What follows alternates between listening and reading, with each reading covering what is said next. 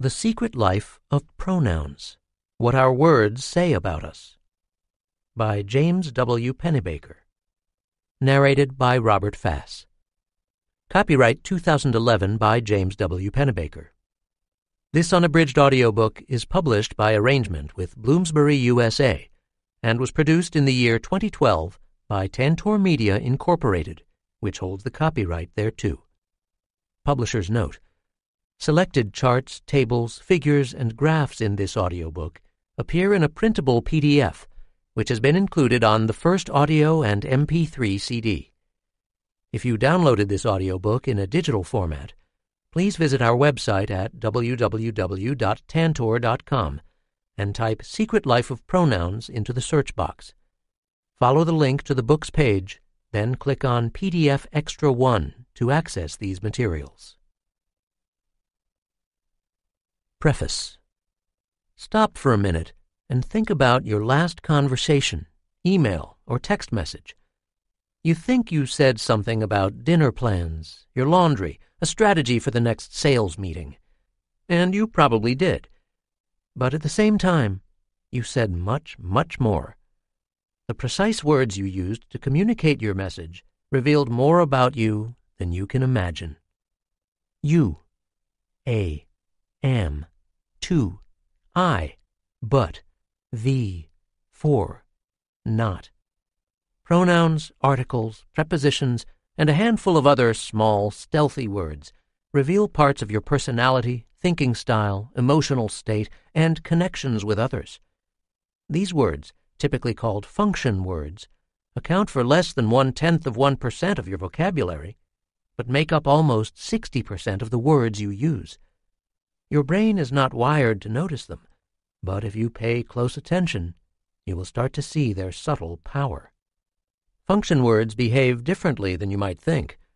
For example, the most commonly used word in spoken English, I, is used at far higher rates by followers than by leaders, truth tellers than liars. People who use high rates of articles, a, an, the, do better in college than low users. And if you want to find your true love, compare the ways you use function words with that of your prospective partners. Although this book focuses on function words, it really isn't about parts of speech at all. Rather, it's about how these words serve as windows into people's personalities and social connections. My training and early research bridged the areas of social, personality, clinical, and health psychology. Only through some accidental discoveries did I even notice the existence of these stealth words. At first, the study of function words was a side venture. But as I delved more deeply into the topic, I started making some unexpected connections to leadership, mental health, brain function, and other issues. Soon my students and I were spending time with computer engineers, linguists, FBI agents, lawyers, doctors, and marketing gurus, and with colleagues in history, political science, communications, and even accounting.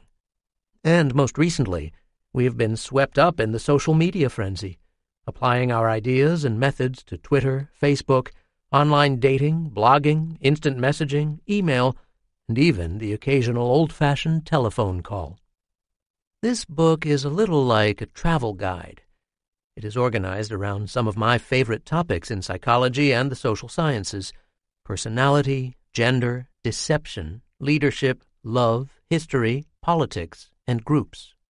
The goal is to show how the analysis of function words can lead to new insights in each of these topics at the same time, I want you to appreciate ways of thinking about and analyzing language. No matter what your personal or professional interest, I hope you come to see the world differently and can use this knowledge to better understand yourself and others. A revolution is underway in the analysis of language that will have a profound effect on the social sciences and humanities.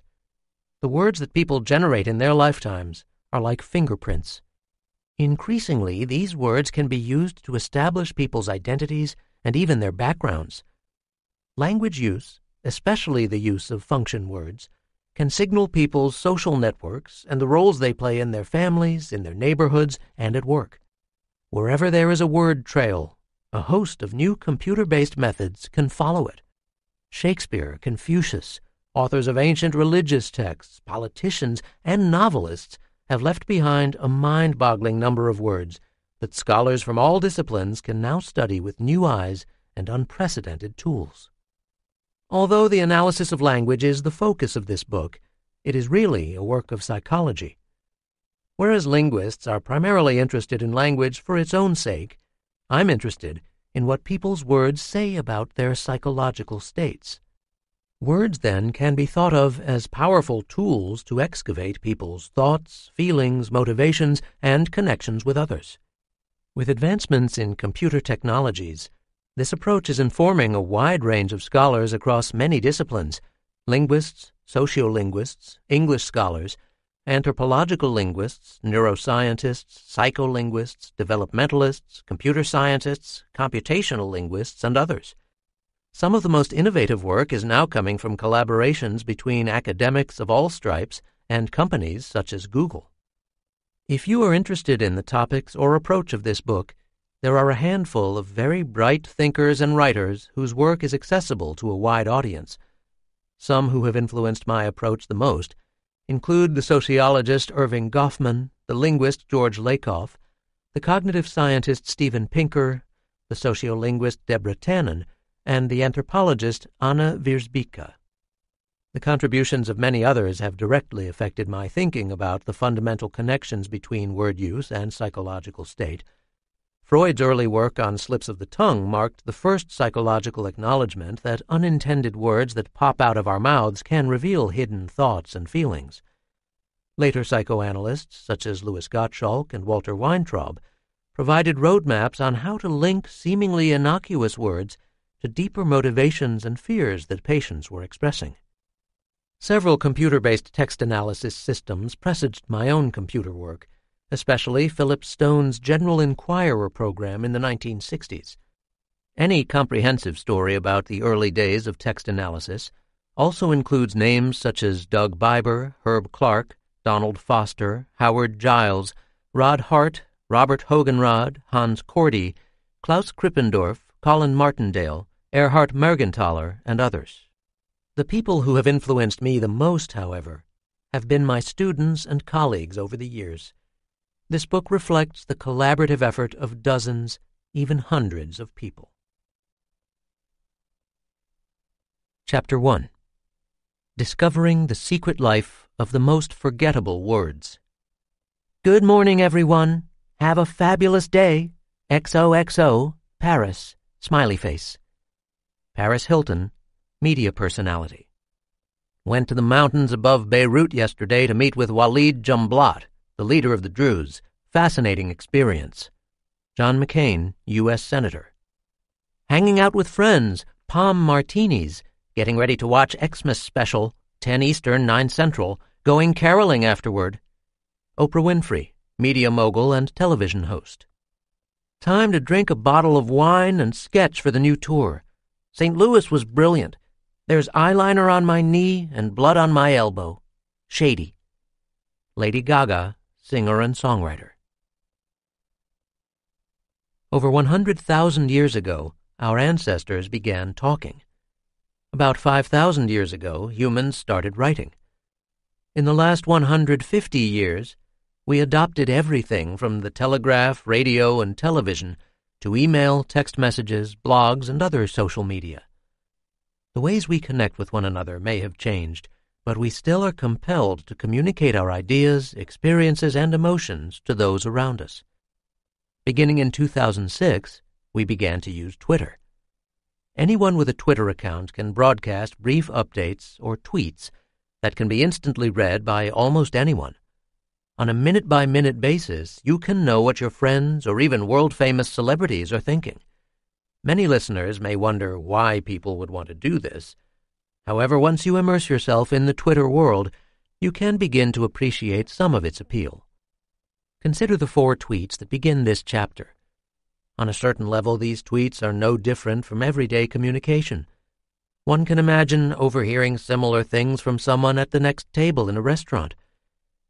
What are the different people telling others? Paris Hilton is simply calling out a greeting. John McCain is describing meeting an important person in Lebanon. Oprah Winfrey tells us about her plans for the evening. Lady Gaga wants us to know that she is getting into the spirit of her new tour. But there is more in these tweets than their authors appreciate. Each entry is like a fingerprint. For example, if this were a multiple choice test and people were asked to match the tweet with the author, most would make a perfect score on the test. Even if you had never heard of any of the authors, the mere label of media personality, U.S. Senator, etc., would provide enough information to make educated guesses about who tweeted what. The tweets also provide insights into each person's thinking and personality. Hilton is relentlessly upbeat with her exclamation points and emoticons. McCain works to impress his readers with his big words and worldliness. Winfrey, the consummate salesperson, drops what time the Christmas special, which is actually her Christmas special, will be aired. And Lady Gaga conveys that she is a bit wild, but also thoughtful and, judging by her use of pronouns, somewhat prone to depression. If we started analyzing more tweets from each of these people, we would begin to get a much richer sense of their motivations, fears, emotions, and the ways they connect with others and themselves. Each person uses words in a unique way, some people, like Lady Gaga, tend to be highly personal in the ways they communicate. They are self-reflective in their use of words such as I and me. Others, like John McCain, reveal that they have a great deal of trouble in connecting to others. In fact, if you would like to try out a quick personality analysis tool based on people's Twitter feeds, try out the experimental website that my colleagues and I created, www.analyzewords.com. Often some of the most revealing words that we use are the shortest and most forgettable. Pronouns, such as I, you, we, and they, articles, a, and, the, prepositions, e.g., to, for, over, and other stealth words broadcast the kind of people we are. And this is the story of this book. It has been a long road from our ancestors uttering their first sentences to Paris Hilton's tweeting her greetings. Due in large part to the current technological revolution, we now have the tools to analyze tweets and Facebook updates, emails, old-fashioned letters and books, and the words from everyday life. For the first time, we are able to use computers to determine how everyday words can reflect our social and psychological states. Who, for example, would have ever predicted that the high school student who uses too many verbs in her college admissions essay is likely to make lower grades in college? Or that the poet who overuses the word I in his poetry is at higher risk of suicide? Or that a certain world leader's use of pronouns could reliably presage whether he'd lead his country into war? By looking more carefully at the ways people convey their thoughts in language, we can begin to get a sense of their personalities, emotions, and connections with others. When social psychology and language meet. Before describing the secret life of words, it may be helpful to say a bit about the author. That would be me.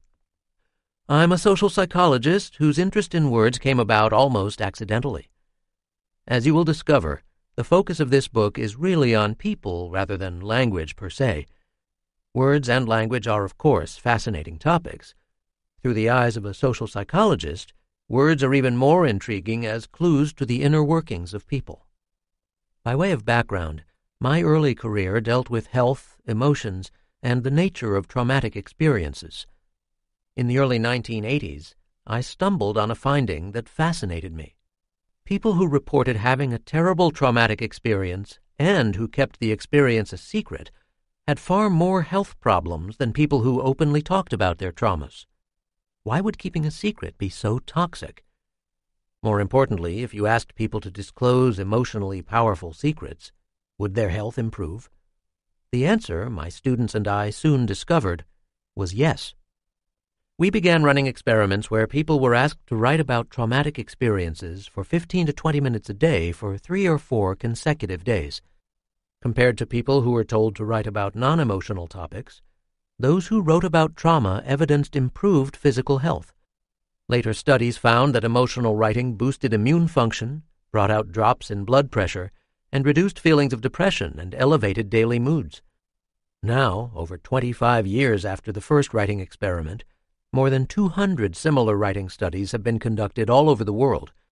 While the effects are often modest, the mere act of translating emotional upheavals into words is consistently associated with improvements in physical and mental health. In search of a theory to explain the power of writing. Why does writing work? Some scientists suggest that repeatedly confronting painful emotions eventually lessens their impact. We adapt to them. Another group points to the unhealthy effects of rumination and unfinished business. Many people who have a traumatic experience keep replaying the events in their minds in a futile attempt to make sense of their suffering. The never-ending thoughts about their emotional upheavals can disrupt their sleep and make it impossible to focus on their jobs and their relationships. Writing about the trauma, according to this view, allows people to find meaning or understanding in these events and helps to resolve their emotional turmoil. The answer isn't simple. I'm now convinced that when people write about traumatic events, several healthy changes occur simultaneously, including changes in people's thinking patterns, emotional responses, brain activity, sleep and health behaviors, and so forth. Discovering why writing is effective for one person may not explain why it works for someone else. What the early writing researchers failed to consider was that people were using words to describe their personal upheavals. Perhaps the key to expressive writing was buried in what people actually say in their essays. The stories people wrote were powerful and oftentimes haunting. In almost every project, participants wrote about physical, sexual, and emotional abuse, divorce, drug and alcohol problems, suicides, terrible accidents, and feelings of failure, humiliation, and suffering. Not only was there a wide range of powerful stories, but the ways people wrote about them differed widely. Some people used humor, others were full of rage, yet other stories were written in a cold, detached, and matter-of-fact way. If a group of clinical psychologists or just regular people read these essays, could they decipher what dimensions of writing predicted improved physical health? We tried this, and the answer was no. The stories were too complicated, and even the most conscientious readers couldn't agree about which elements of people's heartbreaking stories were most meaningful. Some other approach was needed to unlock the reason behind the effectiveness of expressive writing. The Computer Revolution and the Birth of Luke. It was 1991, and the revolution in computer technology was well underway. There had been some major breakthroughs in the computerized analysis of language in research that had been done at Princeton, Harvard, and MIT in the 1960s and 1970s. Surely, with this new technology, I could get a computer program that could analyze my trauma essays. No judges, no heartache. I could get some answers with the press of a button. Unfortunately, no simple computer programs were available at the time. How hard could it be to write such a program? I asked myself. By a happy coincidence, a new graduate student who had been a professional programmer had just joined my research team. Martha, I casually told her, I've got a great idea for a new program that should only take about three weeks to develop. Martha E. Francis turned out to be a creative programmer with a flair for social psychology, though she had no idea what she was getting into. Although the guts of the program were written very quickly, the three-week project took on a life of its own. In three years, we finally rolled out the first version of a computer program we called Linguistic Inquiry and Word Count, or LIWC, pronounced Luke. The idea behind Luke was that the words people used, whether in a trauma essay or everyday speech, would reflect their feelings, and that by the simple process of counting these words, we could gain insights into their emotional states. We assumed that angry people would use anger-related words.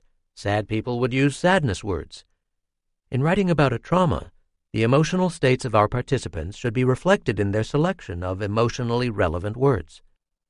So in developing the Luke program, we created a series of word dictionaries designed to capture different psychological concepts.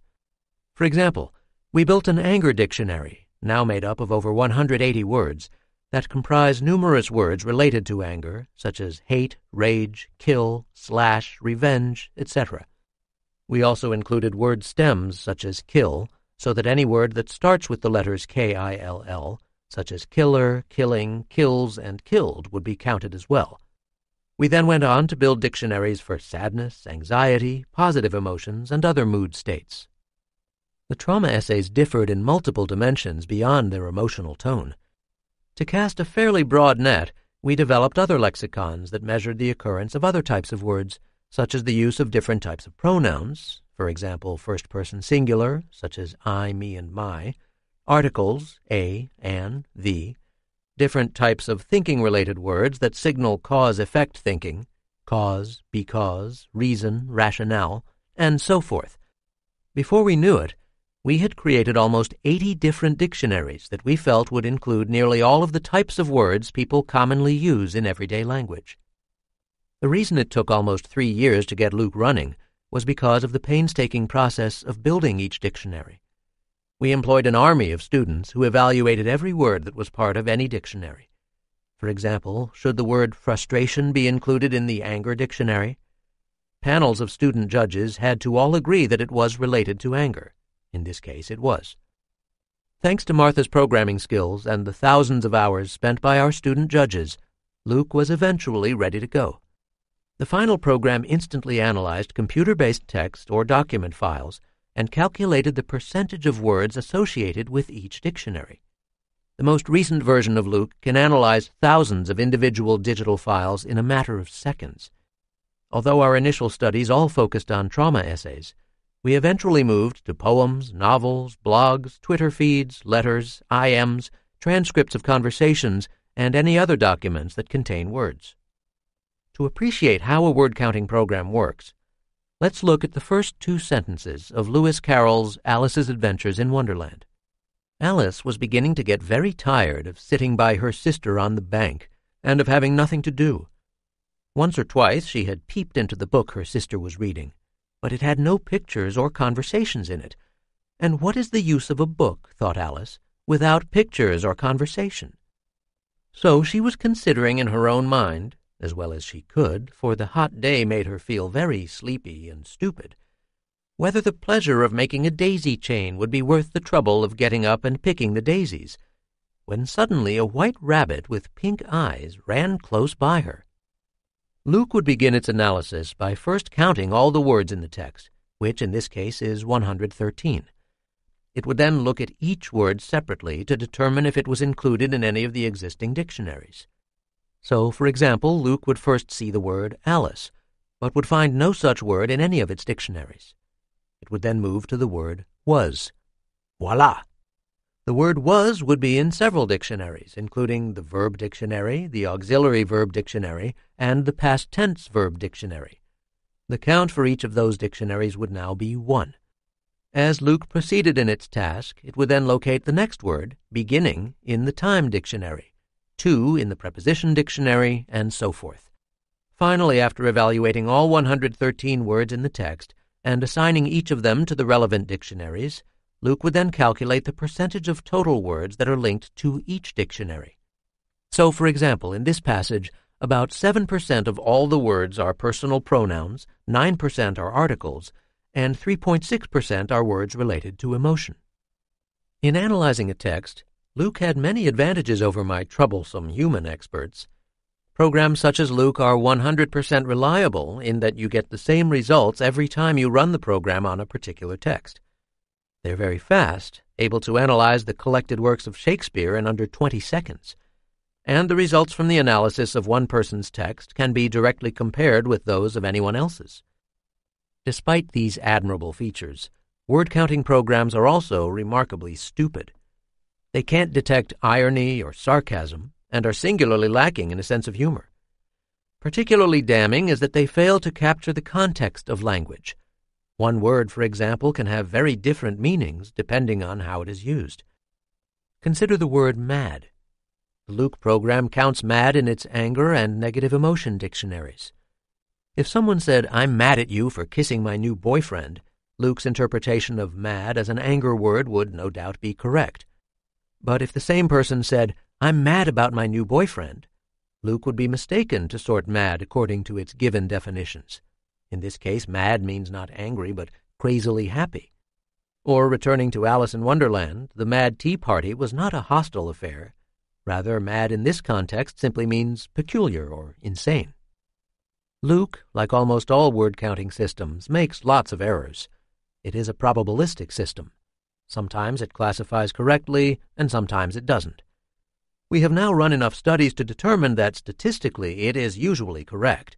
And the good news is that the more words there are available to analyze, the more precise the system.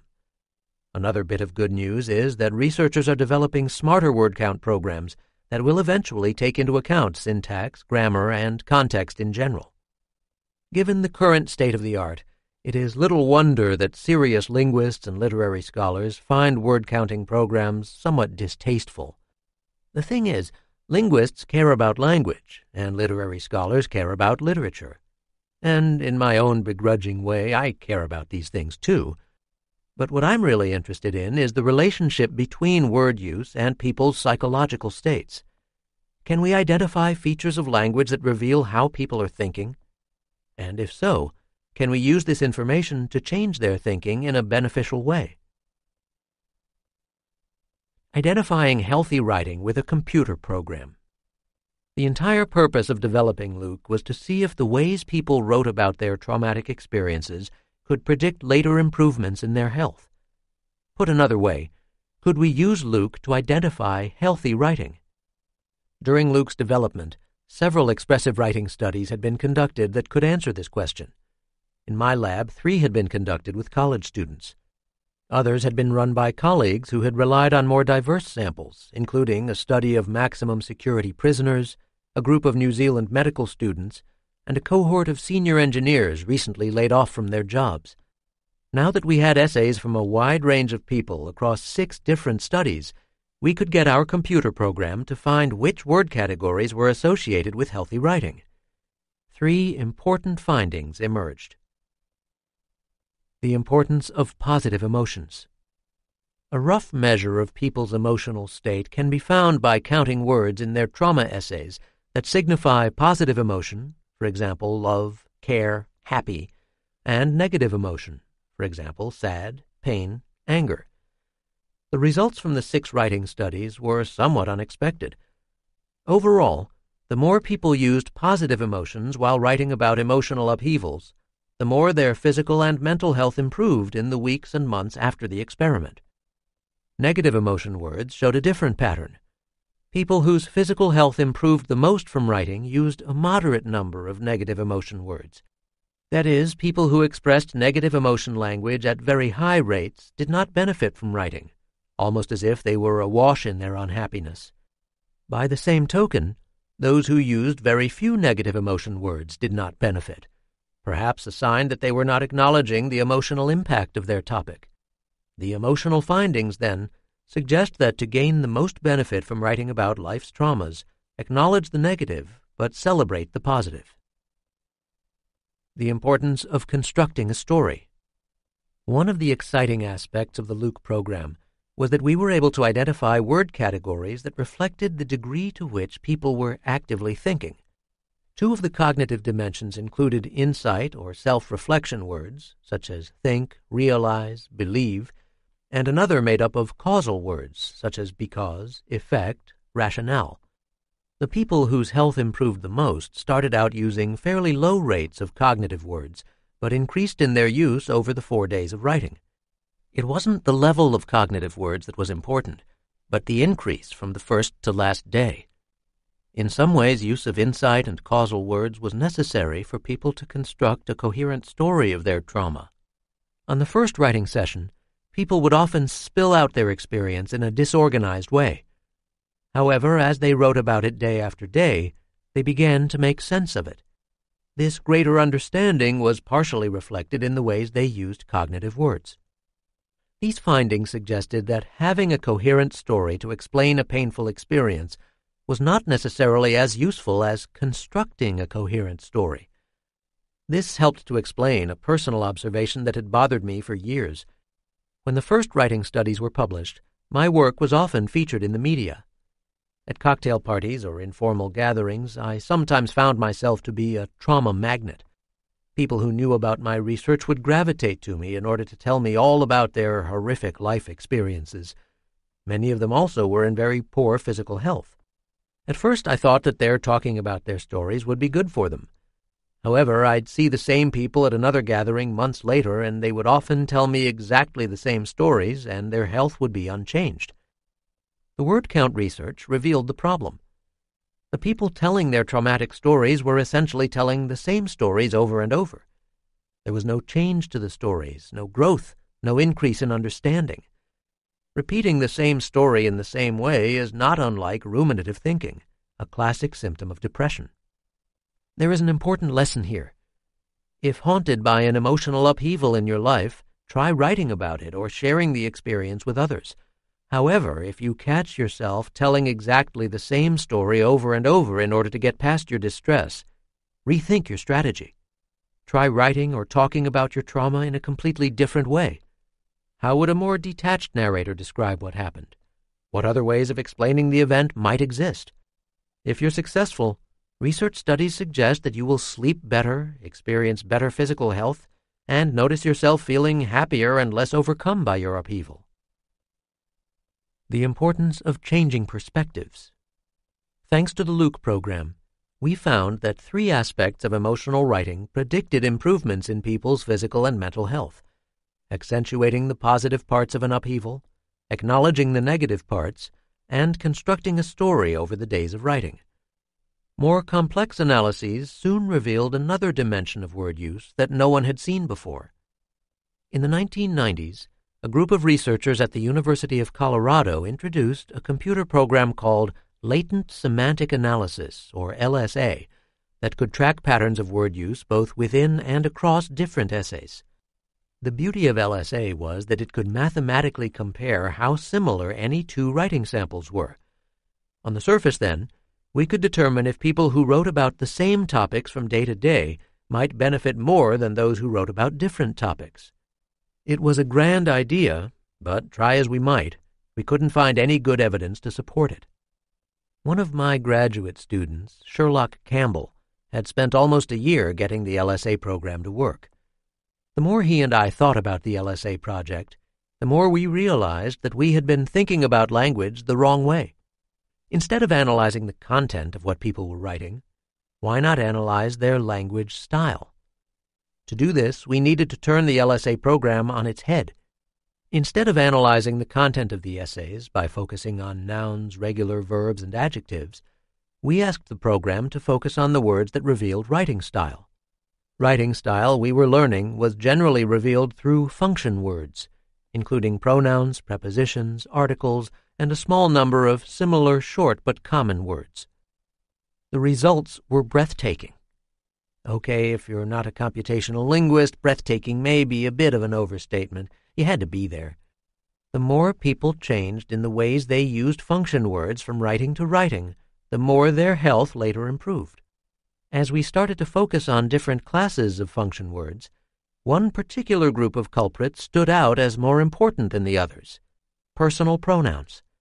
More specifically, the more people changed in their use of first person singular pronouns, for example, I, me, my, compared with other pronouns, for example, we, you, she, they, the better their health later became. The effects were large and held up for study after study. After spending over a year on the computer program, Sherlock was thrilled. He took great pride in noting that we had discovered the secret life of pronouns and he deserves the credit for the title of this book. The findings may sound esoteric, but in real life they aren't. The writings of those whose health improved showed a high rate of the use of I words on one occasion, and then high rates of the use of other pronouns on the next occasion, and then switching back and forth in subsequent writings. In other words, healthy people say something about their own thoughts and feelings in one instance, and then explore what is happening with other people before writing about themselves again. This perspective switching is actually quite common in psychotherapy. If a man visits his therapist and begins repeatedly complaining about his wife's behavior, what she says, how aloof she is, and so forth, the therapist will likely stop the client after several minutes and say, You've been talking about your wife at length, but you haven't said anything about yourself. How do you feel when this happens? Similarly, if another client, a woman in this case, with marital problems, sees her therapist and spends most of her time talking about her own thoughts, feelings, and behaviors without ever talking about her spouse, the therapist will probably redirect the conversation in a similar way by asking, You've told me a lot about your own feelings when this happens. How do you think your husband feels about this? Perhaps, like good therapy, healthy writing may involve looking at a problem from multiple perspectives. Words as mirrors, words as tools. Stand back for a minute and consider the meaning of all of our findings regarding expressive writing. Writing about emotional upheavals can improve people's mental and physical health. Not all people benefit from this exercise, however. Those who do benefit tend to write differently from those who don't. Healthy writing involves positive emotion words, a moderate use of negative emotion words, increasing use of cognitive words, and changes in pronoun use. Translating these effects into everyday language, people who benefit from writing express more optimism, acknowledge negative events, are constructing a meaningful story of their experience, and have the ability to change perspectives as they write. Most surprising, though, was that these discoveries were reflected through people's use of a small number of almost invisible stealth words. The stealth words, which had been there all along, reflected critical changes in the ways people were thinking. These language findings are certainly interesting, but can we put them to good use? If we bring people into the lab and encourage them to use positive emotion words, increase their use of cognitive words, and oscillate in their use of personal pronouns while they write, will their health improve? In other words, do words reflect a psychological state, or do they cause it? Over the years, several studies have been conducted to try to answer this question. In one elaborate experiment, Cheryl Hughes, a former student of mine at Southern Methodist University, gave different students lists of words that she asked them to use in their expressive writing. Some received lists of positive emotion words, others received negative emotion words, some were given cognitive word lists, and others weren't. While she succeeded in manipulating the words people used in the predicted directions, the writing had no effect on health.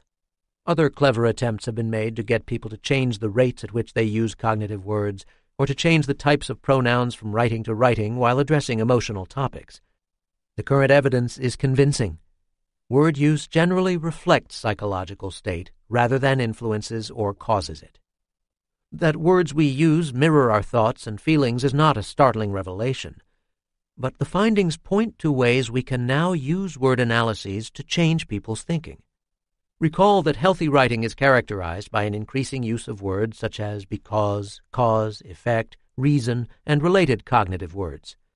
Simply requiring people to use the words at higher rates over the course of writing has no meaningful effects. The writers are simply focusing on words and not their underlying purpose. However, if we encourage people to write about a trauma and to work to construct a meaningful story, their writing takes on a more dynamic tone they begin to stand back and look at their trauma with a broader perspective. The cognitive work they put into the story results in a better product and one that is more likely to allow them to get through their trauma. The analysis of words tells us how people are thinking, and at the same time gives us a way to guide their thinking in the future. Words can be both mirrors and tools. As interesting as our findings about expressive writing were, they are by now but a footnote to the many ways that we've come to use Luke. When Martha Francis and I first developed the program, our goals were modest identify healthy writing by looking at words. But our timing was propitious. Without computer technology and the availability of large text databases, linguists might have studied the words, and psychologists or physicians might have studied health, but no one would have naturally put the two together. Now anyone can access millions of words from thousands of people in no time at all. As someone who loves to play with numbers and statistics, I had discovered the perfect playground in Luke. Late at night, I would often find myself analyzing text files just to see who used what kinds of language. For example, most of the expressive writing studies included both women and men. Were there any differences between the sexes in the way people used language? Yes, there were differences, big differences but they didn't make any sense. So I did what anyone does when trying to sort out a problem late at night. I just ignored it. But then I would run another batch of text files the next day and find the same odd word differences between men and women. I won't tell you the findings now because it would ruin the thrill of Chapter 3. But trust me, the effects are big, unpredictable, and once you think about them, make perfect sense. As I played with more and more data sets, recurring word patterns kept popping up. Not only were there differences in the ways women and men used words, but there were big differences as a function of people's age, and social class, and emotional state, level of honesty, personality type, degree of formality, leadership ability, quality of relationships, and on and on. Word use was associated with almost every dimension of social psychology that I had ever studied. Particularly intriguing was that most of the word differences were associated with the most common and forgettable words in the English language. Thirty years ago, had someone said that one of the high points of my professional life would be discovering the secret life of pronouns, I'm pretty sure I would have changed careers. Now I'm convinced that by understanding how and when we use these function words, we get a much better sense of the social and psychological processes affecting all of our behaviors from our relationships with friends and family members to our ability to communicate effectively with people in business and the larger world. If a friend's language changes unexpectedly, we may be able to determine if he or she is depressed, angry, or deceptive. If you are an archivist or investigator, your ability to decode function words can help in identifying the true author of a text or the possible motive behind the writing of the text. Most interesting for me, however, is that the analysis of the words we use in speaking and writing can be extraordinarily useful in helping us to understand ourselves. In the chapters that follow, you will see many examples where I have analyzed my own email, letters of recommendation, and daily speech patterns in talking with friends and family members. By looking closely at words, I've discovered ways of improving my relationships with my family and friends, of being a better teacher, and of becoming a better leader. While I didn't fundamentally change the way I spoke or wrote, these word analyses pointed to some of my natural shortcomings, which I have worked to improve. Finally, this book is a travelogue of the journey my students, colleagues, and I have been taking as we've been studying the ways we all use language. The values guiding most of this research have been curiosity and playfulness. If you are a serious linguist, this book may disappoint or infuriate you. If you love words for their own sake, I may not share your reverence. Indeed, after I published a paper showing that suicidal poets used pronouns differently from non-suicidal poets, a slightly inebriated poet threatened me with a butter knife at a party in my own home. Ultimately, I'm interested in psychology and social behavior. Words in my world are a window into the inner workings of people, a fascinating and revealing way to think about language and its links to the world around us all. Chapter 2 Ignoring the Content, Celebrating the Style. All words are not equal. In any given sentence, some words provide basic content and meaning, whereas others serve quieter support functions. Ironically, the quiet words can say more about a person than the more meaningful ones. A central theme of this book is that the content of speech can be distinguished from the style of speech.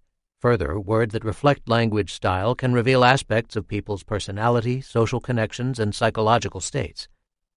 This chapter lays out the overall logic of word analysis. It serves as the foundation for the rest of the book.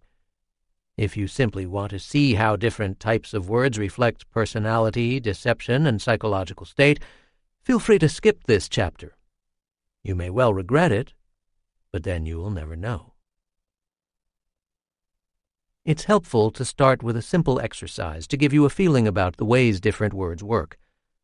Look closely at the first picture on your bonus material. Who are the people? What is happening? What are their thoughts, feelings, and concerns? How would you write or talk about this drawing? Stop for a second and describe the picture to yourself. You might even jot down your description on a piece of paper so that you can refer back to your writing throughout the chapter. In fact, thousands of people have written about this picture as part of various psychology experiments. The kinds of stories that people tell vary widely. Some view the people as two women, others as one or two men. Some cast the two as part of a story dealing with good versus evil, wisdom versus youth, or just a family relationship between people of different generations. Despite the differences in stories and themes, the ways people write their stories are even more striking.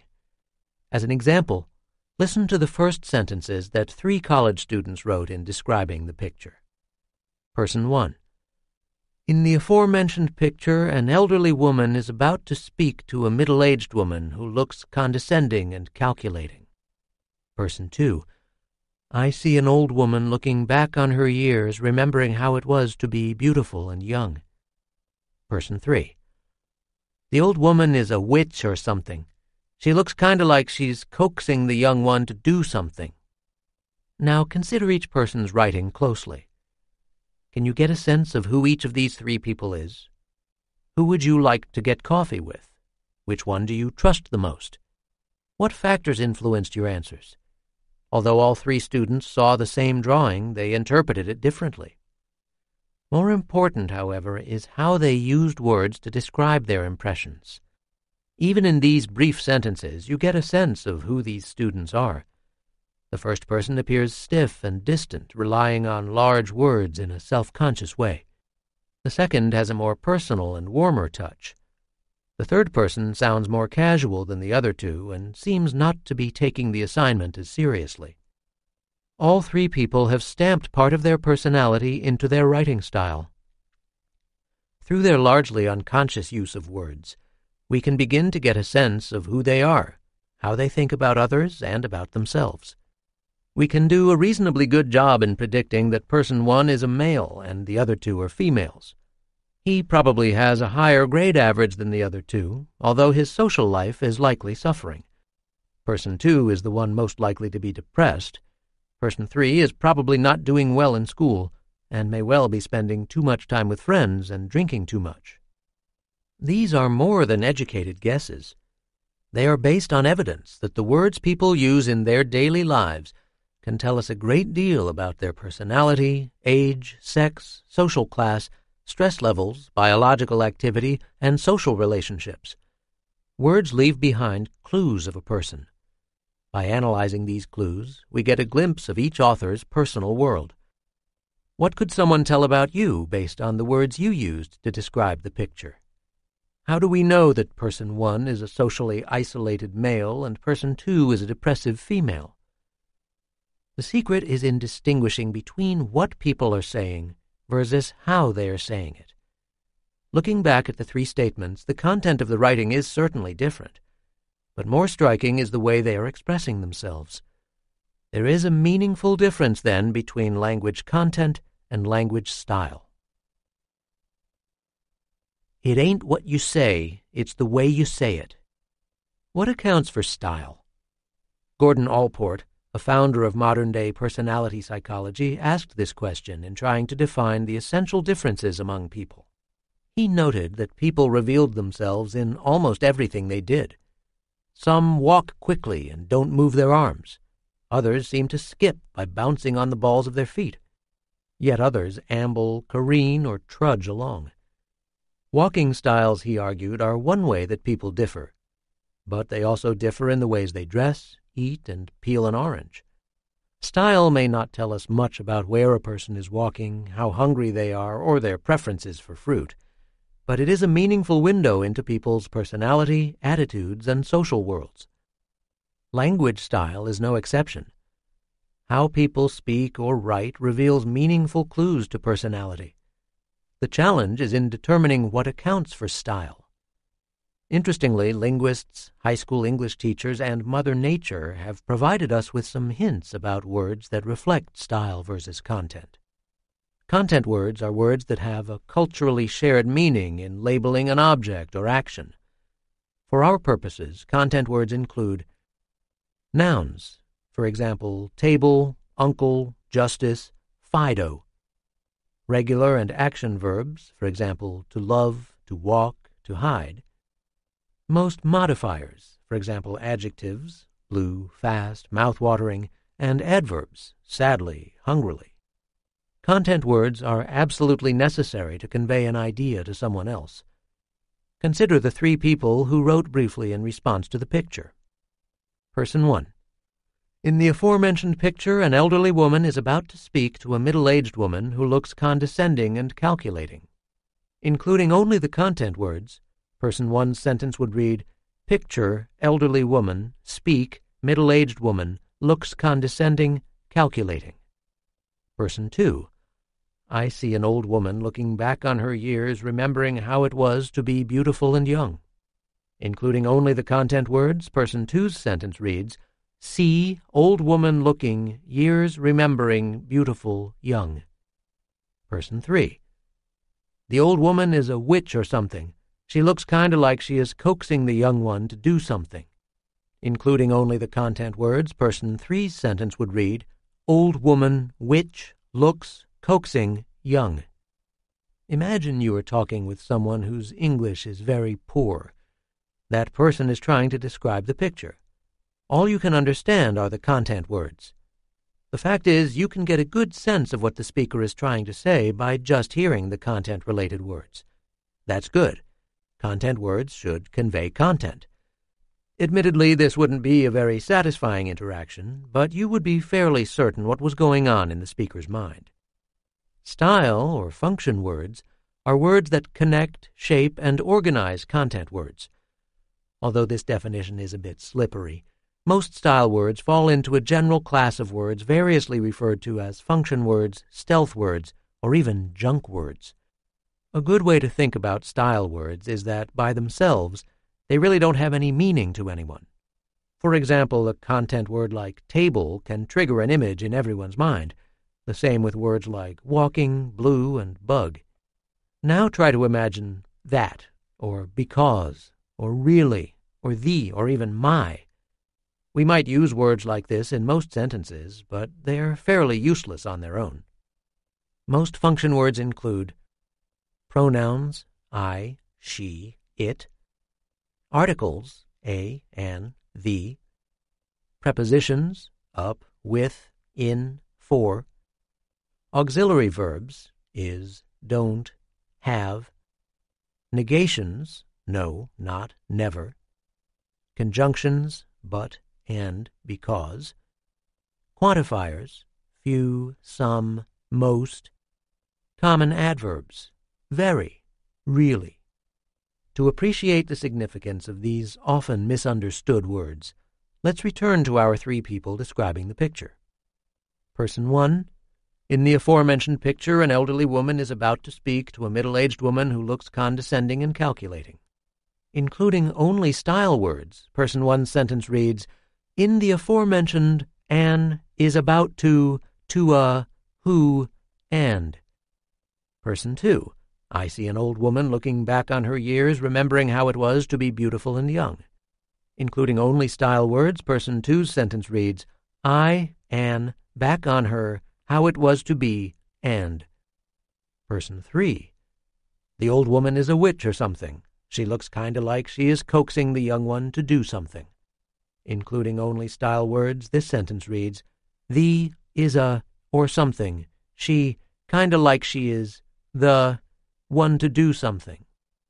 Now imagine that someone was only able to speak to you using the style words while trying to describe the picture you would have absolutely no idea what the person was talking about.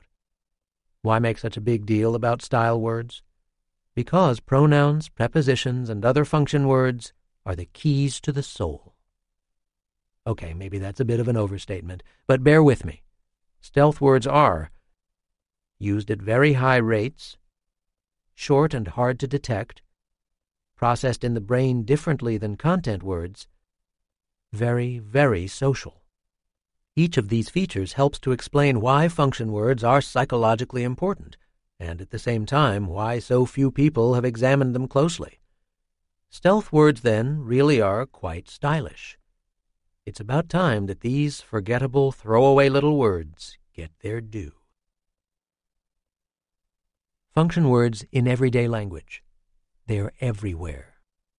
In 1863, four months after the devastating Battle of Gettysburg, Abraham Lincoln delivered one of the most significant speeches in American history. overlooking the battlefield where 7,500 soldiers died. Lincoln's brief speech helped to reframe the Civil War. Listen to his speech and try to form an impression of what's being said. Fourscore and seven years ago, our fathers brought forth upon this continent a new nation, conceived in liberty and dedicated to the proposition that all men are created equal. Now we are engaged in a great civil war, testing whether that nation, or any nation so conceived and so dedicated, can long endure. We are met here on a great battlefield of that war. We have come to dedicate a portion of it as a final resting place for those who here gave their lives that that nation might live.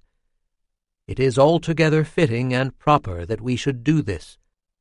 But in a larger sense, we cannot dedicate, we cannot consecrate, we cannot hallow this ground.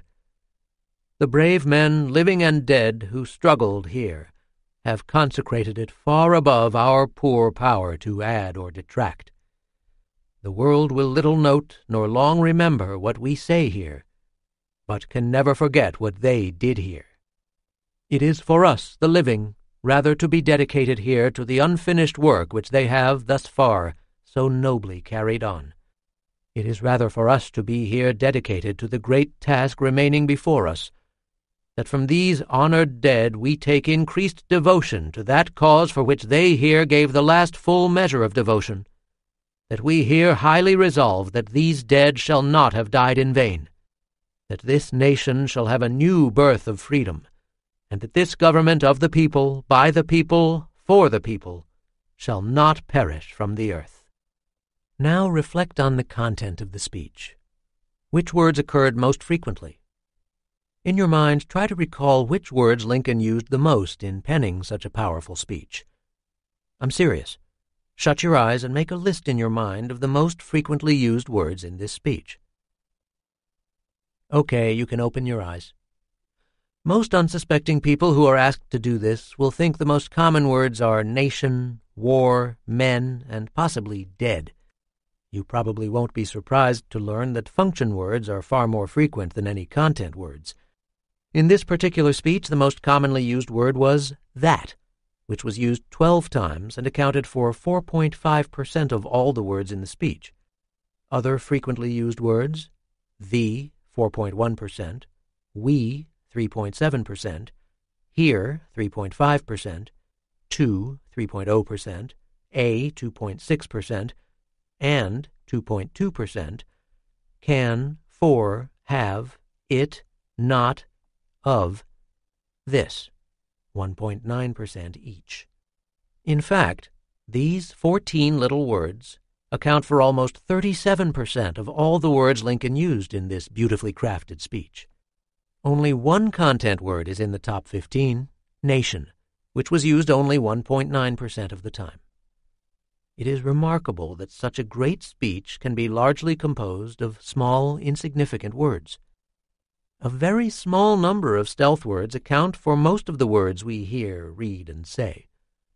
Over the last twenty years, my colleagues and I have amassed a very large collection of text files that includes thousands upon thousands of natural conversations, books, internet blogs, music lyrics, Wikipedia entries, etc., representing billions of words. Although there are some variations in word use depending on what people are writing or saying, it is striking to see how common function words are in all types of text. Spend a minute inspecting the word table on your bonus material. This is a list of the 20 most commonly used words in English based on our large language bank. Across both written and spoken text, for example, the word I accounts for 3.6% of all words that are used. If you consider these 20 words together, they represent almost 30% of all words that people use, read, and hear. All of the words in the table are quite short and are made up exclusively of pronouns, prepositions, conjunctions, articles, and auxiliary verbs. If we extended the list to all of the common stealth or function words in English, the list would include around 450 words. Indeed, these 450 words account for over half, 55%, of all the words we use. To put this in perspective, the average English speaker has an impressive vocabulary of perhaps 100,000 words. This means that only a trivial percentage of the words we know are associated with linguistic style, about 0.04% of all words. The other 99.96% of our vocabulary is made up of content words. This split is comparable in other languages German, Spanish, Turkish, Arabic, Korean, and others we have studied. In all languages, a small number of function words are used at dizzying rates compared to a large number of content words that are used at very low rates. Briefly consider the implications of these numbers.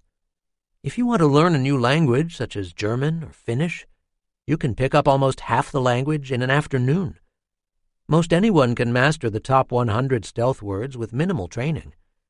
By early evening, you could sit down with any German newspaper or Finnish philosophy text and identify half of the words that were used.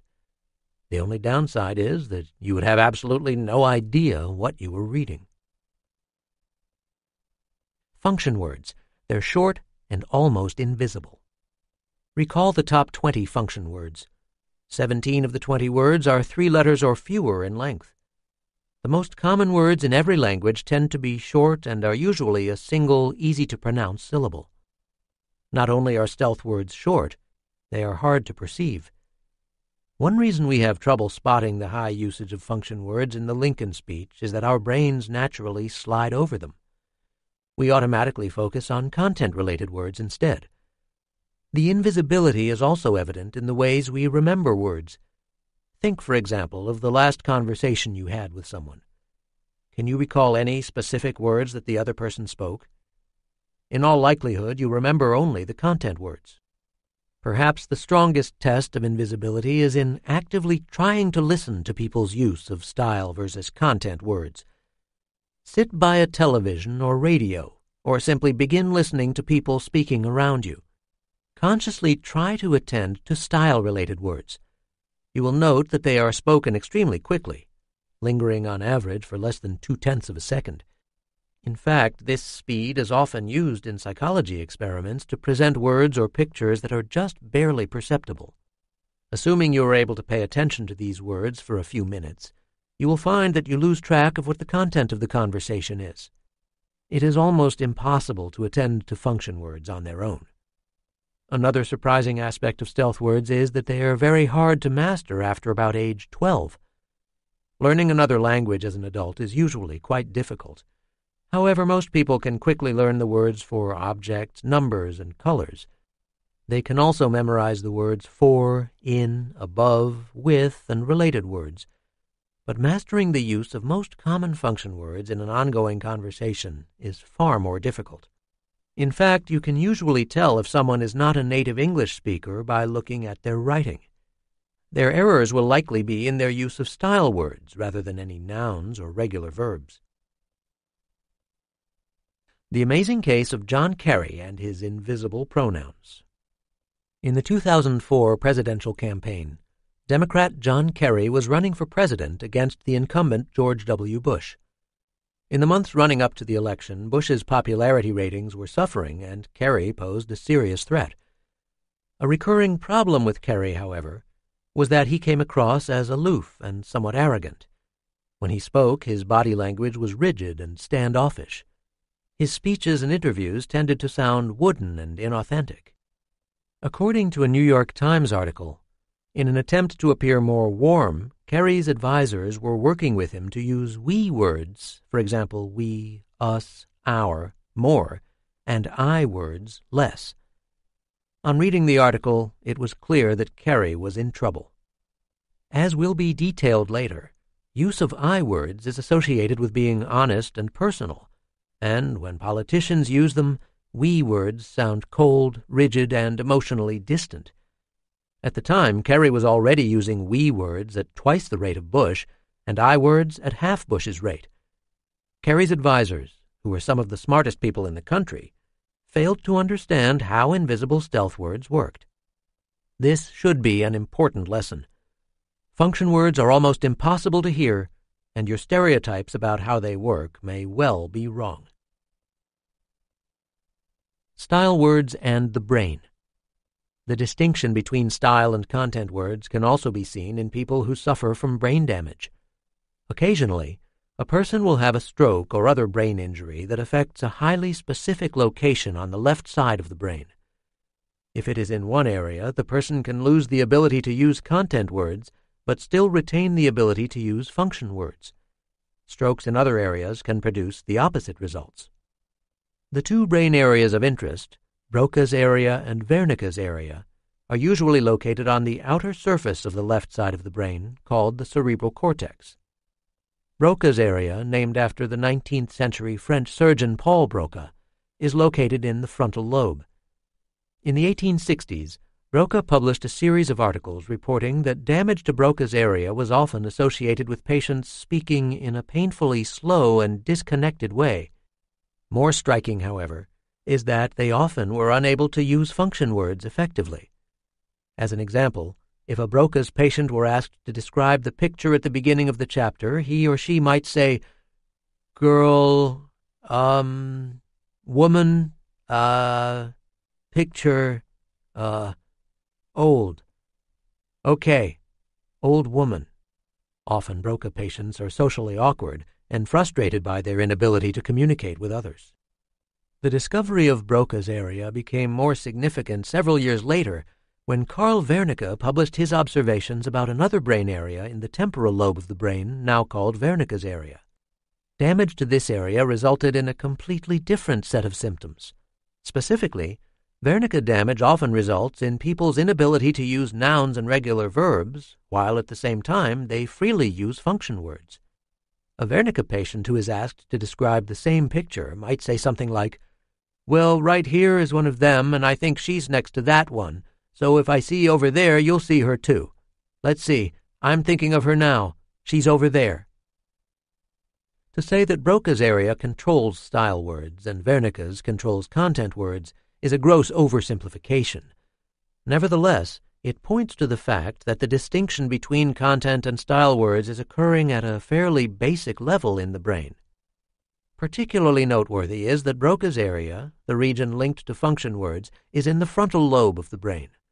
The frontal lobe controls a number of skills, many of them social. For example, dozens of studies have demonstrated how frontal areas are linked to abilities to express and conceal emotions. Other frontal areas are associated with the ability to read other people's facial expressions. A number of promising studies now suggest that many of our abilities to control our emotions and to establish social relations with others are related to frontal lobe activity. Perhaps the most dramatic example of frontal lobe damage and changes in social behavior and personality was the case of Phineas Gage. Gage was an explosives expert for a railroad in the mid 1800s. By all accounts, he was a careful, conscientious, and serious individual. One summer day, he was tamping down some blasting powder in preparation for an explosion to clear some rocks. He accidentally created a spark with his long tamping rod that ignited the powder, causing the rod to shoot upward, where it neatly tore a hole through his skull and destroyed much of his frontal lobe. To everyone's amazement, Gage wasn't killed, and he returned to good health within a few weeks that is, except for the hole in the front of his head. Over the next months, Phineas Gage's personality changed dramatically. He went from reserved to loud, from conscientious to impulsive, from respectful to obscene, and from sober to, well, not sober. He was a completely different person and never returned to his old personality. In the early 1900s, Ivan Pavlov noted the same thing in his research with dogs. Pavlov, who won one of the first Nobel Prizes, is best remembered for his experiments where a dog could be trained to salivate when a bell rang. In a failed attempt to find the location of classical conditioning in the brain, Pavlov surgically disrupted different parts of dogs' brains. He reported that only damage to the frontal lobe affected the animal's personality. Although the dogs with frontal lobe injury still remembered things from before the surgery, they were simply different dogs. If the frontal lobe is closely linked to personality and social behaviors, it is not surprising that any language areas in the frontal lobe, such as Broca's area, would also be related to personality and social behaviors. Function words are very, very social. Brain research points to the inescapable conclusion that function words are related to our social worlds. In fact, stealth words by their very nature are social. Imagine you are walking down the street on a windy afternoon and a piece of paper lands on the ground in front of you. There is a handwritten note on the paper that says, He is around, but I don't know where. I will be back here very soon. Don't do it. The note is grammatically correct and is understandable in a certain sense. Is something important about to happen?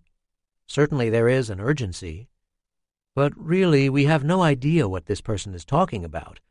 Every word in the note is a function word. Who and where is he? When is will be and soon? Who is I? Where is here? What shouldn't the person do? Now that you think about it, this note makes absolutely no sense. In a normal conversation, we automatically know what all the function words refer to based on who we are speaking to, where we are, and what we have already been talking about. Whoever wrote the note had a shared understanding with its intended recipient about the who, where, and when. Maybe the note was typed by some guy named Bob to be read by Julia. A few minutes earlier, they might have had the following discussion. Bob, on cell phone, talking to Julia. Julia, you caught me at a crazy time. I've got to buy a stapler, but I'll leave a note on the door if I'm not here when you arrive. Julia. Great. I need to have the accountant sign my expense form. Do you know where he is? Bob. I'll see if he's in. Julia. Did I tell you that I'm thinking of smoking again? I always feel more alert and happy when I smoke. I know it annoys you. Bob. Are you nuts?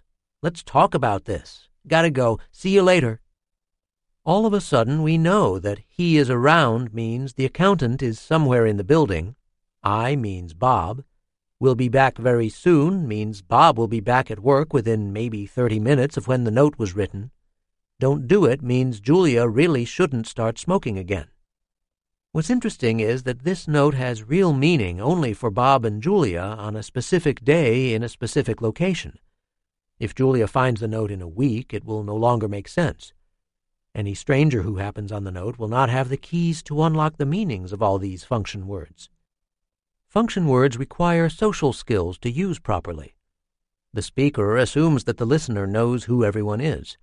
The listener must be paying attention and know the speaker to follow the conversation. So the mere ability to understand a simple conversation chock full of function words demands social knowledge. The same is true for articles, prepositions, and all other stealth words. Consider these slightly different sentences. I can't believe that he gave her the ring. I can't believe that he gave her a ring. The difference between the ring and a ring is subtle but significant.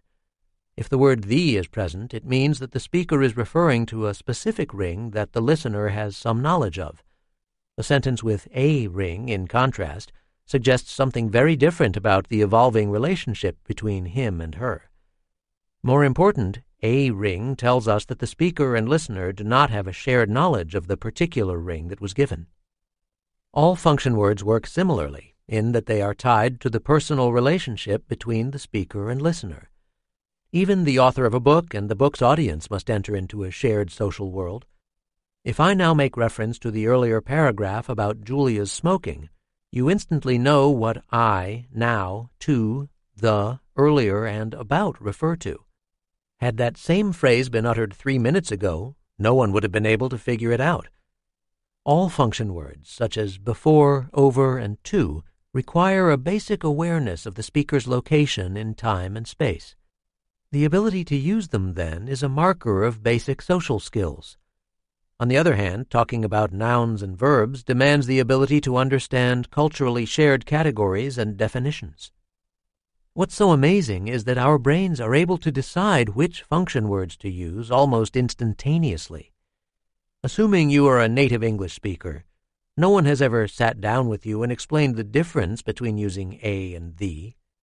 If we are talking with someone we have never met and casually mention a particular window in the room, two minutes later both of us will know which window when it is referred to as the window.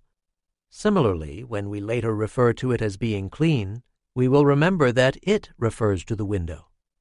Function words also reflect and color subtle ways we think about objects and events in our lives.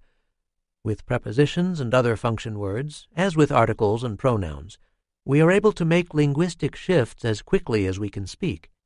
It's hard to imagine stopping a conversation in mid sentence to decide whether you should say, I went to my friend's house versus I went over to my friend's house versus I went by my friend's house. The differences among to, over to, and by are almost imperceptible to the listener, but they all have a slightly different meaning about the trip or the friend or the friend's house. As a final note, we are not capable of easily controlling how and when we use function words. They are hard for us to perceive in others and to control in ourselves.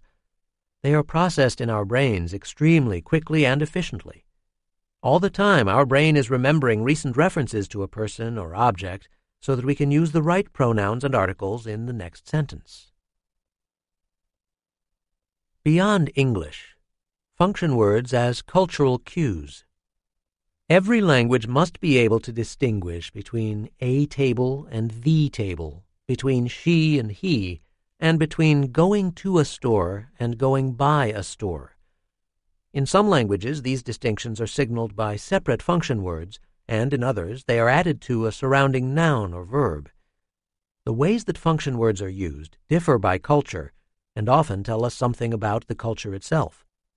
In our research on function words, my students, colleagues, and I have developed the LIWC computer program for use with a number of languages, including Spanish, German, Arabic, Italian, French, Russian, Dutch, Chinese, and others. So far, virtually all the language links to social and psychological phenomena we have found in English have generalized to other languages. In developing cross-language text analysis programs, we come across unique issues every time we begin exploring a new language. Pronoun dropping. In some languages, separate words for pronouns are rarely used. In Spanish, for example, estoy triste literally means am sad. The word I is not needed since the personal pronoun is implicit in the verb conjugation. Of course, a speaker could say yo estoy triste, which would be the equivalent of I am sad, with a strong emphasis on the word I. As discussed in the emotion chapter, when English speakers are depressed, they tend to use the word I more in everyday language, apparently because they are paying more attention to themselves. Spanish speakers, when they are depressed, greatly increase in their use of the first person singular pronoun, yo. Why do some cultures drop personal pronouns and others don't? One argument is that languages from more tightly knit collectivist cultures tend to drop pronouns, whereas the more individualist societies retain them. Status markers in language. Most languages are constructed to identify who in a conversation has greater status or respect. In Old English, our linguistic ancestors distinguished between you and thou. By the late 18th century, the formal and informal distinction was disappearing. Most European languages still use formal and informal versions of the pronoun you, although the distinction is becoming less common. Other languages, such as Japanese, signal relative status in the conjugation of verbs and other words. Indeed, it is almost impossible to say, I spoke with you about the car without signaling the relative status of the speaker and addressee. Direct versus indirect knowledge. Some languages, such as Turkish, require you to provide evidence for any statement you make. If I said to you, It was very hot in Austin yesterday, in English, you would likely shrug your shoulders and assume that I'm telling you the truth. In Turkish, however, you would use different forms of the verb was to denote whether I personally experienced the hot weather or am simply relaying this information from some other source. Social knowledge lost in translation. In a striking series of studies, Stanford's Lera Boroditsky has demonstrated how the language you are speaking at the time dictates how you remember pictures or events. A bilingual Japanese English speaker would likely remember the relative status of three other people if introduced to them in Japanese rather than in English. A bilingual Turkish English speaker will remember my talking about Austin's weather differently if we spoke in Turkish compared to English. Indeed, when anything is translated from one language into another, parts simply disappear or are created.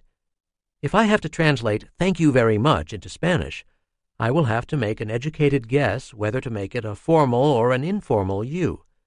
And when the same phrase is translated back into English, The formality information is stripped away.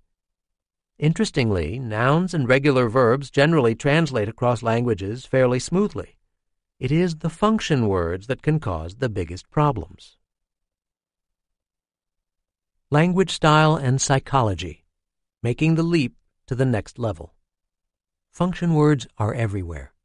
We use and are exposed to them all the time.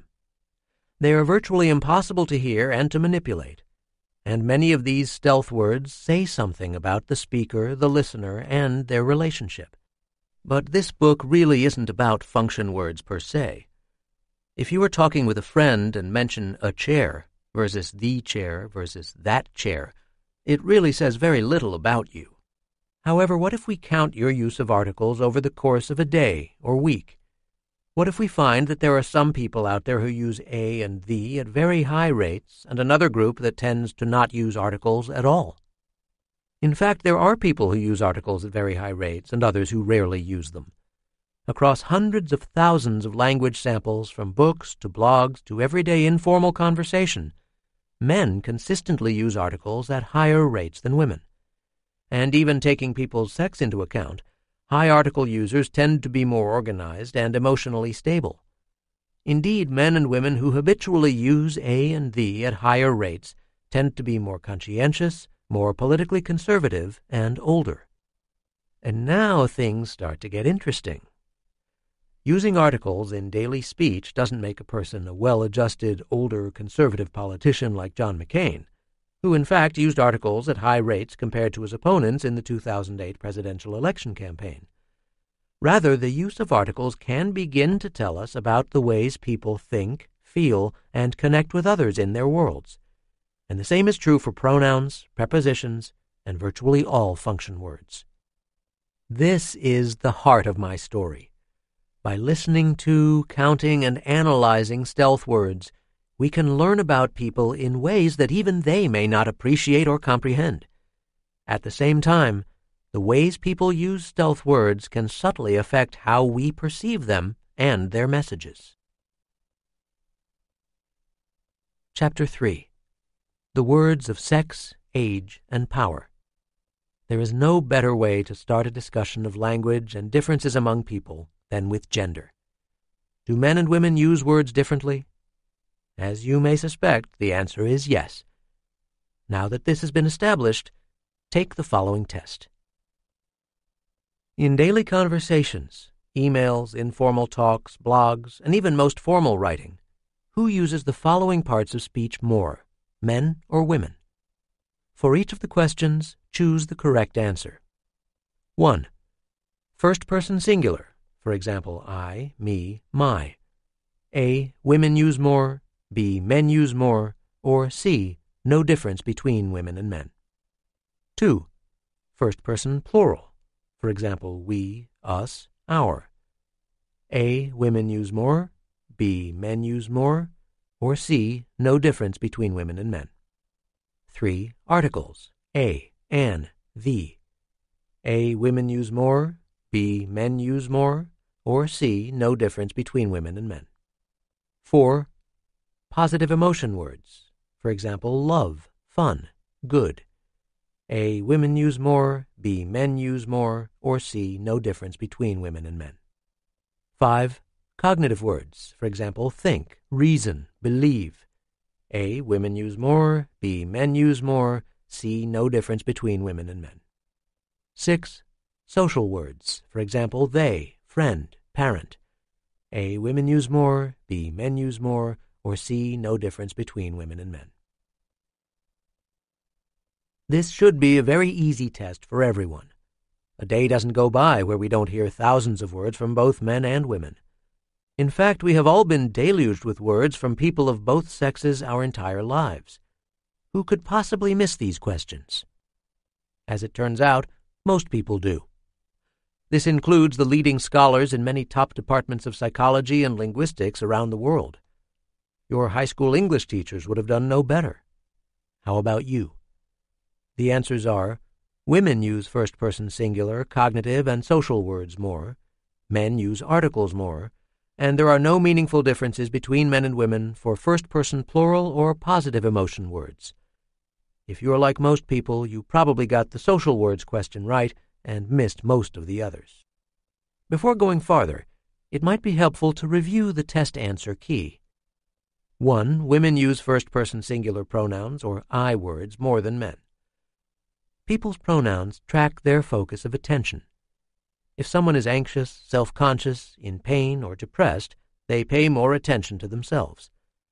Research suggests that women, on average, are more self aware and self focused than are men. The differences in the use of I words between women and men are not subtle. In natural conversations, blogs, and speeches, women use I words at much higher rates. 2. Men and women use first person plural words or we words at the same rate. The use of we highlights one of the most enigmatic function words in our vocabulary. The natural assumption is that when speakers use we, they are referring to themselves and their close friends. There are even famous psychology studies where people see the word we flashed on a screen, and it makes them feel all warm and fuzzy and more connected to others. We, as it turns out, is really two very different words. Yes, there is the warm and fuzzy we, my wife and I, my dog and me, my family. You can feel the welcoming arms of the W and E embrace us. So, yes, there is that tight sense of group identity that goes with we some of the time. Another we, however, is the cooler, distanced, and largely impersonal we. My graduate students know this we.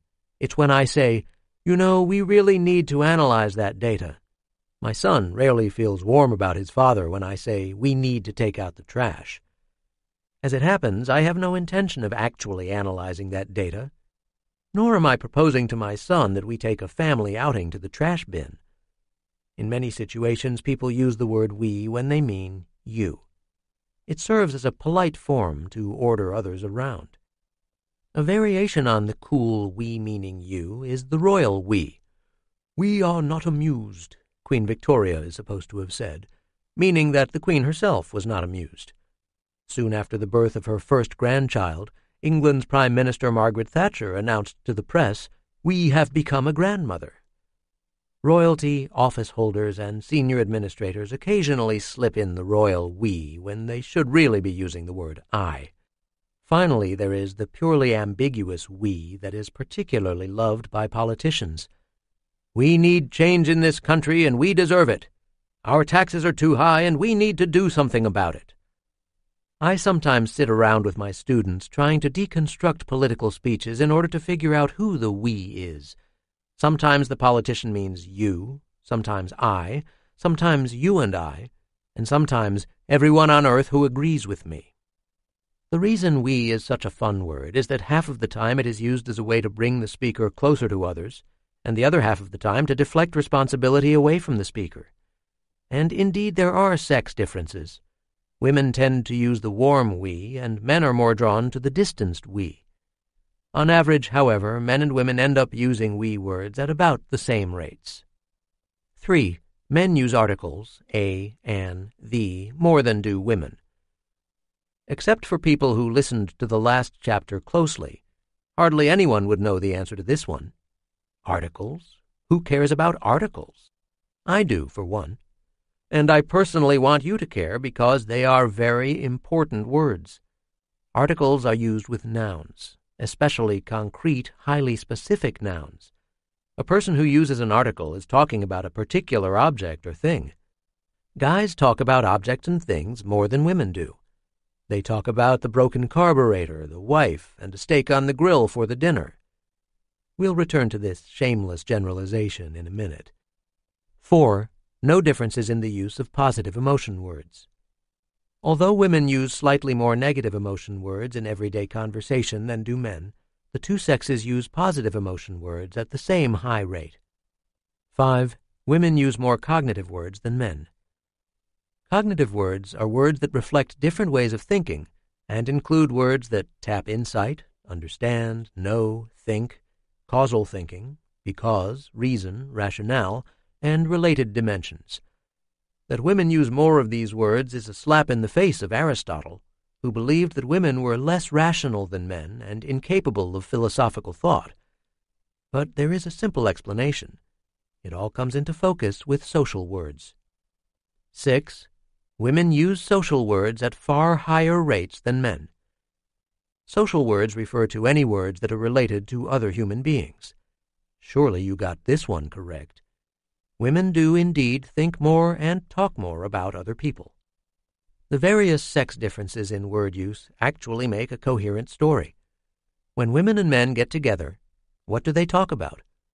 Women disproportionately talk about other people, and men talk about, well, carburetors and other objects and things. Ultimately, which topics, other people versus carburetors, are more complex and require more cognitive work in explaining? Human relationships are not rocket science. They are far, far more complicated. We can get our top scientists together and send people to the moon. Two speakers, male or female, can troubleshoot a carburetor in under an hour. But even the most creative and diligent scientists, much less two interested speakers, are unable to understand, explain, or agree on why actress Jennifer Lopez is attracted to the men she is, or how long she will remain married to her current husband. Preparation for the next test. Other word categories that distinguish between men and women. The sex differences test you just took is only the beginning. Men and women differ in a variety of other language dimensions that will be discussed throughout the book. In case there is another gender language exam, it is important to appreciate that men and women also differ in the following ways. Men use more big words, nouns, prepositions, numbers, words per sentence, and swear words. Women use more personal pronouns, verbs, including auxiliary verbs, negative emotion words, especially anxiety, negations, no, not, never, certainty words, always, absolutely, and hedge phrases, I think, I believe. These additional language differences buttress what has already been noted.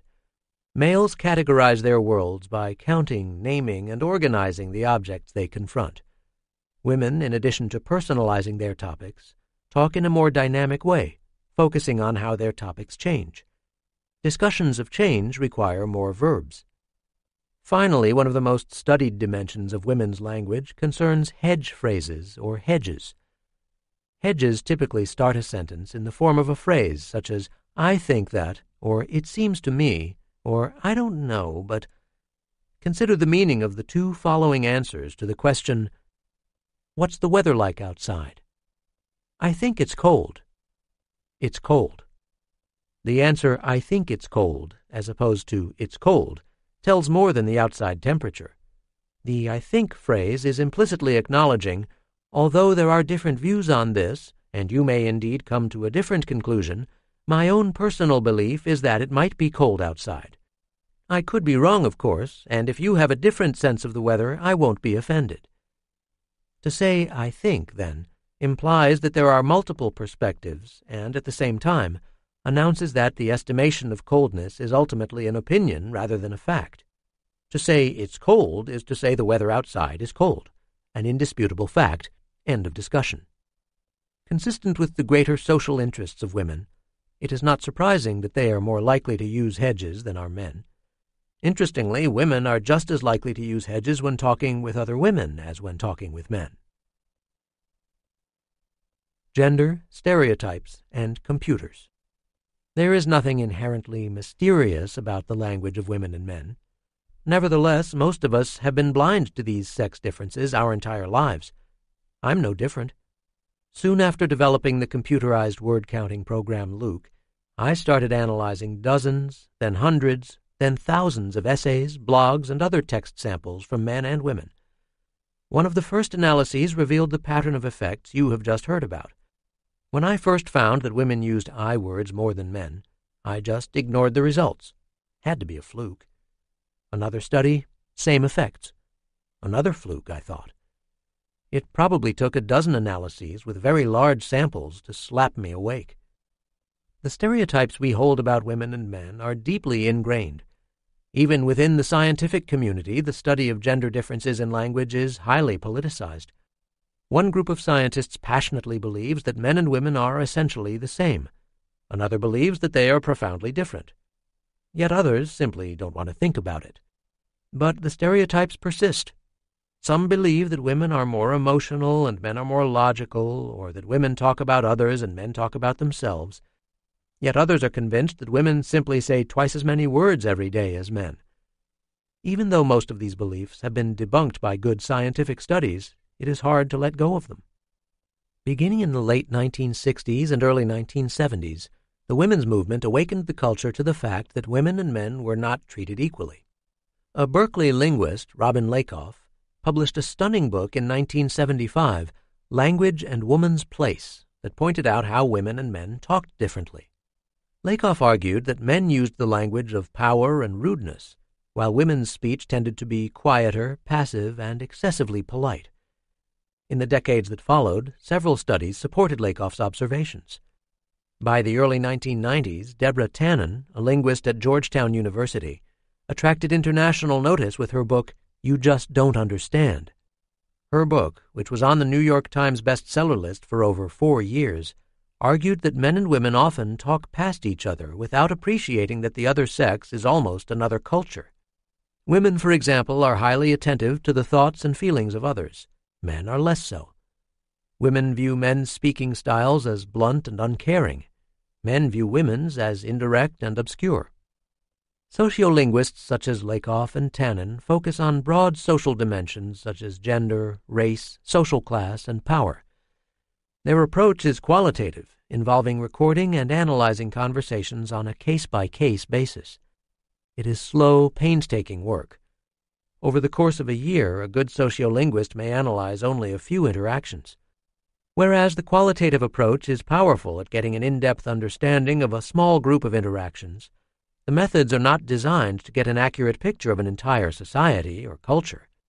This is where computer based text analysis methods can help.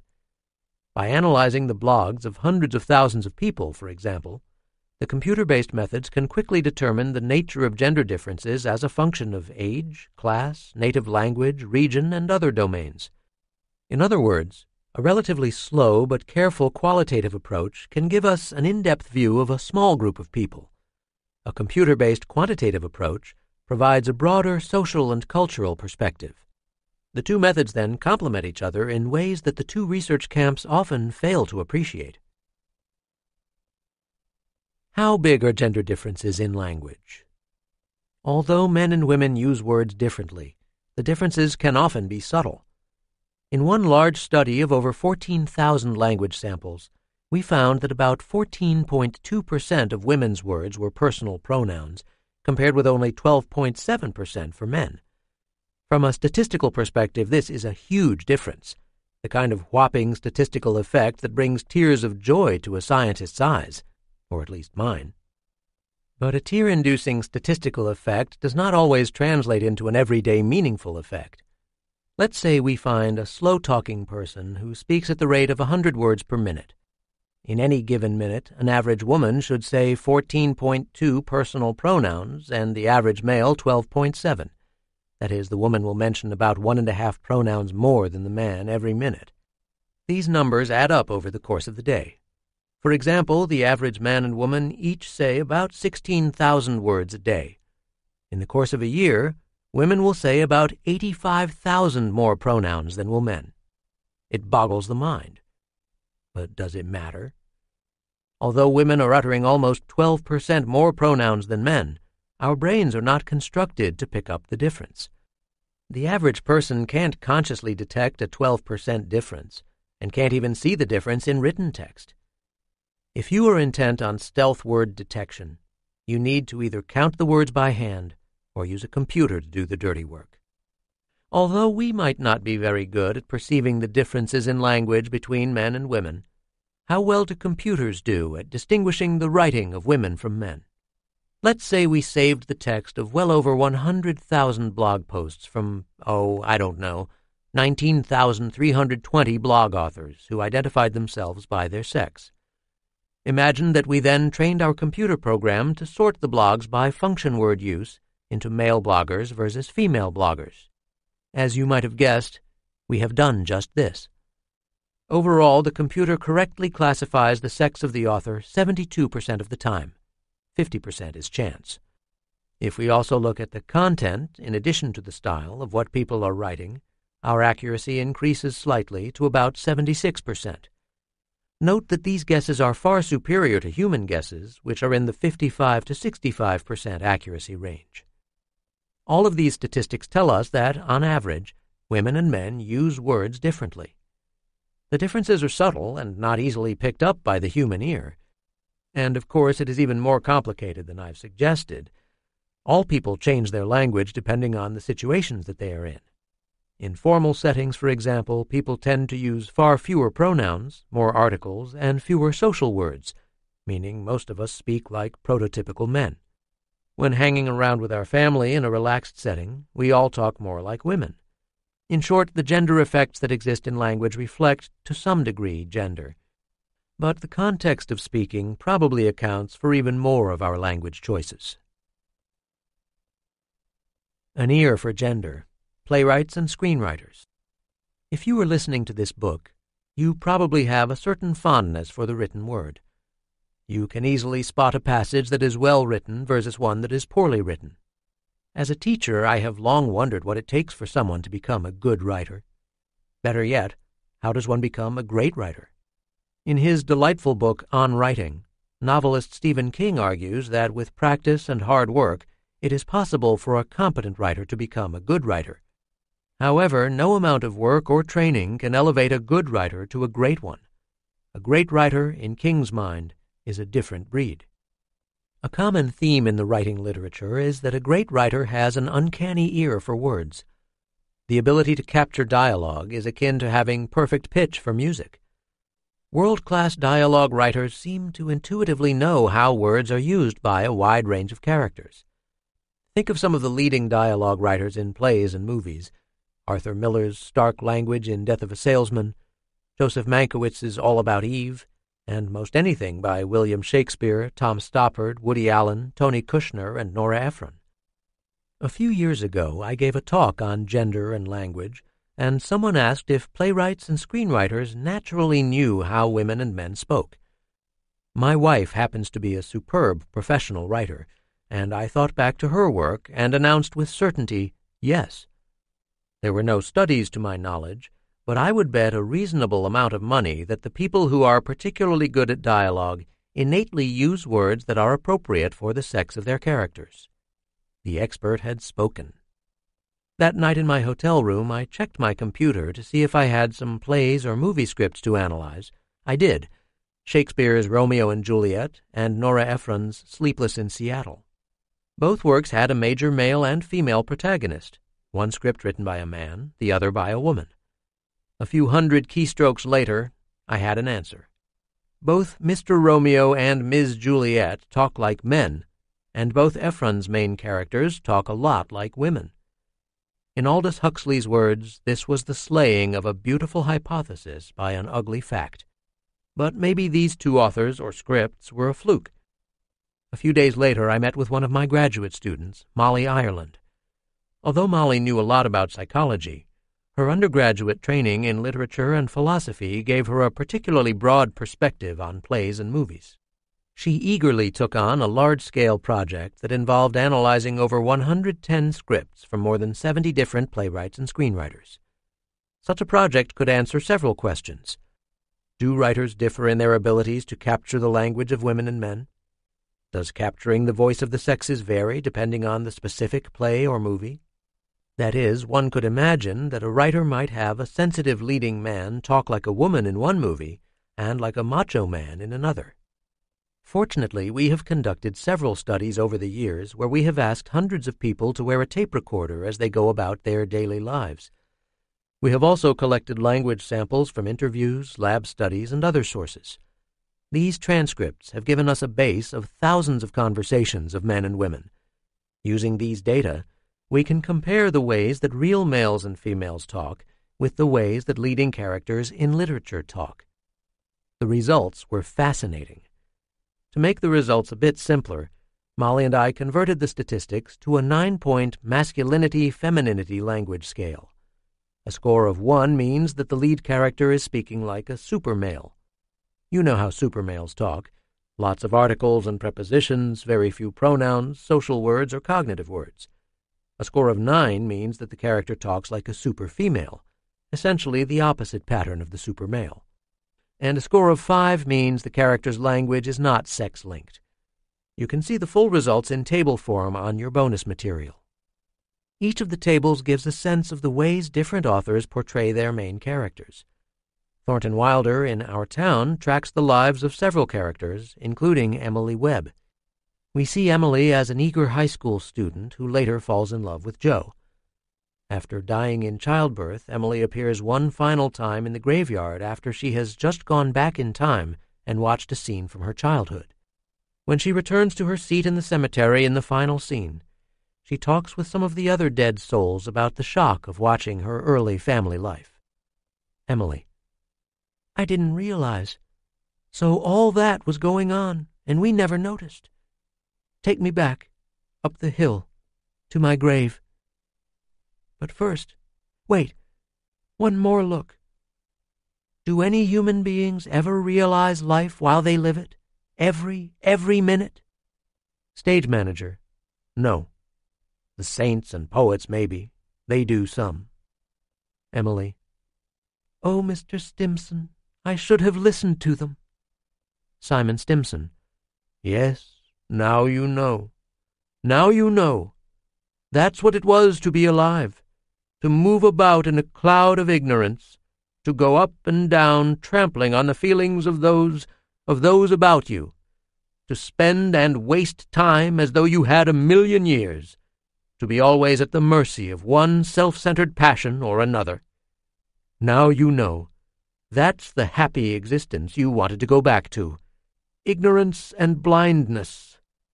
Emily. They don't understand, do they? Mrs. Julia Gibbs. No, dear, they don't understand.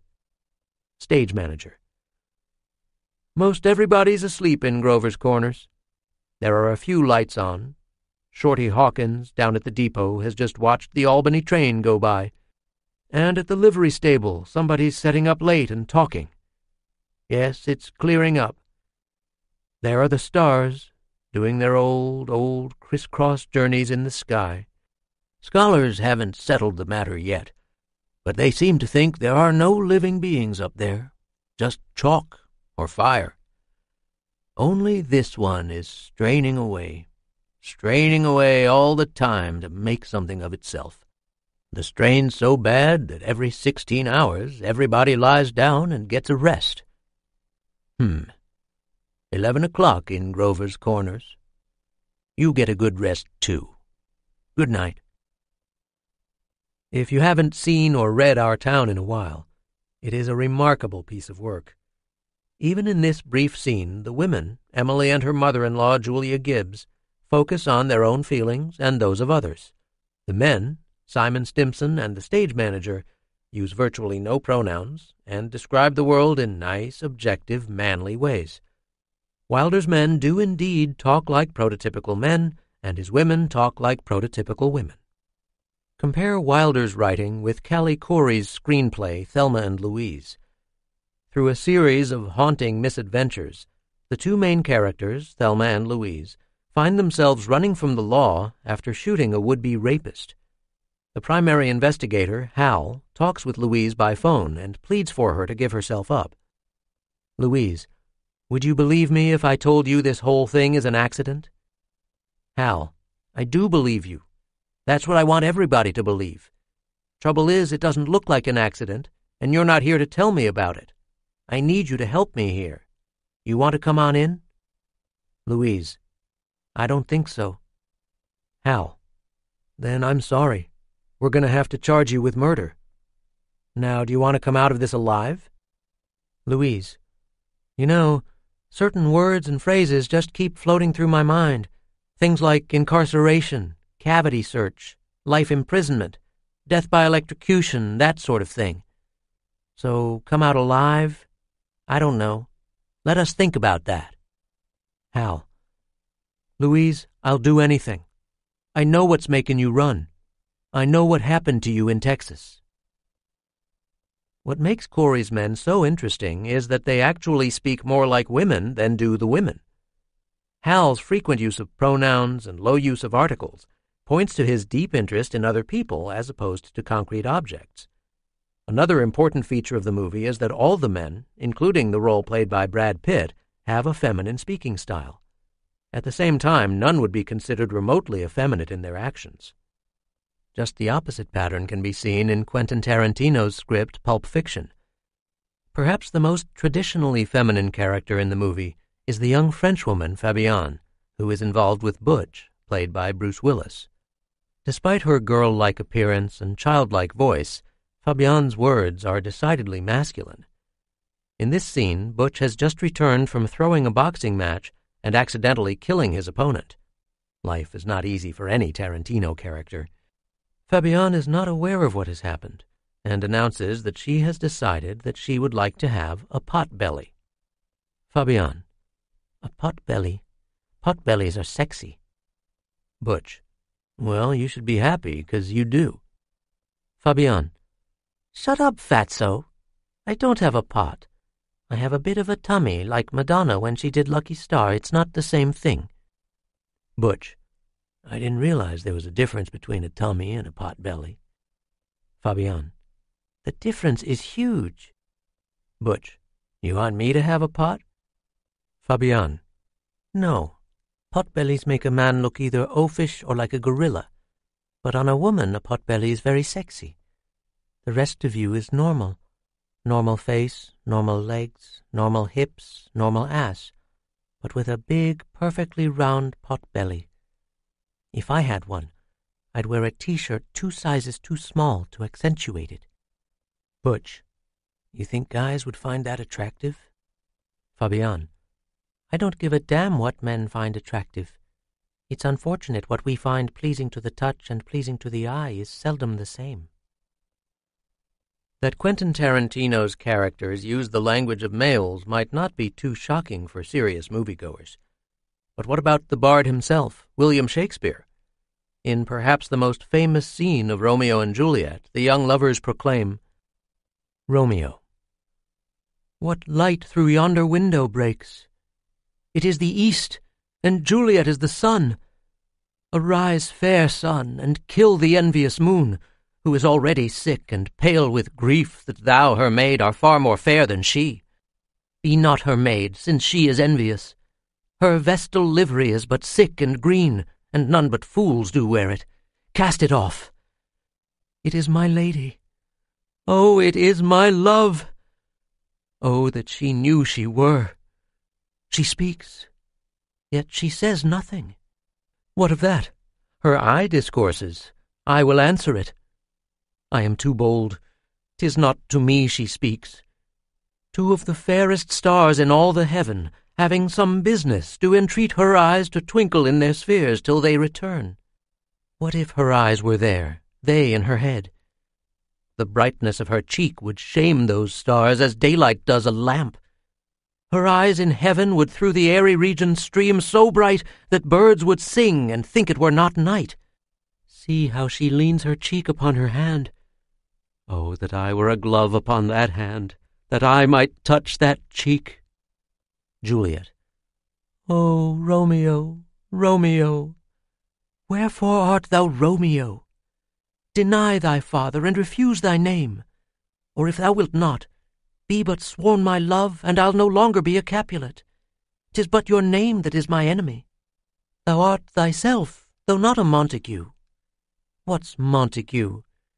It is nor hand, nor foot, nor arm, nor face. Oh, be some other name belonging to a man. What's in a name? That which we call a rose by any other word would smell as sweet. So Romeo would, were he not Romeo called, retain that dear perfection which he owes without that title. Romeo, doff thy name, and for thy name, which is no part of thee, take all myself. We can feel the yearning and innocence of Romeo and Juliet, the lightness and openness.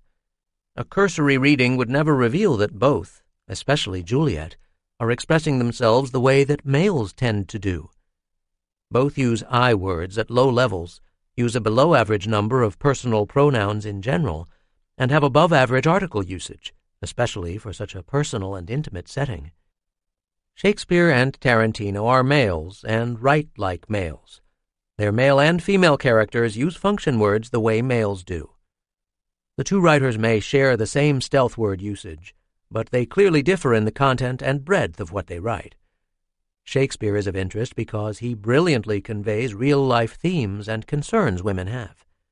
But his use of function words, much like Tarantino's, suggests that he fails at getting inside the minds of women. Do these things matter from the audience's perspective? Yes, but in a subtle way. Recall Deborah Tannen's analogy of sex differences being akin to cultural differences. Most of us can read, say, Dostoevsky's Crime and Punishment and come away with an appreciation of Raskolnikov's tortured thoughts of murdering the pawnbroker. We can do this even without speaking Russian or knowing 19th century St. Petersburg culture. Of course, the St. Petersburg native reading Dostoevsky's work in 1866 would undoubtedly possess a more intimate understanding of the book than would 21st century native English speakers.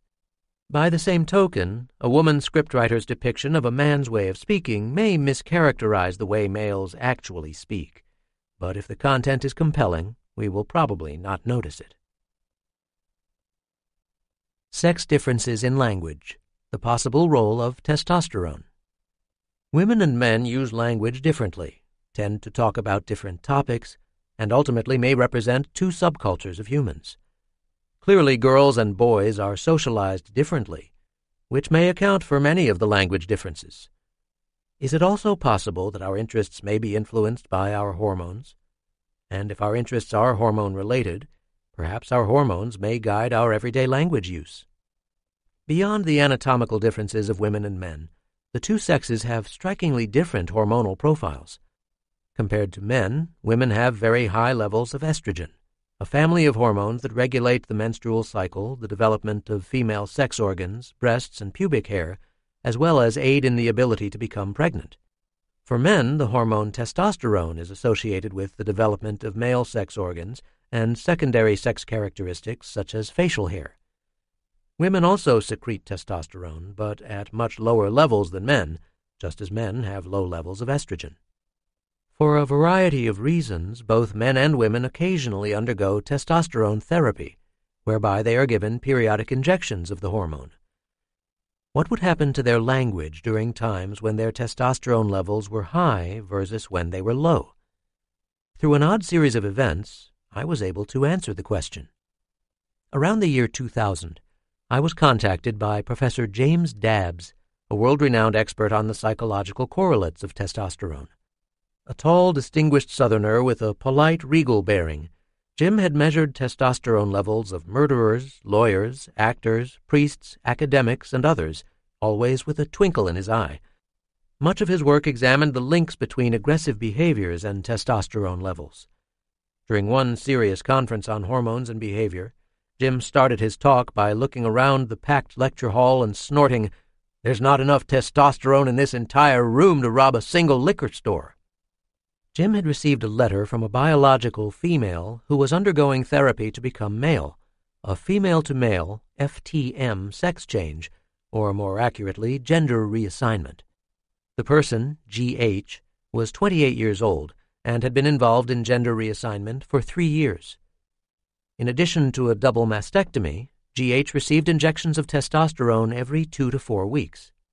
GH had read about Jim's research and wanted to know if he would like to study GH's diaries, which he, GH, had been keeping for several years. Knowing that I studied language, Jim felt I could examine the effects of testosterone on function words. GH was articulate and a prolific writer. He provided my research team with two years of his diaries, along with a detailed record of his testosterone injections. While we were transcribing GH's diaries, I was invited to give a series of talks in Boston. One night I found myself in a bar talking to a gentleman who happened to be an anthropologist. In the midst of our conversation, I mentioned the GH project. My new anthropologist friend was silent for a minute and finally said that he too was taking testosterone injections on the advice of his physician. He was 60 years old and had been taking testosterone for four years in an attempt to restore his upper body strength. Really? I asked innocently. Do you have a record of your injections? Yes. By any chance do you keep a diary? No, but he was willing to let me analyze all of his outgoing emails for the previous year. The analyses were straightforward.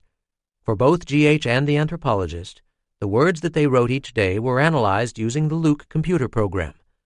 The word categories were then compared against the number of days since each person's last testosterone injection. The idea was that as time passed since the last injection, each person's testosterone levels would drop. The similarity of effects for the two people was striking, and the overall results promising. Whether their testosterone went up or down, no predictable changes were seen in their use of articles, prepositions, nouns, verbs, and negative emotion words. However, there was one fascinating and reliable difference in social pronouns, including words like we, us, he, she, they, and them. As testosterone levels dropped, they used more social pronouns. Think what this means. Both GH and the anthropologist inject themselves with testosterone, and they now focus on tasks, goals, events, and the occasional object, but not people. And then, as the days wear on, they awake each morning and notice that there are other human beings around, and these human beings are interesting and worth talking about and talking to. And then, a few weeks later, and another injection, and voila, they're cured. No more worrying about others. This study gives us a glimpse of how testosterone may psychologically affect people. Prior to receiving their results, I asked both participants how they felt that testosterone affected their language. GH was certain that the injections gave him more energy, made his mood more positive, and stimulated more thoughts of sex, aggression, sports, and traditional masculine things. The anthropologist, on the other hand, was adamant that testosterone had absolutely no psychological effect on him whatsoever. Both were wrong. What does a study like this tell us about sex differences and the biology of function words? Only a little, I'm afraid. Injections of testosterone did not change GH's sex or the anthropologist's masculinity. There is no evidence that this hormonal assault had any effect on the ways either person understood, thought about, or categorized their world. It is significant, for example, that not a hint of changes in articles, nouns, verbs, cognitive words, or prepositions occurred.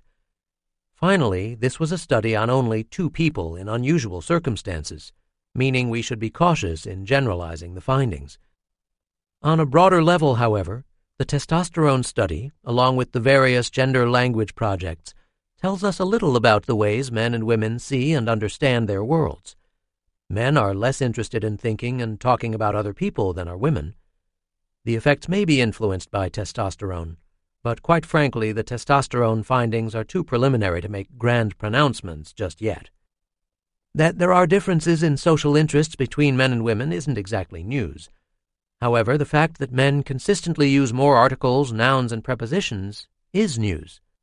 Okay, maybe it's not going to be on CNN's headline news, but it is news because these language differences signal that men tend to talk and think about concrete objects and things in highly specific ways. They are naturally categorizing things. Further, the use of prepositions signals that the categorization process is being done in hierarchical and spatial ways. Think about when we use prepositions. The keys to the trunk of the car from Maria are next to the lamp under the picture of the boat painted by your mother. The words to, of, from, next to, under, of, and by specify which and whose keys and exactly where they are in space. There is a hierarchical structure in the sense that these are not just any keys. Rather, they are part of the category of trunks, which are part of the category of cars from Maria. Similarly, the location of the keys is specified in both horizontal, next to, and vertical, under, planes. Statistically, it is much more likely that a sentence such as this would be uttered by a man than a woman. It's not that the man has a penchant for prepositions and nouns. Rather, a man naturally categorizes and assigns objects to spatial locations at rates higher than women. Words of wisdom language use over the lifespan. In most large surveys, researchers ask three questions sex, age, and social class. Social class, which we will discuss soon, is usually asked indirectly with questions linked to race, education, or income. Why do survey makers want to know your sex, age, and social class if studying your political attitudes or buying behaviors? Because these three variables predict a stunning amount about people. If I know your sex, age, and social class, I can make surprisingly accurate guesses about your movie and music preferences, your religious and political views, your physical and mental health, and even your life expectancy. These three demographic factors are also linked to language use. In many ways, the connections between language and age are more interesting than the connections to gender. If you were born a woman, the odds are very, very high that you will remain a woman your entire life. However, if you are born a baby, the odds are astronomically high that you won't remain one very long. That our language, more specifically our use of function words, changes over the lifespan is in some ways surprising, but less so if you consider how our goals and life situations evolve, as do our bodies. As we get older, we change in the ways we orient to our friends and family, sex, money, health, death, and dozens of other life concerns. Our personalities shift as well. Studies with thousands of people indicate that how we feel about ourselves is generally quite positive up until about age 12, from about 13 to 20, our self-esteem levels drop to some of the lowest levels in our lives. Thereafter, to around the age of 70, most people's self-esteem gradually increases. In fact, by around the age of 65, many of us feel as good about ourselves as when we were nine years old, which is as good as it ever gets. And then self-esteem tends to drop during the last few years of life. Other studies, based on 5,400 pairs of twins, find that as people get older, they become less outgoing, more emotionally stable, and a bit more impulsive. The personality research is at odds with the bleak stereotypes of older people as being lonely, selfish, rigid, and bitter. Some of the more promising research that combats these stereotypes is being conducted by Laura Carstensen and her colleagues at Stanford University. She finds that as people age, emotion becomes a more important part of life. With greater attention to emotional states, people learn to regulate their emotions more effectively, resulting in greater happiness and fewer negative feelings. Although people over the age of 70 tend to have fewer friends, their social networks become stronger. A fitting observation by the main character, Lloyd, in the Farrelly brothers' classic film Dumb and Dumber says it all. After asking an elderly woman to guard his possessions for a few minutes, Lloyd remarks, Thanks. Hey, I guess they're right. Senior citizens, although slow and dangerous behind the wheel, can still serve a purpose. I'll be right back. Don't you go dying on me. The elderly woman cheerfully snatches everything Lloyd owns. How does language change as people age? We have tested this in several ways. The first was to go back to the giant blog project where we analyzed the collected posts of over 19,000 bloggers. The blog site that we harvested in 2004 was made up of people who were on average about 20 years old. We split the sample into three age groups adolescent, ages 13 to 17, young adult, ages 23 to 27, and adult, ages 33 to 47. Despite the restricted age range, the three groups used emotion and function words very differently. Teens used personal pronouns, I, you, short words, and auxiliary verbs at very high rates. The older the people became, the more they used bigger words, prepositions, and articles. We also conducted a systematic analysis on people who took part in one of several dozen expressive writing studies. As you recall from the first chapter, I've long been involved in studies where we ask people to write about deeply personal and oftentimes traumatic experiences. Over the years, researchers from labs around the world have sent me the writing samples from studies they have conducted. For the Aging Project, I teamed up with Lori Stone Handelman, a brilliant graduate student who later became a highly respected book editor in New York. Lori and I analyzed data from over 3,200 people who participated in one of 45 writing studies from 17 different universities. Although the average person in the studies was about 24 years old, the ages ranged from 8 to 80 years old. As you might imagine, people wrote about a wide array of topics, from sexual abuse and drug addiction to the death of a pet to not making the high school football team or cheerleading squad. Many of the essays were heartbreaking. For most, there was the sense that people put their soul into writing their stories. Computer analyses of the texts yielded large and sometimes unexpected findings. When writing about emotional topics, the younger and older participants used strikingly different words. Younger writers used more personal pronouns, especially I, time references, and past tense verbs. Older writers used more articles, nouns, and prepositions, big words, future tense verbs, and cognitive words, insight words. Perhaps more impressive was the emotional tone of the young versus older writers. Consistent with the survey research, older people used more positive emotion words, and younger people expressed more negative feelings. The differences became apparent by the age of 40, but exploded among the oldest age group. A graph of this effect appears on your bonus material. What makes these findings so intriguing is that all people were asked to write about some of the most troubling experiences of their entire lives. Younger people could dredge up an impressive number of dark words to express their pain. As writers got older and older, their negative emotion vocabulary diminished and their positive emotion word count skyrocketed. As you will hear momentarily, the very youngest writer in this sample, who was eight years old, had a very different approach to the subject of his emotional story, Randy, than the oldest participant, who was dealing with cancer. Eight year old elementary school student. My enemy is Randy. He makes me mad. Outside, he calls me names. He ignores me. He does not stop bothering me, so I call him names when he starts. He does not stop, so I start and get him back. He makes me mad, so I make him mad, so I try to ignore him, but he keeps making me mad. My mom says he is a bad influence. 80 year old retiree. I am 80 years old, but I try to keep busy and go about life as though there is no ending. Sure, I'm not as fast or move as quick as I once did, but I do not feel it was the fault of the cancer, and I try to do the best I can with what I've got. When negative thoughts try to creep in my thoughts, I immediately try to replace them with positive thoughts of how lucky I am to still be here. For the 38 treatments, I drove the car myself every morning alone and had a good chance of meditation, and this is where I found my positive attitude from seeing the beauty of nature and changing of the seasons. Would you rather be 80 years old or 8? After hearing these essays, the answer is not as simple as you might have thought. You get a greater appreciation of Laura Carstensen's argument that the older we get, the better we are able to regulate our emotions.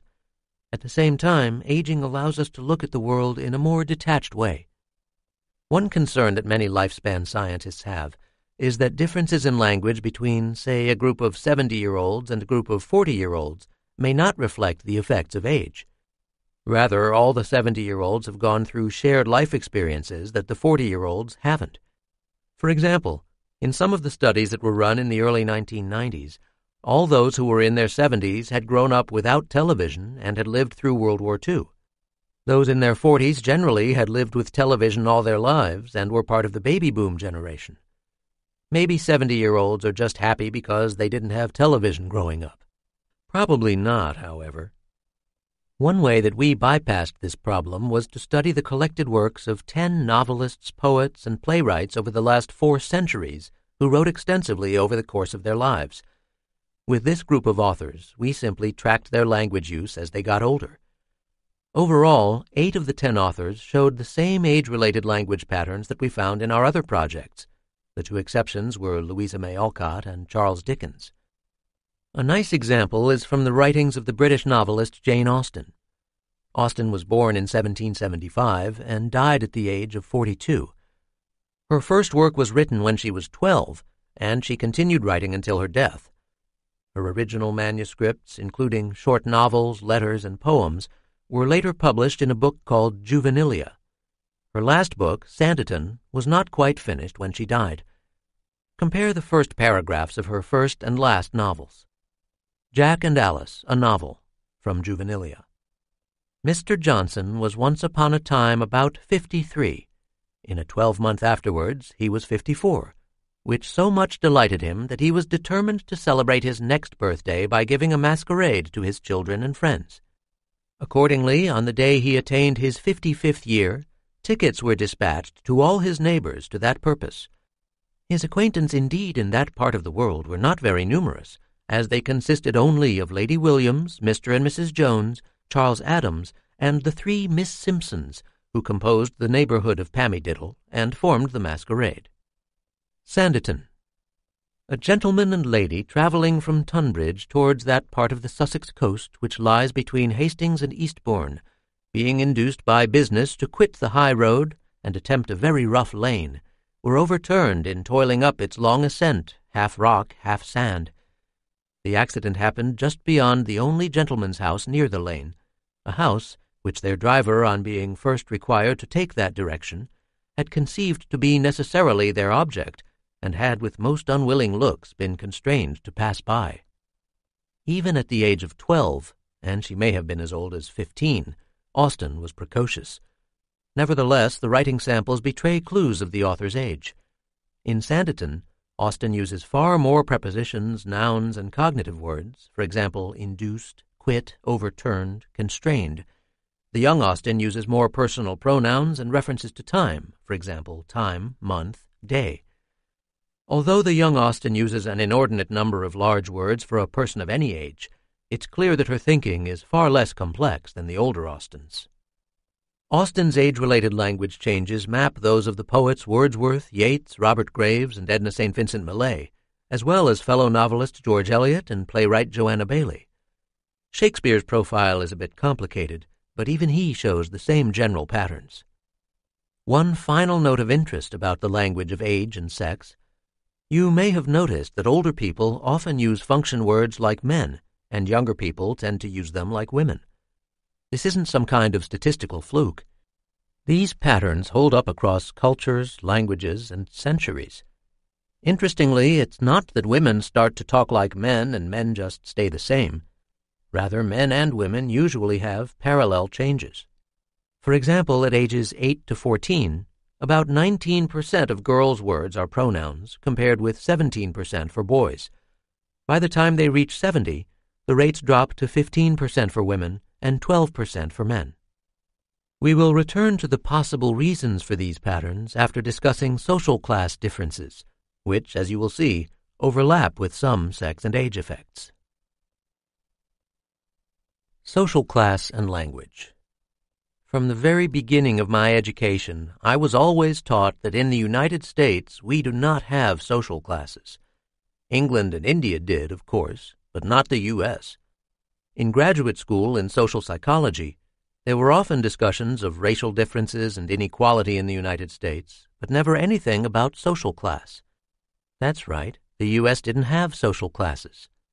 By the time I was a young faculty member studying physical health, most conferences I attended in the U.S. would include presentations demonstrating large racial differences in blood pressure and other diseases, smoking and obesity and other health behaviors, and life expectancy nothing about social class. Well, you know why. By the early 1990s, I was attending more and more international conferences. If the speakers were from Europe, their graphs and tables always included class information, but not race. The Americans were just the opposite. By the mid 1990s, however, something shifted. Statisticians started remarking that the effects of social class in the United States were often stronger than the effects of race. Indeed, in the last decade, a dizzying number of studies have shown powerful effects of class on smoking, drinking, depression, obesity, and every physical and mental health problem you can imagine. Social class is generally measured by years of education that people have completed and their yearly income. You might think that lower social class is associated with health problems because poorer people don't have access to health care. In fact, the exact same social class effects are found in Sweden and other countries where healthcare is universal. Social class is linked to almost everything we do the foods we buy, the movies we see, the people we vote for, and the ways we raise our children. And predictably, the ways we use function words. Over the last 40 years, a smattering of studies have pointed to social class differences in language development, vocabulary, and even language patterns in the home. None, to my knowledge, have examined language differences among large samples of adults. Recently, my colleagues David Beaver, a linguist, and Gary Lavergne, a researcher in the University of Texas at Austin, UT Austin, Office of Admissions, and I teamed up to study the admissions essays that high school students write in order to gain access to college. UT Austin is a selective undergraduate institution and recruits about 7,000 top students each year. In addition to writing two essays, applicants must also complete a large number of surveys in order to be considered for admission. Among other things, students are asked to supply information about their family's social class, including education of parents and estimated parental income. Examining the data for four consecutive years allowed us to study the social class language connection with over 25,000 students. The table of the results on your bonus material should be somewhat familiar. Students coming from higher social classes tended to use bigger words, more articles and nouns, and more prepositions. Students from lower social classes tended to be more personal in their admissions essays, using more pronouns, auxiliary verbs, present tense verbs, and cognitive mechanism words, many of which are associated with hedges. Statistically, these are very large effects. The patterns are identical for males and females, and younger and older applicants. Also, these are all smart and motivated students. Why are there social class differences in function word use? Clearly, something about the student's upbringing and life experiences is influencing their word choices. One promising idea is that there are differences in language use within families of differing social classes from the beginning. There is some preliminary research to support this idea. Perhaps the most cited and overinterpreted study was one done by Betty Hart and Todd Risley in the mid 1980s. In their study, 13 professional families, 23 working class families, and six families on welfare were tape recorded in their Midwestern homes for an hour once a month for over two years. When the study started, most of the children were under a year old. The tape recordings were carefully transcribed and all the words of the children and adults were counted. The authors discovered that the children in the poorest families were exposed to fewer than half as many words as those from the professional families. Those in the working class families were in between. By the end of the study, children in the professional families had vocabularies, based on the recordings, that were twice as large as those of the welfare families' children. On the surface, this was an impressive study. However, even the authors agree that the results should be interpreted with caution. For example, there were only six families in the lowest social class group. In addition, all the professional families had at least one parent who was a faculty member, and almost all were white. In all likelihood, the professional families felt quite comfortable having students in their house every month recording what they said. The welfare families, on the other hand, were all African American and likely had a very different view of the study than those in the professional families. For example, the lower class families may well have been more suspicious of the experimenters and may have avoided talking on the recording days. It is likely that the verbal experiences of children brought up in lower class families are different from those brought up in wealthier, more highly educated families. Why this might result in different patterns of function word usage may be related to issues of power and status. Speaking of sex, age, and social class, the sound of power. In this chapter, two groups of words repeatedly emerge. The first, which we will call the noun cluster, includes articles, nouns, prepositions, and big words. The second will be referred to as the pronoun verb cluster. It is composed of personal and impersonal pronouns, especially first person singular, auxiliary verbs, and certain cognitive words frequently linked to hedge phrases. Men, older people, and higher social classes all use noun clusters at high rates. Women, younger people, and lower social classes use pronoun verb clusters at high rates. Most simple hypotheses to explain these differences fall apart at some point. For example, one might argue that people who are more verbal might be drawn to, say, pronoun verb words. This might be true for women and older people, but not lower social classes. Perhaps those high in noun clusters simply read more and are exposed to more words. Again, this might work for older people and higher social classes, but not men.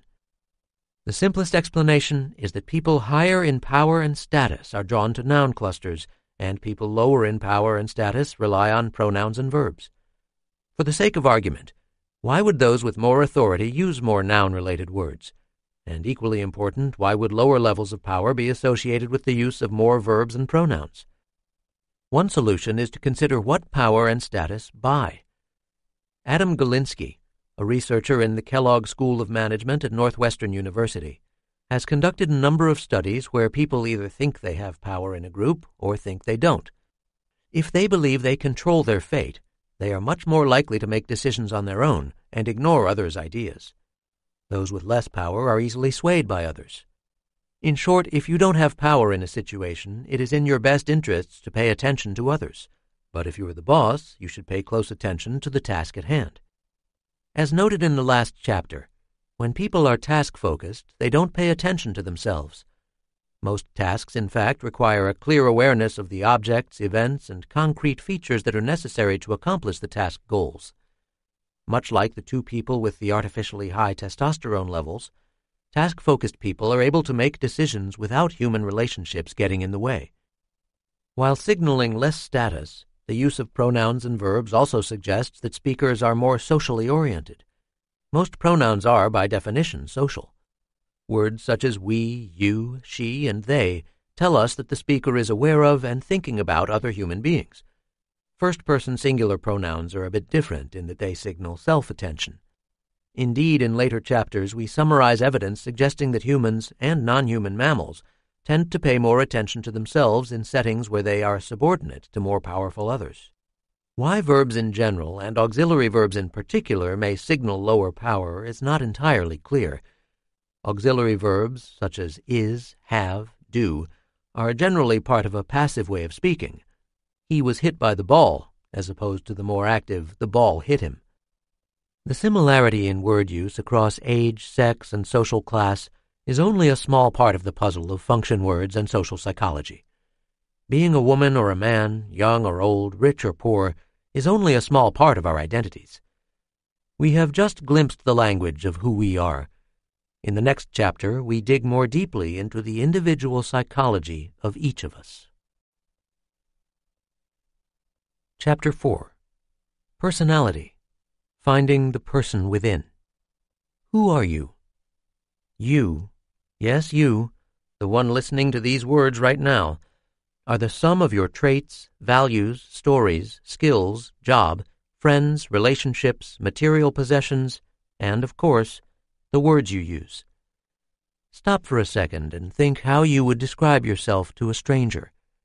Be careful, however, in this chapter, you will see how your choice of function words reveals more than you might guess. Most online dating services encourage their members to write something revealing about themselves on their websites. As it happens, my students and I have collected a few thousand such self descriptions in our research. Some examples I'm a nice person, very down to earth, drama free, hard worker, caring, honest, sympathetic, supportive, intuitive, inquisitive, curious. I'm not superficial. I don't keep superficial relationships. Got great friends and a good life. Juan, 27 year old male. I have a great build. I am a good cook, have a fantastic job, homeowner, exceptional morals, good decision maker, non smoker, no baggage, and marriage minded. I love biking, kayaking, swimming, jet skis, hiking, snowboarding, rollerblading, horseback riding. I also have a great interest in music, movies, plays, comedy clubs, etc. Marcus, 39 year old male. Father of two girls. I have a house, truck, dog, kids. Like to be outside and love football and my girls. Tony, 31 year old male. I am a romantic, enthusiastic, passionate, and fun loving woman. Immensely important to me are family, friends, kindness, integrity, and especially laughter. I balance my dedication to my work with my spiritual life through daily meditations and a healthy lifestyle. I celebrate every day. Margaret, 53 year old female. I consider myself a very eclectic individual. I can have fun almost anywhere and will try anything once, except maybe country line dancing. I've had some unique experiences in my life and will continue to explore what life has to offer. I dig antiques, knitting, and crocheting, and my 13 year old car that I refuse to let go despite the fact that my window is temperamental and only rolls down when it feels like it, and I have to tape some wires together for my brake lights to work.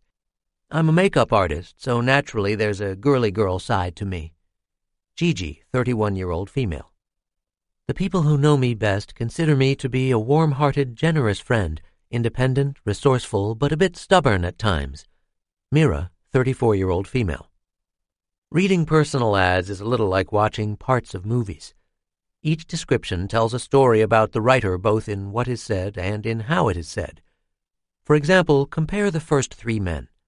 Juan, the 27 year old, describes himself in traditional personality dimensions that are inherently social honest, sympathetic, supportive. And then he ends with a factual statement that he has great friends. The 39 year old Marcus describes himself by his actions and possessions. There is no sense of his emotions or connections with others, but he does have a great build. The description by the 31 year old Tony is oddly poignant. In a handful of words, he conveys a socially isolated life with his few possessions, his dogs, but most important, his daughters. The ads from the three women are equally revealing. Margaret, the 53 year old woman, says less about her personality traits than about the central values that guide her. Gigi is a storyteller. You know on your first date that she will talk about some of her unique experiences. Even the eccentric story of her malfunctioning car window is part of who she is. And the last woman, Mira, may not even trust her own views of herself, and so tells the readers what other people think of her personality. Even though all of the men and women on these dating sites are consciously marketing themselves, we still snatch a glimpse of who they are. In addition to revealing something of each person's identity, the different ads point to the strikingly different ways that people think about personality. The very essence of some people can be their possessions, their occupations, their skills, their traits or dominant characteristics, their values, or their stories. If you look back at the six personal ads, you will see large disparities in the function words that each person uses. The usual sex differences emerge. Women use far more pronouns, especially I words, auxiliary verbs, and cognitive words. Men use more articles and nouns. But there are large differences even within the men's and women's descriptions. For almost every function and emotion word category, each person has a unique pattern of word use. It is these different patterns that provide insights into their worlds. In all likelihood, those who posted the ads went on dates. They probably shared more about who they were and in return expected their dates to divulge information about themselves as well. During the dates, they undoubtedly talked about their daily lives, the recent weather, food, clothes, or other topics that grabbed their attention. Similar discussions can happen on job interviews, when meeting an office mate for the first time, or simply talking to someone at a party. We directly and indirectly share and seek information about personality all the time. One might think, then, that modern day psychology would have some fast and efficient ways to categorize people's stories about themselves. One would be wrong. Studying people's personalities by listening to what they say is enormously difficult. Everyone's stories are different in substance and style. In online dating, some write for pages, others include only a sentence or two. How can you compare one person who just lists his occupation and possessions with another who lays out his life goals? How does one even go about organizing and categorizing people's self descriptions? Historically, researchers have hired an army of raters to read each self descriptive essay and then make judgments about the essay writer's personality, writing style, goals, and interests. The process is slow, unreliable, and very expensive. Recently, however, my colleagues and others have begun to apply some promising computer solutions to analyzing open-ended personality descriptions. As you might guess, different patterns of function words reveal important parts of people's personalities and the ways they think. Finding Personality in Function Words In the early 1980s, a young graduate student in the linguistics department at the University of Southern California decided to investigate how different literary genres varied in their respective use of language. For example, do literary novels, nonfiction books, plays, mysteries, and even romance novels differ in the way their authors employ words, grammar, and syntax? The student, Douglas Biber, happened on a statistical method not common in linguistics at the time, called factor analysis. More on that in a moment and ultimately produced a seminal book titled Variation Across Speech and Writing that answered this question. English scholars, of course, had long been able to tell the difference between a mystery and romance novel. The plots were different. But Biber's computer based method suggested that romance novels were more personal, as measured by pronoun use, and relied more on present tense verbs than mysteries and other genres. In fact, he found that virtually every genre had its own unique linguistic profile. I came across Biber's book in the mid 1990s and was fascinated by this thinking. Although he focused on ways to distinguish great and not so great literature by analyzing parts of speech, there was no reason that someone couldn't distinguish people in the same way by looking at their writing. About this time, I teamed up with a former colleague of mine, Laura King, from the University of Missouri, who is among the most creative personality psychologists in the world.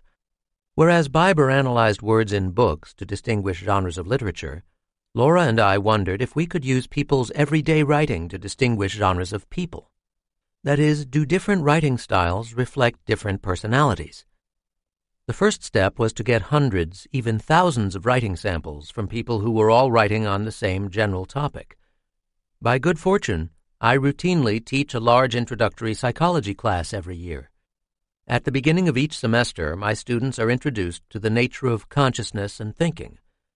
One of the pioneers of modern day psychology, William James, wrote extensively in 1890 about the nature of thought, likening it to a stream.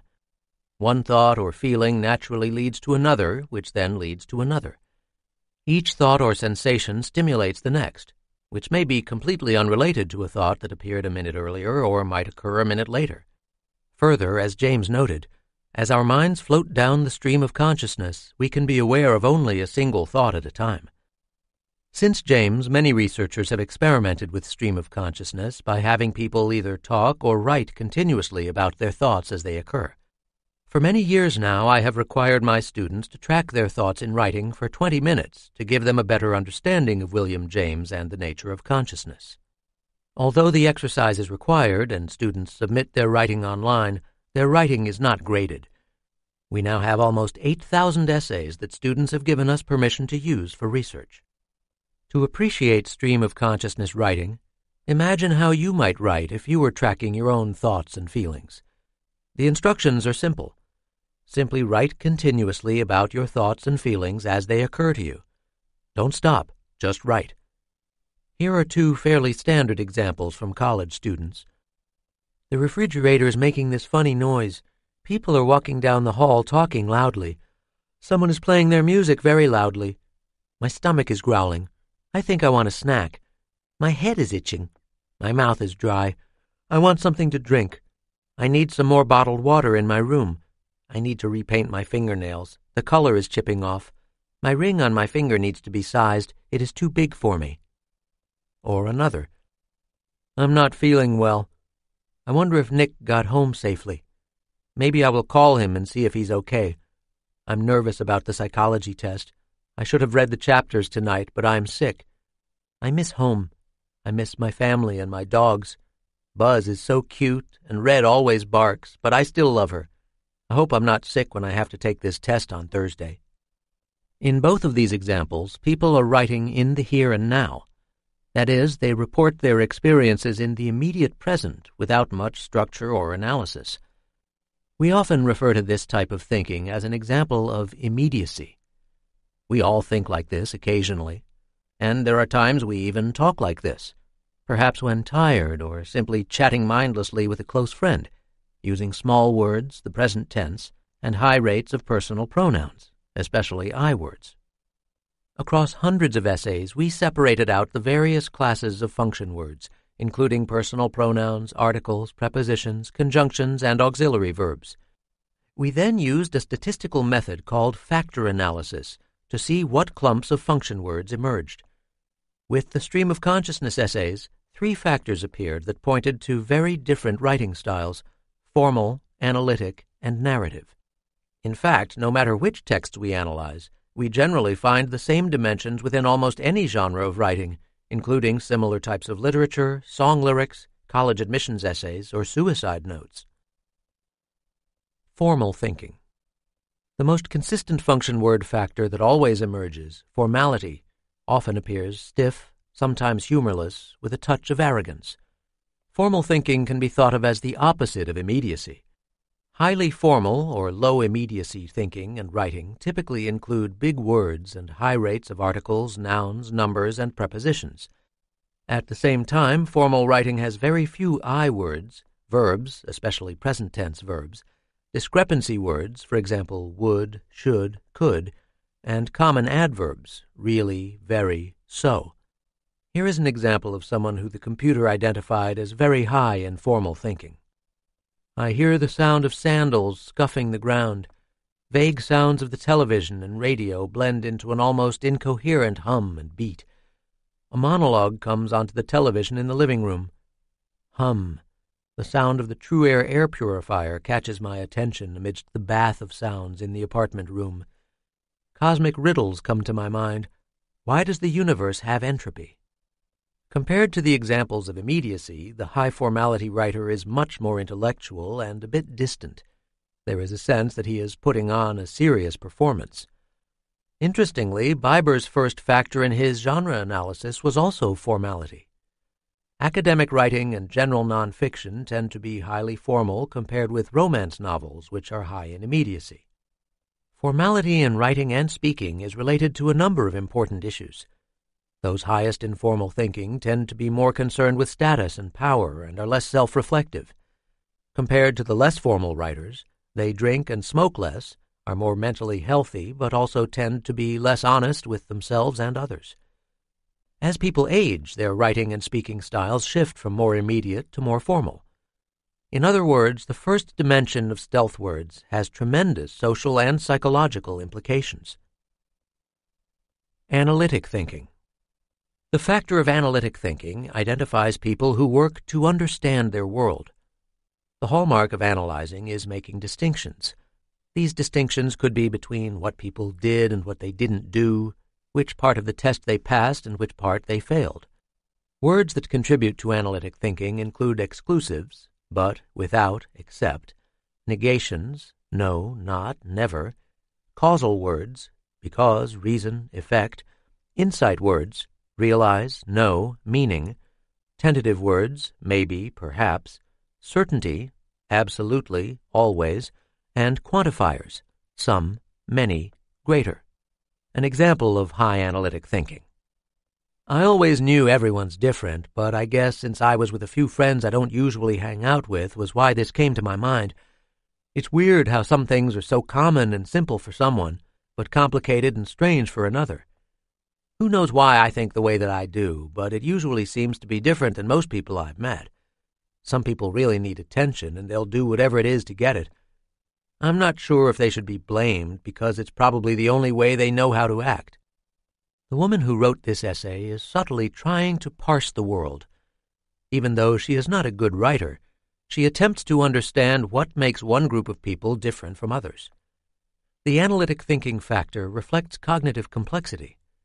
People who make distinctions in speaking and writing, make higher grades in college, tend to be more honest, and are more open to new experiences. They also read more and have more complex views of themselves than those who are low in analytic thinking. Narrative thinking. Some people are natural storytellers. They can't control themselves. From a simple language perspective, the function words that generally reveal storytelling involve people, which means the use of personal pronouns of all types, especially third person pronouns, past tense verbs, and conjunctions, especially inclusive words such as with, and, together. Here is a lovely example. Okay, so my friend Chris came to visit town for the football game this weekend. She decided that she wanted to have a good time, so we went out on Friday night and she got wasted off her ass. She was throwing up at parties and in bathrooms of every place we went. We got kicked out of Waffle House. Kicked out! I mean, seriously, who gets kicked out of Waffle House? It was crazy. Kicked out of Waffle House? Crazy indeed. Even though the writing assignment is for people to track their thoughts and feelings as they occur, at least 20% of the writers can't help but tell a story of some kind. In fact, people who score high on the narrative thinking factor tend to have better social skills, more friends, and rate themselves as more outgoing. Briefly consider what these findings mean. By statistically clumping people's function words into meaningful categories, we are seeing how they think, how they organize their worlds, and how they relate to other people. Their almost invisible function words are revealing the very essence of who they are. As Laura King and I delved into the study of thinking styles, we found that people are surprisingly consistent in their thinking and writing styles. For example, the ways students wrote in the stream of consciousness exercise was related to the ways they wrote when writing a paper on the ways the nervous system worked. Other studies suggest that your thinking styles when you were young will remain with you most of your life. In fact, if you have ever happened across a school paper or diary entry you wrote when you were a young teenager, you will likely see that your writing and thinking styles have not changed that dramatically. In other words, people's language styles are part of who they are. People also fluctuate in their thinking styles depending on who they are with, what they are doing, and how they feel about themselves. As will be discussed in later chapters, someone who is in the middle of a depression may slide from high to very low levels of formal thinking, and a person attempting to make an important life decision may evidence signs of increased analytic thinking in her or his email, blogs, or natural conversations. Finally, we can study anyone's writing or speaking style and begin to get a better sense of who they are. As an example, reconsider the various personal ads at the beginning of the chapter. Armed with your knowledge of ways of thinking, you can determine who is the highest in formal thinking, Marcus and Mira, analytic thinking, Juan and Mira, and narrative thinking, Margaret and Gigi. These analyses are based on very few words and should be interpreted with caution. The more words that can be collected, the more trustworthy the conclusions. When we return to the study of love and relationships, Chapter 8, you will be able to see how we can match thinking styles and predict which relationships are more likely to last based on a pair's writing or speaking style. The magic of factor analysis. Some people who listen to this book won't particularly like graphs or tables, and certainly not statistics. Even if you have a deep seated aversion to statistics, you might find this digression interesting. Fascinating, really. Factor analysis is based on the idea of correlation. A simple correlation is a statistic that can tell us how any two variables are related to each other or covary. The more nervous people report being, the more guilty they usually feel ratings of nervousness and guilt naturally covary. We know this by measuring ratings of nervousness and guilt on questionnaires and then correlating people's responses to these two items. The resulting statistic, the correlation coefficient, tells us how closely the two concepts are mathematically linked. Factor analysis is a more elaborate correlation method. Instead of just correlating two variables, it relies on correlations of large groups of variables. So imagine that we give people a questionnaire that asks them to rate the degree to which they feel nervous, guilty, afraid, sad, enthusiastic, energetic, and joyful. We would probably find two clumps of correlations here. Ratings of nervous, guilty, afraid, and sad would all be closely linked to each other. A person feeling nervous would likely feel guilty, afraid, and sad. A second clump would include the items enthusiastic, energetic, and joyful. A factor analysis would determine how the original seven questionnaire items naturally broke into broader factors. In this case, the factor analysis would reveal that there were two distinct clumps of variables negative emotion states and positive emotion states. Factor analysis is wonderful because it helps researchers boil down a large group of variables into more manageable overarching factors. Biber, for example, relied on dozens of language dimensions that linguists care about proper nouns, noun phrases, gerunds, possessive pronouns. By running factor analyses on the use of these language dimensions across over 400 books and articles, he was able to reduce the dozens of language dimensions to only about seven dimensions. His relatively simple factors were able to discriminate the literary genres he studied. As I will describe shortly, factor analysis is a grand method for the analysis of personality as well. Finding Personality in Pictures. One of my colleagues, Sam Gosling, is a groundbreaking personality researcher who studies what he calls behavioral residue. He tries to guess people's personalities by looking at their offices, bedrooms, web pages, book collections, and music collections. He finds that people leave bits of their personalities wherever they go. The rigid, conscientious person typically has a neat office and bedroom and elegantly organized music collection. The same person may even have a detailed system to save emails. The words we write and speak can also be thought of as a form of behavioral residue.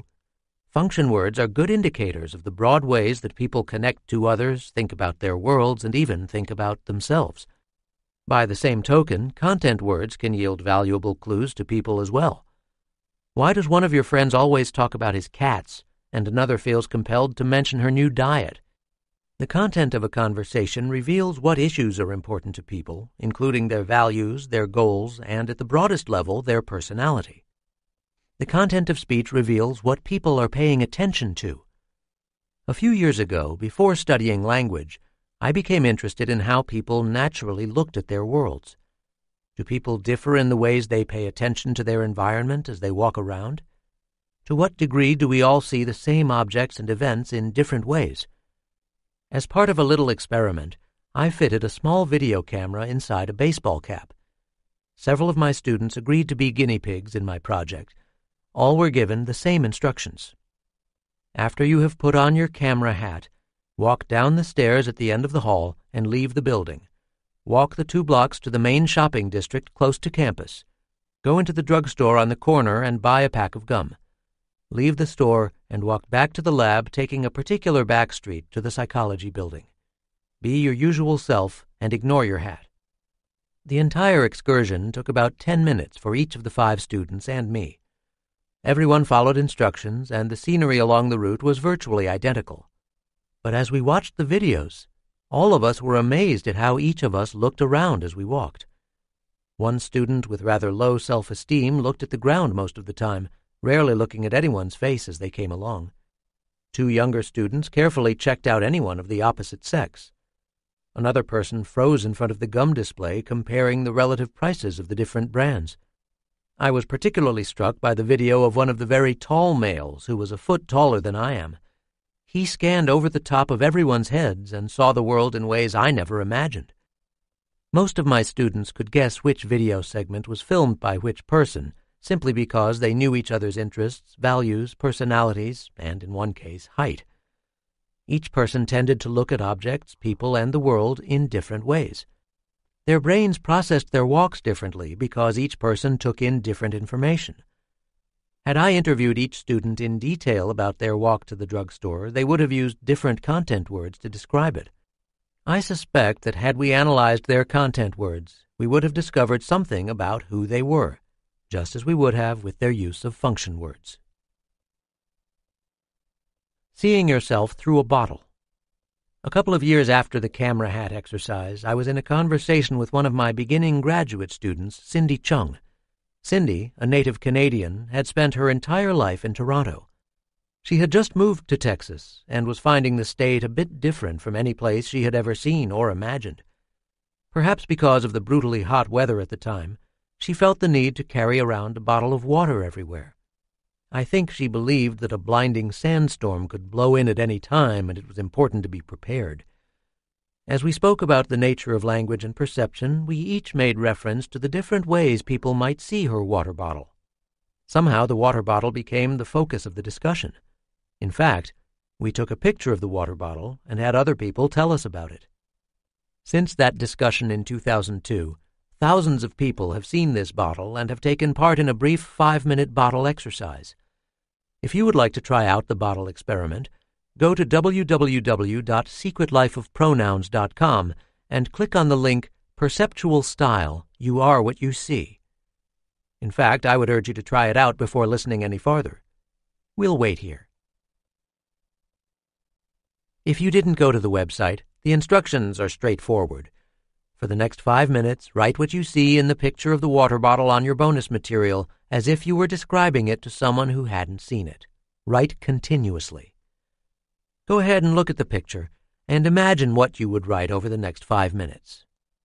The ways people write about the bottle vary a great deal. Some excerpts. This is a clear plastic bottle looking similar to a water bottle. It has a white cap on the bottle. There is a red label and I can see the first two letters are, I believe, OZ, the last two letters are KA. The label is red with a picture above the lettering. There is also a blue box with small text that is hard to read. Ingredients and company information is in small yellow type. 61 year old woman. It is a little plastic bottle of water with a red emblem on it. Its top is white. There is some water in the bottle. Maybe in one third of the bottle there is water. The light comes from the right, so the shadow of the bottle lies to the left of the bottle. Some parts of the bottle are shining because of the light. 25 year old woman. This is a clear, colorless water bottle. It is about eight inches tall and small enough that you could put your hand around it and still have a finger left over. It has a white screw on cap that keeps the water fresh until you open it, and it also keeps the water from spilling out so you can close it between sips. It's also empty. It has no water in it, so I hope you're not thirsty. But that also makes it lightweight, so it's easy to carry. It's also easy to knock it over when it's empty. 60 year old man. Each of the people emphasizes different aspects of the bottle. The first person focuses almost exclusively on the words and lettering. The second person describes the shadow that the bottle casts.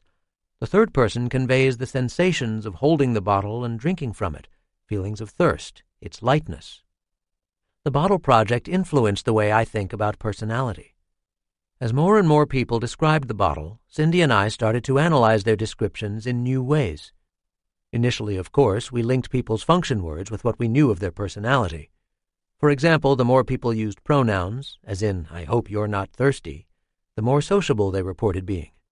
I words were used slightly more by people who were insecure, anxious, or depressed. People displaying markers of formal thinking used high rates of articles and prepositions in their descriptions and tended to be older, more organized, and conscientious. But something was missing in these analyses. Reconsider the examples. Yes, the three people use function words differently, but what is more striking is what each pays attention to. Why does one person notice the colors and another imagines what the bottle would feel like in his hand? How people naturally describe an object tells us a little about the ways they think and perceive. For example, when I did this task on my own, it never occurred to me to describe how the bottle would feel. We needed a more efficient way to analyze how people were seeing and experiencing the picture. A few weeks later, Cindy stopped me in the hall with a solution. It was simple and ingenious. The technique, which eventually became known as the meaning extraction method, relied on the most common content words in all the bottle essays we received. To understand how the technique works, recall the three bottle texts. As you would predict, the most common words are function words the, it, is, a, of. In addition, there is a much smaller number of content words.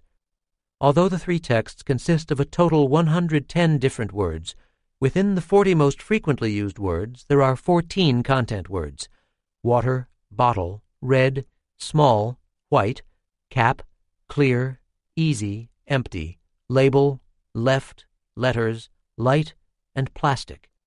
If there were, say, almost 1,500 complete essays that people had written about the bottle, there would be far more content words. In fact, we found that 1,500 essays produced over 200,000 total words, but only about 175 content words were used frequently.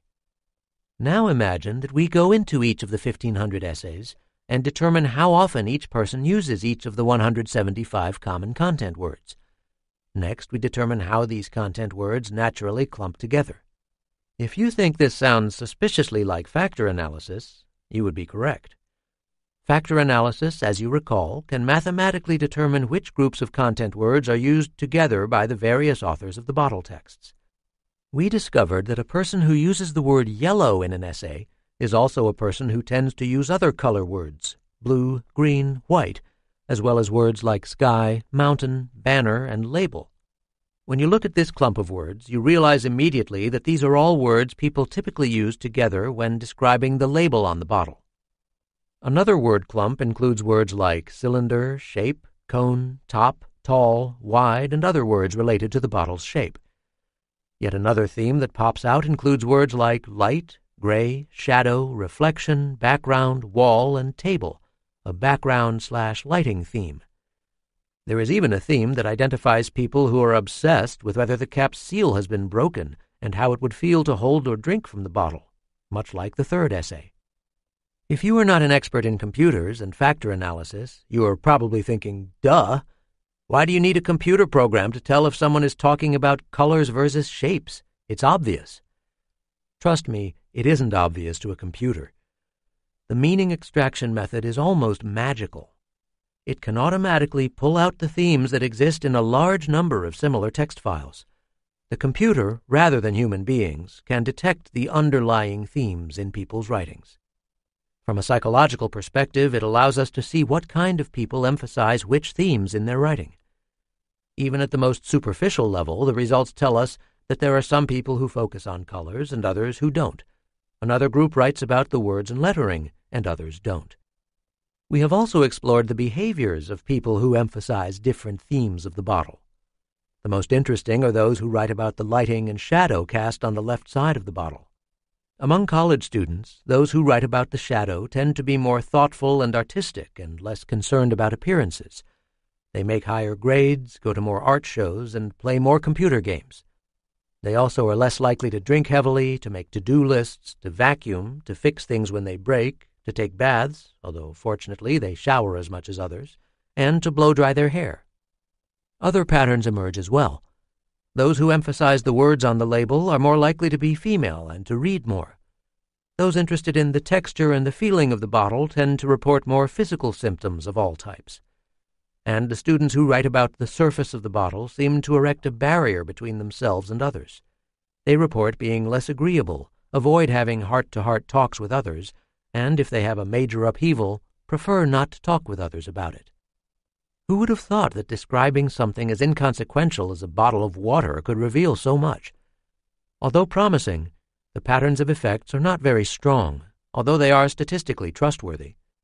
In other words, it would be foolhardy to ask our friends to describe the bottle and then rush out and buy some of them a blow dryer if they mention the shadow in the picture. Instead, think of these findings as a hint of what is available to us in analyzing language. Imagine what we might see if we ask people to describe more complex things. Seeing yourself by seeing others. I love the bottle test. Buoyed by the findings, my students and I tried another picture. This time we wanted a more complex and socially relevant stimulus. A regular picture of real people was needed. To find one, I rummaged through my desk drawers looking for pictures. Presto!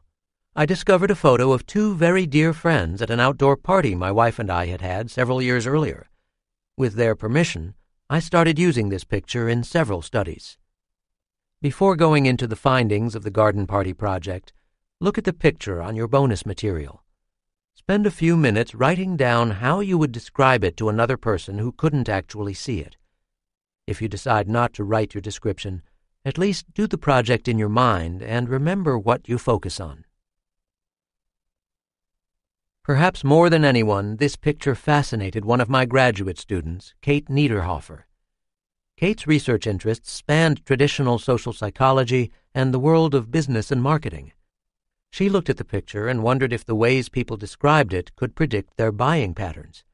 More broadly, she wanted to know if people's daily behaviors were reflected in the ways they looked at the world. Kate, who now helps run a marketing company that uses text analysis, set up a website where hundreds of people from all walks of life described the picture and also completed an exhaustive questionnaire about their daily behaviors. A short version of the questionnaire, the Life Scale, can be completed at www.secretlifeofpronouns.com slash exercise slash life. Hundreds of people ended up describing the backyard party picture. The types of descriptions varied tremendously. Some examples. This is the woman's house. She is happily married. Right now, this guy is telling her a story or a dirty joke because the woman is obviously surprised by what he's saying. She is drinking homemade iced tea. These two people are not married to each other, but both of them are married. 22-year-old female, recently engaged to be married. The lady just came from inside the house after pouring herself some beer from a freshly tapped keg. She has already had a lot to drink, making her actions seem artificial. The man looks like he is more interested in grabbing the beer from her hand rather than meeting her. The man wants to grab the beer from her hand and take off. 19 year old male who reported drinking alcohol excessively. There are two people talking in the backyard of a house where a barbecue party is being held. She is wearing a long sleeve denim button up shirt, probably from the Gap, tucked in, with the sleeves rolled up twice onto her forearm. She has medium brown hair that is tastefully cut, with layers, to just under her chin. She also has on a black Gucci belt and a red bracelet on her right wrist. 25 year old female who spends over $500 per month on her wardrobe. The two people in this picture are engaged in a deep discussion about politics. The woman is expressing her surprise that the man is a Republican.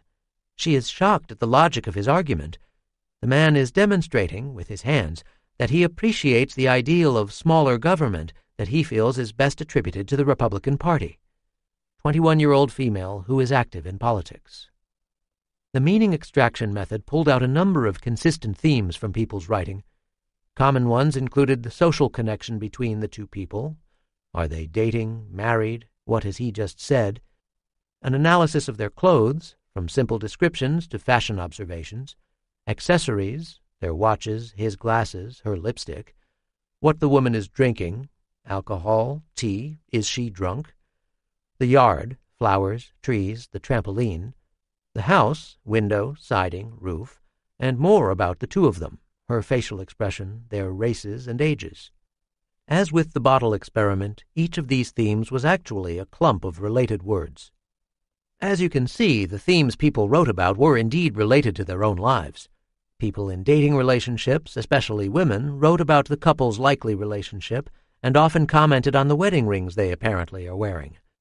Participants who reported spending a great deal of money on their own clothes and clothing accessories were much more likely to write about the couple's clothes and accessories. Gardeners commented on the flowers and trees. And the more people admitted to drinking alcohol excessively, the more likely they were to infer the woman was drinking beer and was a bit tipsy. That word use can predict buying behavior is not news to Google and other search engine companies. If you use a product like Gmail, and receive an email from a friend about his having raisin bran for breakfast, you might notice that a number of discreet ads appear on your email page about fruit snacks, mango fruit chillers, or a drug to reduce cholesterol. Today I received an email from a family member whose 40 year old friend has been irrational and moody and was asking my advice on what to do. The ads that popped up included Treat Teen Acne, the best book for teens, and Have a New Baby, Apparently, some of the words, perhaps words like irrational and moody, are statistically associated with teenagers and having a new baby. Projective tests.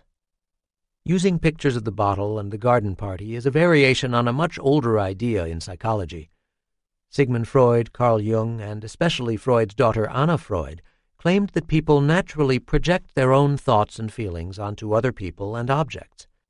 Someone who may be angry at themselves for missing an appointment may run across an old friend and comment, What's going on? You seem to be a little angry about something. Through the defense mechanism of projection, the individuals may not recognize anger in themselves, but see it everywhere else. In the early 1920s, a young German psychoanalyst, Hermann Rorschach, expanded on this idea. He developed a method in which people looked at ambiguous pictures of ink blots and then described what they saw. The Rorschach test was based on the idea that people's deepest emotions and concerns would be projected onto the ink blots. For example, a person who lived in constant fear of an abusive parent might see one of the ink blots as a ferocious bear, whereas another person in a happier family might see the same ink blot as a butterfly. Since Rorschach's early work, thousands of therapists have relied on the Rorschach test to explore people's psychological states. Many researchers question the Rorschach because people's responses are not reliable and vary a great deal depending on the therapist who administers the test. I can't help wondering if the method might be improved by administering and scoring the Rorschach by a computer. In the 1930s, another projective test, the Thematic Apperception Test, or TAT, was created by Henry Murray and Christiana Morgan at Harvard. Instead of requiring people to blurt out the first thing they saw in ink blots, the TAT encouraged people to make up stories based on a series of ambiguous drawings. The stories that come from the pictures were said to reflect a variety of underlying psychological issues in the participants' lives. The drawing on your bonus material is one of the standard TAT stimuli. People are typically asked to look at the picture for a few seconds and then describe what they think is occurring in the scene. Try it yourself. If you would like to take this test before it is discussed, go to www.secretlifeofpronouns.com slash exercise slash TAT intro. In the online version, you will receive computerized feedback based on an experimental method we are developing. Even if you don't go to the website, look at the picture and make up a brief story that describes what is happening. What is each person thinking and doing? What has happened in the past and what will likely happen in the future? One application of the TAT has been to examine basic psychological needs. Influenced by Murray, David McClelland developed a model that assumed we are all driven by three basic needs a need for achievement, a need for power, and a need for affiliation. Using different TAT pictures, McClelland determined the strengths of each of the needs in influencing behavior. The picture in this example is relevant to all three needs, but was initially selected for assessing the needs for achievement and power. The online experimental test of the TAT has attracted thousands of people from around the world here are two responses to the drawing. This is a story of the clash between Shirley, the conservative supervisor, and her new employee who has been with the firm for just a short time. Shirley is not happy with the enthusiasm that Sonia puts into her work, as it tends to show her up, and that is not a situation she enjoys as a supervisor. Shirley's body is not relaxed, showing where her concentration lies, not on the experiment, but on the person she has come to despise because of the threat she is to her entrenched position. Sonia successfully completes her task, and she is rewarded with a position of experimental scientist in a new department. Shirley has never been recognized for the loyal person that she has proved to be over the years with the organization. 64 year old male.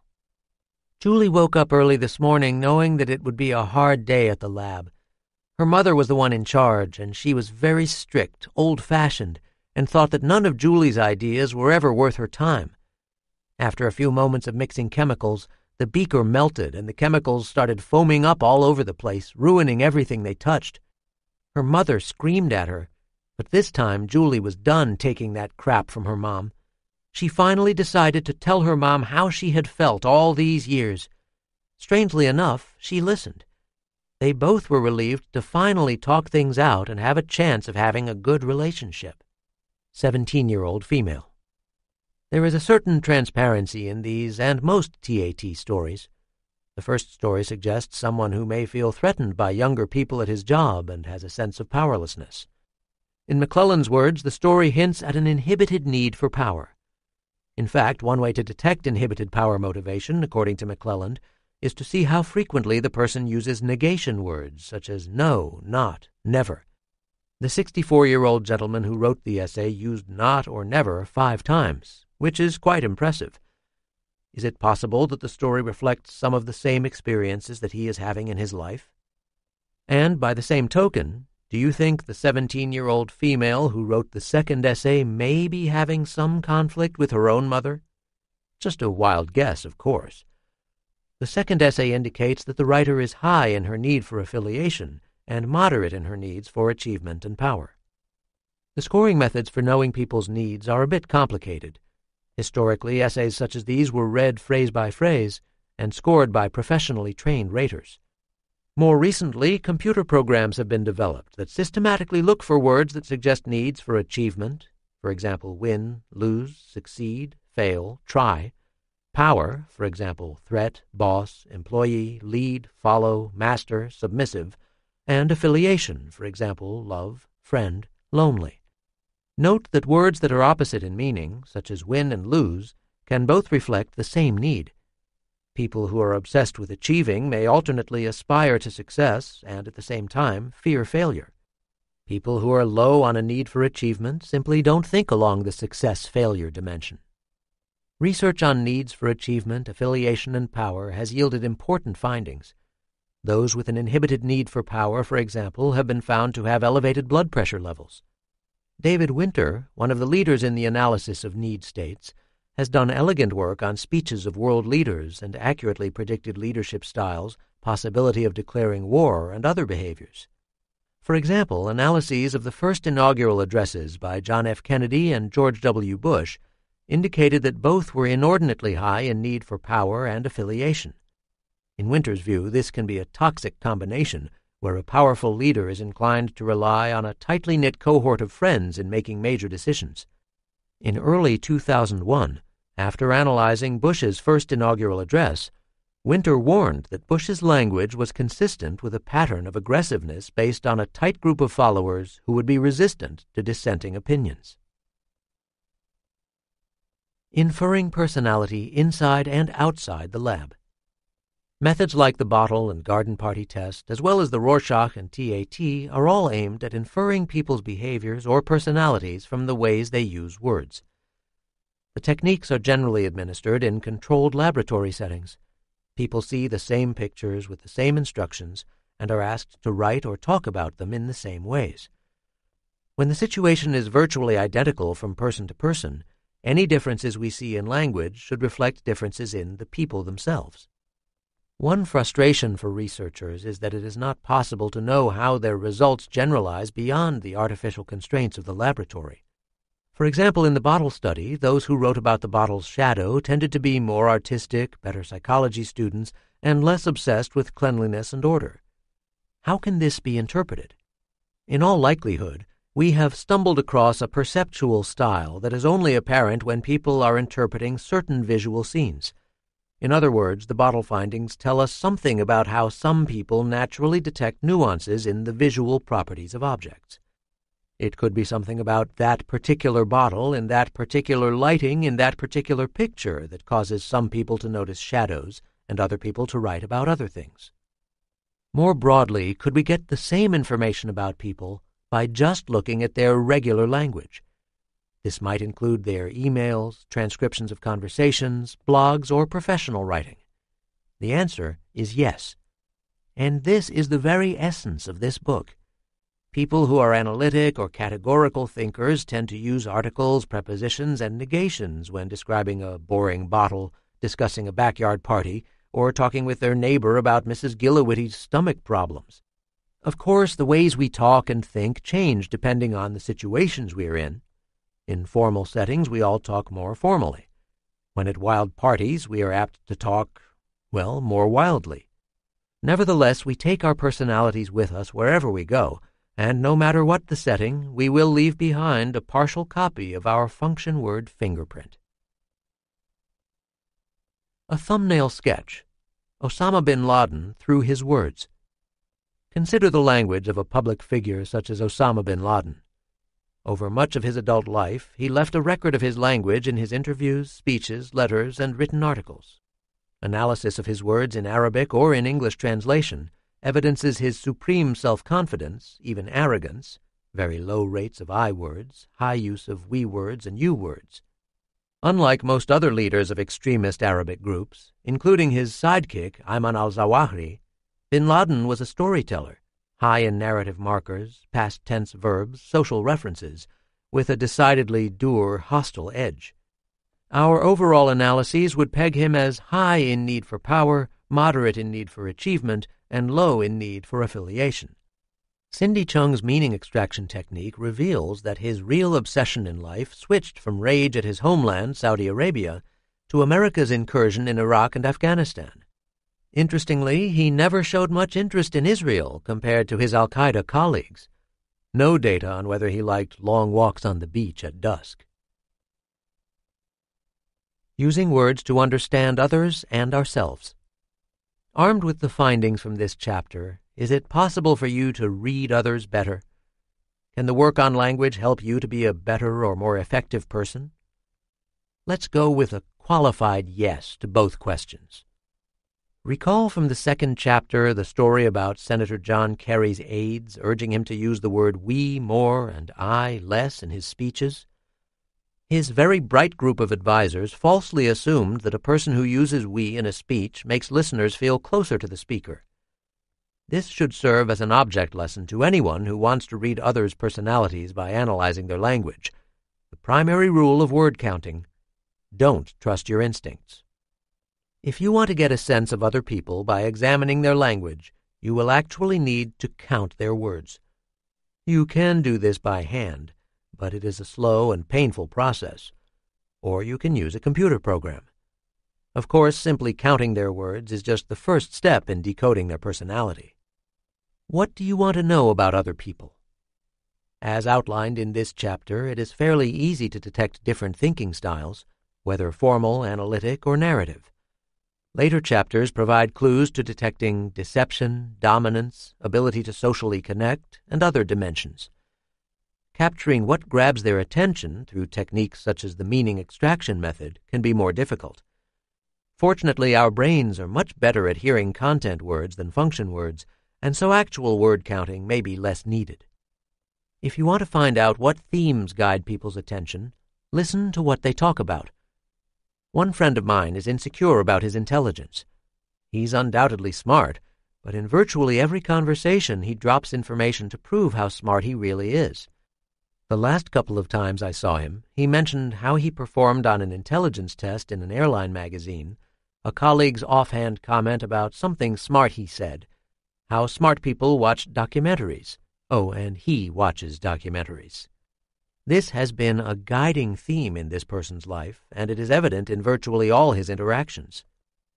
A second way to capture the themes most important to people is to watch how they guide the conversation. Years ago, I had dinner with two old friends, one who was an insightful clinical psychologist and the other an architect. In the middle of the conversation, the clinician casually noted to the architect, It sounds like you are having some financial problems. The architect was stunned by the clinician's out of the blue comment. But then he painfully admitted that he had recently lost his life savings due to a risky investment. I was surprised myself by the clinician's comment because there was nothing I could discern in the conversation that hinted at the financial problems of my other friend. Afterward, I asked the clinician what made him think that our friend had financial difficulties. He laughed because in his mind it was obvious. Several times during the meal, the architect would change the conversational topic, and it always had something to do with money, some kind of financial loss or investments. Neither the architect nor I saw the regularity of his switching topics, Indeed, I've since learned that when someone changes the conversational direction, it serves as a powerful marker of what is on his or her mind. Analyzing our words to know ourselves better. If you had access to all the words you used in a day, what could you learn about yourself? Through my language research, I've been able to answer the question for myself, and at least for me, it has been quite helpful. One way my laboratory team studies natural language is to record everyday speech in children, college students, married couples, and the elderly. One of my former graduate students, Matthias Mehl, was instrumental in developing a recording device called the Electronically Activated Recorder, or EAR. The EAR is a digital recorder that is programmed to come on for about 30 seconds once every 12 to 14 minutes over the course of several days. Matthias, who is now an internationally respected researcher, spent thousands of hours perfecting the ear so that it could withstand the punishment from its wearers. Part of the testing phase was to ask all the members of my research team to wear the ear for a few days and then transcribe everything that was recorded on it. I have now done this myself several times. The first weekend I wore the ear, my son was about 12 years old. In my own mind, that weekend was uneventful chores, a family outing somewhere, the usual. A couple of days later, I transcribed my ear recording and was distressed to see the way I spoke to my son. My tone was often cool and detached, matching his own aloofness. Or was he matching my own aloofness? In our interactions, I used big words, high rates of articles, relatively few pronouns, especially I words. With my wife and daughter, my language was more warm and approachable. The experience of hearing my tone of voice and seeing my own words on paper had a profound effect on me. Thereafter, I made a conscious attempt to be warmer and more psychologically available to my son. Note that I did not make a conscious effort to change my pronouns and articles. Rather, I changed my behavior and attitudes with the assumption that my function words would follow. Over the years, I have also analyzed my language in emails, classroom lectures, professional articles, and letters of recommendation. Sometimes my language behaves in predictable ways, sometimes it doesn't. And when it doesn't, I learn something about myself. Indeed, it is always most striking to see those instances when my own view of myself doesn't match the ways I'm objectively behaving. it also raises the question of what should I do? Change the way I view myself, change my behaviors, or change my language? And this brings us back to a recurring theme of this book. To what degree does language influence psychological state or merely reflect it? Is it possible to change our psychological state by changing the ways we use words? For example, would John Kerry have won the 2004 presidential election if his advisers had told him to use I words more and we words less? Would his change in language have changed his formal speaking style and rigid body posture? I seriously doubt it. People can be trained to change their language, but there is no compelling evidence that the language affects their personality, behavior, or emotional state. Rather, had John Kerry attempted to loosen up, be more personal and genuine, his language would have followed. Language is a powerful reflection of a person, but does not change the person on its own. Chapter 5 Emotion Detection who said there's no crying in football? New York Jets coach Rex Ryan, in the wake of the previous day's devastating 24 22 loss to the Jaguars, delivered an impassioned speech to his players that was so emotionally charged it brought him to tears. He didn't bash us at all. He was just very emotional. He was crying, right tackle Damien Woody told the Post. Rex believes in our team so much I can't even put it into words and it would be a shame if we didn't capitalize on our opportunity. I was a little upset to see him that way, cornerback Darrelle Revis told the Post. I'm upset for the same reasons he's upset. Asked if he's ever been a part of a meeting with such high powered emotions, Revis said, No, I haven't been a part of a meeting where a coach cried like that. In the future, I hope there were more tears of joy than the one this morning. Mark Cannizzaro, New York Post, November 17, 2009.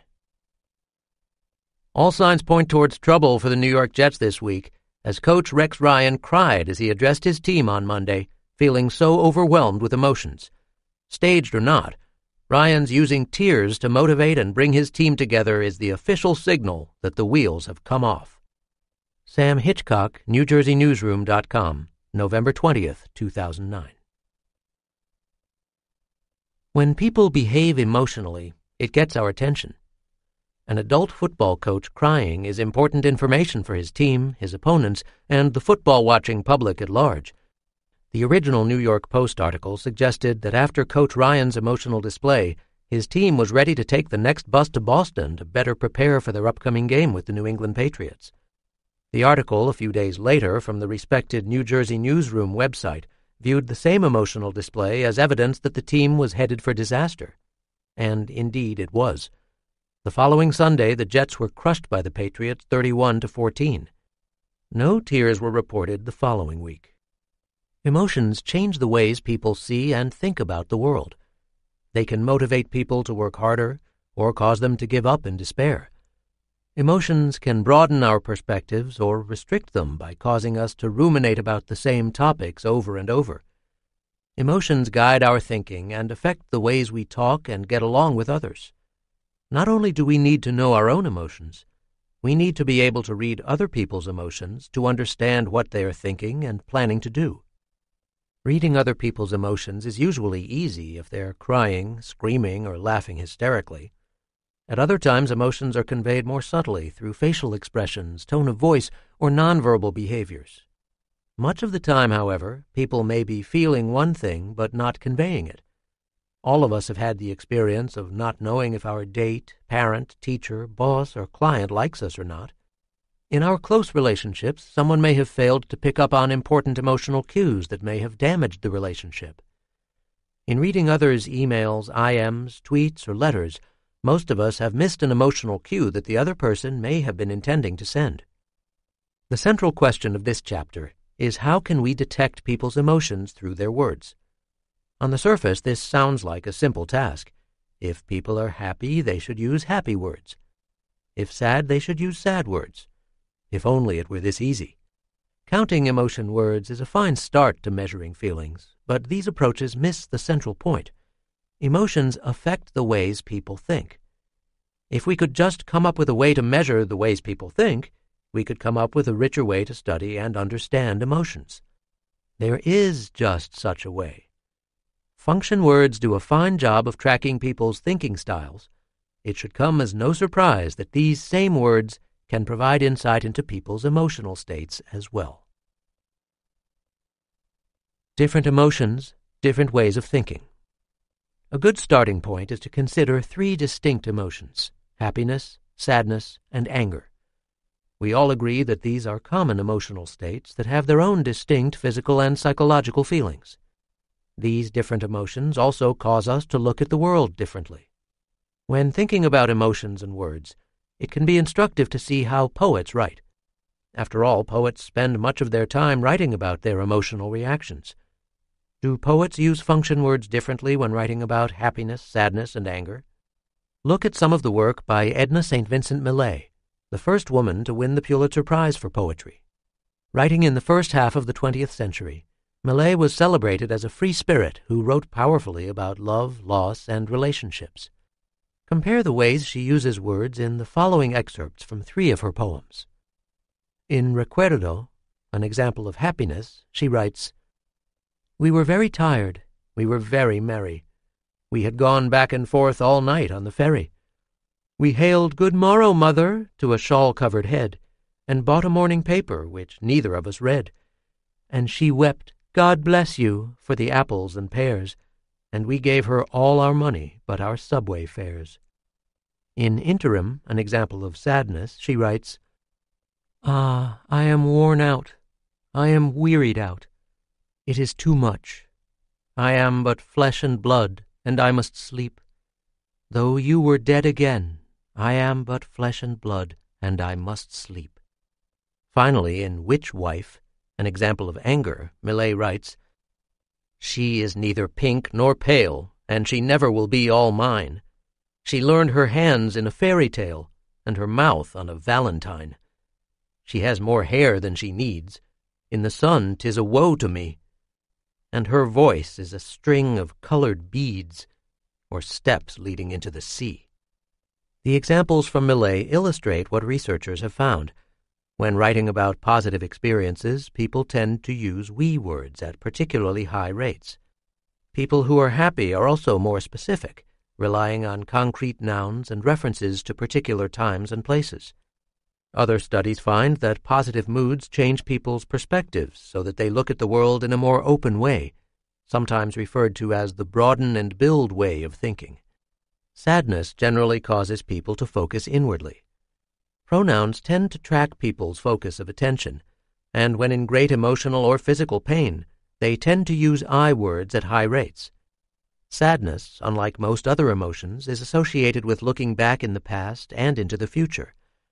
In other words, people tend to use past and future tense verbs more when they are sad or depressed compared to other strong emotions. Although classified as a negative emotion, anger has a completely different profile than sadness. When angry, people focus on others and rarely themselves. In addition to using high rates of second person, for example, you, and third person, he, she, they pronouns, angry people talk and think in the present tense. When events happen to us that cause us to feel sad or angry, we tend to try to understand why they occurred. We use cognitive words that reflect causal thinking and self-reflection. Not true for positive emotions such as pride and love. When happy and content, most of us are satisfied to let the joy wash over us without introspection. In other words, negative feelings make us thoughtful. Positive emotions make us blissfully stupid. Most of the studies that have examined transient emotions in the laboratory have relied on asking college students to write about powerful events that had elicited feelings of happiness, sadness, or anger. The lab studies serve as a helpful roadmap by which to understand how we all feel and express emotions in the real world. Pronouns and misery, the language of suicidal poets. In any given year, over 5% of all adults experience a major depression. Depressive episodes are associated with physical health problems, breakdowns in people's social and work lives, and greater risk of suicide. A number of factors are known to influence the likelihood of depression, including major life upheavals, genetic predispositions, and social isolation. One particularly prominent theory of depression argues that when people become depressed, they tend to focus on their own emotions at a pathological level. They ruminate on their feelings of anxiety, sadness, and worthlessness while paying less and less attention to the world around them. Recall that pronouns reflect people's focus of attention. Given that depression causes people to look inward, it follows that a depressive episode would be associated with higher rates of self-referencing pronouns, especially first-person singular pronouns such as I, me, and my. Several studies have found this. The more depressed a person is, the more likely he or she will use I words in writing or speaking. Most striking is that use of I words is a better predictor of depression among college students than is the use of negative emotion words. Depression rates are particularly high among writers, most notably for successful poets. Recent studies indicate that published poets die younger than other writers and artists, and as many as 20% commit suicide. Although the job of writing poetry may be stressful, a more compelling explanation is that depression prone individuals are drawn to writing poetry, in part to try to understand their mood swings. This is especially true for a form of depression called bipolar depression, sometimes referred to as manic depression. Bipolar disorder is especially toxic because it has a clear genetic basis and often catapults people through extreme mood swings without any apparent cause. Unlike other forms of depression, people diagnosed with bipolar disorder are much more likely to commit suicide. Kay Redfield Jamison, a respected scientist at the Johns Hopkins School of Medicine, has written extensively on the close link between the artistic temperament and bipolar disorder. In her research, she finds that a disproportionate number of poets have symptoms consistent with bipolar disorder, which she discovered through their memoirs, reports from family members, friends, biographers, or the author's poetry. Would it be possible to identify bipolar disorder and suicide proneness through the computer analysis of the poet's published works? Working with Shannon Stirman, who is now a clinical psychologist, we examined the published poetry of 18 poets, nine of whom committed suicide. We discovered that suicidal poets used far more I words in their poetry than non suicidal poets. Particularly striking was that the two groups of poets did not differ in their use of negative emotion words.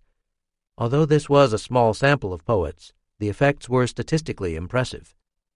As we started looking more closely at the language of the suicidal and non suicidal poets, something caught our eyes. The suicidal poets, in using I related pronouns, seemed to be psychologically close to their sadness and misery in ways that the non suicidal poets were not. For example, consider the first line of Sylvia Plath's well known poem, Mad Girl's Love Song, where she is mourning the loss of love. I shut my eyes, and all the world drops dead. I lift my lids, and all is born again. I think I made you up inside my head. Compare her sadness with the words of the well-respected poet Denise Levertov in the first line of her poem, The Ache of Marriage. The ache of marriage. Thigh and tongue, beloved, are heavy with it. It throbs in the teeth. Although both poems deal with a similar topic, Plath's use of I suggests that she is embracing her loss. Levertov, on the other hand, seems to be holding her pain away at arm's length, almost as if she is looking at it from a more distant and safer third person perspective. Indeed, as one reads the collected works of these two authors, it is apparent how the two differ in owning or embracing their feelings of loss, alienation, and depression. Plath may be the more popular poet for this reason. With the tool of first person singular pronouns, she takes us closer to the edge so that we can get a feeling of her personal despair. Arrogance, Loss, and Depression The Case of Mayor Giuliani and King Lear. Closely linked to sadness and depression are the feelings of loss that come from failure or rejection. In the year 2000, a front page article in the New York Times reported on some apparent personality changes that members of the press were witnessing in Rudolph Giuliani the mayor of New York City at the time. In my experience, people's personalities don't change very often, and the Times piece intrigued me enough to start digging a little deeper. During his eight years as mayor, Rudolph Giuliani was variously referred to in the media as an insensitive bully, a man seething with anger and self-righteousness, as well as someone with a reservoir of warmth, charm, and compassion. Such contradictory assessments were often made by the same people as Giuliani changed over his term. One thing that the majority of New Yorkers agreed on was that he was an effective mayor.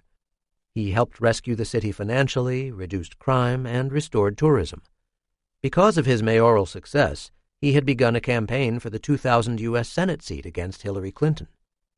In the late spring of 2000, Giuliani's life turned upside down within a two week period.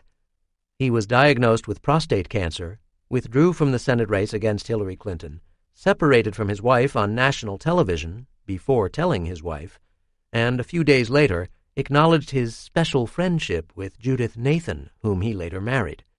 By mid May, he was living in a friend's apartment while undergoing treatment for his cancer. By early June, friends, acquaintances, old enemies, and members of the press all noticed that Giuliani seemed more genuine, humble, and warm. One of the most reliable predictors of depression is experiencing traumatic life events. In fact, the more traumatic upheavals people experience at any given time, the higher the probability of depression and illness. Could we see changes in Giuliani's personality by looking at his language? Fortunately, the New York City mayor had frequent press conferences that we were able to analyze. Specifically, we wanted to know if his function words had changed over the course of his emotional upheavals compared to earlier in his term. Compared to his first years as mayor, Giuliani demonstrated a dramatic increase in his use of I words, a drop in big words, and an increase in his use of both positive and negative emotion words. He also shifted away from first person plural pronouns, or we words. Recall from earlier chapters, we words are used frequently when people are arrogant, emotionally distant, and high in status. Males especially use we in a distancing or royal form. We need to analyze that data, or we aren't going to put up with higher taxes. In Giuliani's case, his language suggested an interesting personality switch from cold and distanced to someone who was more warm and immediate. When the first phase of the Giuliani project was complete, there was something about the results that seemed eerily familiar. And then it hit me. Shakespeare's King Lear.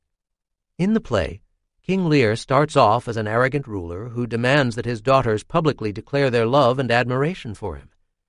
His favorite daughter, Cordelia, refuses and ultimately leaves England and marries the King of France. Wars, fights, recriminations, and misery follow. Note, this is the Cliff's Notes version of the play.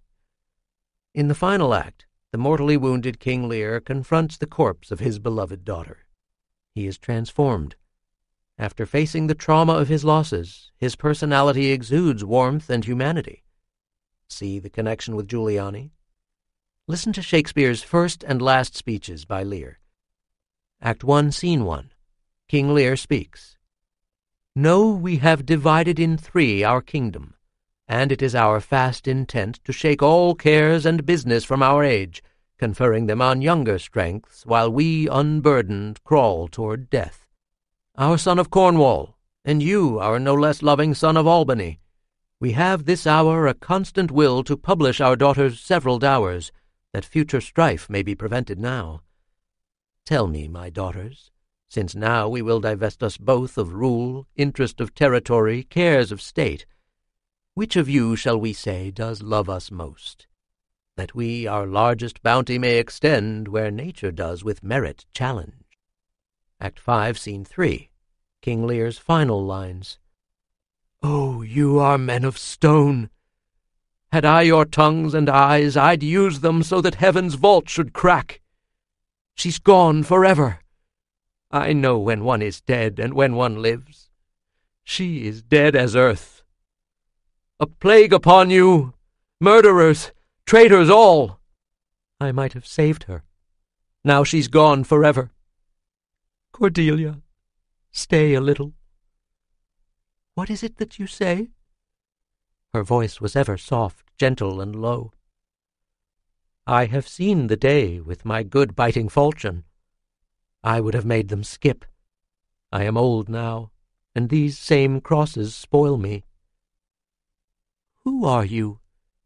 My eyes are not of the best. I'll tell you straight. Pray you undo this button. Thank you, sir. Do you see this? Look on her! The analyses of these two speeches make for a fascinating parallel with the changes seen with Mayor Giuliani. In fact, The relative usage of pronouns and big words by Giuliani and Lear in their early arrogant periods, compared with their post trauma warm and honest periods, is almost disconcerting. During the arrogant periods, both Lear and Giuliani used low rates of I words and emotion words, and at the same time high rates of we words and big words. These patterns were reversed for both when faced with life changing, and in Lear's case, life ending, personal upheavals. Life imitates art, and science is here to record it. The Giuliani story unfolded in another interesting and important way after his personal crisis in 2000. A little over a year after his personal crises, Giuliani was serving his last months as mayor when the September 11th attacks brought down the Twin Towers at the World Trade Center, killing almost 3,000 people. By all accounts, Giuliani emerged as a powerful and compassionate leader of New York and the United States. Giuliani's news conferences in the first weeks after the attacks were marked by genuine warmth and grace. Analysis of his language revealed a new pattern of word use. His use of I words was moderately high, 3%, as was his use of we words, 3.2%. His use of we words, however, stood out in another way. Early in his administration, his we word usage was often vague, referring to society at large. After the attacks, his we words were much more targeted and personal, referring to the residents of New York City or particular groups in government. The Giuliani Project complements the suicidal poet results in demonstrating the links between emotional states and function words, particularly pronouns. Emotions both reflect and affect our social connections with others. Pronouns, by their very nature, track the relationships between speakers and those they are communicating with. Pronouns and other stealth function words serve as subtle emotion detectors that most of us never consciously appreciate. How traumas unfold, using words as windows. There are at least two ways people deal with emotional pain acknowledging it and avoiding it. The suicidal poets, the imaginary king, and the real mayor all acknowledged their pain and loss. Socially, their elevated I word usage made them appear more introspective and vulnerable. Looking inwardly can intensify the pain, motivate the person to understand and come to terms with it, and alert others about his or her emotional distress. Another common strategy people adopt in dealing with pain is to avoid it or in some way distance themselves from it. Recall Denise Levertov's poem The Ache of Marriage, where she analyzed the experience in a less personal, more distant way. Other avoidance strategies include trying to put the unwanted emotional experience out of mind altogether.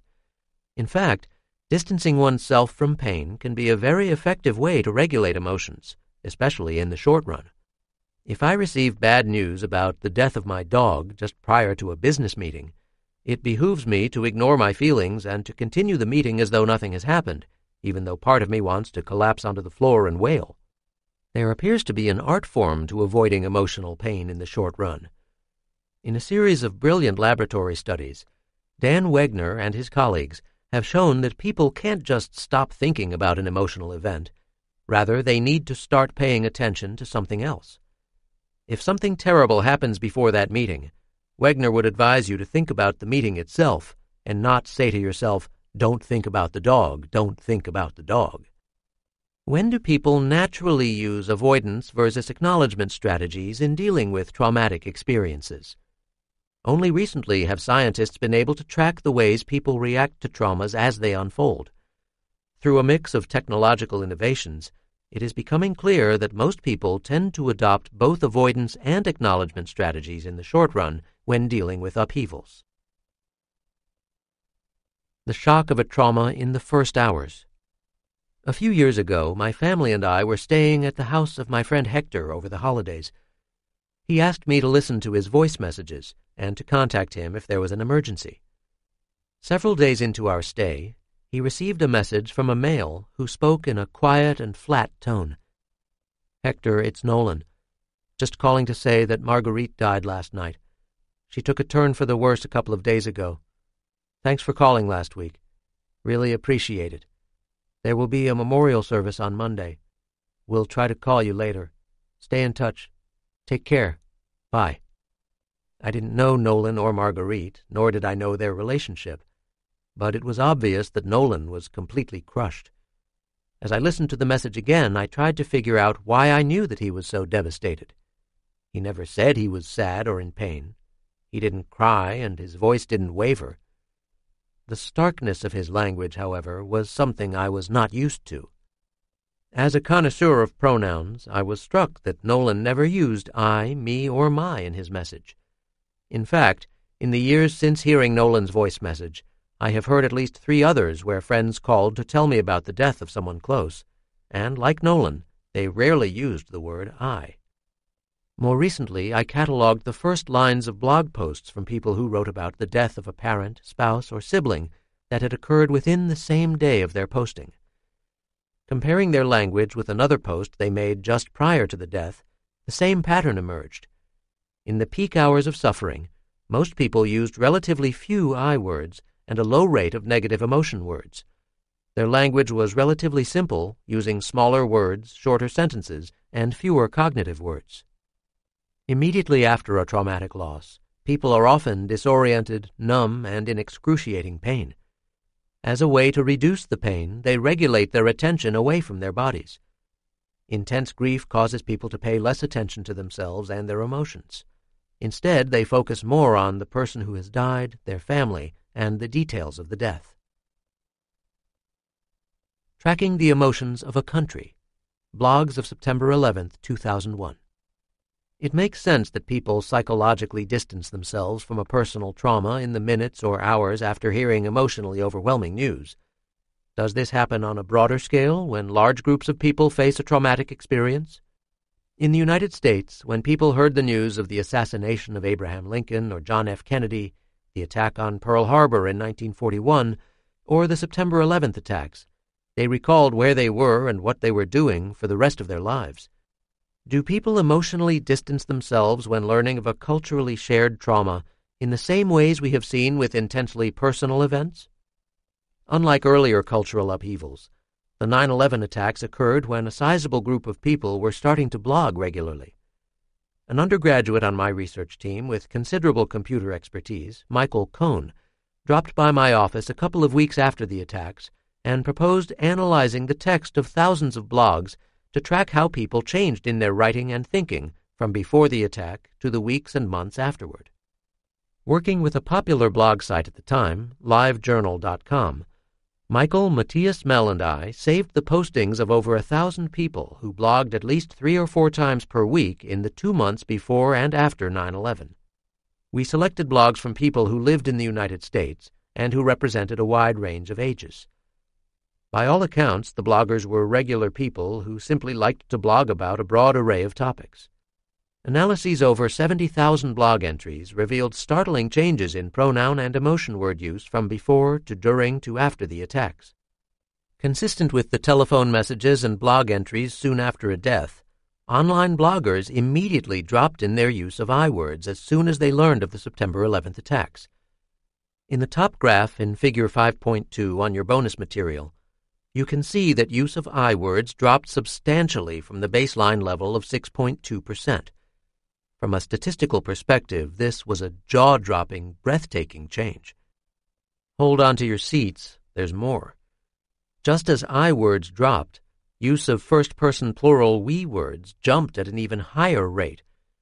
As you can see on the bottom graph of Figure 5.2, use of we words almost doubled from before to after the attacks.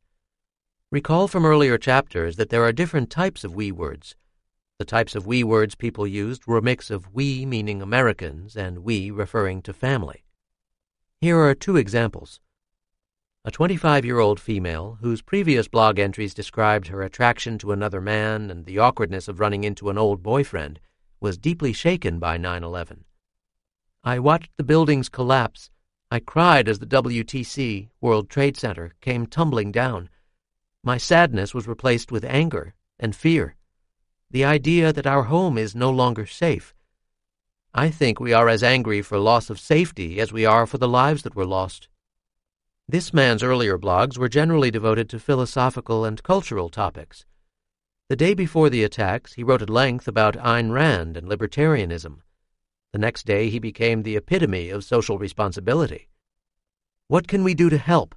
Blood banks are probably very crowded right now, and maybe for several days. Don't let that stop you. You are needed. You can help.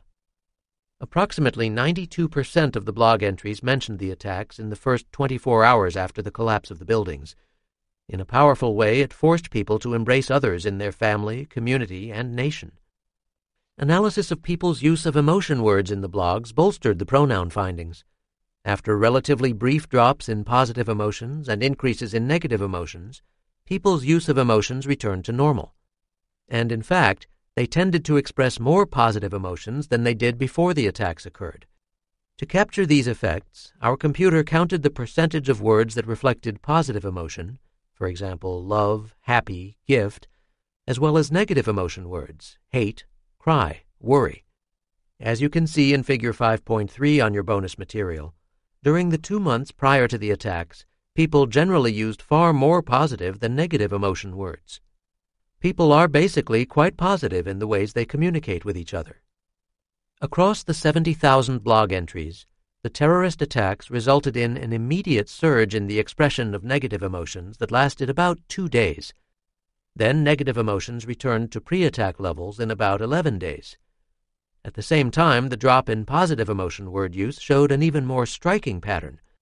After a precipitous drop on 9 11, the use of positive emotion words returned to pre attack levels within four days. By 10 days after the attacks, people's positive emotions were higher than they were before the attacks. One final important finding emerged from the 9 11 project. In the five or six days after the attacks, the bloggers used cognitive words at much higher rates than before 9 11.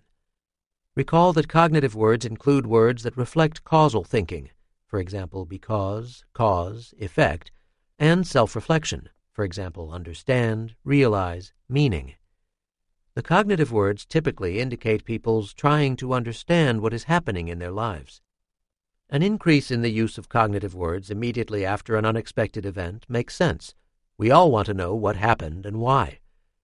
However, starting about a week after the 9 11 attacks, the blogger's use of cognitive words dropped to unprecedented lows for the next two months. In fact, markers of thinking were far below the levels that existed before the 9 11 attacks. Consider the implications of all these effects. The analysis of the thousand bloggers paints a picture of how normal everyday people think following a large emotional upheaval. Note that within a few days of the 9 11 attacks, most of the bloggers returned to writing about their usual topics shopping plans, boyfriends, pornography, pets, the usual. Across all topics, however, the same patterns were emerging. A summary of the blogger's language suggests shared traumas bring people together. They pay more attention to others and refer to themselves as part of a shared identity as can be seen in increased use of the warm you and I form of we. Shared traumas deflect attention away from the self. Even though people may feel sad, they are not depressed. Recall that people who are truly depressed show higher I word usage, not lower I word usage. Shared traumas in many ways are positive experiences. For at least two months after the 9 11 attacks, people expressed more positive emotions and were more socially connected than they had been in the months before the attacks. Shared traumas make people stupider. Okay, maybe not stupider, but certainly less analytic. Within a week of the attack, people wrote in simpler ways, suggesting that they weren't thinking deeply about their writing topics. In fact, they seemed more passive and accepting of new information. People's reactions to traumatic experiences change over time. The ways people think, feel, and pay attention to their worlds change drastically in the hours, days, and weeks after an emotional upheaval. Beyond 9 11, man made and natural disasters. Evolutionary psychologists look at the 9 11 findings and note how they make evolutionary sense. If we are in a small group on the savannah and are attacked by another group, it is critical that we band together, focus outwardly, and prepare for possible future attacks. These are adaptive reactions that can help to increase the survival of the individuals and the group itself. Do the same language patterns exist for shared emotional upheavals that do not directly threaten the group? The answer appears to be yes. Over the course of my career, I have studied the social and psychological effects of a number of large scale upheavals, including the Mount St. Helens volcano eruption in Washington state in 1980, the Loma Prieta earthquake in the San Francisco Bay Area in 1989, the First Persian Gulf War in 1991, the death of Princess Diana in 1997, and the tragic death of 12 students at Texas A&M University during the building of their traditional bonfire in 1999. Across all of the studies, similar themes emerge that bolster the 9-11 findings. The most striking phenomenon is that all kinds of upheavals bring people together. People become more selfless, more concerned with others, and actively seek out relationships with others. Interviewing people in Yakima, Washington, several weeks after Mount St. Helens had dumped almost four inches of sand like ash on their community, most of the residents reported that it had been a frightening experience, but that, despite their losses, they were glad it happened in their lifetimes. Most reported meeting and talking with neighbors they never knew. The university community of Texas A&M was shaken by the deaths of 12 students caused by the collapse of their symbolic bonfire. Again, in interviews, online blogs, and newspaper accounts, the language of the community was selfless and warm. In fact, the social bonds of the university ended up being tighter than anyone had seen before. In tracking the physical health of the student body over the following year, we found that the students went to the Student Health Center for illness 40% less compared to the year before the bonfire disaster. No such effects occurred at A&M's neighbor, the University of Texas at Austin. It's almost heretical to admit, but terrible experiences can bring out the best in us. By their very nature, traumas can destroy some lives and enrich others. Using language analyses to guide mental health treatment in the immediate aftermath of an emotional upheaval. One of the best kept secrets in the mental health world is that most people actually cope quite well when faced with truly horrible life events.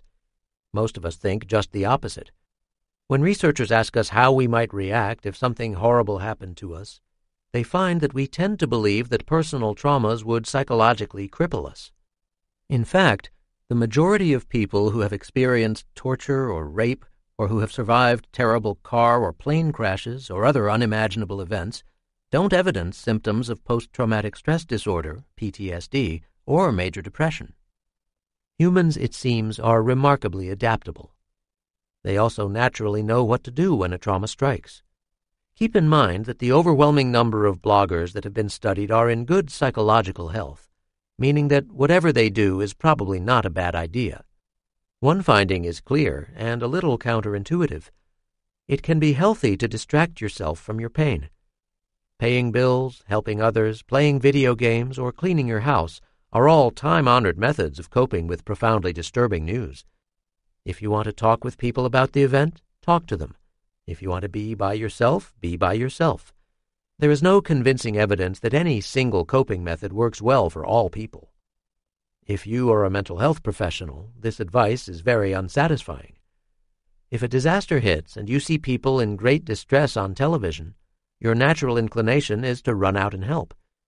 Again, all the evidence indicates that the best way you can help is to make sure people have their basic needs fulfilled, that someone can answer their questions, and that someone will listen to them.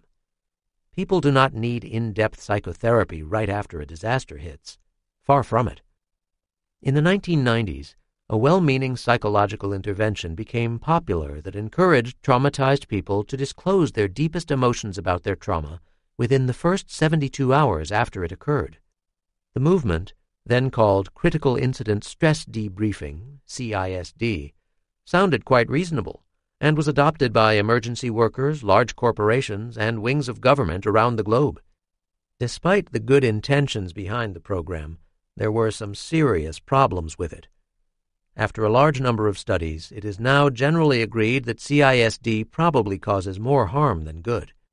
In looking at the ways people use language online in the first hours after a trauma, deep emotional processing immediately after an emotional event is not what healthy people do.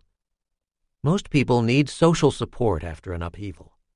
One of the most striking phenomena my students and I have seen in studying blogs is the degree to which people seek and receive support from others.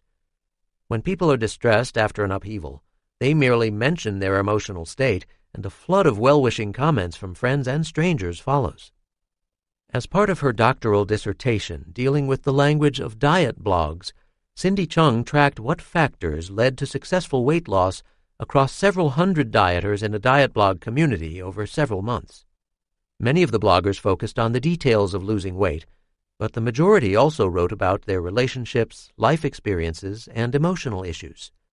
Many dieting experts would recommend that the best way to lose weight is to obsessively list the foods you eat, the number of calories you have taken in, and the amount of exercise you have done on a daily basis. Not true, according to Chung's research. Instead, she found the very best predictor of successful weight loss was being involved in the online social network. That is, the more comments or posts a person sent out and received, the more successful they were at losing weight. In addition, bloggers writing about personal and emotional issues were far more successful in losing weight than those who wrote only about their foods and diets. The long-term effects of traumas, how words can heal. As the blog data suggest, most people initially cope with a traumatic experience by seeking out friends and family. The ways people talk or write about the upheavals vary considerably and may not involve any deep emotional discussions. If people could always respond to emotional events the ways they wanted or needed, there would probably be less of a demand for therapists and physicians. Traumas, even highly personal traumas, are deeply social. If I have been raped or mugged, I may be hesitant to tell others because of the humiliation or the fear that others will treat me differently. Consequently, my natural reactions to talk openly about the experience will be stifled. Similarly, I may need to appear strong and happy to my family to avoid their becoming anxious or depressed. The danger of secrets. Events that are shameful, embarrassing, or could damage one's reputation are often kept secret for years. I discovered this early in my career when I included a questionnaire item that asked people if they had experienced a traumatic sexual experience prior to the age of 17. In surveys of thousands of adults, approximately 22% of women and 11% of men said they had. Particularly striking was that this same group had terrible health compared to people who had not had traumatic experiences. Later studies showed that the problem was that the sexual traumas were almost always secret traumas. Any type of major upheaval that people kept secret from others tended to compromise their physical and mental health. Big emotional secrets are toxic for several reasons. One of the first interviews I conducted that illustrated this was with a 35 year old woman I'll call Laura, who had been about 12 when her mother remarried. Starting a few months after the marriage, her new stepfather, Jock, would occasionally sneak into Laura's bedroom in the middle of the night and fondle her. Terrified, she tried to get him to leave, even though he would make light of the situation. This continued off and on until Laura was fifteen, when she left home to live with an aunt. As she described it, I had always been close to my mother. The divorce had nearly killed her, and she was so happy with Jock. If she had known what Jock was doing to me, it would have broken her heart. I wanted to tell her so much. Do you know what it is like to be in a family like that? I'd get up in the morning, and Jock and my mother would come down together. He would smile and be friendly like nothing had happened. I hated his guts, but could never tell anyone why. Every morning, every evening, every time I saw that bastard, I felt sick to my stomach. Looking back on it all, the very worst thing was that I couldn't talk to my mother anymore. I had to keep a wall between us. If I wasn't careful, the wall might crumble and I'd tell her everything. The same was true of my friends. I'd go out with my girlfriends and we would all giggle about boys and dating. Their giggles were real.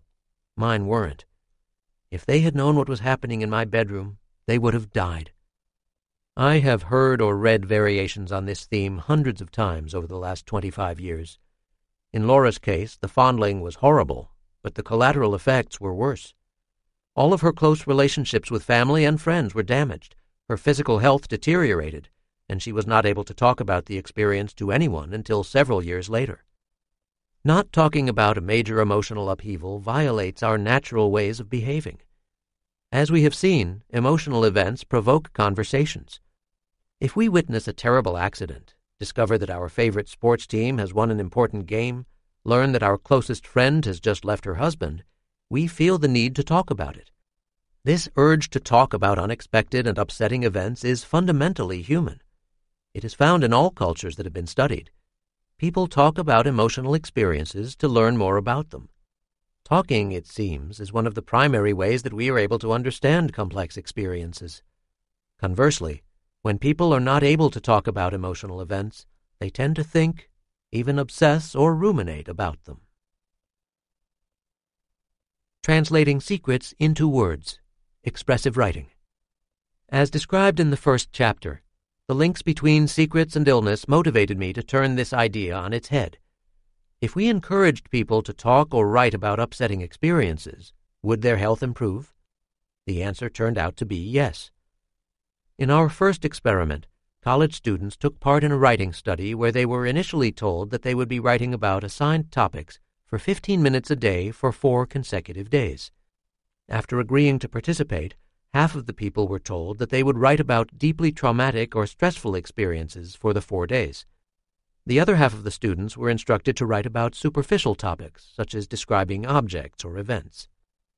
Overall, people who were asked to write about emotional topics exhibited better physical health than those who wrote about superficial topics. Those in the experimental condition who wrote about traumas went to the doctor at half the rate of people in the control condition in the six months after the experiment. Later studies found similar patterns. Writing about traumatic experiences improved people's physical and mental health. Other researchers soon found that expressive writing affected immune function and other biological processes associated with health and illness. Josh Smyth from Syracuse University and his colleagues published a powerful study with arthritis and asthma patients showing that writing influenced the course of the diseases. Other projects with people dealing with AIDS, cancer, heart disease, depression, cystic fibrosis, and a range of other physical and mental health problems benefited from expressive writing. Now, almost 25 years later, over 200 scientific articles have been published pointing to the power of writing. The early writing studies were the impetus to develop a text analysis method that could help us figure out why writing worked. Awakening people's emotions about earlier upheavals forces them to think differently about them. Exploring emotional topics demands that people look inward, as we see by their increasing use of first person singular I words. It helps them to organize their thoughts and construct more meaningful explanations or stories of their lives, as seen in the increasing use of cognitive words. By tracking the ways people write about their traumas, we are witnessing how they are changing in their thinking. Writing is not a panacea, and its effects are limited. For example, there is no evidence that writing about an emotional upheaval immediately after it occurs is helpful. Although writing for a relatively brief time over a few days has generally worked, it is unclear that long-term diary writing is necessarily helpful. In fact, writing too much about a particular problem may be a form of rumination. My recommendation is if you are interested in expressive writing, try it out for a few days. If it is beneficial, great. If not, try something else. Tying it together emotions and thinking styles as two sides of the same coin. Remember Rex Ryan, the coach of the New York Jets football team who cried in front of his players after losing an important game? His emotional display reflected a change in the ways he was thinking about his team and its potential. Equally important, his tears were a powerful social signal to the players. You will recall that one of his players was quoted as being impressed by the coach's commitment to the team and how his crying brought the team together. In a separate article, the same crying scenario signaled to a sports writer that the New York Jets were falling apart. Emotions are not just reactions to events. Different emotions can change the ways we think and influence how we respond to others. Emotions are intensely social in that they can draw us closer or push us farther apart. Emotions are also meaningful signals about other people's motivations, goals, and intentions. The intimate connection between function words and emotional state naturally follows. Emotions make us think about the world differently, and function words reflect this change in thinking. The relationship between thoughts and feelings has been the subject of heated debate in philosophy and psychology for centuries. Both Aristotle and Plato argued that logic and emotions were fundamentally different processes. Descartes, writing in the 17th century, went farther by claiming that emotions undermined people's abilities to think rationally. The early American psychologist William James also emphasized how emotions and passions frequently blinded people's judgments. Sigmund Freud argued that fundamental emotional issues were the driving force of personality and behavior. We are now beginning to think very differently about emotions and reason, due in part to discoveries in the brain sciences. One of the most eloquent spokesmen for this new perspective is Antonio R. Damasio, a neuroscientist who has studied and written about the behaviors of people who suffer damage to the frontal lobe of the brain. The frontal lobe integrates information from primal emotional centers as well as regions associated with abstract reasoning and language. Many of the connections are so extensive that it makes no sense to make a sharp distinction between emotions and thoughts. In his book Descartes' Error, Damasio describes a procedure whereby people play a competitive card game. Healthy people with no brain damage are highly sensitive to rewards and punishments in making their decisions. Those with damage to their frontal lobes, however, seem to ignore the feelings they get from failure. He concludes that the emotions associated with losing help people to behave more rationally. Emotions inform thoughts. That our feelings affect the ways we think about the world is the take home message of this chapter. Our emotions influence our thinking which is reflected in the ways we use function words. By extension, function words can give us a sense of how other people are thinking and feeling. They also serve as subtle public announcements alerting others to our own emotional states, our thinking patterns, and where we are paying attention. Chapter 6 Lying Words Lie detection experts have always known that lying is associated with specific biological changes. What is the biology of true confessions? Early in my expressive writing career, volunteers came to the lab and were asked to describe a powerful emotional event while they were hooked up to sensors that measured their blood pressure, heart rate, breathing, muscle tension, and skin conductance, sometimes called galvanic skin response, or GSR. They were then left alone during the time they talked about a traumatic experience into a tape recorder. One student stands out in my mind an edited version of what he said. On December 20th at 10:35 p.m., my father would have been driving north on State Highway 27. He was going approximately 65 miles per hour in a 1990 Buick LeSabre when a deer jumped in front of his car. He could not stop. His car swerved and lost control, which caused it to roll over three times before it would have hit a tree. According to the coroner's report, he would have died instantly. My mother would have received a phone call at approximately 12:15 a.m., who then reported the incident to me. Although 14 years old at the time, the death was manageable for me and its effects have been minimal. The student's voice on the recording was matter of fact and eerily distant, much like his language. Biologically, however, he evidenced signs of tremendous conflict and stress. While talking about the event, his heart rate and blood pressure levels were elevated and his facial muscles were tense. Nevertheless, on a questionnaire he completed immediately after the study, he reported that talking about the traumatic event was not at all upsetting or stressful. The language of self deception. Rarely had I seen such a clear case of self deception. The student was fully aware of the facts of the experience, but he failed to acknowledge the emotional impact of it while describing it and, I suspect, in the months and years after his father's death occurred. His case reminded me of other studies involving expressive writing, where the occasional participant would write about terrible traumas but not mention negative feelings or emotions. In fact, people who were unable to acknowledge their emotional reactions to disturbing experiences rarely benefited from expressive writing. The people who are honest with themselves when exploring their past are the ones who find the greatest value in writing. The costs of self-deception are somewhat controversial. Much of modern religion and psychotherapy is based on the premise, to thine own self be true. There is a bit of irony in that Shakespeare's famous quotation was spoken by the deceptive Polonius to his deceptive son Laertes, who eventually killed the deceptive Hamlet in a deceptive way.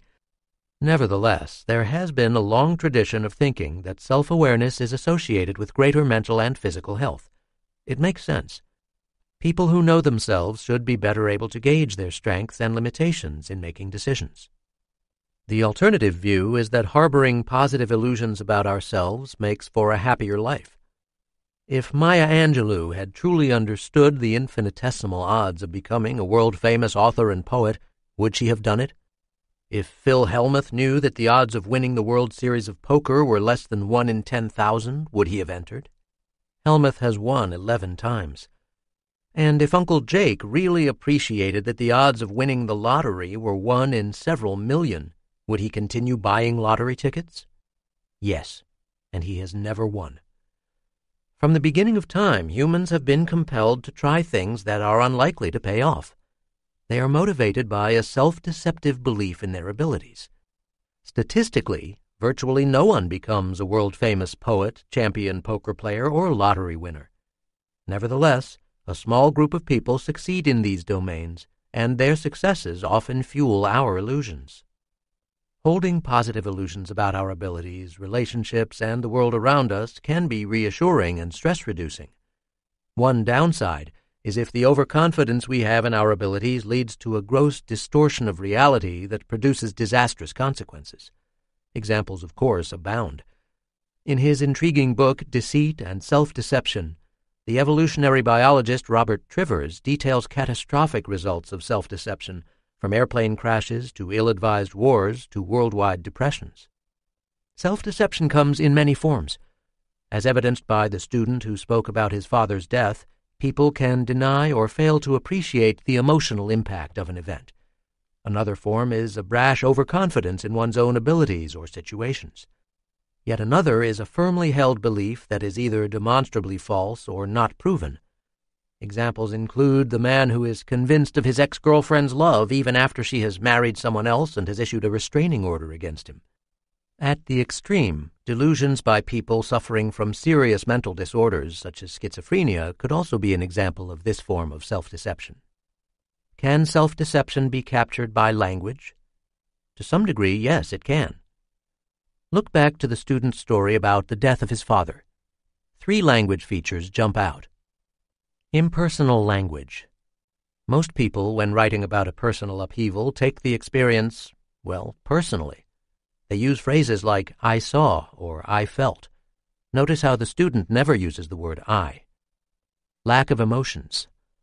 Despite his writing about the death of his father when he was 14 years old, the student uses virtually no emotion words, especially negative emotion words. His only emotion-related words, in fact, are implied. The experience was manageable and minimal. Concrete, stiff, and oddly distant language. You can see he tends to use a high rate of concrete nouns, as measured by his use of articles, a, an, and the. He also uses a large number of verbs, especially words like would. Words such as would, could, and should introduce a type of distance between the actual event and the person's perception of it. Self-deception in literary characters. Self-deception of all forms is frequently portrayed in literature. Consider Ebenezer Scrooge in Charles Dickens's A Christmas Carol. At the beginning of the story, Scrooge is an emotionally cold older man who is contemptuous of the Christmas season, family, and close human connections. We first see Scrooge in his business office on Christmas Eve, excoriating his clerk, Bob Cratchit, about his plans to not work on Christmas. When Scrooge's nephew drops by to invite Scrooge to Christmas dinner, Scrooge replies, what else can I be when I live in such a world of fools as this? What's Christmas time to you but a time for paying bills without money, a time for finding yourself a year older but not an hour richer, a time for balancing your books and having every item in them through a round dozen of months presented dead against you?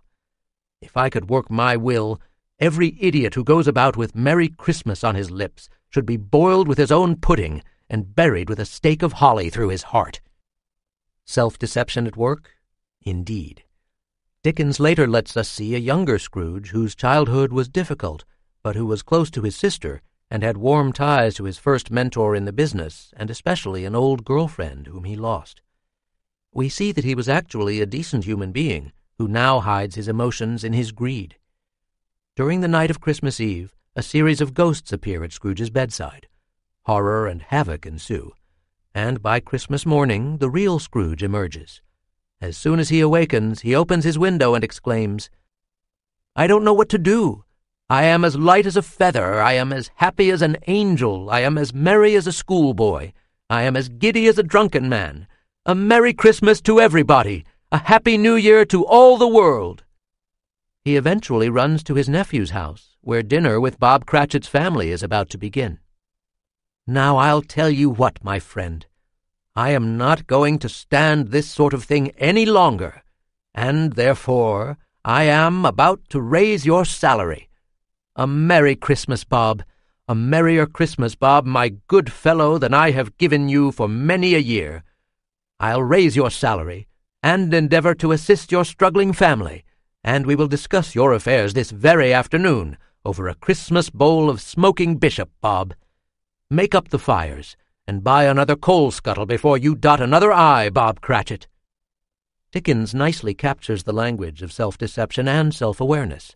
Scrooge uses I words half as often in his first speeches as in his last. He is also slightly less emotional at the beginning. You can discern more distancing in the first dialogue as well. In addition to greater use of discrepancy verbs, such as would and could, he deflects attention away from himself by using much higher rates of words like you at the beginning. The only anomaly is Dickens's overuse of concrete nouns and articles in the second speech. If only he had had LIWC when this was written in 1832, he would have known that Scrooge needed to say more A's and These at the beginning of the book. Self-deception in everyday statements on the Internet. The language of the student whose father died and of Scrooge points to the type of self-deception associated with the denial or avoidance of emotion. How about the self-deception of overconfidence? There are a number of simple yet fun ways to answer the question. One is to think of common phrases that we all use when we are almost too certain of something versus when we are reasonably certain. For example, the phrase, there is absolutely no doubt that, would only be used by someone with a tremendous amount of confidence.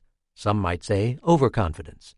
But the phrase, there is a possibility that, would likely be embraced by speakers who are more tentative. When people start sentences with these two different phrases, what do they actually say? With search engine queries, using something like Google, Yahoo, or Bing, it is easy to answer the question. Here are some of the statements that resulted from each of the searches. There is absolutely no doubt that superficial breathing ensures a superficial experience of ourselves. High definition television is the way to go. All who entered the summer holidays picture framing competition produced pieces of an exceptional standard. Blackjack is a beatable game, and you can have an edge over the casino. God will forgive sex before marriage. God's love for a person is not diminished because of the mistakes that person has made. Boxer shorts rule the planet for the ultimate comfort and style. Now crushing the hat industry will be head boxer headwear. Taking a few minutes to locate the rabbit breeder hobbyists near you is well worth the time. Anyone who does hear or read this amazing story will join in the fight to save our country and our nation's youth. It is interesting to look at each of these statements, for which there is absolutely positively no doubt. Maybe it's just me, but I harbor some serious doubts about a few of them. Did everyone who entered the framing competition really produce pieces of exceptional standards? And will boxer short headwear really destroy the hat industry? The language of these certainty statements is also striking. Phrases starting with there is absolutely no doubt that included few I words, high rates of positive emotion words, and sentences that are simple and less specific. Now compare the certainty statements with those that start with a more humble, there is a possibility that. There is a possibility that you could be pregnant. Arrive 20 minutes prior to your appointment time to complete registration. I will be grounded if my parents find out about their car. Your former spouse may be entitled to financial information about your spouse from your second marriage in certain circumstances. You may receive this survey from more than one source. If so, I apologize in advance for the duplication. Who could disagree with any of these statements? The tone for most of the statements is measured and reasonable. You will also notice that the language is less formal and more personal. For example, phrases starting with there is a possibility that use more personal pronouns, especially I words. The sentences are more complex and specific. A good way to evaluate specificity is to see if there are references to time, space, and motion. Finally, the tentative phrases are actually less emotional, especially in the use of positive emotions. It is almost as if the overconfident writers make up for truth with optimism. Self-deception in letters of recommendation. Most university faculty members write a large number of letters of recommendation every year. These letters are for undergraduates trying to get into a graduate or professional school and for graduate students trying to land jobs. In addition to writing letters, we also read letters of recommendation for people applying for graduate school and jobs. Over the years, my colleagues and I have noticed that it is very difficult to distinguish among letters. They all seem to be quite positive. Is there a way to sort out the genuinely positive letters from the pro forma positive letters? I like to think of myself as an honest, straightforward person. When I sit down to write a letter of recommendation, it is important that what I say is truthful, but also portrays the student in a positive yet fair light. One thing I've noticed is that as I start writing a letter, I gradually start to see more and more positive things about the student. By the time I have finished, I come away with the belief that there is absolutely no doubt that the student I'm writing about is perfect. Ouch. That sounds a little like self-deception. In talking with colleagues, many report the same feelings. Is it possible to use language analyses to tell which of my letters are real and which ones are self-deceptive? To find out, I analyzed about 200 letters of recommendation that I had written. To begin, I went back and rated how I truly felt about the student's potential. This rating was made often several years after writing the letters, and was not tainted by the post-writing self-deceptive glow. I then simply correlated the word use in my letters with my ratings. Four reliable patterns emerged. In my letters for the students I truly felt would do the best, I tended to say more, use longer sentences and bigger words. The better I felt they would ultimately perform, the more words I wrote.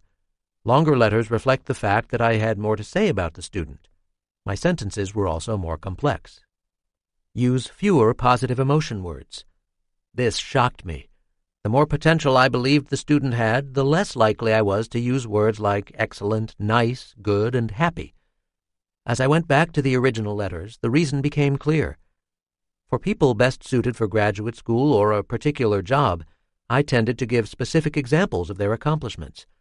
For people not as suited, I tended to wave my hands a bit more and simply say they were great at what they did.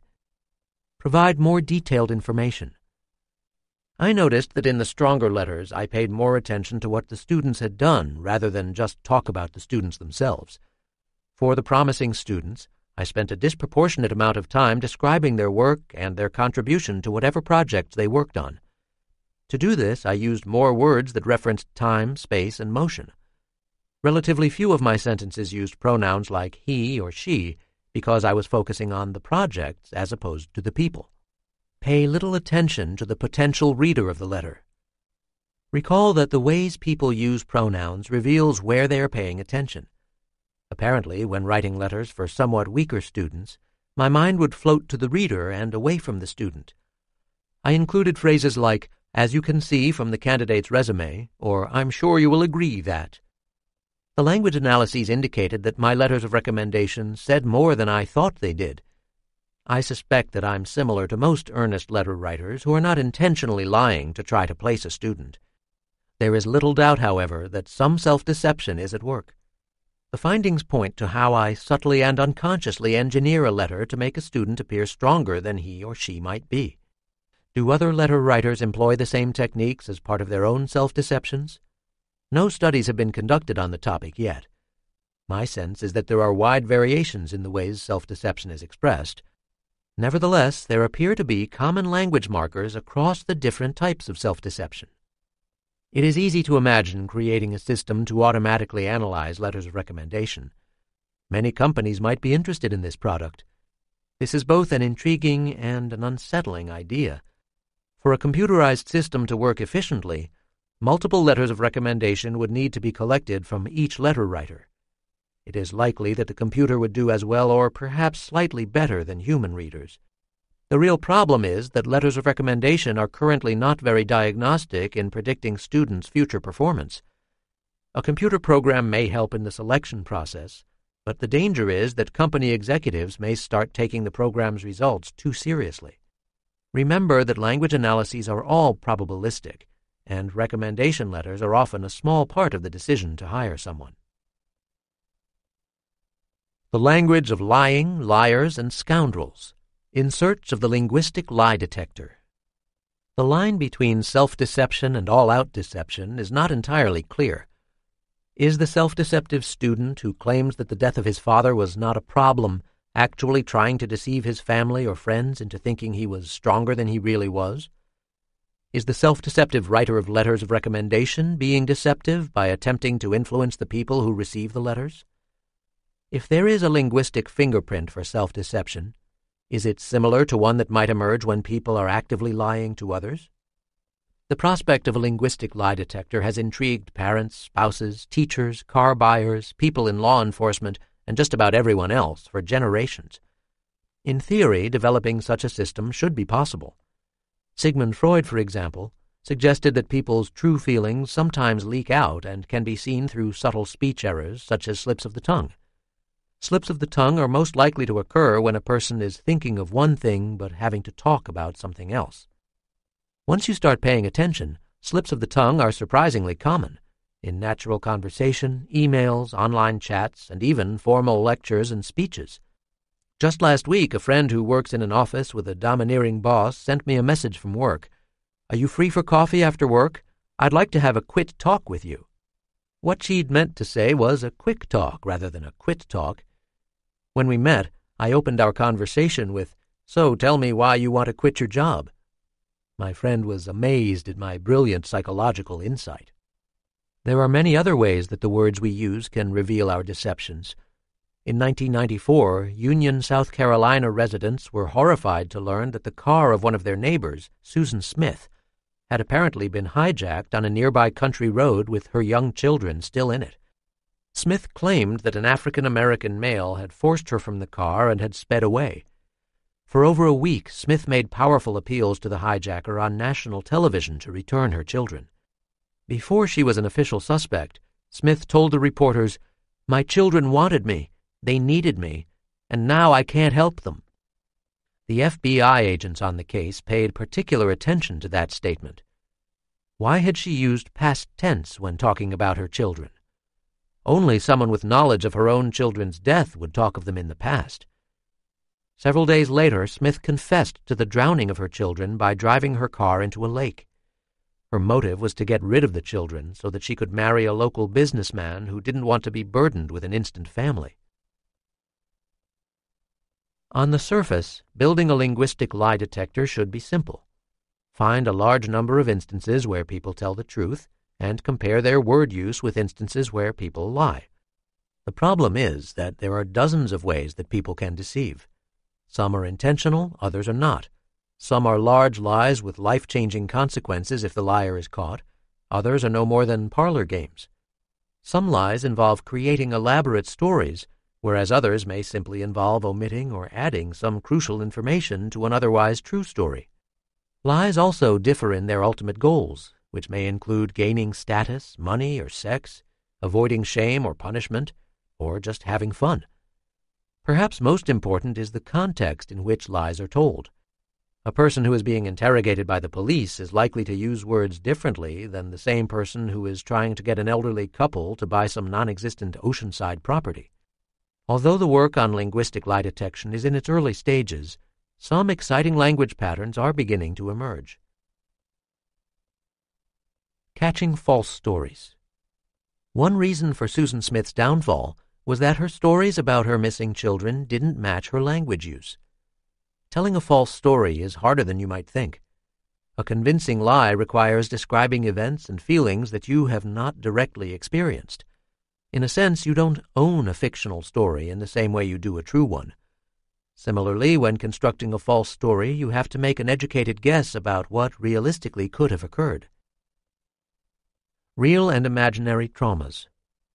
In the 1990s, Melanie Greenberg, Arthur Stone, and Camille Wortman at the State University of New York at Stony Brook ran a wonderfully creative expressive writing study to see if there were health benefits to writing about imaginary traumas. The authors first enlisted approximately 70 people who reported having had a major traumatic experience in their lives. Half of the people who came to the lab wrote about their own traumas. The essence of each trauma was then summarized in a few lines. Soon the other half of the participants visited the lab, but this group did not write about their own traumas. Instead, each was given a brief trauma summary from someone who had already written about a trauma. The new group was told to imagine that they had experienced that particular trauma and to write about it as if it had happened to them. Half of the essays, then, were people's real traumas, and the other half were imagined traumas. Both sets of essays were surprisingly powerful. In fact, the researchers discovered that writing about an imaginary trauma was almost as therapeutic as writing about a real one. In reading the essays, it is often impossible to know which ones were real and which ones were made up. However, computer analyses of the two sets of essays revealed a large number of striking differences. First, people writing about their own real traumas simply wrote more words than people writing about imaginary traumas. They were able to supply more details about what they did and didn't do. They also used first person singular pronouns more, words such as I, me, and my. Real stories also included fewer emotional words, both positive and negative emotions, than imaginary stories. Finally, the real stories used fewer verbs and cognitive or thinking words than the imaginary ones. This jumble of effects is not that surprising. Consider the meaning of each of the language differences. Writing about real experiences is associated with more words, bigger words, more numbers, more details. If you have experienced a real trauma in your life, it is easy for you to describe what happened. You can describe the details of the experience without having to do much thinking. Some of the details include information about time, space, and movement. Fewer emotion and cognitive words. If you have lived through a trauma, your emotional state is obvious. For example, if your father died, most people don't then say, and I was really sad. It is implicit in the experience. However, people who haven't experienced the death think to themselves, well, if my father died, I would feel very sad, so I should mention that in my essay.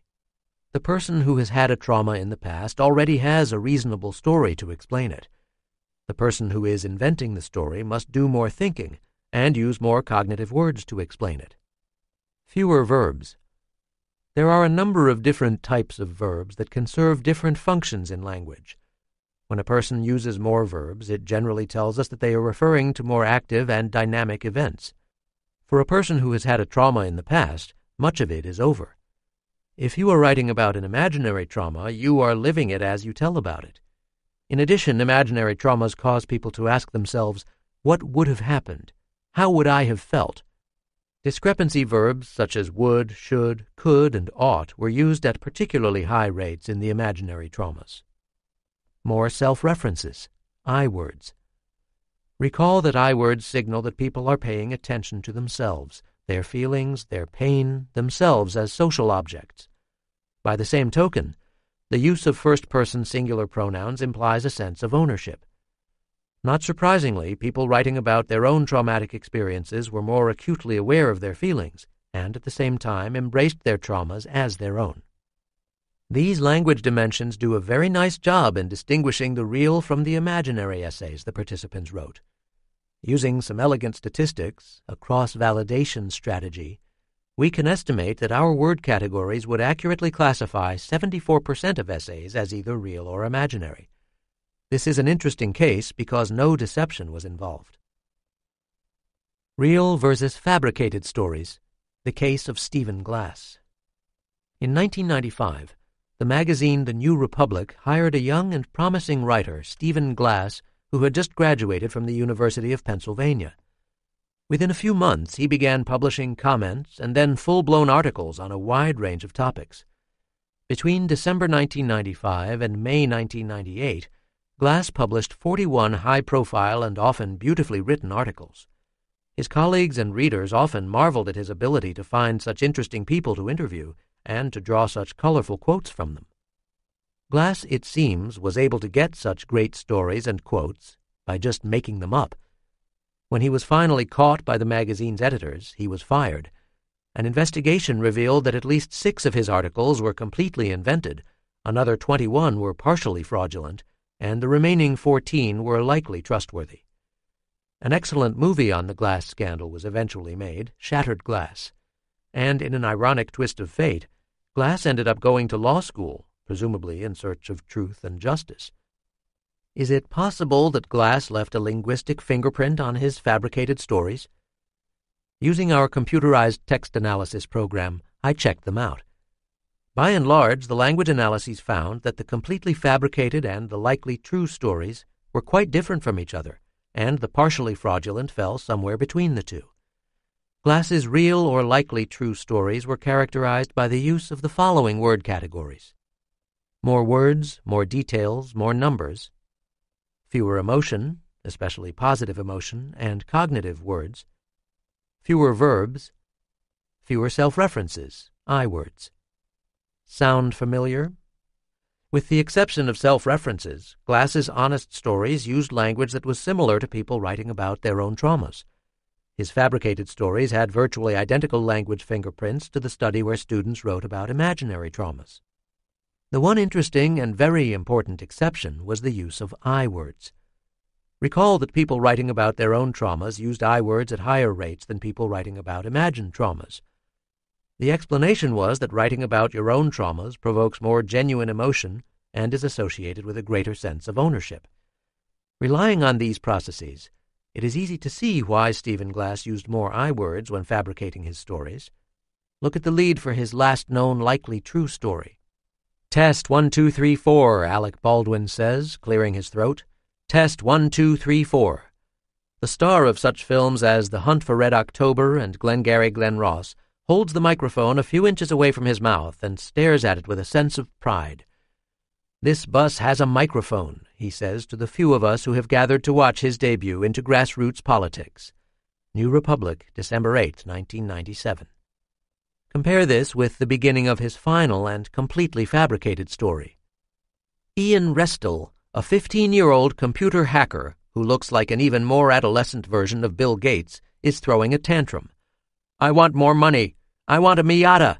I want a trip to Disney World. I want X Men comic book number one. I want a lifetime subscription to Playboy and throw in Penthouse. Show me the money. Show me the money. Over and over again, the boy, who is wearing a frayed Cal Ripken Jr. t-shirt, is shouting his demands. New Republic, May 18, 1998. In his fake stories, Glass is far more flamboyant in his writing style than when writing about true events. You can sense his excitement in confabulating experiences that can't possibly be true. You feel his pride and his ownership of the story, even his excitement from creating such daring and deceptive stories. In his completely fabricated stories, Glass uses I words both in his fake quotations and as the impartial author at dizzying rates. When lying, Glass exudes earnest pride and self focus, the way most people do when they are telling the truth. Catching false attitudes and beliefs. People in sales, candidates for political office, administrators, and many others in positions of authority sometimes proclaim beliefs that we later discover were not entirely true. The art of espousing deceptive beliefs is practiced by more than just politicians and crime bosses. How many of us have proclaimed attitudes that we didn't believe in order to curry favor with an attractive, powerful, or potentially helpful friend? We should be ashamed of ourselves. Fortunately, our abilities at self-deception are sufficiently intact that we know that the real problem is when other people are deceiving us by their deceptive statements. Attitudes about a hot topic abortion and choice. How well can a computer program detect if people are expressing their true beliefs about an emotional topic? Several years ago, Matt Newman, Diane Berry, Jane Richards, and I ran a series of experiments to answer the question. We recruited about 200 students and asked them to provide us with two opinions on the highly emotional topic of abortion, one that they believed and another that they did not believe. Some of the students were asked to write the two essays at home and to mail them in to us at a later time. Another group simply typed out two essays in a laboratory cubicle in the psychology department. and yet another group was asked to state their true and false beliefs out loud while they were videotaped. If you are like most people, you have a fairly well articulated view of the abortion issue. Some people believe it is a woman's choice, and others are against its ever being performed. Imagine now that you are asked to write a persuasive essay supporting your belief, as well as an essay that argued against your true belief. It might be a distasteful task, but most people can do it. Can human judges tell which is your true belief? We recruited several students to read each of the 400 essays and guess if each one was the writer's true belief or not. The student judges were accurate 52% of the time, where 50% is chance. In other words, it can be difficult for a reader to discern people's true beliefs on the abortion issue. The computer did a far better job, accurately predicting people's real beliefs about 67% of the time. The word markers of honesty overlapped considerably with some of our other studies. When expressing their true beliefs, students said more words, used bigger words, and relied on longer and more complex sentences. Their arguments were more nuanced and less emotional.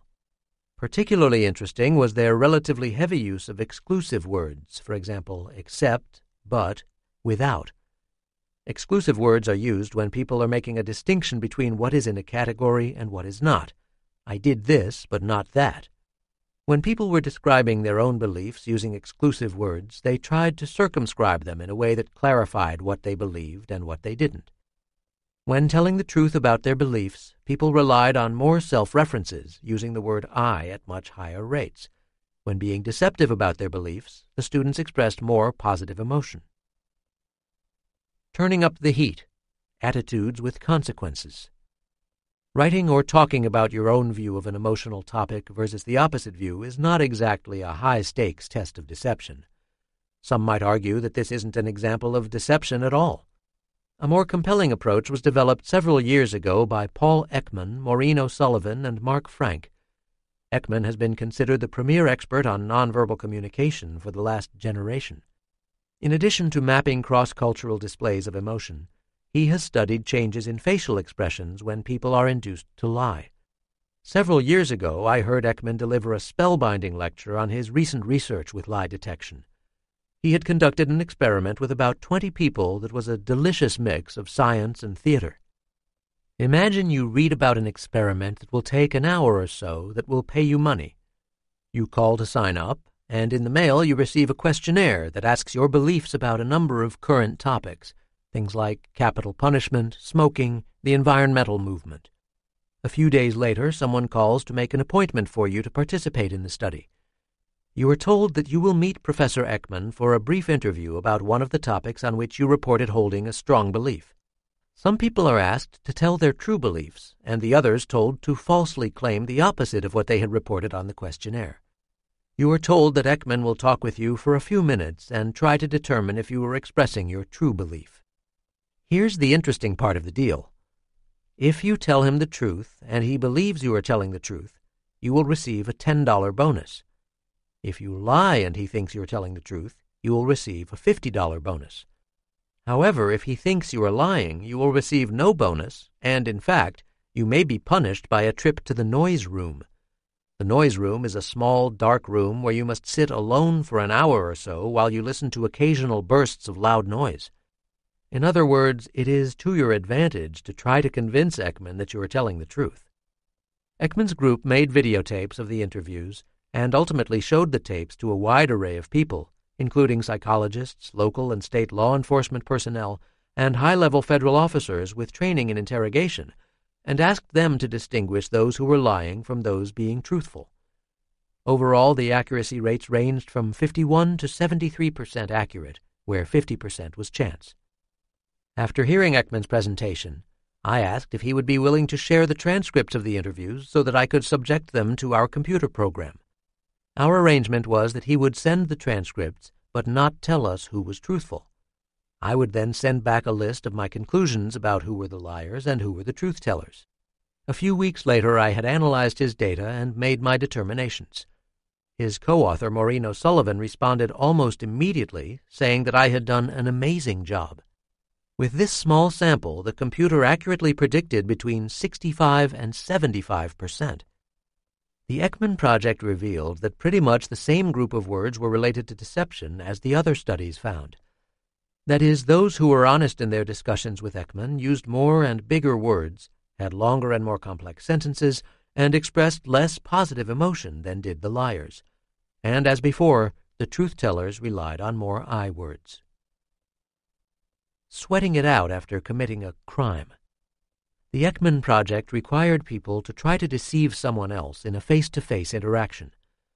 In a sense, it was a test of wills concerning the students' beliefs about a particular topic. The students hadn't done anything wrong, nor had they behaved in a way that called into question their basic honesty.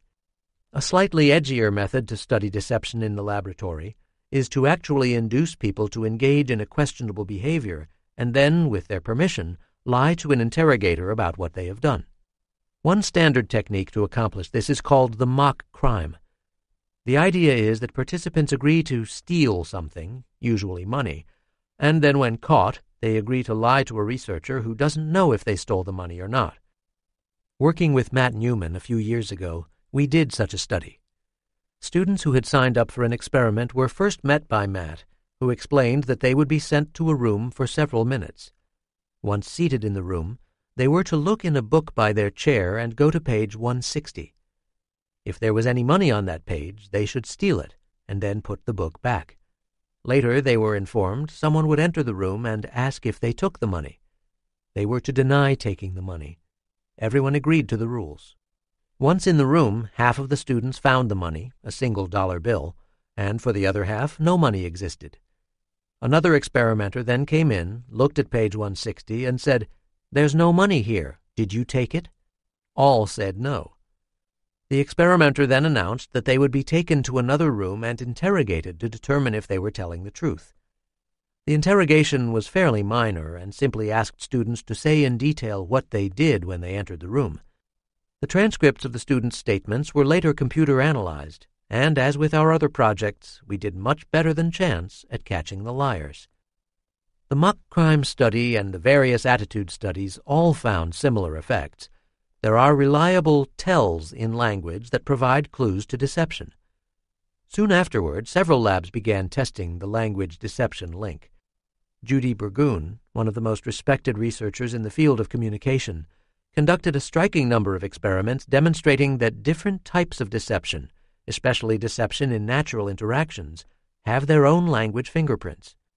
She has repeatedly shown that lab-based deception studies generalize to groups other than college students. Gary Bond and his colleagues have found similar language effects with deception tasks among men and women prisoners across different prisons in the United States. Although these studies are impressive, a recurring criticism of the various deception projects has been that virtually all are based on highly contrived laboratory studies. In fact, most of the studies are remarkably similar to parlor games. At the very worst, if any of the participants had been caught in these studies, they would have lost a few dollars, probably the equivalent of a single hand in a moderate stakes poker game. What about language markers of deception when the stakes are real and potentially life changing? Catching deception when it matters, avoiding prison, heartbreak, and war. The advantage of running controlled experiments is that the researchers can get a nice, clean picture of what causes what. Conducting real-world projects with life and death consequences is far messier. Researchers generally have no control over the situation, and it is often hard to find situations where you know with certainty that people are lying and others where they are telling the truth. Lying on the witness stand, perjury and exoneration. After publishing some of our deception studies, I received one of the most interesting graduate school applications I've ever seen. The applicant, Denise Huddle, had run her own successful private investigation firm for the previous 21 years. She was ready to retire and felt she needed to go to graduate school to get the knowledge to build a foolproof lie detection system based on language analysis. Everything in her application pointed to the fact that she was brilliantly smart and fiercely tenacious. We soon met and agreed that graduate school was not the way to go. Instead, I would work with her in developing a more real-world tested language lie detector. Denise's idea was to find a real-world analog of the mock crime study Matt Newman and I had conducted. Having spent thousands of hours in courthouses, Denise had watched hundreds of people testify in trials, many of whom were lying. Over several weeks, she and I hatched an imaginative study. We, meaning Denise, would track down the court transcripts of a large number of people who had been convicted of a major crime and who had clearly lied on the witness stand. In certain cases in the United States justice system, defendants who have been convicted of a major crime can also be subsequently convicted of perjury. The perjury conviction is usually the result of overwhelming evidence that the defendant lied on the stand. Note to future criminals if you are on trial for a crime you have committed and there is very strong evidence against you, do not lie. Just say, I refuse to answer that question. You'll thank me for this advice. We also needed a separate group of people who clearly did not lie on the witness stand, but who were found guilty anyway. Fortunately, Denise was able to track down 11 people who were convicted of a crime, but were later exonerated because of DNA or other overwhelming evidence. This was an important comparison group because the exonerated sample was made up of people who were clearly poor truth tellers. This certainly sounded like a simple project from my perspective. Just get the public records, run them through the computer, and bam! Fame and glory was right around the bend. As often happens, it wasn't as simple as I had imagined. Denise spent almost a year tracking down the 11 exonerated cases, as well as the 35 people convicted of felonies. To qualify for the study, people had to have testified on the witness stand, and the full records had to be intact. Denise had a small trailer that she would drive to federal court archive facilities. Every day she would use the court's copy machines to make copies of the courtroom records, which were sometimes hundreds of pages in length. At night she would return to her trailer and then scan the copies into her computer. She would usually spend two weeks at a time in the trailer before taking a few days off. On returning to her home, she spent additional time poring over the court transcripts, pulling out sections that were pivotal to the jury's decisions and those sections that were uncontested. Denise's work eventually paid off. Although the number of cases was somewhat small, the effects were meaningful. Most striking were the differences in pronoun use. As with most of the other studies, the exonerated defendants used first person singular pronouns at much higher rates than those found guilty of a felony and perjury. I words, primarily just the single word I, signaled innocence.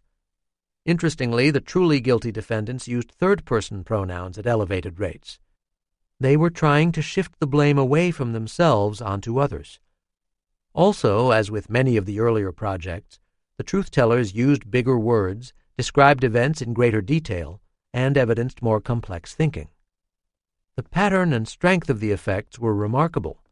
I was thrilled but Denise was disappointed. The computer correctly classified 76% of the cases, where 50% is chance. This is better than the juries did, but was far below the 95% that Denise was hoping for. As of this writing, Denise remains optimistic that a language based deception system is a realistic possibility. She might be right, but if she could get a system that reliably identified deception 80% of the time, it would be a cosmic breakthrough. Detecting Deception A Lesson in Reality. Having been connected to parts of law enforcement for much of my career, I've been impressed by the number of ridiculous claims people have made about detecting deception. Researchers with sterling reputations who have spent years studying the biological correlates of deception, such as those measured by the polygraph, nonverbal indicators of deception, the language of deception, and now the brain activity of deception, have always come away with the same conclusions. We have a system that works much better than chance. No system has ever been shown to reliably catch liars at rates much higher than 65%, and even those with hit rates in that neighborhood, including me, have done so in highly controlled and artificial circumstances. Nevertheless, I have heard over and over again about specific individuals or companies that claim to have a system that can catch deception 95% of the time. This is not possible. This will never happen in any of our lifetimes. It is interesting that polygraph evidence is not allowed in the courtroom. The polygraph is actually impressive because it can accurately identify guilty people at rates close to 60 to 65 percent. Eyewitness identification, which is allowed in the courtroom, is probably accurate at comparable rates to the polygraph. It is time that we begin to think about scientific evidence in the courtroom. Specifically, it is all probabilistic. If polygraph, nonverbal, eyewitness, brain scan, and any other type of evidence can help classify the guilt or innocence of a witness, it should be introduced in court. However, it should be introduced in a way that calibrates its accuracy to the jury. Each type of evidence is simply something else for the jury to weigh, knowing that there are problems with each type. Life is probabilistic. Courtroom evidence is no different. Lying for love. Evaluating honesty in potential dating partners. Deciding on whether to go on a date with someone doesn't have the same gravitas as deciding if someone should go to prison for the rest of their lives. Leaving the prison metaphor aside, online dating sites can determine who you may live with for the rest of your life. Deception in selecting a date and possibly a mate for life is serious business.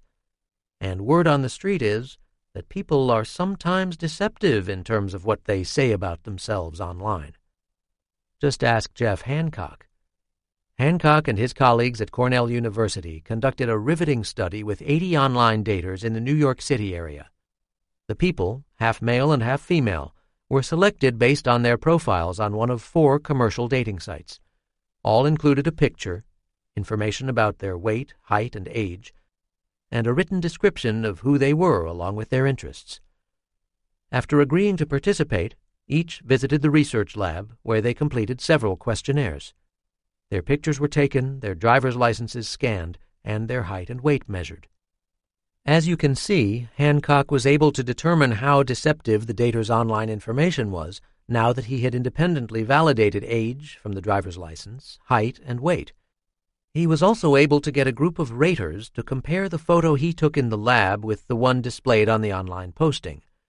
Men tended to lie about their height, and women their weight. Both sexes posted pictures that were flattering compared to their lab pictures, although some people's online pictures were much more flattering than others. From all the objective information he collected, Hancock calculated a deception index for each person. The heart of the research was to determine if the word use in the online ads differed between the daters who were most deceptive and those most honest. Yes, there were differences, and they were comparable to the other deception studies. Those who were most honest tended to say more, use bigger words and longer sentences, including fewer emotion words, especially positive emotions. The best general predictor of honesty was, not surprisingly, use of I words.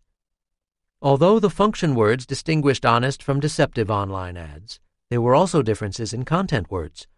That is, people who were dishonest about their profiles tended to shift the focus of their self description away from their sensitive topic. For example, women and men who lied about their weight were the least likely to mention anything about food, restaurants, or eating. Similarly, those whose pictures were the most deceptive tended to focus on topics of work and achievement in a way that built up their status and downplayed their physical appearance. Do you really need a computer to assess how trustworthy a potential online match might be? Can't we intuitively pick out the honest from the deceptive people by taking in all of the information that is available to us? Hancock's research team paints a rather bleak picture. He solicited the help of about 50 students to rate each online profile for trustworthiness. The students' estimates of honesty were no better than if you chose a trustworthy date by flipping a coin. One reason is that we tend to look at precisely the wrong language cues in guessing who is trustworthy. As raters of online ads, most of us assume that an upbeat, positive, simple, selfless, down to earth person is the most honest. And that, my friends, is why our love detectors are flawed instruments. Deceiving for War The Language of Leaders Prior to the Iraq War. Any student of history will undoubtedly look back on the relationship between the United States and Iraq after about 1950 and ask, what were they thinking? The they will refer to both countries. Perhaps the most puzzling turn of events in this relationship was the decision by the United States to invade Iraq in March 2003. Immediately after the attacks on the World Trade Center and Pentagon on September 11, 2001, the administration of George W. Bush was convinced that Iraq may have played some role in the attacks. Without detailing the intricate history between the United States and Iraq, it should be noted that there was already some bad blood between the countries. Over the next year and a half, the Bush administration began raising more and more concerns about Iraq, including claims that it was harboring terrorists, building weapons of mass destruction, and planning for attacks on the West. With the benefit of hindsight, most of these concerns were unfounded. There were no terrorist training sites, no weapons of mass destruction, and no plans to attack anyone.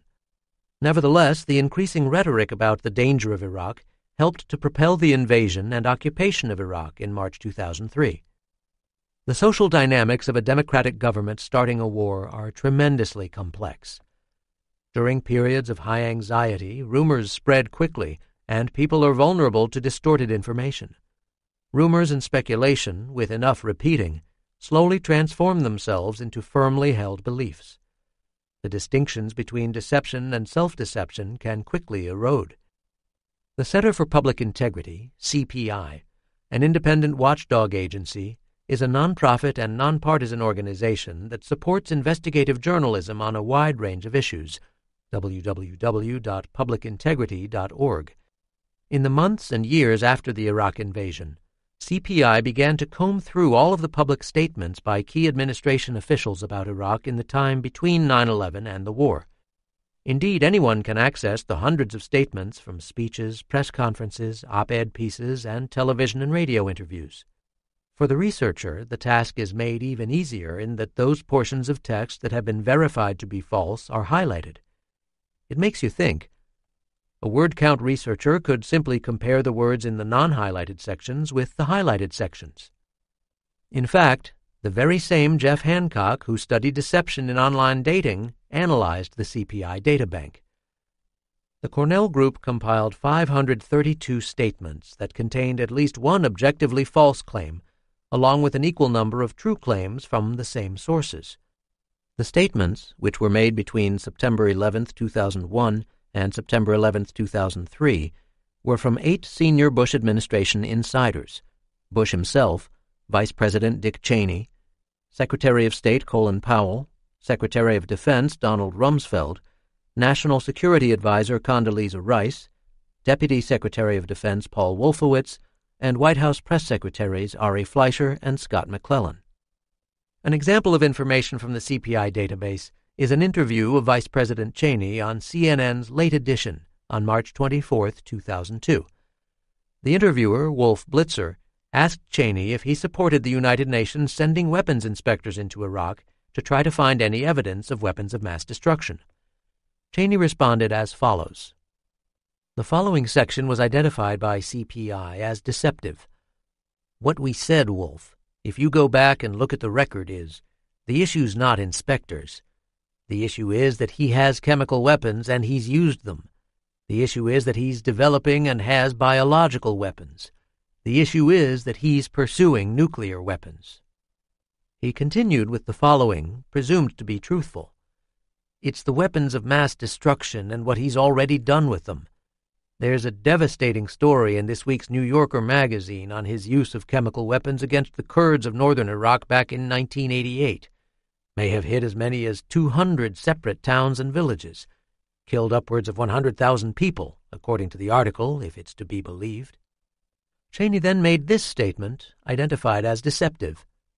This is a man of great evil, as the President said, and he is actively pursuing nuclear weapons at this time, and we think that's cause for concern for us and for everybody in the region.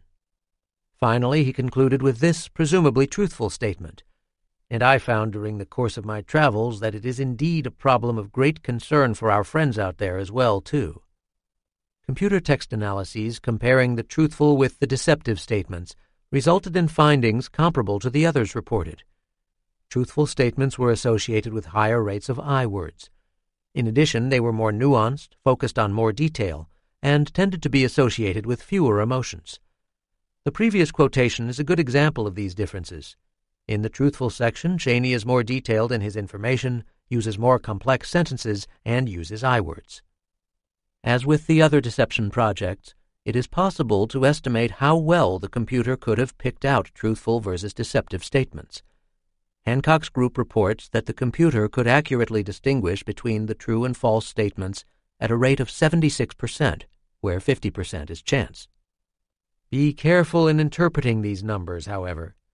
The ability to distinguish the truth from a lie is much easier after the fact when we know that deception was going on. If we are trying to guess the trustworthiness of statements of people for whom we have no evidence of deception, our guesses will likely be uninterpretable. There are two overlapping problems in determining deception.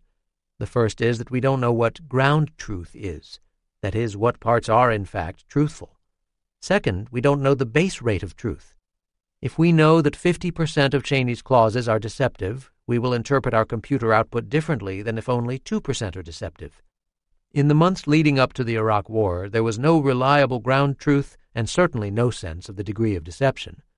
And, to make issues even more troublesome, many of the deceptive statements made by the administration were likely believed by the people telling them. Watchwords. Which words best predict honesty and deception? This chapter has described several types of deception, from the self deception associated with the denial of emotions and overconfidence to the intentional deception people employ to avoid prison. Even though the motives, strategies, and people associated with these various types of lies are all quite different, the language patterns are surprisingly similar. Every project, of course, is unique. However, as the studies have mounted, we can stand back and take the squint test. The squint test is a non scientific way of trying to assess if there are reliable patterns to deception across the various studies. As you can see in the figure 6.1 on your bonus material, there are five general word categories. Each word is associated with a bar on the right. The closer the bar is to the right of the page, the more that word category is associated with honesty and telling the truth. Bars on the far left indicate words that typically occur with people who are lying or being deceptive. Words linked to bars in the middle tend to be either unrelated to deception or are too unreliable to classify. Self references, the I words. In virtually every chapter of this book, first person singular pronouns are important. In deception research, the word I, including I'm, I'll, I'd, I've, and related contractions, is the best single marker of a person's being honest. The use of I words has tremendous social and psychological significance.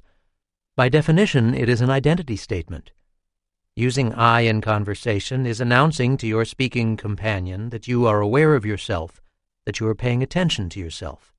There is a certain degree of vulnerability in doing this, especially if there is a chance that your companion is judging you or seeking to harm you in some way. I've often thought of the use of I as a subtle submissive gesture, much like the lower status dog rolling over and baring his belly to the bigger, more dangerous dog. Hey, I'm not a problem. I'm at your service. I'm not a threat. There have been several studies that suggest that when people are forced to pay attention to themselves, they become more humble and honest. Robert Wicklund, who is now at the University of Bergen in Norway, pioneered a theory of self awareness in the 1970s. He and his colleagues devised dozens of imaginative studies where people would have to do some kind of task in one of two conditions in front of a mirror or away from a mirror. If they completed a questionnaire in front of a mirror, they reported having lower self esteem and generally less positive moods. More intriguing, their answers to questions tended to be more honest. Their reports of their weight, grades, and behaviors tended to match objective measures of their true weight, grades, and behaviors. Also, completing questionnaires in front of a mirror caused people to use the word I more. Why does self attention make people more honest? Wicklund posited that paying attention to the self made people briefly ponder who they ideally wanted to be. Perhaps their lifelong dreams were to be strong, honest, beautiful, brave, and compassionate. Looking in the mirror made them realize that they had not attained these ideals. Ultimately, then, people would see the gulf between their ideal and real selves, which made them feel bad about themselves, but, at the same time, motivated them to try to be better people. Self awareness, in Wicklund's view, drives us all to be the people we always wanted to be. Indeed, most of us usually want to be honest with others and with ourselves. Self attention provokes honesty. I words simply reflect self attention. Across the multiple studies, when we see the use of I words increase, it is likely that self attention is higher. And with self attention, people tend to be more honest. Cognitive complexity. The stories that people generate when telling the truth are generally more complex than false stories. Not only do people say more when telling the truth, but each sentence they put together is longer and more complex. Their words are bigger, suggesting that their statements are more precise and nuanced. The statements of truth tellers also come across as more thoughtful, using insight words such as realize, understand, think, and the like. One reason truth tellers have longer sentences is that they are linking multiple phrases with conjunctions. Conjunctions include words such as and, or, but, because, etc. Many of these conjunctions are exclusive words such as but, or, except, without, excluding. As described in previous chapters, exclusive words are used when people are making distinctions. They are distinguishing what did happen versus what did not, what they were thinking and what they were not thinking about, what was in the category and what was not in the category. The ability to talk about what you did not do, did not see, or did not think about is a remarkably difficult task when you are lying. If you are telling a completely fabricated story, everything you are saying is something you didn't experience. In making up a false story, you can quickly get a headache trying to add what you didn't not do. Most lies, then, are made up of simple and straightforward statements about what the person presumably did or saw. Relatively few specific comments are about what they did not do. Detailed information. When conveying a true incident, we have access to a rich group of memories about the event and exactly where we were as it unfolded. More specifically, we have knowledge of precisely where our bodies were at the time. Our bodies and the relevant events existed in three dimensional space that unfolded in real time. It is not surprising, then, that when we describe an event that really happened, we naturally include information about time, space, and motion. Together, these dimensions are captured by relativity words. As can be seen in Figure 6.1, truth tellers are far more likely to include words that invoke time, for example, before, 10 o'clock, morning, space, for example, above, next, around, and movements, for example, went, put, leap. Along the same dimensions, truth tellers are more specific in using numbers and quantifiers, which include words like more, less, few, larger. The use of words signifying greater cognitive complexity and detailed information fits nicely with recent research on statements found in the questioning of witnesses. Aldert Vrij, one of the world's experts on the analysis of interviews of people suspected of crimes, points out that the detection of lying depends on the ways people are asked questions. A policeman, parent, or friend who is accusatory in their interview will likely just get brief statements full of denials which can be extremely difficult to evaluate. Instead, Vrij and his colleagues recommend that interrogations or interviews should be more open-ended, less judgmental, and aimed at information gathering. The more that a suspect is allowed to say, the more likely that their stories will exonerate or convict them. Although Vrij and other law enforcement researchers have only recently started to use computer-based methods, they have independently discovered that truth tellers make statements that are more complex and more detailed. Social and emotional dimensions. Many forms of deception are associated with optimism and overconfidence. The person trying to sell you a new rug, a new religion, or a new war often brims with the certainty of truth. Part of the effective salesperson's approach is convincing you that once you buy the product, there is absolutely no doubt that you too will be as happy and confident as the salesperson. Counter to common sense, people who are deceptive make more references to other people and rely on more positive emotion words. The stereotype of the liar is the lonely, furtive, shifty, self loathing, treacherous, and nervous person who is desperately avoiding capture. There may be a few such liars around but I would urge you to hang on to your wallet more tightly when you happen upon the bubbly, enthusiastic, outgoing, warm, and self assured person who has a great deal just for you. Social words, by the way, are a mix of words that indicate a social relationship, including nouns like friend, pal, and mother, as well as actions such as talking, calling, and listening. In reading over many of the deception transcripts, it is impressive how frequently people bring up other individuals to try to validate their own statements or to shift the blame to someone else. Verbs and actions. Verbs are complicated. Hang around a language expert such as Steven Pinker for a few hours, and your head will soon be swimming with an ocean of verb types. Regular verbs generally express a particular action and can distinguish between past tense and present, but not future. Auxiliary verbs, sometimes called helping verbs, are really only a handful of verbs such as to be, to have, and to do. Auxiliary verbs are associated with a passive voice and are frowned on in American English classes, but celebrated in British English classes. Another type, called discrepancy verbs or modal verbs, include words like should, could, ought, must, and would. Discrepancy verbs are used when people suggest some kind of subtle discrepancy between how the world is and how it could, should, or ought to be. As you can see in Figure 6.1, People who use verbs at high rates tend to be more deceptive than people who use fewer verbs. This pattern is particularly strong for auxiliary verbs and discrepancies. Let's say that you are a grade school teacher and three of your students give practically the same excuse. 1. I finished my homework, but the dog ate it. 2. I had finished the homework, but the dog must have eaten it. 3. The homework was finished, but must have been eaten by the dog. The first excuse is far more likely to be true. It includes two past tense verbs that indicate that the actions were specific and were completely finished. The second excuse relies on five verbs that hint that the actions were not completed and, with the word must, may not have even happened. And the third person's excuse is the most scurrilous lie of the three six verbs, past tense, and not a single I word. In English, verbs provide a remarkable amount of information about actions. They hint at whether an action is ongoing, partly completed, or completely finished. Some verbs, such as discrepancies, subtly assert that an action may have occurred, but possibly didn't.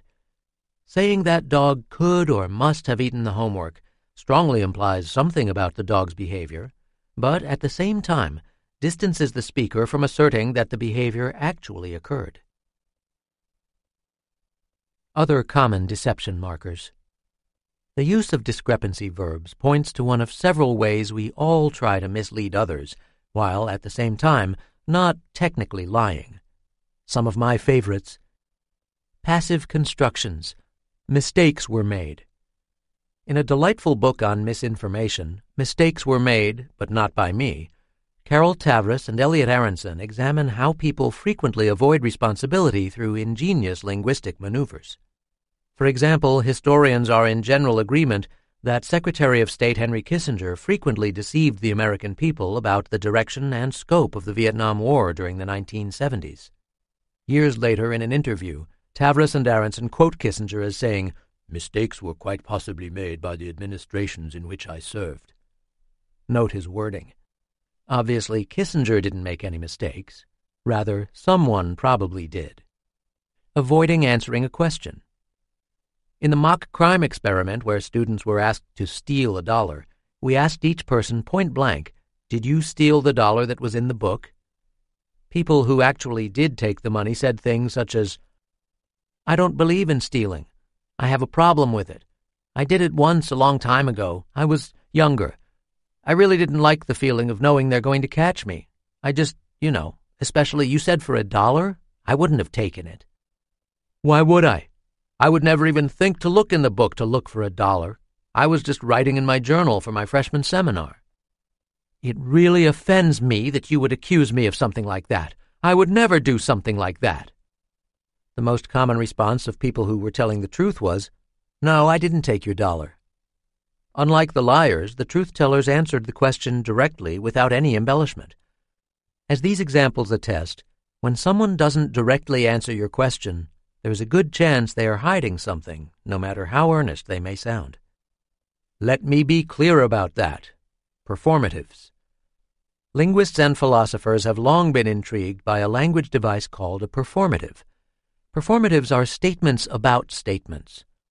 In the statement, I promise you that I did not steal the money, the phrase I promise you is a performative. It is simply claiming, I say to you, or I am uttering the following words to you. What is interesting about performative statements is that they cannot be assessed on their truthfulness. In the sentence starting with, I promise you, the claim I did not steal the money is not directly asserted. The truth of the phrase is that the speaker is merely saying that he or she promises that they didn't steal the money. It's a fine distinction, but one used surprisingly frequently. Toward the end of his term, President Bill Clinton was being hounded by the press concerning rumors of sexual misconduct with a White House aide, Monica Lewinsky. In a January 26, 1998 press conference, Clinton announced, I'm going to say this again. I did not have sexual relations with that woman, Miss Lewinsky. A naive human being would think that the president did not have sex with Lewinsky. Actually, the statement he said is true. I'm going to say this again. In fact, it is technically correct. He was saying it again. Okay, so he later admitted that he had had sexual relations with that woman, but in the press conference he was not officially lying. One of the great baseball pitchers of all time, Roger Clemens, was accused by former teammates of taking performance enhancing drugs during his baseball career. In a press conference several months before later admitting that he had, in fact, taken drugs, Clemens said, I want to state clearly and without qualification I did not take steroids, human growth hormone, or any other banned substances at any time in my baseball career, or in fact my entire life. There again, you can see that Mr. Clemens was technically honest. He did, in fact, state clearly and without qualification. What he stated was a lie, but it was truthfully a statement. We all tell lies to ourselves, to our friends, and to the world at large. Most of these are innocent lies intended to avoid hurting others' feelings or to try to make ourselves look a bit better than we should. In the same way, we are constant victims of deception from friends, politicians, advertisers, and just about everyone else. Lies, of course, are not entirely bad. They make our lives more interesting. As the writer, director, and star of the movie The Invention of Lying, Ricky Gervais, claims, without lies we would have no fiction, no good stories. In other words, without lies and deception, there would be very little need for art, literature, philosophy, and psychology. One of the primary vehicles for the art of deceiving others is language. Not surprisingly, the language of lies is generally seen in the function words we use. As noted in other chapters, function words are essentially social. They tell us about our relationships with objects, events, and most importantly, other people. As we've seen, lies ultimately reflect a subtle shift in the relationship between the speaker and the listener. At the moment of deception, the human relationship changes, which is reflected in the function words being used. Chapter 7 The Language of Status, Power, and Leadership. The movie is The Godfather. The scene is a boardroom in New York City. Around the table are the mafia dons from the five families, including the Godfather, Vito Corleone. The meeting is to discuss whether the families should get into the illegal drug business. The two dons with the most to gain from the meeting are Philip Tattaglia and Emilio Barzini. Corleone, who called the meeting, suspects that Tattaglia was behind his son Santino's murder. After some discussion, a solution is reached. Don Barzini, then we are agreed. The traffic in drugs will be permitted, but controlled, and Don Corleone will give up protection in the East, and there will be the peace. Don Tattaglia, but I must have strict assurance from Corleone. As time goes by and his position becomes stronger, will he attempt any individual vendetta? Don Barzini. Look, we are all reasonable men here. We don't have to give assurances as if we were lawyers. In the next scene, Corleone is leaving the meeting in his limousine with his lawyer, Tom Hagen. Hagen assumes that he will next meet with Tattaglia to discuss the details of the arrangement. Corleone interrupts him indicating that the real decision maker is actually Barzini rather than Tattaglia. Tattaglia's a pimp, but I didn't know until this day that it was Barzini all along. Whoa. How did the Godfather know that Barzini was the strong man? In the boardroom scene, Barzini appeared more at ease, whereas Tattaglia was more rigid and nervous. The language of the two men also differed. Barzini's dominant pronoun was we, whereas Tattaglia used the word I. The use of we words is, in fact, a consistent indicator of high status and I words of lower status. Although Mario Puzo, the author of The Godfather, didn't know about pronoun research linking we words to power and status, he intuitively knew how to shape the language of his characters. If you hang around with a bunch of murderers, the ability to detect the real boss can save your life. In fact, knowing who is in charge of any group is adaptive. At work, those above us can promote or fire us. The journal editor can accept or reject our papers.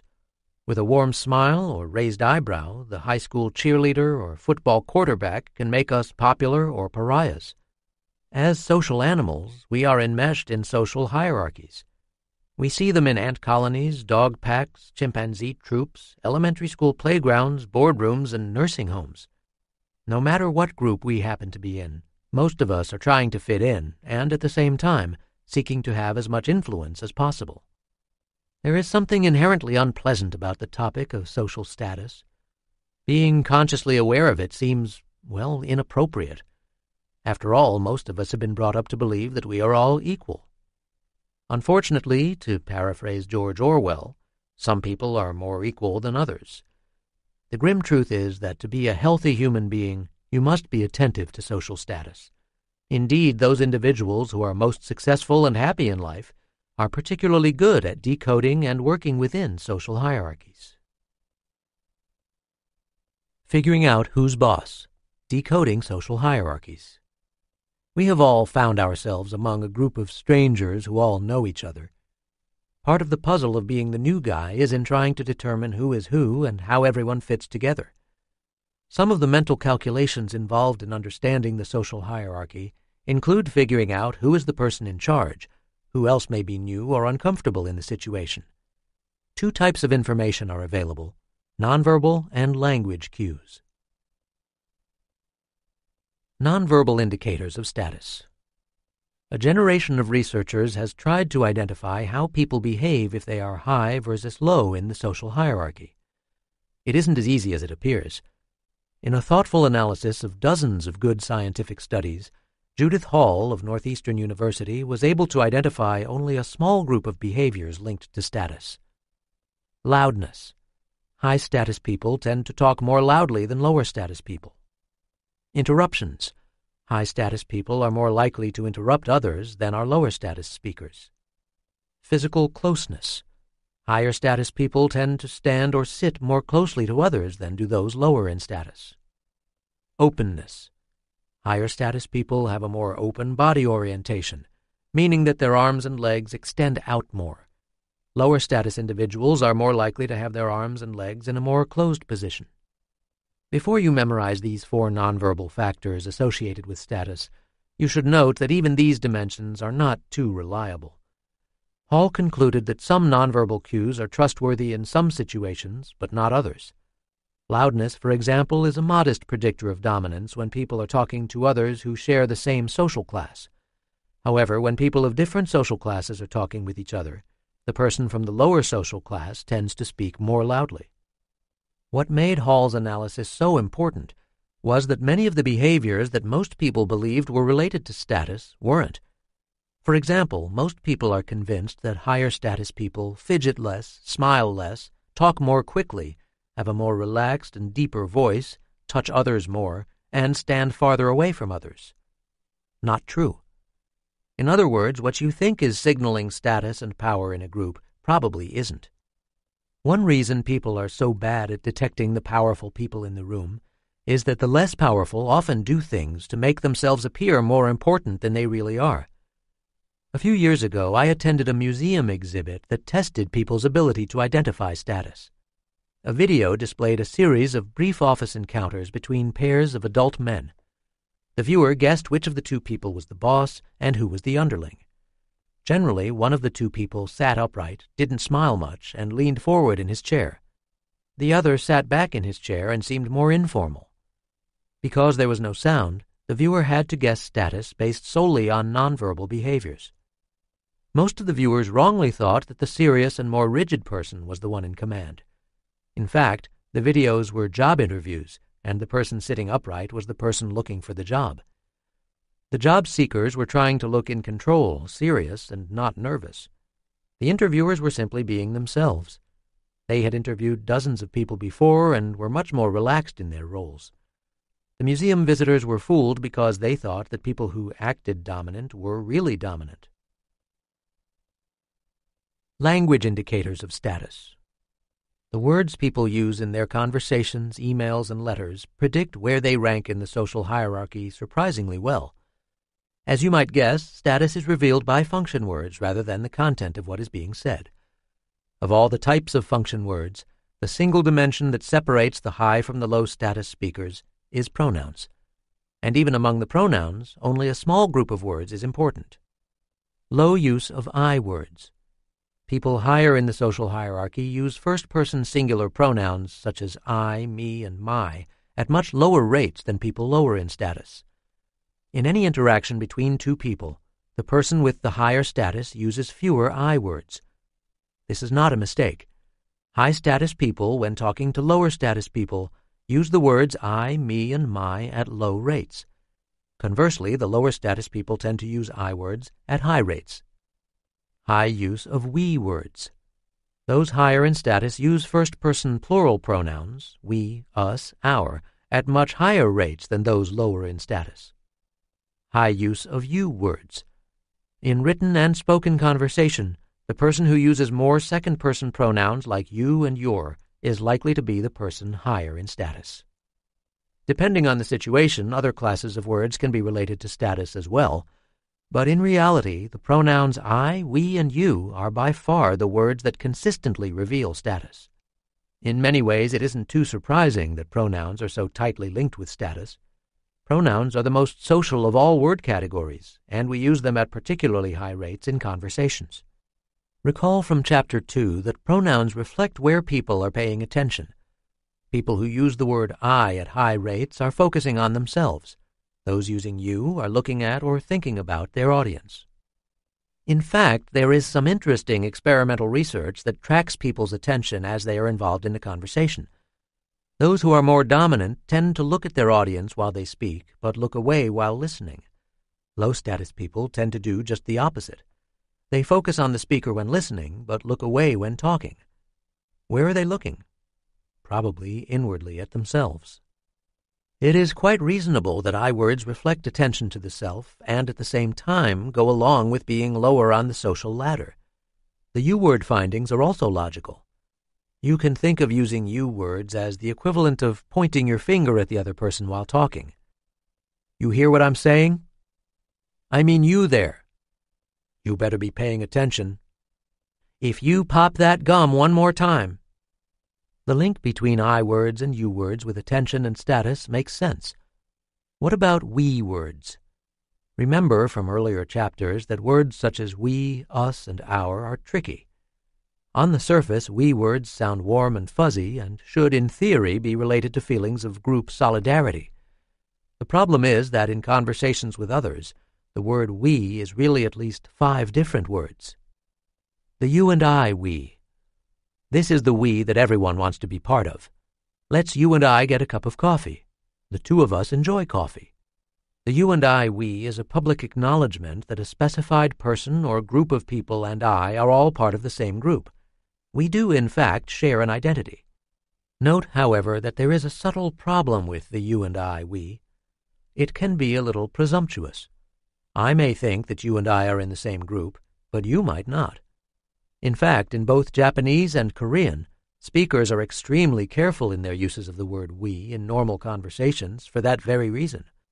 It can be insulting to say we to others who may not share the same group identity the my friends and not you we. You have just returned from a camping trip with high school friends and are explaining this to your office mate. As the tale unfolds, you will likely say something like, and then we ate breakfast. Very often when talking to people, it is necessary to tell them some action or experience that you shared with others, but not with the listeners of your story. Use of we in this case is exclusionary in the sense that the message is being broadcast that this tightly knit we does not include you. The we as you we. My personal favorite. This is where the speaker makes a we statement, but is politely asking or telling someone else to do something. At the beginning of class, when the students are all talking with one another, I have been known to say, Could we please stop talking with one another? Or last night at a restaurant, the server asked, Have we decided what we are going to order for dinner tonight? The we as I we, sometimes referred to as the royal we, the we as I we is invoked to diffuse responsibility and imply support from others that may not exist. I've overheard an administrator say to an employee, We don't feel as though you have completed the forms accurately enough. The only person who knew about the forms was that particular administrator. The every like minded person on earth we. The politician's favorite, the every like minded person on earth we, is the vaguest of all. We need a better government. What distinguishes this form of we is that it is virtually impossible to specify who the we refers to. As you consider the five types of we, only the you and I we is truly personal and helps to cement or acknowledge a bond between the speaker and listener.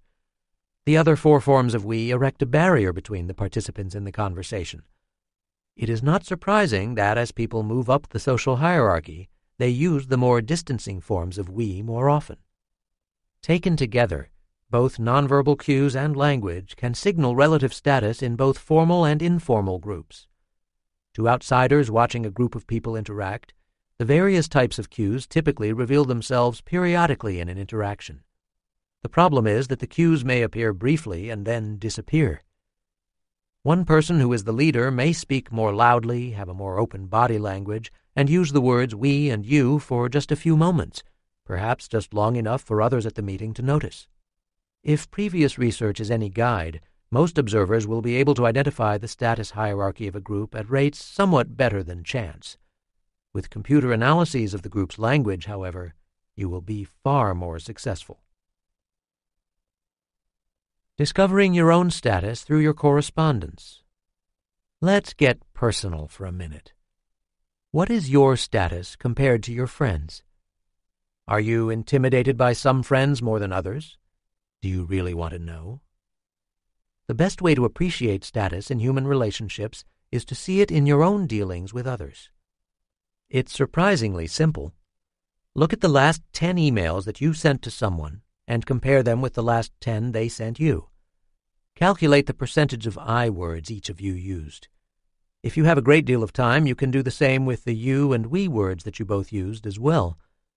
Statistically, I words are the most trustworthy. Here's the rule. The person who uses fewer I words is the person who is higher in the social hierarchy. If the two of you are about the same in I word usage, you probably have an equal relationship. We know this because of an email study that Matt Davis and I conducted a few years ago. We recruited 10 volunteers, some graduate students, undergraduates, and even a couple of faculty who let us analyze their incoming and outgoing email to and from about 15 people. Matt wrote a computer program that scrambled all of the emails so that they were unreadable and preserved the anonymity of the emailers and what they actually said. In addition to the emails themselves, we asked each of our volunteers to rate each of their 15 correspondents along several dimensions sex, age, how well they knew them, how well they liked them, and similar questions. The pivotal question was about relative status. That is, for each of the 15 correspondents, the volunteers made judgments in response to the question Evaluate this correspondent in terms of relative status on a scale of 1 to 7, with 1 meaning the other person has much lower status, and 7 meaning the other person has much higher status. All correspondents were rated for their relative status on the seven point questionnaire. So if the volunteer was a graduate student, they might rate a senior professor as a 6 or a 7 and a high school student as a 1 or a 2. The results were clear cut. The person with the higher status used fewer I words, more you words, and more we words. This was not a subtle finding. For most of the people, the effects were quite large. As I pondered the findings, I kept asking myself if I did the same thing. You should know that I have always harbored the illusion that I am a very egalitarian guy. I have tried to treat undergraduates, graduate students, staff, people in the community, and my superiors in the academic world with respect. Certainly, these analyses would not show large status effects in my email. I'm the egalitarian guy, remember? I analyzed my data, and that was the day I abandoned my I treat everyone the same self view. The analysis of my words revealed the same status differences as others in our study. Some edited examples. Dear Dr. Pennebaker, I was part of your introductory psychology class last semester. I have enjoyed your lectures and I've learned so much. I received an email from you about doing some research with you. Would there be a time for me to come by to talk about this? Pam. Dear Pam, this would be great. This week isn't good because of a trip. How about next Tuesday between 9 and 10:30? It will be good to see you. Jamie Pennebaker.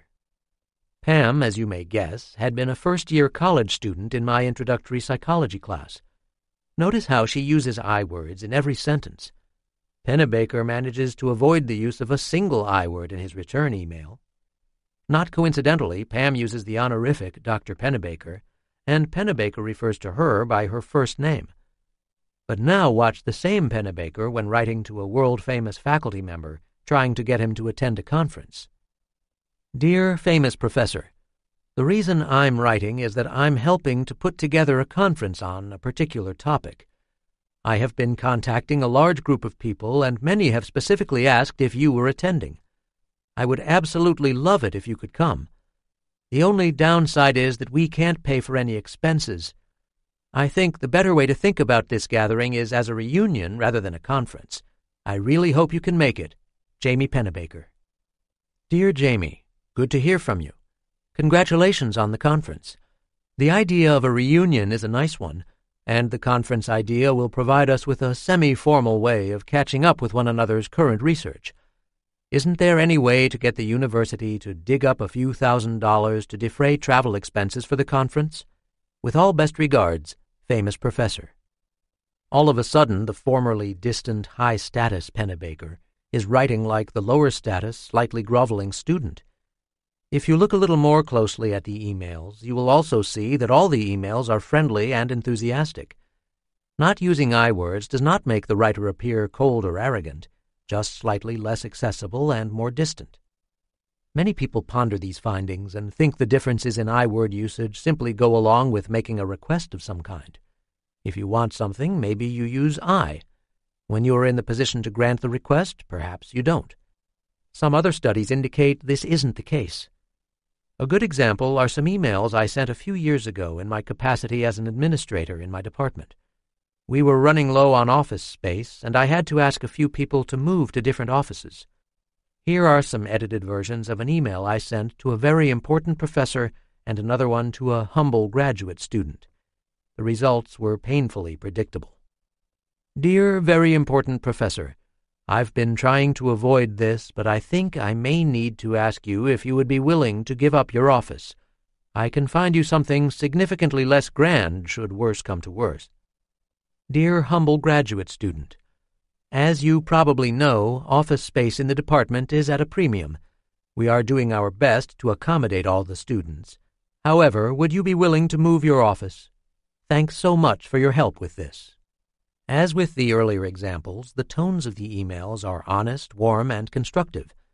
Even though the content is essentially the same, they convey slightly different messages. The request to the very important professor is written as though I have my hat in my hand. You can see me stooping over a little and speaking in a quiet voice. In the second email, I'm not speaking at all. I'm merely conveying information from us, the department. We really don't want to bother you, but we want you to move. Nothing personal, mind you. Did I consciously adjust the language of these emails? No. I have no memory of specifically writing them. My brain must have kicked in on its own and adjusted the writing style, knowing who would read the email later. Don't blame me. It was my brain that was so sensitive to status differences. I love the email study because it demonstrated an important effect that held up across several people and, more important, revealed my own hypocrisy. Status hierarchies are everywhere, yet they go on right below our noses. We are generally oblivious to them especially when corresponding with friends whom we may have known for years. The sleepy unfolding of social hierarchy in conversations with strangers. think back to the scene from The Godfather at the beginning of the chapter. Do we have the ability to detect pronoun use in natural conversations so, like Vito Corleone, we can determine who is the powerful person in any given situation? In a word, no. People talk too quickly, and we simply can't detect small differences in pronoun use with our ears. Once the conversations are transcribed, however, computer programs have little problem. Unlike emails or letters, when talking with others, the words fly out of our mouths with very little forethought. Despite these very different forms of social interaction, the same general word categories can identify social status in conversations as in written communications. Several studies have now been conducted with college students and, in a manner of speaking, in the White House with top administration officials. In one of the first studies linking pronoun use to status in natural conversations, my graduate student, Ava Kacewicz, invited students to participate in a get to know you task. Pairs of strangers entered a room and talked about anything that interested them for 10 minutes while they were videotaped. The conversations were fairly standard. Where are you from? What's your major? How do you like the university? At the end of the conversation, the two people went to separate rooms where they each evaluated the interaction. Both tended to agree on which person had more status and who tended to control the interaction more. The findings from Ava's project and others like it have been clean and consistent. High status people use we words and you words at high rates and use I words at low rates. In fact, this same pattern emerges when people are chatting with each other on the Internet. What is most striking, however, is how fast the social hierarchy emerges in the conversation. In Ava's first study, the two people who were going to have an interaction met just as they were going into the laboratory. They were asked not to talk until both were seated and the video cameras were turned on. Within the first minute of the conversation, the social hierarchy was established. I suspect that the two people had a rough sense of the hierarchy within seconds of seeing one another. Perhaps they noticed each other's height, weight, attractiveness, clothing, or general bearing. Whatever it was, their relative use of pronouns was fixed almost immediately. When two strangers meet and chat on the Internet, you would think that it would take a little longer for the hierarchy to emerge. Surprisingly, it doesn't take much longer. The Internet project was part of a large classroom exercise that I conducted with my colleague Sam Gosling and graduate student Isla Tausczik. Hundreds of students were asked to go online at particular times where they were randomly connected with another person. They were simply asked to chat about anything they wanted for 15 minutes. At the end of the 15 minutes, they completed a questionnaire about the conversation. Just like the face to face natural conversation project, the status differences were apparent in the first three minutes of the interaction. This amazed us because there were no physical appearance cues, voice tone, or anything else that could prejudge status for the two participants. How was it possible for the two people to tacitly agree who was more dominant so quickly? Reading some of the online transcripts helped to understand the process. Early in the conversation, both participants tossed out cues about themselves and, at the same time, fished for cues about the other person. Some participants would also make subtle moves that diminished the other person's stature. Here is an example of two females at the beginning of their conversation. Person B, Brittany, is the one who both agree was more dominant when they completed questionnaires at the end of the conversation. A. Hello, is anyone here? B. I am. Hi. A. Oh, hey. B. I'm Brittany. A. What are we supposed to talk about? I'm Chris. Nice to meet you. B. Don't take this the wrong way. Are you a boy or a girl? A. Ha ha, girl. B. Chris is kind of ambiguous, lol. Nice to meet you. What year are you? A. Freshman. What about you? B. Cool. I'm a junior. Major? A studio art, but I am going to be transferring to communications to do photojournalism. You? B. History. A. Are you involved in any organizations or anything like that here? B. Um, I'm getting certified to teach high school, but other than that, no. You? A. I am thinking about being a photographer. I don't want to draw for a living. B. Photography is great. A. I'm not a serious art student. I did art in high school so I could get into the art school here. Notice at the beginning the two people appear to be approaching the interaction in the same way. By the third time she writes, however, Brittany makes an underhanded power play. Don't take this the wrong way. Are you a boy or a girl? I ask you, can you imagine any sentence that starts with don't take this the wrong way that can end well for the listener? Brittany has already put Chris on notice that she has the potential to be a bully. Afterward, both look for information about the other that can help peg them on some kind of social hierarchy. However, once Brittany discovers that Chris is younger and in a less prestigious major, she psychologically takes control. Once Brittany has established her dominance, Chris begins to focus on herself in a more nervous, submissive way. Much later in the conversation, not included here, the higher status Brittany works to give Chris advice about how she can and should get teacher certification. Interestingly, both Chris and Brittany reported that they enjoyed the conversation and liked one another. At the end of the time period, the two exchanged email addresses and promised to get in touch with one another in the future. And it is safe to say, should they meet for coffee, Brittany will still be the person with the higher status in both of their eyes. In reading over hundreds of interactions such as this, it is fascinating to watch the unfolding of the status hierarchy. Innocent status related questions include asking the other person about their parents' occupation, last vacation, exercise habits, ethnicity, living location on campus, grade in the psychology class, and others. Not surprisingly, the person with high status in a particular domain usually is the one who asks a question about it. Notice how the higher status Brittany is the one who asks about the other person's year in school and major. Assessing each other's status is not unique to English speaking college students. It is something that happens around the world. In fact, some societies have much simpler rules in assessing status. In South Korea, for example, relative age is one of the most strict determinants of who is higher in the social hierarchy. If the age is the same, wealth or income is assessed next. In these societies, it is common for people to directly ask one another about their lives, which in the West might be viewed as impolite. On a recent trip to South Korea, for example, I sat next to a Korean man roughly my age. Within the first ten minutes of the flight, he started a conversation asking me about my age. When it was clear that we were exactly the same age, he asked what my yearly income was. When I answered, he smiled warmly and simply said, We make about the same.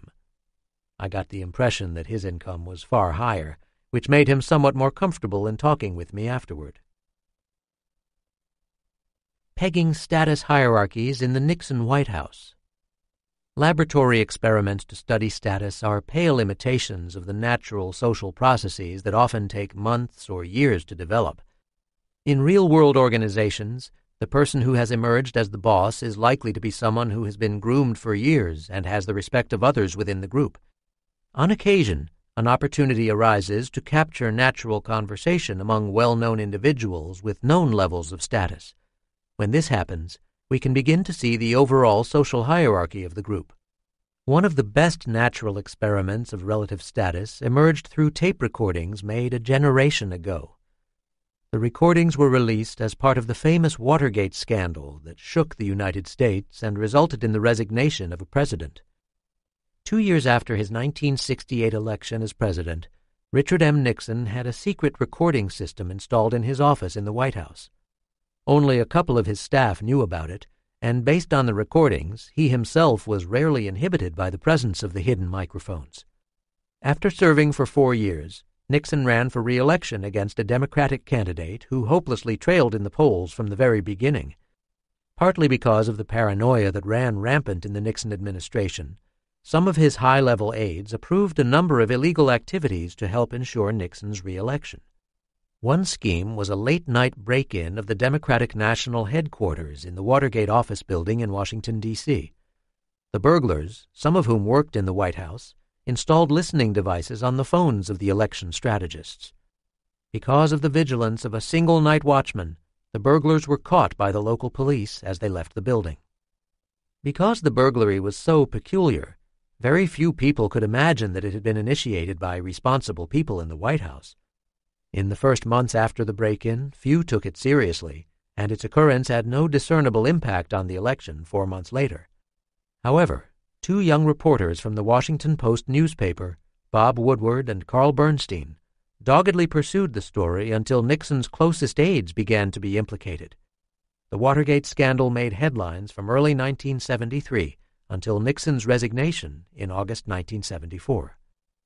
The turning point in the investigation occurred when it was revealed by a mid level White House staffer, Alexander Butterfield, that the White House taping system always recorded conversations when Nixon was present.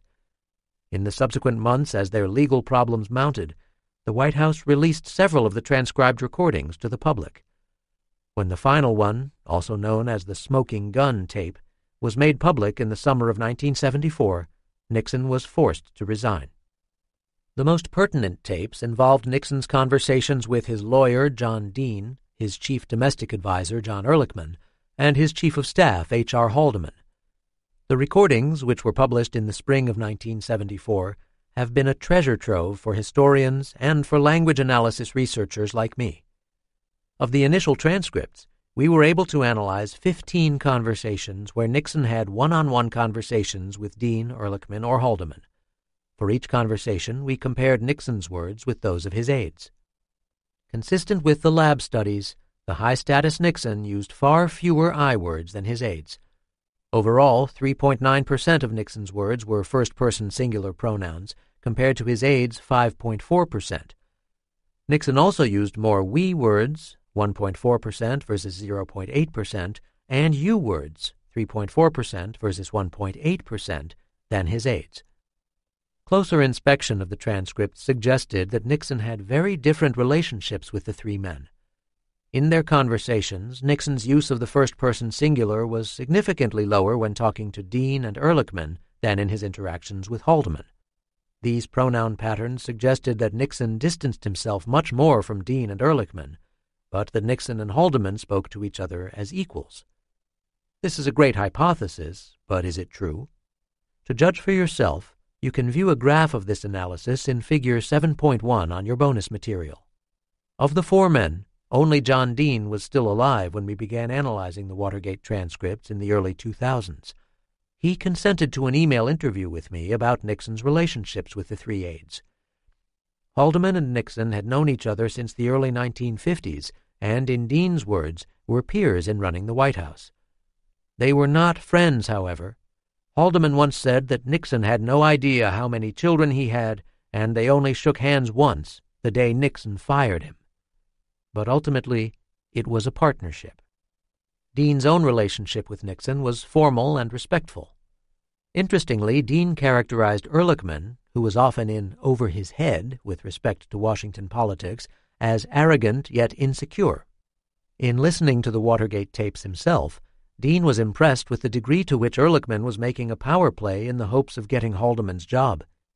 In his interactions with Nixon, Ehrlichman was overly solicitous, almost groveling. Nixon's reaction was that of even greater psychological distance than with Dean, with whom he had a more formal relationship. One final analysis with the I words is noteworthy. The Watergate tapes that were released in 1974 were recorded from June 1972, soon after the break in, through July 1973, when the scandal was front page news most every day. Remember that people who enjoy very high status and high self esteem and who tend to be overconfident generally use I words at very low levels. And in his interaction with his aides in June through about November 1972, Nixon's rate of I word usage ranged between 2 and 4 percent. However, as the scandal continued to develop and Nixon's status began to erode, his use of I words increased month by month. By the last recordings in July 1973, his average I word usage with his aides hovered around 7 to 8 percent of all his words. In other words, as Nixon's political world began to crumble, he became less dominant and powerful in all his dealings with others. The Watergate transcripts point to our ability to distinguish the social hierarchy of Nixon's aides through Nixon's own eyes, or perhaps mouth. We can infer that he was most responsive and open to what Haldeman may have said, compared to others such as Ehrlichman. Interestingly, the pronoun analyses can't tell us about the relative hierarchy among the aides themselves. Nixon may have conferred more status on Dean than Ehrlichman inside the Oval Office. However, when Dean and Ehrlichman were together in other settings, it is possible that Ehrlichman could have had more status than Dean. Only through analyses of different groups of people can we begin to uncover the complexities of a group's status hierarchy. Finally, there is a large difference between status and liking. As Dean pointed out, there is no evidence that Nixon and Haldeman particularly liked one another. Respecting another person and liking them is not the same. The language of leadership. Can the research on status be extended to our understanding of leadership? Is it possible to identify good leaders by the ways they use words? Can leaders become more effective if they change the ways they use words? Surprisingly, few studies have examined the language of leaders. Even fewer have studied the words of people in everyday life in order to predict what kinds of leaders they might be in the future. Assuming a leadership role affects the leader's language. Within small groups, leaders do, in fact, talk differently than followers. Ethan Burris from the Red McCombs School of Business at the University of Texas and his colleagues conducted a project where about 40 groups of business students worked together on a group task. Each of the four person work groups were told that they represented a small consulting firm that was to offer advice to a fictitious company to improve its customer service division. The task was complex and required each small group to work together to achieve a solution. The Burris project stands out because he dictated who the leader would be. He told each group that he had chosen the best possible leader based on an analysis of each student's personality test scores. In truth, he made the leadership assignment randomly, akin to drawing one of the people's name out of a hat. What is important, however, is that the groups truly believed that their leader was skilled. Each group's interactions were tape recorded and transcribed. The results were consistent with everything we have found before. Those who were assigned leadership roles ended up using I words the least and you words and we words the most. In other words, people's language changes once they adopt a role. I can't emphasize enough how important this finding is. Almost every other study that has been conducted with leadership and language was based on people who were already the leaders or who already had high status. This study indicates that the words reflect the leadership role. In other words, most people, if thrust into a high status leadership position, will likely start to talk like a leader. Does a person's language predict their future leadership ability? Hundreds of millions of dollars are spent annually in predicting and selecting the future leaders in industry, government, the military, and other large organizations.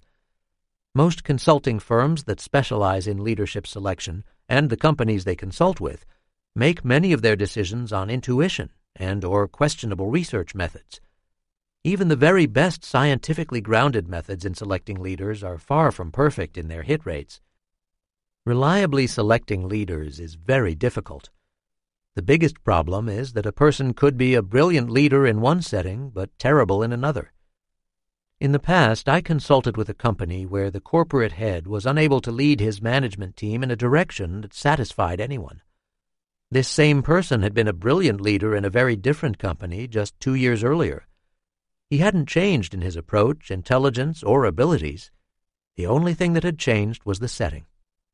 A second problem that consulting firms face is in building assessment tools. For example, some firms give prospective leaders a raft of questionnaires. Others have people undergo grueling interviews or problem solving tasks. Yet others just send their prospective leaders into a company and have them give a talk, shake a few hands, and undergo a series of meetings with the relevant people in the organization. By themselves, each of these methods is only slightly better than a flip of the coin in selecting between two candidates with similar backgrounds. If we know that there is a particular language profile for effective leaders, can we use natural language to select future leaders? In reality, it is too early to tell. Word analyses can help us determine how people think, relate to others, and view themselves. They will be far less helpful in predicting how people will react in completely novel settings with an unpredictable group of people with different motivations and backgrounds.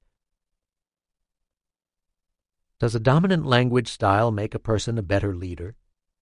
After almost a hundred years of group research, scientists in psychology, sociology, and business now appreciate that different groups work effectively depending on the task, the group structure, and the people in the group. In the Burris Project, for example, the more the leader used high status language, the more likely it was that the group would come up with objectively better results. The effects were not large, however. In another project with a looser group structure, just the opposite was found. Dominant language by the leader resulted in the groups performing worse. We return to the same problem of the tension between a leader's characteristics and the job that needs to be accomplished. Dozens of studies have shown that if a company, a sports team, or an entire country is generally productive, with very little infighting and not facing any major threats, leaders who are warm and friendly are particularly effective. Such leaders would probably not exhibit extremely dominant language. However, if the organization is facing a series of hardships from outside, as well as conflicts from within, most people want a stronger, no nonsense leader who will get the job done. A no nonsense style often includes a leadership style marked by clear chains of command and an agreed upon social hierarchy.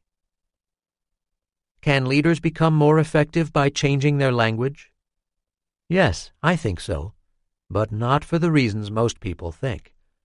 Simply using words differently won't automatically change speakers' psychological states.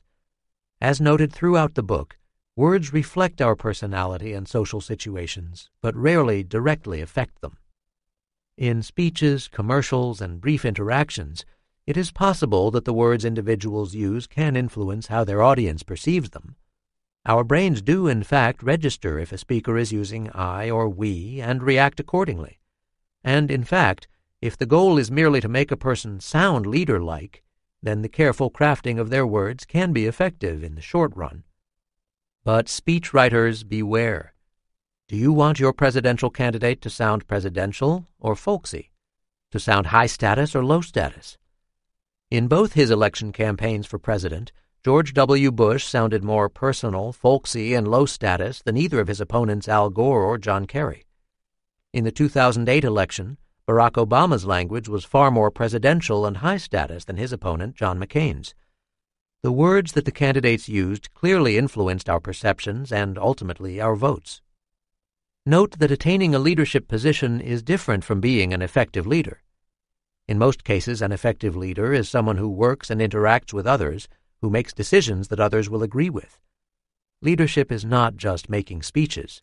It demands a wide array of thinking and social skills. Leaders can become more effective by first listening to and analyzing their own language. Think back to the case of John Kerry's use of we words in his presidential campaign against George Bush in 2004, described in Chapter 2. Recall that his advisers mistakenly believed that if Kerry increased in his use of we words, he would come across to audiences as more warm and approachable. Had I been Kerry's language adviser, I would have first analyzed his speeches and interviews. His high use of we and you words and low use of I words would immediately have signaled that he was trying to sound too presidential, which came across as arrogant. My language therapy would have been to try to change his relationship with the audience and the way he was thinking about himself. He clearly needed to know that his use of we words was coming across as cold and not authentic. People can become better leaders by using their words as markers of how they are relating to others. Words are like a speedometer in a car that reflects how fast the car is going. You can't slow the car by directly affecting the speedometer. Rather, you use the speedometer to gauge your driving. Train a person to become a better driver, and their speedometer will follow. Make a potential leader more attentive to their words and the meaning of their words, and they can change their relationships with others and become better leaders. Final thoughts on status, power, and leadership. That status hierarchies are part of almost every relationship we have is, on a certain level, a bit depressing and threatening. Not only is a pecking order established within minutes of an interaction, but all the parties in the interaction then adopt their linguistic role. Sitting by a person on a plane, meeting a stranger at a party, or being introduced to a colleague in a business meeting triggers each person to see where they stand in the hierarchy compared to the others. The almost invisible status competition has been at play since we were young children and will continue to be through old age. Although the existence of social hierarchies may go against our beliefs in democracy and equality, the fast and efficient ways we create pecking orders helps to make all subsequent interactions run more smoothly. Although the examples used in this chapter have come primarily from projects conducted in English, virtually identical patterns of word use are apparent in ancient Greek, Arabic, Japanese, and all European languages that we have studied. For example, the characters in the plays of Euripides writing in the 5th century BC, use low rates of I words and high rates of you and we words when they are powerful. When the same characters fall from grace, their I words skyrocket and their you and we words drop. You will notice that the same pronouns, I, we, and you, are linked to status, power, self-confidence, arrogance, and leadership. This isn't to say that all of these constructs are the same. As recent research by organizational psychologists suggests, people can achieve high status without having direct power over others. Effective leadership sometimes does and sometimes doesn't involve arrogance or power. Whereas other word categories may be able to distinguish power from status, both can be thought of as markers of a social hierarchy. What this means is that if you happen to be at a future cocktail party with Gandhi, Stalin, Einstein, and Emilio Barzini from The Godfather, but not that pimp Tattaglia, you can bet that you will likely use more I words than any of them. Chapter 8 The Language of Love Hopefully, you should now be convinced that function words reflect psychological states. Sadly, I've been keeping something from you. Word use rarely occurs in a vacuum. In most cases, when we use words, we are talking or writing to another person and at the same time they are talking or writing to us. Most language use occurs among people in ongoing social relationships. What this means is that we can begin to use our word tools to investigate more than solitary individuals. We can begin to study human relationships. Think what this means. The way that you and your lover, your parent, your boss, and your mortal enemy talk with each other provides important clues to the nature of your relationships. And not just the way you talk. The ways you and your friends email, post updates on your respective Facebook pages or Twitter entries inform us about your entire social network. Social relationships have their own personality. One friend in my social network is someone I often talk to about personal and emotional topics, and when we meet, we always eat Mexican food. Another friendship is characterized by our arguing and joking over beers. Even my emails to and from my two friends reflect the kinds of interactions we have during our periodic lunches. These different relationships have gone on for years and are both warm and fulfilling. If I were to analyze the language of these interactions, each would have its own fingerprint, its own conversational personality. By inspecting the language of close relationships, a picture of the relationships themselves begins to emerge. Not only can we look at relationships over months or years, but we can also track how two people are connecting with one another on a minute by minute level. For example, it is possible to tell how engaged two people are with one another by analyzing how similarly they talk with one another. Consider this brief snippet of an IM interaction between two college students who are very much in love. Her, I'm glad I can at least talk to you now, but I want to see you so badly. I hate being apart from you. Him, smiley face. I wish there was a heart-melting smiley. I love you. Her. Seriously, though, I've always been the type of girl that I could go long periods of time, and it wouldn't be that I wouldn't think about you. It's just that the distance wouldn't get to me. But today I felt like I was going crazy not seeing you.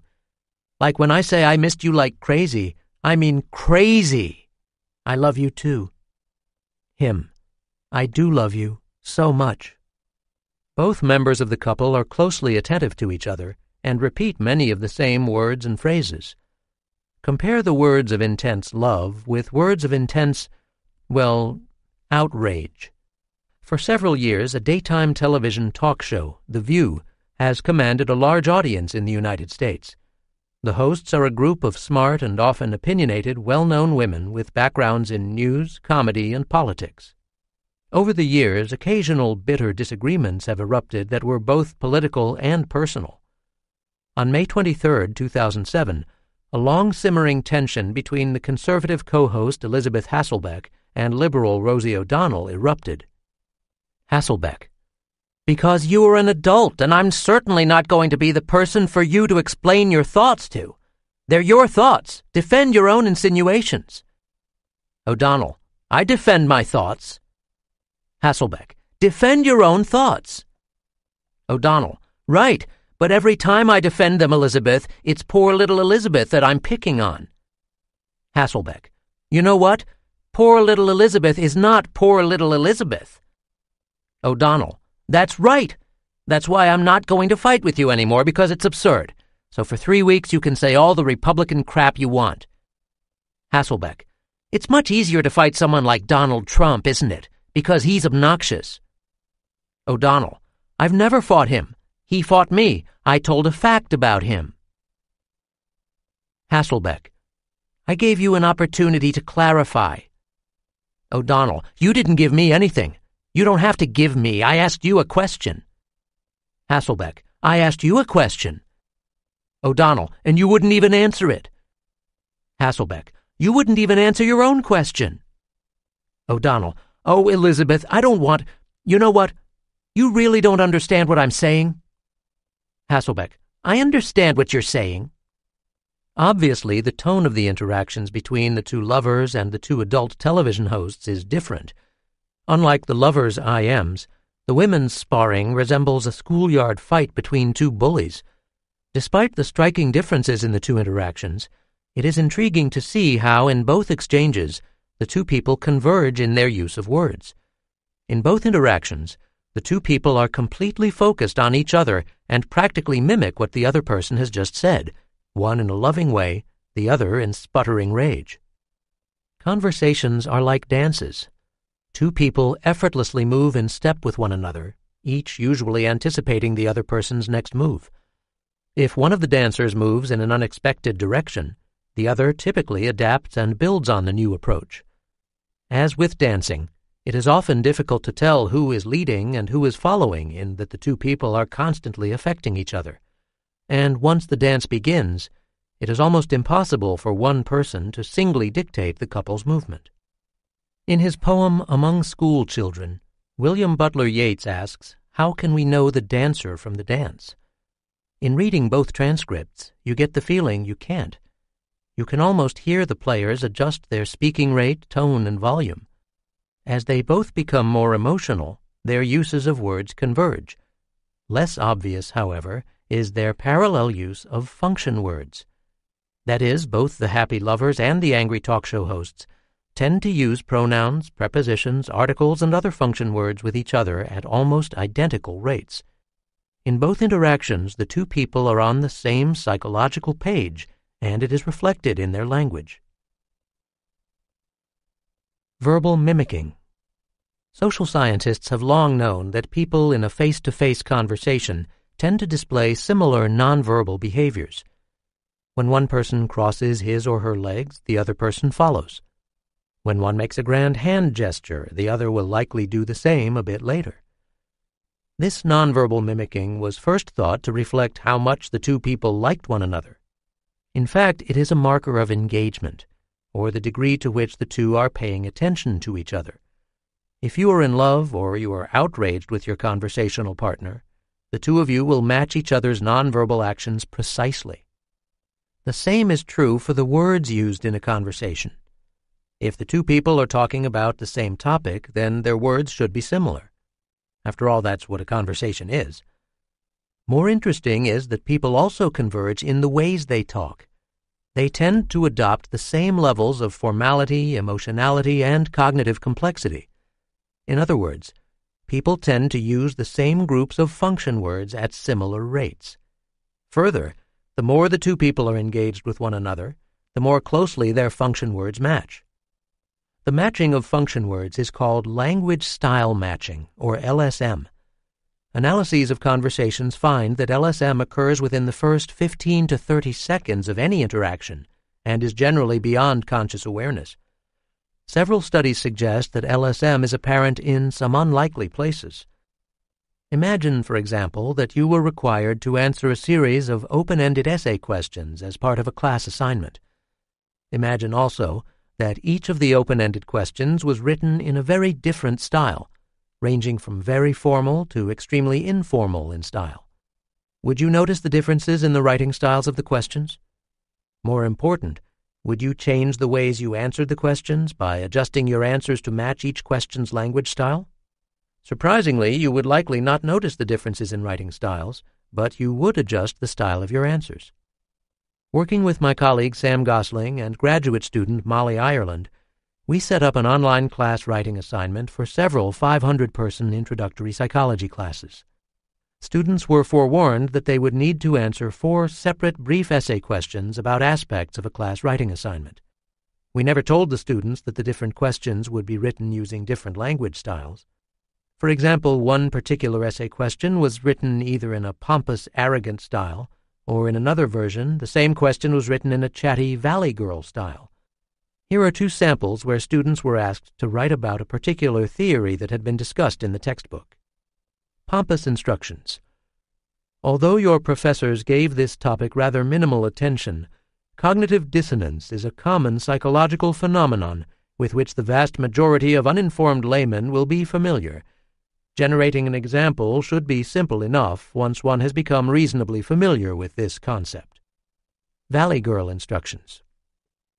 Okay, we might not have talked about cognitive dissonance much, which I think is totally crazy because it's like everybody should be able to see that cognitive dissonance is majorly relevant. Like it's seriously happening all the time, you know? So, okay, it's your turn. I mean, like, really try to think of an example of cognitive dissonance and tell me everything about it. At the end of both questions, everyone read the same instructions. In the space below, give a real life example of cognitive dissonance, explaining what led to it and how it was resolved. Support your example with evidence from your book. So, like, you get the idea of the differences between the writing styles of the two questions. Interestingly, the students provided equally knowledgeable answers no matter what the writing style. The only difference was that students who received the pompous question answered in pompous ways, and those who read the Valley Girl instructions wrote in the same freestyle informal lingo. Because everyone responded to four different essay questions, each written in a different style, many students later reported not even noticing the writing styles at all. It's hard to look at those two essay questions and not notice the striking differences in the ways they're worded. Nevertheless, we all naturally adjust to the speaker or exam writer we are working with. In fact, Molly ran another experiment where she gave people two pages from previously published novels. She then asked her participants to pick up where the original author left off and to write another page of the novel. For half of her participants, she explicitly told them to try to match the author's writing style. Molly found that everyone, even those who were not explicitly told to do any language matching, naturally matched the writer's original styles. In fact, when people were directly told to match styles, they were slightly worse at style matching.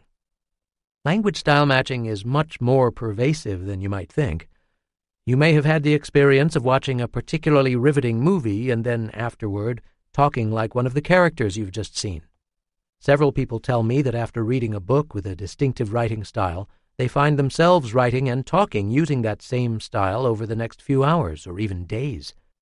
In fact, if I, like, started, you know, writing in a Valley Girl style for like gobs of paragraphs, and, you know, if uh, your phone rang and, like, you totally answered it, you would, like, majorly start talking like this. I'll stop now to preserve our respective senses of dignity. Language style matching and the brain. If style matching is so pervasive, why does it occur? One explanation is that it is hardwired in our brains. In the 1980s, a team of Italian neuroscientists measured the activity of a group of brain cells in a macaque monkey that fired whenever the monkey grasped a particular object. Later, they discovered that the same group of cells fired when the monkey watched a person's hand grasp the same object in the same way. Other studies suggested that there might be an entire group of brain cells that mirrors the actions of others. These groups of cells are collectively called mirror neurons or mirror neuron systems. More recent studies have asked ballet dancers to watch videos of ballets while their brain activity was being scanned.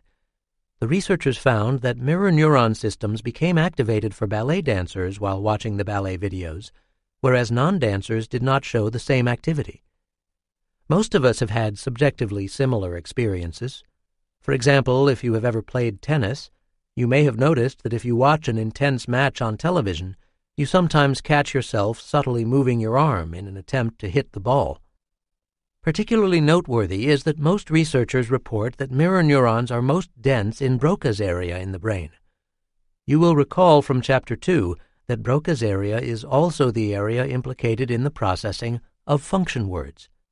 It's not coincidental that the ability to use function words is closely linked to mimicking nonverbal behaviors and, according to recent findings, voice intonation and inflection. Indeed, many scholars now claim that the ability to mimic social behavior and its close links to Broca's area explain the early development and evolution of language abilities.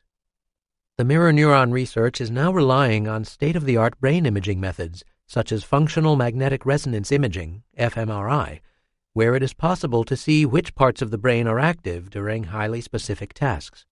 For example, a research team from Princeton University recently found that people who are particularly empathic show more brain activity in Broca's area while watching short videos of people making emotional facial expressions than do people low in empathy. It should be emphasized that the mirror neuron research is still in its infancy, with researchers often disagreeing about the best way to interpret the brain activity associated with empathy. A question that emerges from the brain imaging research concerns the possible links between mirror neurons and language style matching. At this point, direct experiments have not been done. However, the studies we have conducted with style matching among students answering open ended essay questions hint at some important parallels. Those students who evidenced the greatest style matching in response to the different question writing styles tended to be people who made the highest grades on the multiple choice exams. In other words, those students who were most committed to the class naturally paid closer attention to the essay questions. Paying closer attention resulted in greater correspondence between the function words in the questions and their responses. We all have mirror neurons and have the basic ability to mimic and empathize with others. These abilities differ from person to person and also on whom we are talking with. We have all been in situations where we talked with someone who wasn't interested in what we had to say. Admit it, we have also been in conversations where we weren't interested in what the other person was saying. I might have a head full of mirror neurons, but if I sit next to a stranger on a plane who spends the flight describing his joint pains, medication history, and phlegm observations, our respective function words will go in different directions. How to measure language style matching. There are a number of ways that researchers have developed to tap the degree to which two people are using function words at comparable rates. Some of the techniques are mind-bogglingly complicated, others are fairly simple. Here is a method that you can actually do with a calculator. The basic idea is that we want to find out the degree to which any two text samples are similar in their use of function words. Although there are nine categories of function words, including personal pronouns, impersonal pronouns, prepositions, articles, conjunctions, negations, quantifiers, common adverbs, and auxiliary verbs, personal pronouns are the most common in everyday speech. Although our computer programs analyze all types of function words to calculate LSM, you can get a pretty good idea of people's engagement with each other by just looking at their personal pronoun use. Recall the nasty exchange between Rosie O'Donnell and Elisabeth Hasselbeck at the beginning of the chapter. To get a sense of how in sync the two women are, all we need to do is to calculate the rate of personal pronouns that each woman used with the following formula, also available in Figure 8.1 on your bonus material. 1 minus the absolute value of the difference of person 1's pronoun percentage and person 2's pronoun percentage divided by the sum of person 1's pronoun percentage and person 2's pronoun percentage. In their brief exchange, Hasselbeck used 17 personal pronouns out of a total of 81 words and O'Donnell used 26 out of a total of 99 words. In other words, 21% of Hasselbeck's and 26.2% of O'Donnell's were personal pronouns. Because the formula uses absolute value in the numerator, when the personal pronouns from person 1 are subtracted from those of person 2, the result will always be positive.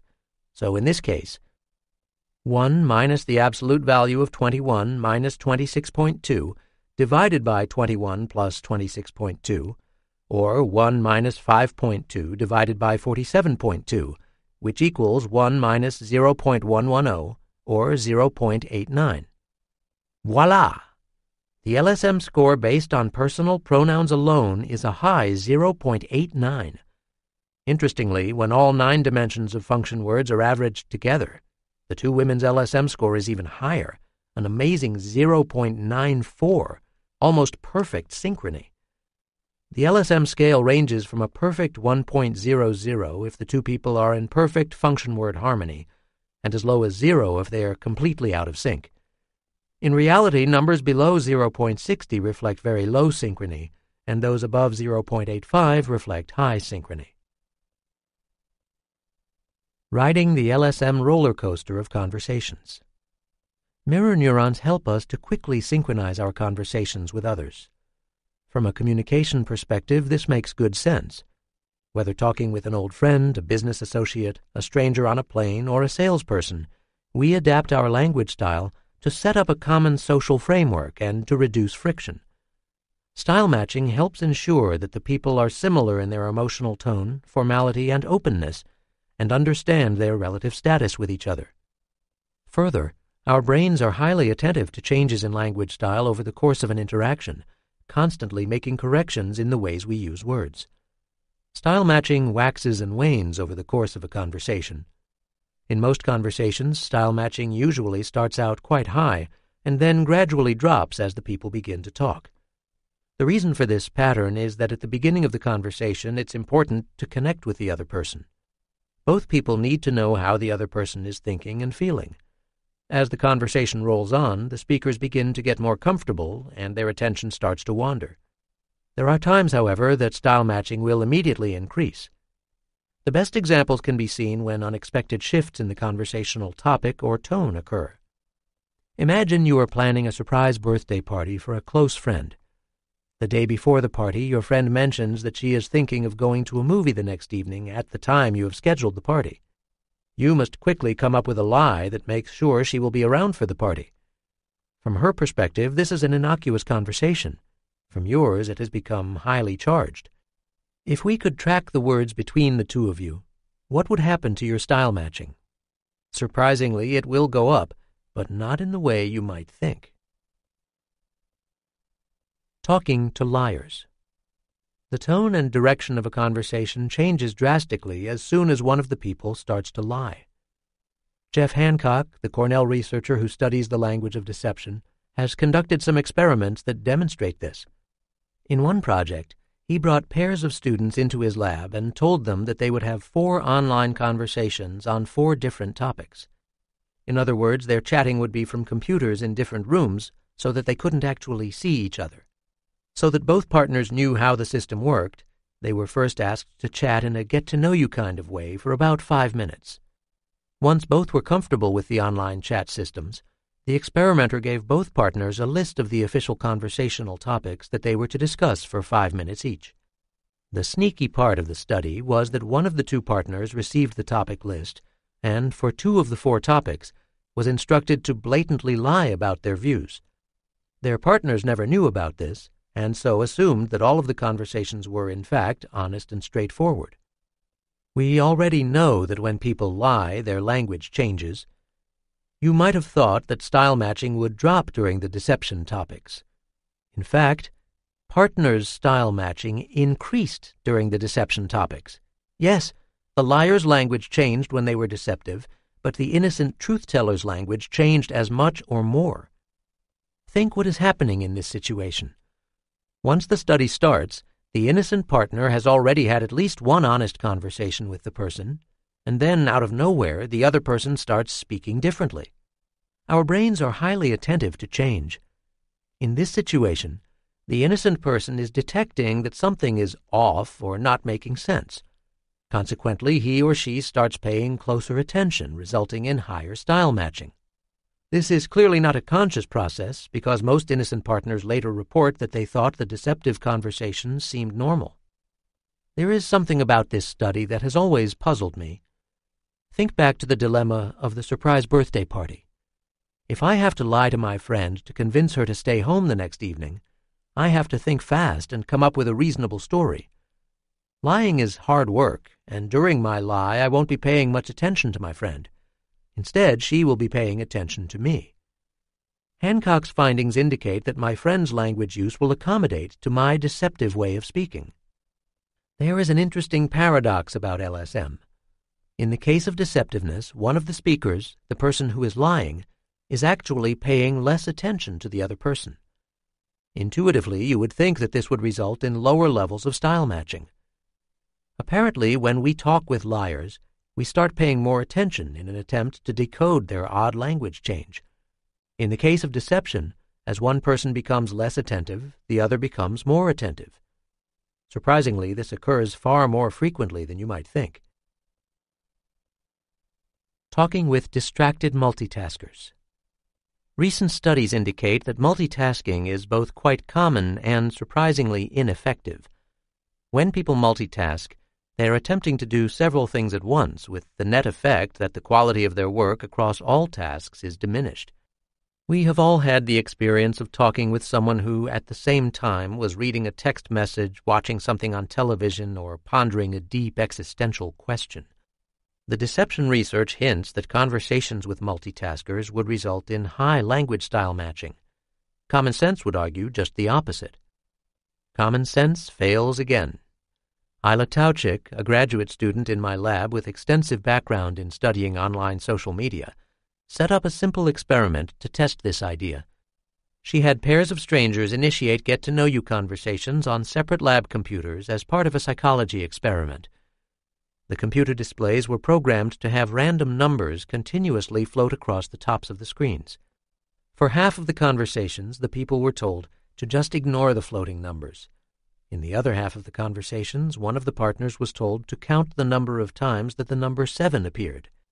The people they were talking with, however, were told to ignore the numbers and didn't know that their partner was multitasking by keeping track of the floating numbers. In other words, in half of the conversations, one of the two people was distracted during the entire conversation. Much like the deception study, the distracted pairs actually showed slightly higher style matching than the non distracted pair. Even odder, they tended to report liking each other more. In terms of actual word use, the distracted students were less negative, less complex, and more personal than non distracted writers. There have been very few times in my career that I didn't believe my own results. It just didn't make sense to me that style matching increases when talking to a multitasker. So I took things into my own hands and called two former students and asked if they would mind participating in a language project. The deal would be that we would have an informal talk on the phone that would be recorded, transcribed, and analyzed. The talk would actually be made up of three five minute segments, and after each segment they would complete a brief questionnaire. Both agreed to the rules. What they didn't know was that on one of the three segments I would be sitting in my office madly doing arithmetic problems as fast as I could. The phone call started, and we talked about work, our lives, our mutual friends, and other issues of the day. During the period I was working on the arithmetic problems, I recall thinking, wow, I'm really good at this. I'm as socially adept when I'm busy as when I'm not. Later, when I transcribed the conversations, I was startled to see how differently I spoke while engaged in the arithmetic problems. I stuttered and repeated myself. I deflected any complicated questions and tried to get the other person to talk more. Similar to the participants in Isla's experiment, I tended to laugh more and used more positive language in general. Both of my students rated the distraction phases of the conversation as enjoyable as the other parts. In fact, the LSM measures indicated that we matched in our language use during the distraction period at rates as high or higher than during the non distraction periods. What happened, however, is that both students started speaking to me in the ways I was speaking to them. As I psychologically distanced myself from the conversation, my conversational partners did the same. What intrigues me is that none of us were consciously aware of it. In fact, after the phone calls, I discussed the conversations with both students, asking their perceptions. One said that she was vaguely aware that I was slightly more distracted during the arithmetic problems, but said, You often are distracted in phone calls. Ooh. Two people who respect and like one another learn how to dance with each other across conversational topics. They are both invested in paying attention to one another, even during periods of distraction or disagreement. What makes the conversational dance dynamic is that as one person's attention wanders, the other person attempts to adjust to it. An unspoken rule in this dance, however, is that both people are ultimately committed to it. If one or both members of the conversation simply doesn't care about the other person, the dance is at risk of falling apart. Creating a language love detector. Wouldn't it be nice if there existed a device that could alert people if they were compatible? You could take it on dates with you, and at the end of the evening, the two of you would read the love detector's date compatibility score on the front of the meter and decide if you should meet again tomorrow or never see each other again. Good news. We may have a prototype for your startup company. It's not a device, really. Instead, it just requires that you use a digital recorder to transcribe your interaction and then analyze the words to assess LSM. Oh, and for it to work, you should probably plan on having at least 10 dates that are virtually identical in format. Hmm, perhaps a bit like speed dating. The Dating Dance Indeed, Molly Ireland, several other colleagues, and I have found that the LSM between couples on a brief four minute date predicts if they want to meet again. As you may know, in a typical speed dating session, you meet and talk with 8 to 12 different dates for a few minutes each. At the end of each date, each person rates the other person before moving to the next date.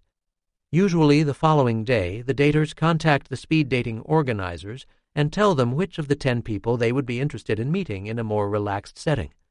Most people report that the conversations range from superficial to passionate to exhausting. Sometimes people meet the loves of their lives. Most times they don't. Lonely hearts may not always like speed dating, but researchers love it. In a recent project, about 80 daters gave permission for us to record their four minute conversations so that our research team could analyze their word use. Does LSM in the brief interaction predict whether the couple gets together in the future? Yes, to some degree. Those in speed dates characterized by above average LSM were almost twice as likely to want future contact as those with below average LSM. More interesting, however, is that we could predict which couples would get together afterward better than the individuals themselves. Immediately after each brief date, participants completed a short questionnaire about the desirability of the person they just met. The individual ratings of desirability were, of course, related to their eventually meeting, but LSM was more strongly related. Why? Whether or not two people eventually meet up is dependent on both parties. A guy might find a woman attractive, but she might find him repulsive. The two must tango together. And LSM is capturing the dance, whereas the questionnaire is just assessing the dancers separately. Predicting young love. Let's assume that a relationship advances beyond the four minute speed date and the young couple starts to date seriously. Would style matching between the two of them predict the long term prospects of their relationship? Preliminary findings suggest yes. Most people in passionate relationships are highly attentive to their partners. They detect subtle shifts in the other person's moods and behaviors. Linguistically, their levels of style matching are quite high. After a few weeks or months together, some couples begin to realize that their relationship may have a limited shelf life. As their attention to their partner wanes, their degree of language style matching drops as well. By tracking the language style matching of young dating couples, it is often possible to predict which couples are most likely to survive. For example, my former graduate student Richard Slatcher and I worked on a project with young dating couples. Rich, who is now on the faculty at Wayne State University, wanted to see how the couples talked with each other using instant messaging, or IM. he recruited 86 couples who reported that they IM'd with each other on a daily basis and who agreed to let us analyze several days of their messages. We then compared what happened to couples who had high LSM in their instant messages with each other and those who had low LSM. Of the 43 couples with the highest LSM scores, 77% were still dating three months later, compared with only 52% of the couples with low scores. In other words, those couples who naturally synchronized their function words with each other were more likely to maintain their relationship over time. Reading the IMs of the various couples painted a clearer picture of how the relationships were succeeding or failing. The more successful high LSM relationships revealed how both members of the couple were truly interested in each other.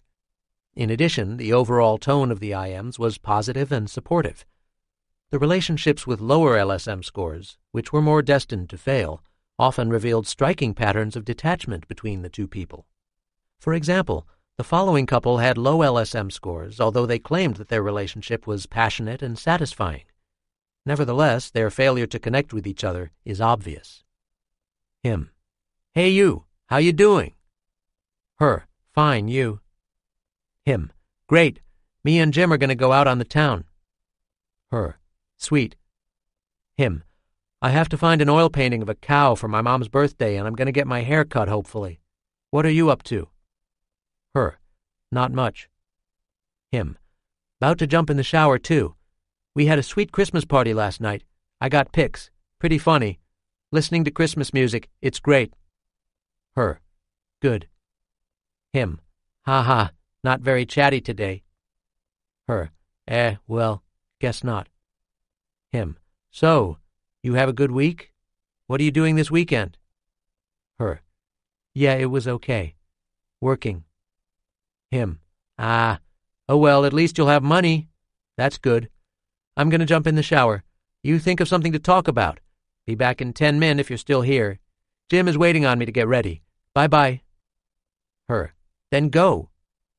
Him. Miss ya. Ha ha. Fine, bye.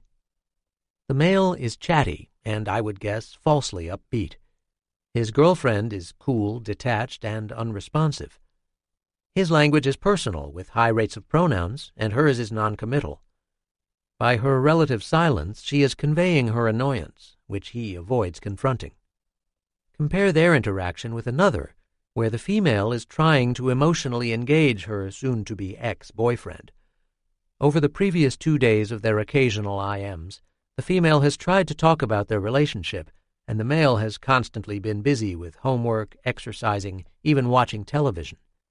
On the third day, she finally catches him when he might have some time to chat. Her. Are you there? Are you going to be able to talk for five minutes? Him. Yes, go. Her. What are you doing at the same time you're chatting with me? Him. Cleaning. Her. I feel too mad to say anything to you. Him.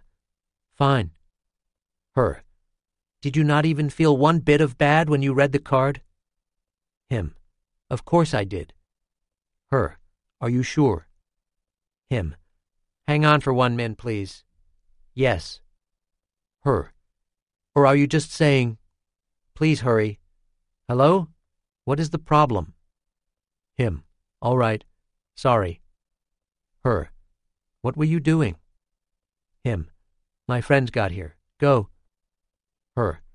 But tell me what made you feel bad about the card him, that you were being so nice, but I still don't feel that I'm wrong. Her, so why did you feel bad? Him, it did, but the fact that you told me not to expect it. Her, I don't understand. The fact that I told you not to expect it made you feel bad? Him, look, I will call you at nine. I can't speak like this. In this second case, the style matching numbers are also low, Although both use personal pronouns at similar levels, the computer analyses reveal that she is more concrete, using more articles, and more complex, for example, conjunctions, prepositions, in her thinking than he is. She is also more personal and emotional, and focuses all of her attention on her boyfriend. He, on the other hand, is distracted and avoidant. Whenever she tries to get closer or to connect with him, he slips out of reach. This pattern of interaction was consistent over several days of instant messaging. Nevertheless, when both members of the couple completed questionnaires about their relationship, both rated their levels of intimacy and relationship satisfaction as very high. As is typical, the language style matching numbers did a far better job at predicting the couple's later separation than their self reports. The LSM method allows us to make reasonable guesses about the success of relationships by tracking a few interactions between couples. Similar ideas have been tested with recently married couples. John Gottman and his colleagues at the University of Washington report that by listening to the ways a young couple fights during a laboratory exercise, he can predict the likely success of the marriage. Gottman brings the couples into his lab and has them discuss issues that they have conflicts about usually topics dealing with money, sex, or household chores. If during tense discussions both members of the couple show respect, try to reduce tension, avoid accusations, and inject positive emotions, their marriage is more likely to last. On the other hand, if one or both spouses are dismissive of the other, actively avoid discussing an emotional topic, or use the task as a way to launch personal attacks on the other, the marriage is in trouble. A happy marriage is more than the egalitarian sharing of pronouns and prepositions. When two people use function words in similar ways and at similar rates, they are seeing their worlds in parallel ways. Having a similar worldview, though, does not ensure marital bliss. Gottman's work reminds us that the strongest relationships are also characterized by shared positive emotions. Similar findings emerged in our dating couples. Those with the highest style matching scores and the highest rates of shared positive emotions were the couples most likely to stay together. Interestingly, shared positive emotions on their own do not predict the long term happiness or potential for survival of a relationship. The members of the couple must be both positive in their outlooks and engaged with each other. Building an LSM detector. Imagine having a portable LSM detector that could track the quality of all your conversations. Perhaps you could point the LSM detector at your emails, text messages, or IMs and get a sense of the quality of your connection with your correspondence. Or if you have been married for many years, you could keep tabs on your relationship and help point out to your partner when he or she isn't holding up their end of the conversation. As discussed earlier, my research team and I have built a crude working version of an LSM detector. If you go to www.secretlifeofpronouns.com slash exercise slash synch, S-Y-N-C-H, you can enter text that you have sent and received from a friend, lover, or enemy. With the click of a button, you will receive feedback about the degree to which the two of you are in sync in your use of function words. You can then compare your LSM numbers with average LSM scores generated by others who have used the website. Even better, you can try out the LSM detector several times, comparing your interactions with different people. This should give you a sense of your general skill at matching your language with others. The bad news is that a real world LSM detector would be of only limited value. Yes, it could tell us when relationships were in sync and out of sync, but not what the synchrony meant. Recall that LSM tends to be elevated when both people are passionate about each other and when they truly hate one another. Synchrony also increases when one of the two people is lying to the other. So if your LSM detector registers a high number, you and your conversational partner are paying close attention to each other.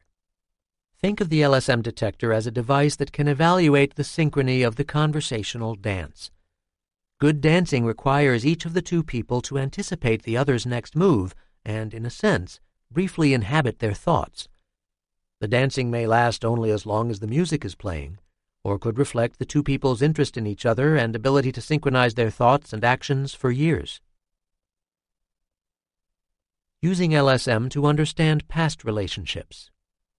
One advantage of using computerized language analysis is that we can explore relationships over history wherever some kind of written record exists.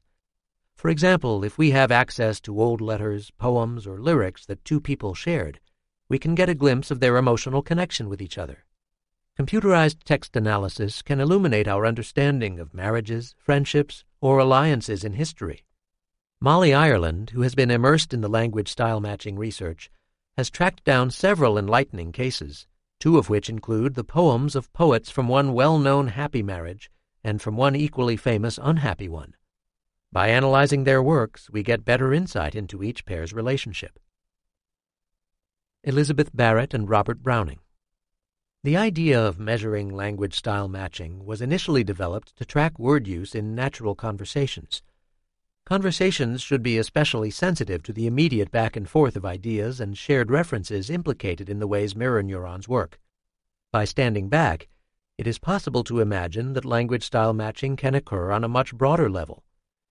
If I hear a rival politician make a speech on a given topic, I might write my own speech in reaction to it several days or weeks later that would linguistically match the original speech. If my spouse is an elegant writer of novels, her writing style could influence the way I write professional journal articles.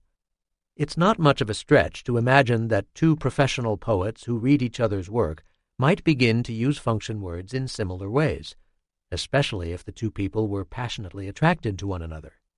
A wonderful example is the case of the mid 19th century British poets Elizabeth Barrett and Robert Browning. The two poets already had sterling reputations by the time they first corresponded when she was 38 and he was 32. Elizabeth, whose health had been poor since the age of 14, had never left home and continued to live with her despotic father while she wrote about emotions, love, and loss. Robert was a vibrant man about town whose work was more psychological and analytic. After Elizabeth published a poem that referenced one of his poems, Robert wrote her and professed his love for her work, and more directly for her, even though the two had never met. Over the next several months, they corresponded and he proposed marriage, something that she initially resisted by trying to pull away from him. After Robert relentlessly pursued Elizabeth, the two eventually eloped, moving to Italy, where they spent most of their lives together. By all accounts, the marriage was supremely happy, with both continuing to publish their work. The only dark time in their 15 year marriage came during the last two to three years when Elizabeth's health failed, resulting in her death at the age of 55. Over the course of their careers together, both Elizabeth and Robert were prolific, producing hundreds of poems. Even before they met, the two tended to use function words similarly. This may explain why the two were so attracted to one another long before they ever corresponded. As you can see in Figure 8.2 in your bonus material, the LSM statistics indicate that their use of function words was quite similar before they met and for most of their marriage. During their one and a half year courtship, however, the poetry they wrote diverged. This was a period when Elizabeth struggled with the decision of breaking away from her father and, in her own mind, burdening Robert with her health problems. As you ponder the figure, you might be curious to know who is responsible for the increasing and decreasing LSM over time. After all, LSM has been likened to a dance between two partners. Can we determine if one of the dancers is more responsible for the occasional faltering in the dance? In fact, we can. Closer inspection of both poets' use of function words suggests that Robert was impressively steady in his writing style over the course of his career whereas Elizabeth tended to alter the ways she used function words from one period to the next. For example, during most of their time together, Elizabeth's use of function words tended to mirror Robert's. However, during her difficult courtship year, and as her health declined toward the end of her life, she tended to withdraw into her own world, writing less like Robert and less similarly to her own writing at other times of her life. Sylvia Plath and Ted Hughes Whereas the Brownings' marriage is often idealized by modern writers, the relationship between Sylvia Plath and Ted Hughes is not. Plath was born in Boston and met the British born Hughes while she was on a Fulbright scholarship at Cambridge University. Both were considered rising young stars in the poetry world. Her writing was often emotional, confessional, and occasionally whimsical. His was more cerebral, often dealing with nature and myth. Four months after meeting at a party, they married. She was 24, he was 26. During the first four years of their marriage, both experienced personal and professional success. Relative to Plath, Hughes's writing came easily, and he won several awards. About five years into the marriage, Plath's health started to fail, including several bouts with influenza, an appendectomy, and a miscarriage. She accurately suspected Hughes of being unfaithful often causing her to fly into violent fits of rage. Within a year, Hughes left Plath for another woman. Plath, who had a history of depression before her marriage, sank into a period of despondency. Even though she continued with her writing, she became increasingly isolated from her friends. Less than a year after her separation from Hughes, at the age of thirty, she committed suicide. It is interesting to compare the language styles of Plath and Hughes over the course of their relationship, especially in comparison with the Brownings. As is apparent in the figure, Plath and Hughes had very different linguistic styles before they met. Hers was far more personal and immediate compared to his more objective, distanced style. During their relatively happy years, their styles converged to some degree before veering apart during the last three years of her life. It is also interesting to see how the two couples differed in their language style overall. The much happier marriage of the Brownings was associated with greater language style matching across all phases of their lives compared with the Plath Hughes relationship, it would be a mistake to conclude that language style matching was the cause of the Brownings' success or the Plath Hughes' marital failure. Instead, the matching of function words between two people merely reflects the fact that the two people tend to think alike. It is even riskier to make bold statements about LSM and relationships by looking at people's professional writing, especially when the two may be writing about very different topics aimed at different audiences. Beyond love, admiration and contempt between Freud and Jung. LSM analyses can tell us something about close, intimate relationships. The instant messages between dating couples helped reveal which couples were most likely to succeed and fail. The more esoteric poetry analyses allowed us to infer the similarity in thinking between married poets, and by extension, pointed to the high and low spots in their relationships. But there is much more to LSM than romantic love and heartbreak. The analysis of function words can be applied to any kind of relationship between two people.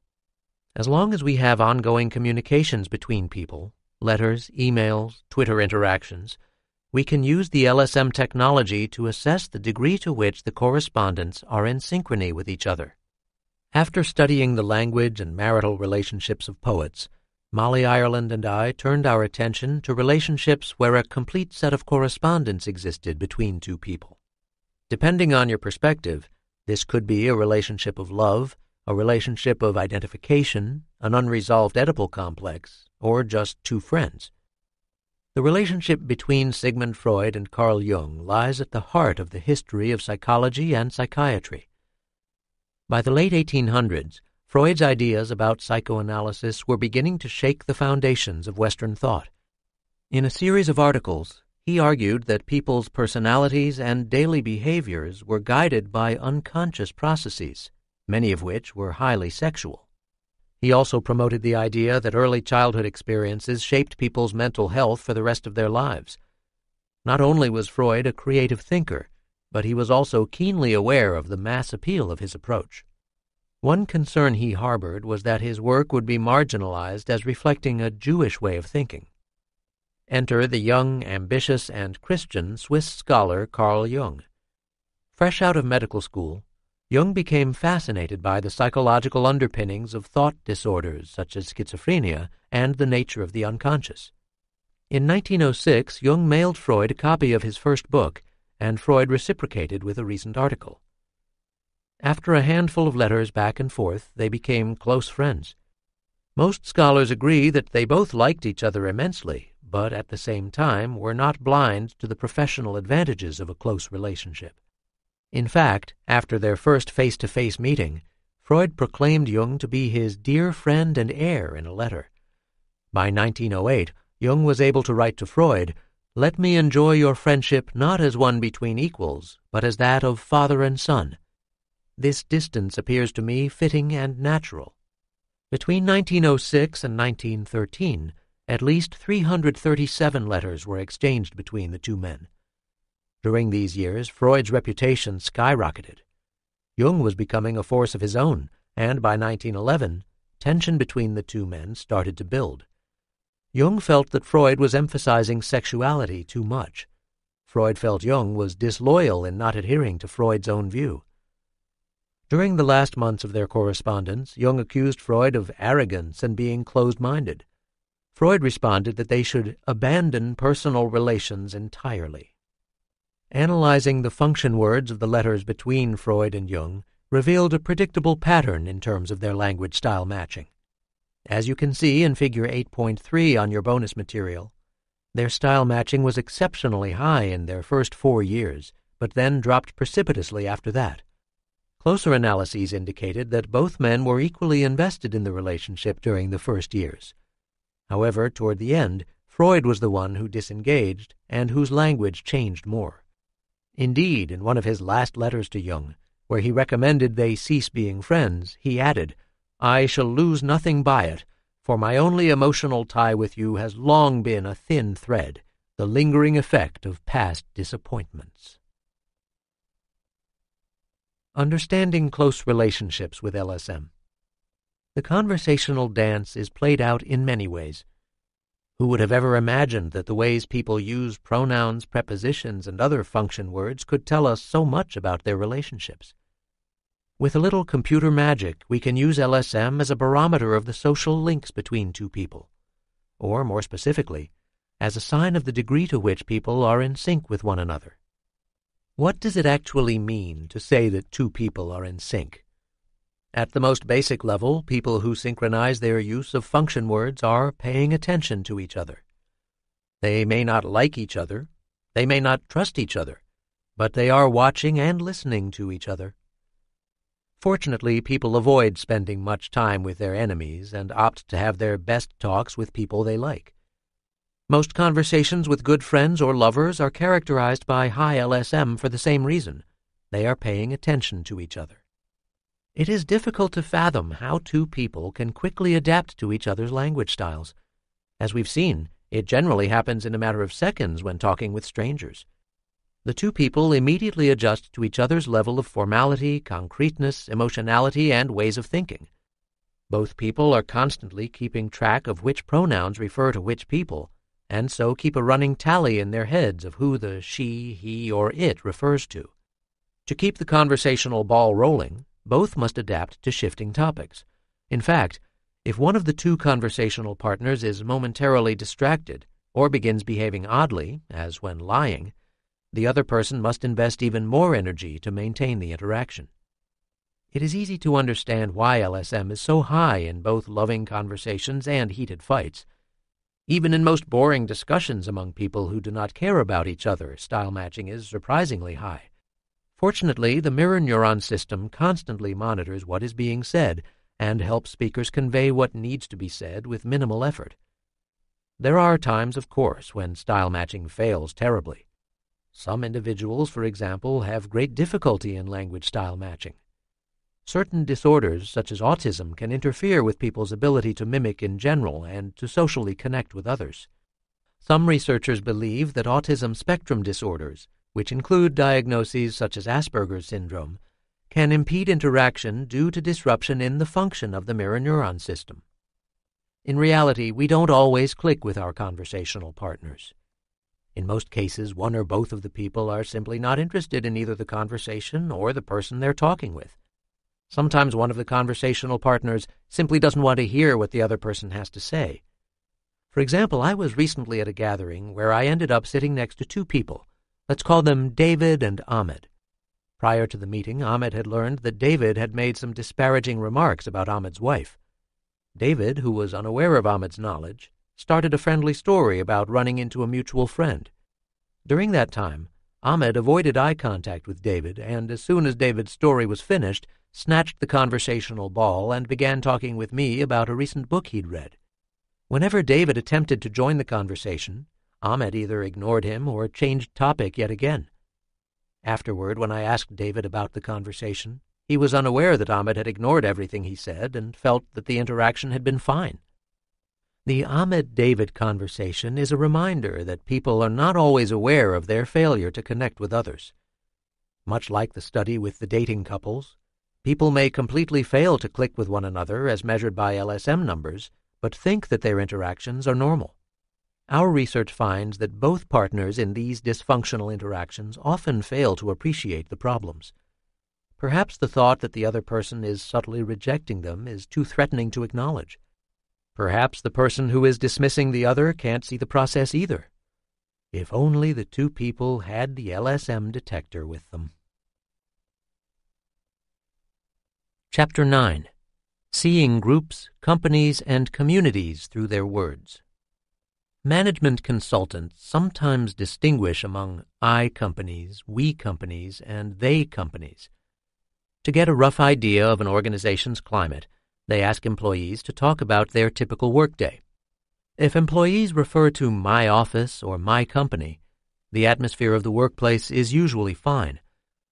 People working in these I companies are reasonably happy, but not particularly wedded to the company itself. However, if they refer to our office or our company, pay special attention. Those in we companies have embraced their workplace as part of their own identities. This sense of we-ness may explain why they work harder, have lower employee turnover, and have a greater sense of fulfillment about their work lives. And be very concerned if an organization's employees start calling it the company, or worse, that company, and referring to their coworkers as they.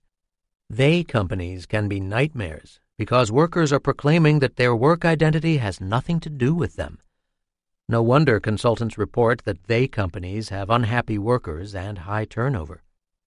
How people talk about their company is only one way to tap the group dynamics of an organization. By listening to the words people use within any group, several features about the group's inner workings can be unmasked. Through emails, web pages, transcripts of meetings, and other word clues, we can measure how much group members think alike. It is also possible to profile groups in terms of their cohesiveness, productivity, formality, shared history, and in some cases, their honesty and intentions to change. This chapter may not be of relevance to some people. If you do not have any family, co-workers, or friends, or know anyone in any organization, neighborhood, or community, you can skip this chapter and jump to the next. Everyone else should keep listening. We words as identity markers. I learned about I, we, and they companies from a consultant I sat next to on a flight several years ago. About the same time, couples researchers were discovering some similar patterns. In a typical study, married couples would be invited into the lab and encouraged to talk either about their marriage or about a problem in their relationship. Sparks would sometimes fly, sometimes in good ways, sometimes not. In general, the more a couple used we words when being interviewed about their marriage, the better. When couples used the warm and fuzzy we that said my spouse and I, it signified a healthier relationship, and in some studies predicted how long their marriage would last. Interestingly, the use of we words only predicts a good relationship if the members of the couple are in the presence of an interviewer. Other studies where married couples were asked to wear a digital recorder for several days failed to find any patterns with we words. The use of we words around just one other person often means you or everybody but you. A couple's use of we words when talking to a third party predicts a satisfying relationship. However, we use for couples talking only to each other rarely predicts the quality of the relationship. In the laboratory, when talking about marital disagreements, we words indicated a good relationship, whereas the use of you words suggested problems. The use of you words, such as you, your, and yourself, were most apparent in toxic conversations, usually where the two participants were accusing each other of various shortcomings. We words may even save your life. In one project, patients with heart failure were interviewed with their spouses. They were asked a series of questions, including as you think back on how the two of you have coped with the heart condition, what do you think you have done best? The more the spouses used we words in their answers, the healthier the patients were six months later. The use of we words by spouses indicated that they viewed their partner's health problem as a shared problem that both were committed to fixing. When both members of the relationship were working together to cope with the illness, it reduced the physical and emotional stress on the patient. We words may even save your life if you are perfectly healthy. Analyses of commercial airline cockpit recordings have found that poor communication among the flight crew has contributed to over half of all airline crashes in the last century. In some cases, pilots established a toxic atmosphere that discouraged dissent. In other cases, one or more crew members were distracted and failed to listen to critical information from others. A recurring theme has been that the most effective crews are ones that are close knit and feel they are part of a team. For example, Brian Sexton and Robert Helmreich analyzed the language of flight crews during extended flight simulations. The more the crew used we words, the fewer errors it made. In analyses of cockpit recordings of airline crashes, the ones characterized by clear human error are associated with much lower use of we words compared to those caused by unavoidable mechanical errors. Words such as we, us, and our can be powerful markers of identity. When people tell complete strangers about our marriage, our business, or our community, they are making a public statement about who they are and with whom they identify. Our marriage, for example, is a shared and joint entity. Similarly, our business and our community are groups that are a part of who we are. The expanding we, the person and the group. The ways people think about themselves are constantly shifting. The shift between the use of I and we can be remarkably subtle and can occur almost instantaneously. In conversations, both speakers and listeners may not even consciously hear which pronouns are uttered. Nevertheless, the speaker's use of we to refer to the listeners and themselves has psychological and social meaning. You can get a sense of this shift in the following overheard conversation between two people talking about a real estate deal. Alex, about 45 years old, is a lawyer who dabbles in real estate deals. Liz Ann, around 40 years old, successfully got out of the stock market at its peak and has been involved in a number of investment projects. Alex, I've got a deal you might be interested in. It involves buying that property on Oak Street. Liz Ann, the last thing I need is another fight with the Darden Group. Alex, this isn't with Darden. The original owners have approached me about selling it for tax purposes. Liz Ann. What are they asking? What would be my risk? Alex. Probably 350 with the usual side deals. We could offer 300. Liz Ann. I'm not sure this is the right time, but if we sidetrack Darden, I'd be happy. Clearly the two people know each other and have worked together in the past. At the beginning of the brief conversation, the two are separate beings with their own agendas. They both use I words each time they speak. In the next to last line, Alex tosses out, We could offer 300. In Alex's head, the two people have subtly morphed from two individuals to one group with common goals. The final line by Liz Ann suggests a possible acceptance of their shared identity. Even though Alex might not have consciously picked up Liz Ann's use of we, his brain likely detected that she was leaning toward investing in the Oak Street property.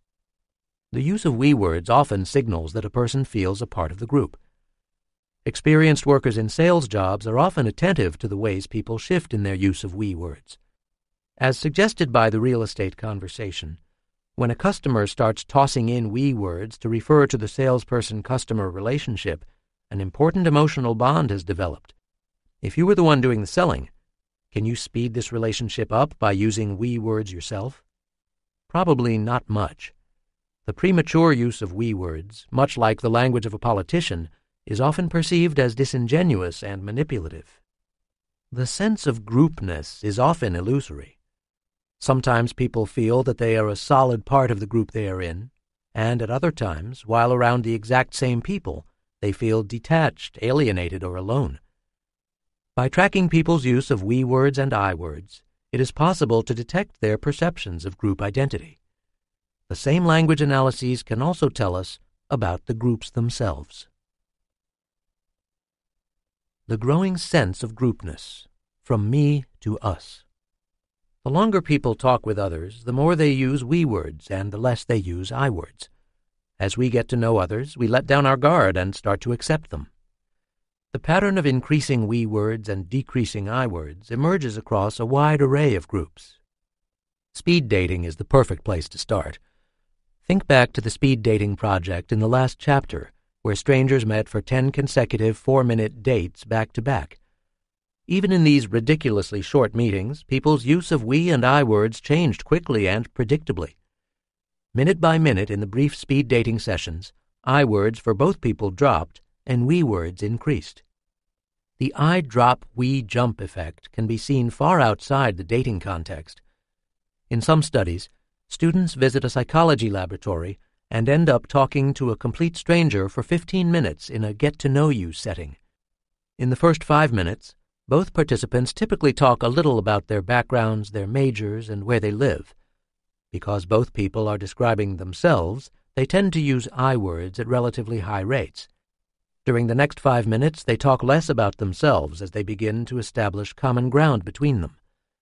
By the final five minutes, their use of I words drops between 10 and 50 percent compared to their starting levels. At the same time, their use of we words increases anywhere from 20 to 200 percent. The patterns are even stronger in online get to know you chats between two strangers. The same shifts occur in larger groups. In a business school experiment with four person groups, people worked on a complex group decision task for 30 minutes.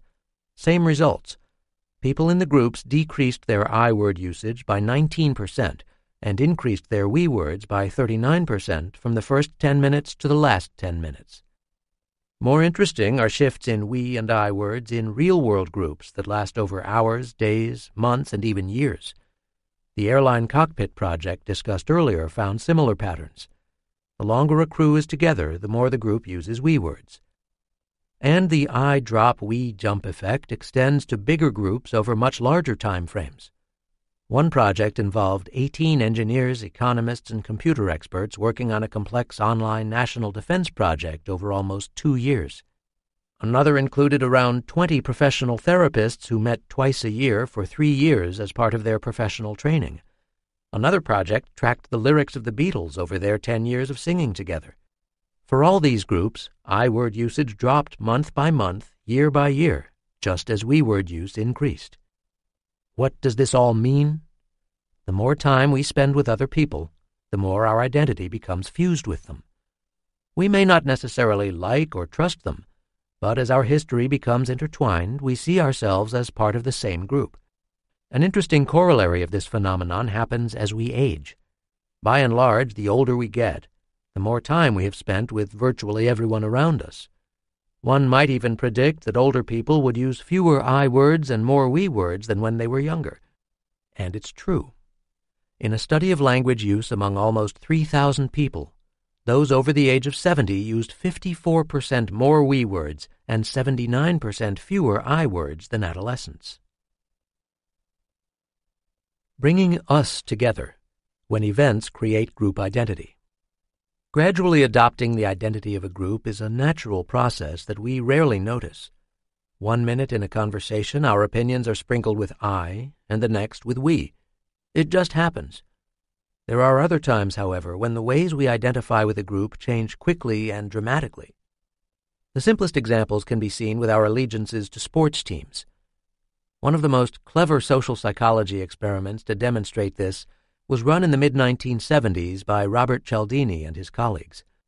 Students who were attending universities with top ranked football teams were called in the middle of football season as part of a survey purportedly dealing with campus issues. In the previous weeks, their home football teams had won a major game, but also had lost another. After a few preliminary questions, the interviewer asked about one of the two pivotal games in the season. Can you tell me the outcome of that game? If their team had won, they usually answered, We won. But if their team had failed to win the game, their answer was more likely, They lost. Taking partial credit for your team's winning is a form of basking in reflected glory. Basically, we want to be close to groups that are successful and distance ourselves from losers. The sense of wanting to belong to a powerful group may have its roots in evolution. Most social animals seek the protection of a group when they're threatened. Even the appearance of an outsider can make people more aware of their own social network. In the same football project, Cialdini's interviewers sometimes claimed that they lived in the same town as the respondents. Other times, the interviewers reported that they were from out of state. In other words, half the time the participants thought they were talking to someone like them, whereas the other half they believed that they were being interviewed by a football foreigner. The us them effect was much stronger when talking with the outsider. When reminded of competing groups, our own membership in a successful group becomes more important.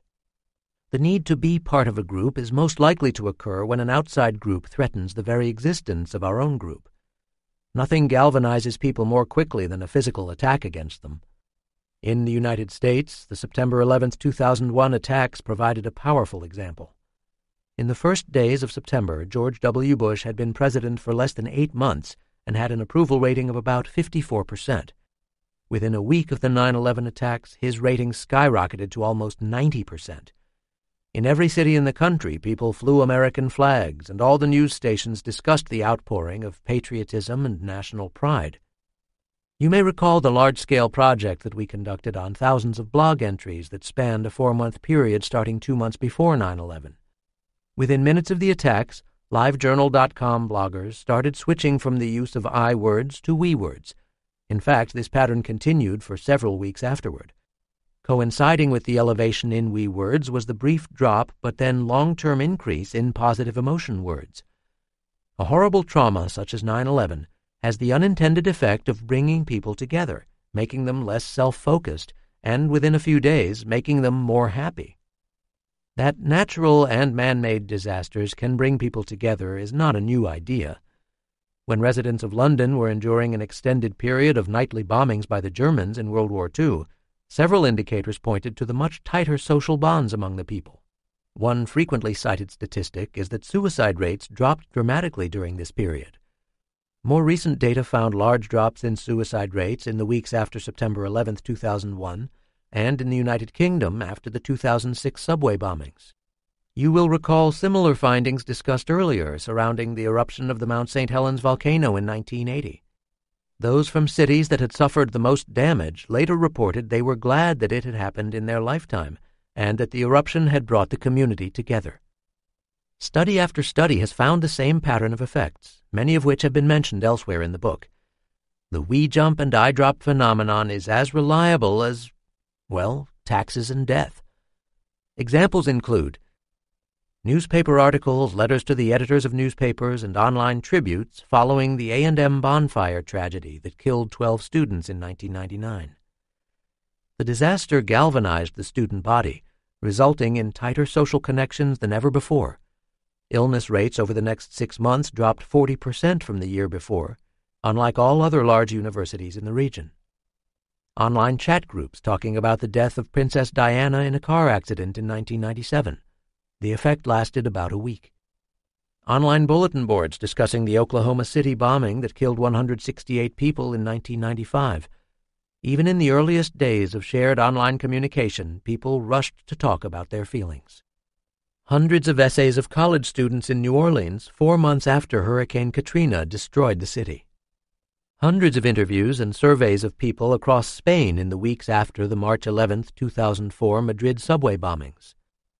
Google Internet searches in England following the London Underground bombing in 2005, Pakistan after the assassination of Benazir Bhutto in 2007, India after the attacks in Mumbai in 2008, and Poland after the airline crash that killed the country's president and other leaders in 2010, which all showed comparable trends. The use of we words and the sense of group solidarity is not something that just occurs when people are threatened. Much like the football example, people embrace their group identity when it succeeds or behaves admirably. Google Labs has developed a marvelous application called Google Trends, www.google.com/trends, that allows users to track the words people use when searching the internet. With it, anyone can see how particular cities, states, or countries use words over time. Using Google Trends, it is easy to come up with examples of increased we word use during times of cultural pride. Nationwide, use of we words increased in the United States following the election of Barack Obama in 2008 and in Britain after the success of the Conservatives in their 2010 national election. In Canada, use of we words spiked in February 2010 during the Winter Olympics, which it hosted. The importance and limits of group identity. We words tell us about group identity. By analyzing them closely, it is possible to get a sense of the speaker's connections with others. Knowing if someone feels that they are an integral part of a marriage, a family, their company, their community, or their country is valuable information. In fact, many psychologists and sociologists have devoted their careers to understanding group identity. People who identify with a group are simply more loyal to it. They tend to rely on people in their group and distrust people outside it. Group identity has frequently been associated with stereotyping, prejudice, and discrimination. Many family feuds, regional battles, instances of genocide, and world wars have been fought where group identities served as the rallying cries. If you are interested in groups and how they work, knowing about the people's identities is a good first step, but it's only part of the story. Just because I am a member of various types of groups doesn't mean that I necessarily like all the people in each group, would work well with them, or would even like to eat lunch with them. To really understand how groups work, it is important to track how they communicate with each other. Beyond group identity, capturing group dynamics. It's easy to forget that the reason language evolved was so we could communicate with other people. To appreciate how a group functions, look at how members of the group interact with one another. When people in the group are talking, are other members of the group listening? When they are working on problems together, do they tend to talk in similar ways? In the chapter dealing with close relationships, the topic of language style matching, or LSM, was discussed. LSM measures if two people are in sync with one another by looking at how similarly they use stealth words, personal pronouns, articles, auxiliary verbs, and the like. The more similarly two members of a couple use stealth words when talking, emailing, or IMing, the more the couple is clicking and the more likely the couple will still be together a few months later. As with couples, all groups can vary in the degree to which they are cohesive, in sync, or clicking. You may have recently had dinner with a group of friends and marveled at how your group was in perfect harmony. Meeting again a week later, the same group may have been completely out of step for no apparent reason. Most of us have had similar ups and downs with group meetings at work, at home, or in online chats. By measuring each person's relative use of stealth words in these interactions, we can begin to get a sense of how well the group is working and even identify where the problems might be. Small working groups, solidarity and productivity. Imagine that you are thrown into a work group that must come up with a solution to a complex task. As part of a business school exercise, your group must decide if it would be a good investment to buy Lou Prod's manufacturing company. Luprods, you learn, has designed a new gear system for bicycles that could revolutionize the bicycle business. No one in your five person work group knows anything about Luprods or the bicycle business. Over the next four hours, however, your group must write a report that lays out your recommendations backed up with solid information. To add to the pressure, there are ten other groups doing the same task, and it is imperative that your group's performance is among the best. To succeed on a task like this, each group member must take on an independent task. Someone must learn something about the bicycle business, the gear business, the economic history of Luprods, its competitors, the quality of Luprods' management team, and potential other Luprods buyers. The team members must work closely together in a coordinated way to come up with an overall recommendation based on all the information available. What makes for a good working group? Even within the first few minutes of your group being together, we can begin to predict how it will do on the task. This may not surprise you, but the ways the group members use function words with each other is one of the best predictors. Variations of this project have been run in business schools and psychology departments around the world. In two studies, my colleagues and I calculated style matching scores for each person in the group. So, for example, if there were five people in the group, we could determine the degree to which each of the five people matched with the average of everyone else in the group. The average style matching, or LSM, score for each group tapped the degree to which the entire group was talking in similar ways. The more group members talked alike, the more cohesive the group. In other words, higher LSM scores reflected the more tightly knit groups. More important, style matching was related to how well the group performed. If people in a group are using similar function words at similar rates, the team performs better. Even before the groups turned in their answers, our language analyses could make reasonable predictions about the ultimate success of the different groups. At least in controlled laboratory settings, the use of stealth words, such as pronouns and prepositions, among the people in the group showed that the participants were all on the same page. They all shared common assumptions about the task and what needed to be done. Larger real world groups Wikipedia Lab studies of group behavior tell us how people might behave in more natural settings. How many times in your life will you be in a group with four 20 year olds making a major business decision on a topic you know nothing about over a four hour period? Does language style matching predict success in actual real world groups? The answer is in Wikipedia. Created in 2001, Wikipedia is an online encyclopedia like information source that has several million articles. Many of the articles are expertly written and have been carefully edited by dozens, sometimes hundreds of people. For the most commonly read articles, an elaborate informal review takes place. Often, a single person will begin an article on a particular topic. If it is a topic of interest, others will visit the site and frequently make changes to the original article. In many ways, a Wikipedia article is really two articles. The casual visitor sees only the final product, However, by clicking on the Discussion tab, it is possible to find conversations among the various contributors. These interactions are often quite professional, sometimes detailed and thorough, but occasionally downright rude and nasty. What makes Wikipedia amazing is that it reflects a form of intellectual democracy that actually works. Although many scholars would be loath to admit it, Wikipedia is often the first professional site they visit to learn about a new topic. It is also a rich source of language data for someone interested in how groups work. In fact, it so intrigued one of my graduate students, Isla Tausczik, that she enlisted the help of the University of Texas at Austin's supercomputer team to download all of Wikipedia, including the behind the scenes conversations, a non trivial task, I might add. For starters, Isla identified about a hundred American cities that had relatively extensive Wikipedia entries.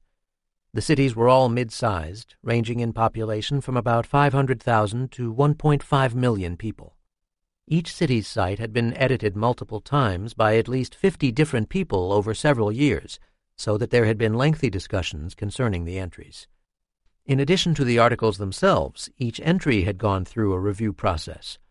Indeed, all articles are categorized by Wikipedia along a continuum from stub, meaning not worthy of even being called an entry, to exemplary. The degree to which the various editors used similar language in communicating with each other reflected higher quality articles. Just as in the lab studies, teams of Wikipedia authors and editors who are in sync with each other, as measured by their similar use of stealth words, produce the best, most authoritative articles. Language style matching in the real world reflects better real world products. Even larger real world groups, communities, and Craigslist. If we can examine the cohesiveness and interconnections of a changing group of editors on Wikipedia, why not look at real communities? Some towns are more tightly knit than others. Most of us have occasionally visited towns or neighborhoods where people appeared to be remarkably similar in their opinions, food preferences, and social behaviors. In others, virtually no one seems to know their neighbors or has a sense of the history or values of their community. The Wikipedia project hints that it might be possible to assess the connections between people by simply measuring how people in a community use language. Another amazing Internet development has been the growth of the site Craigslist.org. In most U.S. cities, Craigslist allows people to buy, sell, and give away a large number of goods and services. The ads themselves are free, and people can write as much as they like and even include pictures. The demise of many American print newspapers has been attributed in part to Craigslist, in that people are more likely to sell their cars, rent their houses, or give away their puppies on Craigslist than use paid classified advertisements in their newspaper. In 2008, my students and I saved copies of all Craigslist ads in 30 different mid-sized communities across the United States. Because there are so many categories of ads, we only looked at ads for cars, furniture, and roommates. Within each category, we analyzed between 6,000 and 10,000 ads and evaluated how people in the different cities used function words. More specifically, we were curious how similarly different communities used pronouns, prepositions, articles, etc. The results were fascinating. In several of the communities, people tended to write their ads using the same language style as their neighbors. In Portland, people generally wrote in a personal style with a slight negative emotional tone. People in Salt Lake City, on the other hand, were exceptionally upbeat in their ads. Although Craigslist writers in Portland and Salt Lake City may have had distinctive styles, within each city people were thinking about their ads in the same ways. In contrast, residents of Bakersfield, California and Greensboro, North Carolina were much more scattershot in their writing styles, meaning some people may have been very formal in their writing and others very informal. They simply didn't speak with one voice. Using a method similar to language style matching, we were able to calculate the degree to which residents in any given town used language in similar ways. The findings suggested that the more similar the community's use of language, the more cohesive the city. The top 10 most linguistically cohesive communities were Portland, Oregon, Salt Lake City, Utah, Raleigh, North Carolina, Birmingham, Alabama, Rochester, New York, Hartford, Connecticut, New Orleans, Louisiana, Richmond, Virginia, Worcester, Massachusetts, and Tucson, Arizona. The 10 least linguistically cohesive communities were Bakersfield, California, Greensboro, North Carolina, Louisville, Kentucky, Oklahoma City, Oklahoma, Dayton, Ohio, El Paso, Texas, Jacksonville, Florida, Columbia, South Carolina, Tulsa, Oklahoma, and Albany, New York. Note that cohesiveness was calculated by the degree to which people in the various communities used function words at comparable levels in their Craigslist ads. As you consider the list of the 10 most and least linguistically cohesive communities, the difference between them may not be immediately obvious. It's not a matter of North versus South, liberal versus conservative, rich versus poor, or even a function of the town's racial makeup, age distribution, or migration into or out of the city. Rather, one of the most striking differences between the two lists is that the most cohesive communities have higher and more equal income distributions than the least cohesive. Using a statistic called a Gini coefficient, demographers can determine the degree to which wealth is spread around in any given city, state, or country. Cities where the residents use language in similar ways tend to be communities that are more similar in terms of their incomes. The bigger the split between the rich and poor of a community, the more varied their writing styles for Craigslist ads. You can see why the Gini statistic is important. In communities where there is a much larger split between the rich and the poor, it's less likely that the different elements of the city will interact. As the range of income within a town becomes smaller, the residents will likely have more in common with one another and should talk more with others. Not coincidentally, they should also have more objects and services that others in the community would want to exchange on Craigslist. The magic of this project is not about the links between income distributions and social patterns in cities. Rather, it shows how words in the most mundane of places can reveal important information about a community's social ties. All groups, whether families, work groups, companies, or entire cities, leave trails of their social and psychological lives behind in the words their members use in communicating with each other. Words are one of the human-made elements that connect our thoughts and ideas across people. By tracking our words, we get a sense of the social fabric. Group spotting. How words reveal what a group is doing and where it is. Consider what we know so far. Individuals use words, especially pronouns, to signify their sense of belongingness to a wide range of ever-shifting groups. Whereas we-ness measures reflect feelings of group identity, synchrony measures, such as language style matching, tap a shared worldview by the group members. Taken together, the various findings point to the shared mindset of most groups. Within any group, whether a family, school, work team, or even a community, people soon start talking alike. In small groups, they discuss the same topics with each other, and in a sense, it isn't too shocking that their function words are similar. But as groups get larger, and not everyone necessarily talks with everyone else, it is impressive that the group still maintains its own linguistic style. Sociolinguists would not be surprised that large groups share similar linguistic styles. There is now a generation of important research tracking how neighborhoods, cities, and entire regions of a country begin to develop their own unique accents. Further, people can usually modulate their accents depending on who they're talking with. If my wife gets a phone call at home, I can usually make a reasonable guess who she is talking to by her cadence, volume, tone, and even accent. If my brain were wired differently, I could probably also hear her function word use and make even better guesses. Think about the implications of the contagion of function word use.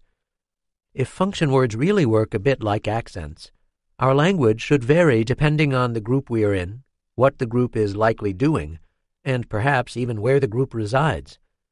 We may not be aware of it, but we likely shift in our use of function words depending on what groups we happen to be in and what the groups happen to be doing.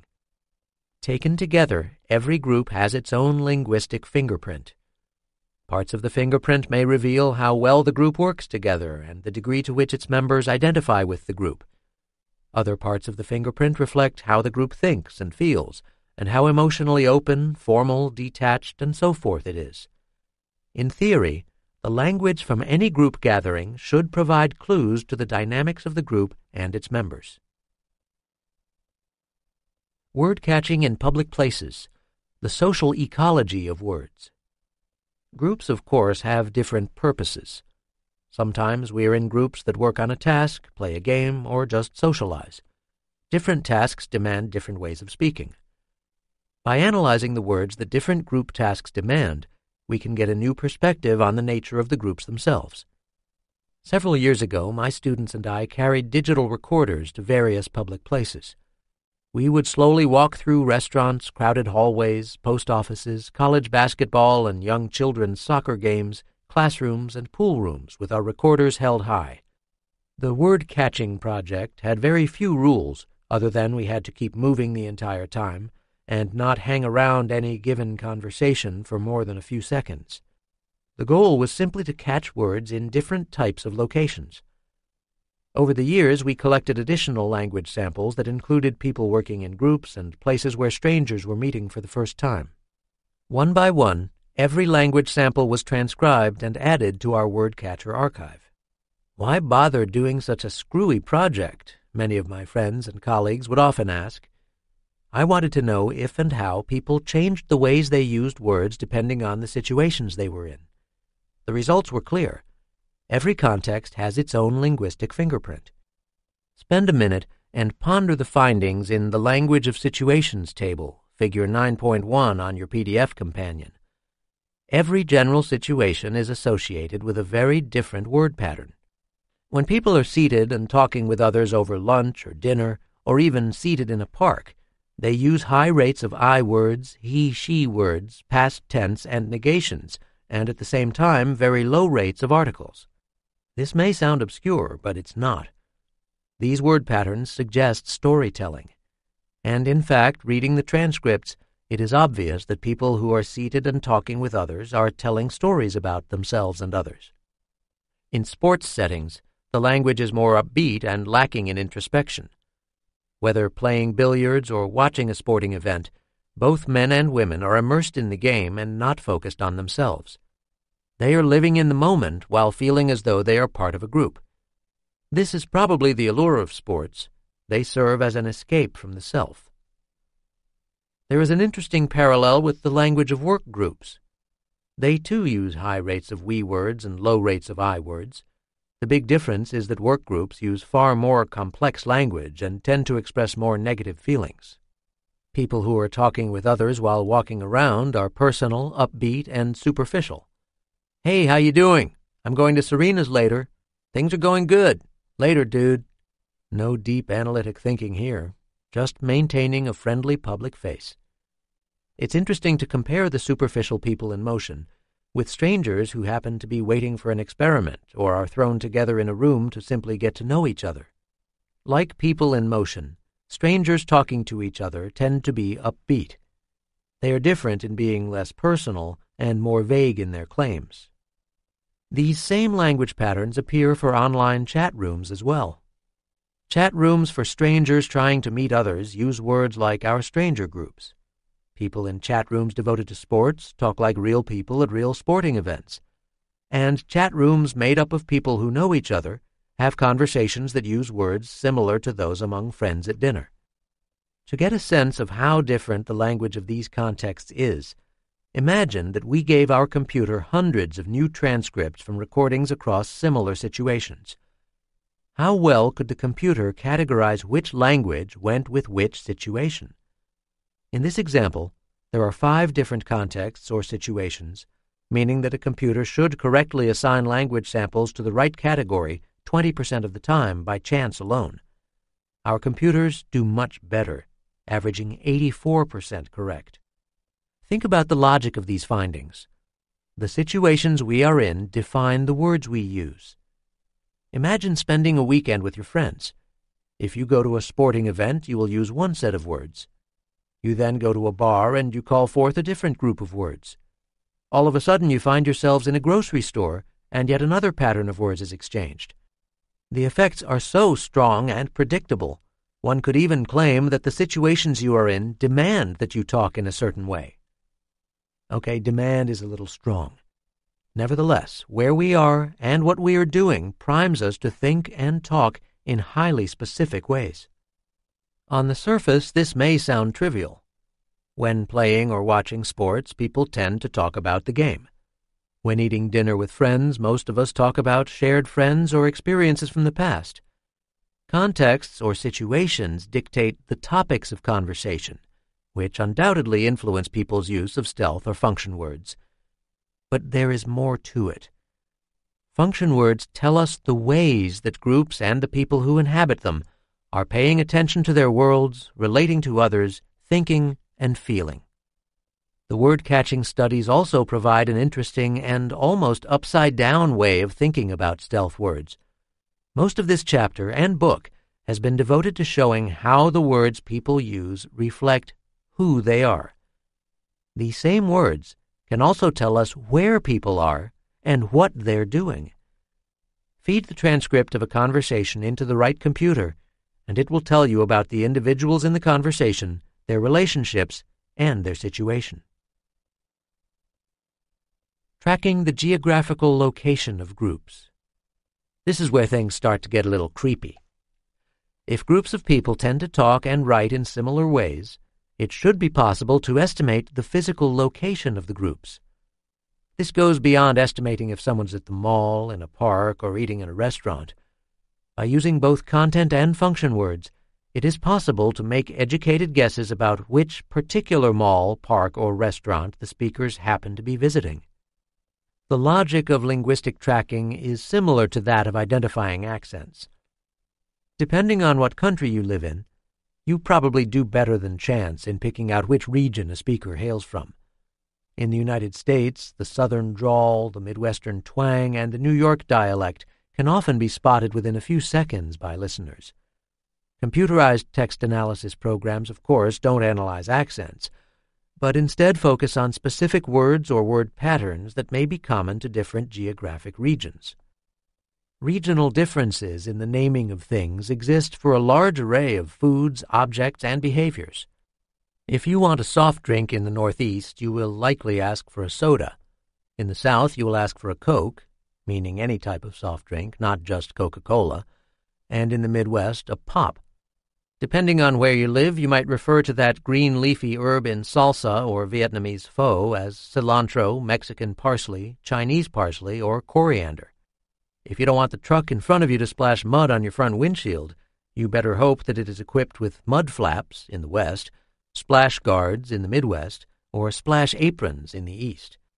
And if you are driving in England, hope it has mud flaps two words, or in Australia, mud flaps one word. Later, when you go for a row in your canoe, be careful because you don't want it to tip, U.S. East and West, or tump, U.S. South, over. One can imagine that by cataloging regional names, we could begin to isolate where people are from. All that would be needed would be to wait until speakers or writers mentioned their words for soft drink, spices, or how their boats rolled over. Instead of waiting for relatively obscure words or topics to emerge, it might be more efficient to track more common words. Function words, perhaps? As we've seen, stealth words vary by context. It also happens that they can vary according to the geographical regions. Some regional differences in function word use are well known. For example, if people are talking to several of their friends, they might refer to them as all of you if from Seattle, use guys if from New York, y'all if from the American South, or even yat in Louisiana, as in where are you at? Even in relatively formal writing, regional differences exist in function word use. Cindy Chung and I had the opportunity to test this idea using thousands of essays people had written in response to the nationally syndicated radio program This I Believe. The original version of This I Believe ran briefly in the 1950s with journalist and radio commentator Edward R. Murrow. Over the course of a couple of years, Murrow invited some of the cultural leaders of the time to summarize their most important beliefs. The weekly broadcasts of politicians, sports stars, scientists, philosophers, and others captured the imagination of radio listeners. In 2005, Jay Allison and Dan Gediman resurrected the idea for National Public Radio. Rather than relying on celebrities, regular listeners were encouraged to contribute their own This I Believe essays. Over a four year period, over 70,000 essays were submitted although only about 200 were ever read on air. Most of the essays were eventually posted online for the public to read www.thisibelieve.org. Working with Allison and Gediman, we analyzed about 37,500 essays. A number of the stories were riveting, some tragic, many funny, most touching and inspirational. Regional differences emerged in terms of the topics of the essays themselves – Stories about sports were most common in the Midwest, racial issues in the South, and science in the Northeast. Not only did people differ in their topics, but they also differed in terms of their function words. As you can see on the top map of Figure 9.2 on your bonus material, people in the middle of the country tended to use the highest rates of I words, present tense verbs, and short words, as you might recall from earlier chapters, this constellation of words reflects psychological immediacy, wherein writers tend to be in the here and now. The darker areas reflect higher rates of immediacy. Contributors from the Northeast and the West were the least personal and social in their writing and the most concrete. These low levels of immediacy reflect a language style of psychological distance and formality.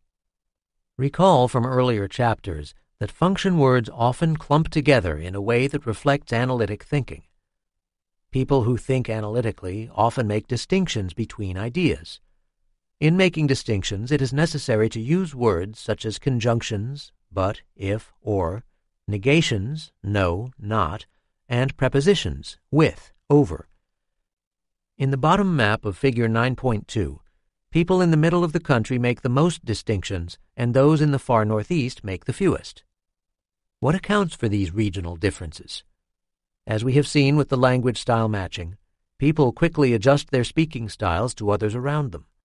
The more time spent conversing, the more individuals begin seeing their worlds in similar ways. As a general rule, my neighbors have the same weather, eat similar foods, share the same community events, and deal with the same schools, tax collectors, stores, and bureaucracies as I do. The people in my community share many of the same issues with those in the next town, and to a certain degree with those in the neighboring state.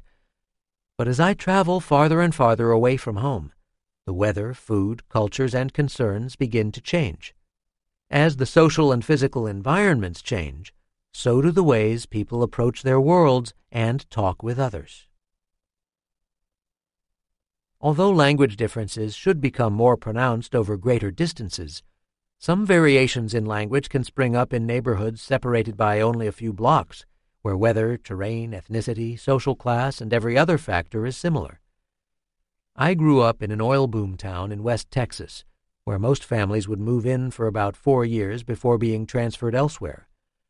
Even with the constant migration, new neighborhood children would quickly adopt accents and slang consistent with that neighborhood. Even within schools, researchers have been able to isolate different language patterns among different subgroups. In an important analysis of a Detroit high school in the early 1980s, Penelope Eckert demonstrated that the language of the school's jocks was as distinctive as that of its burnouts.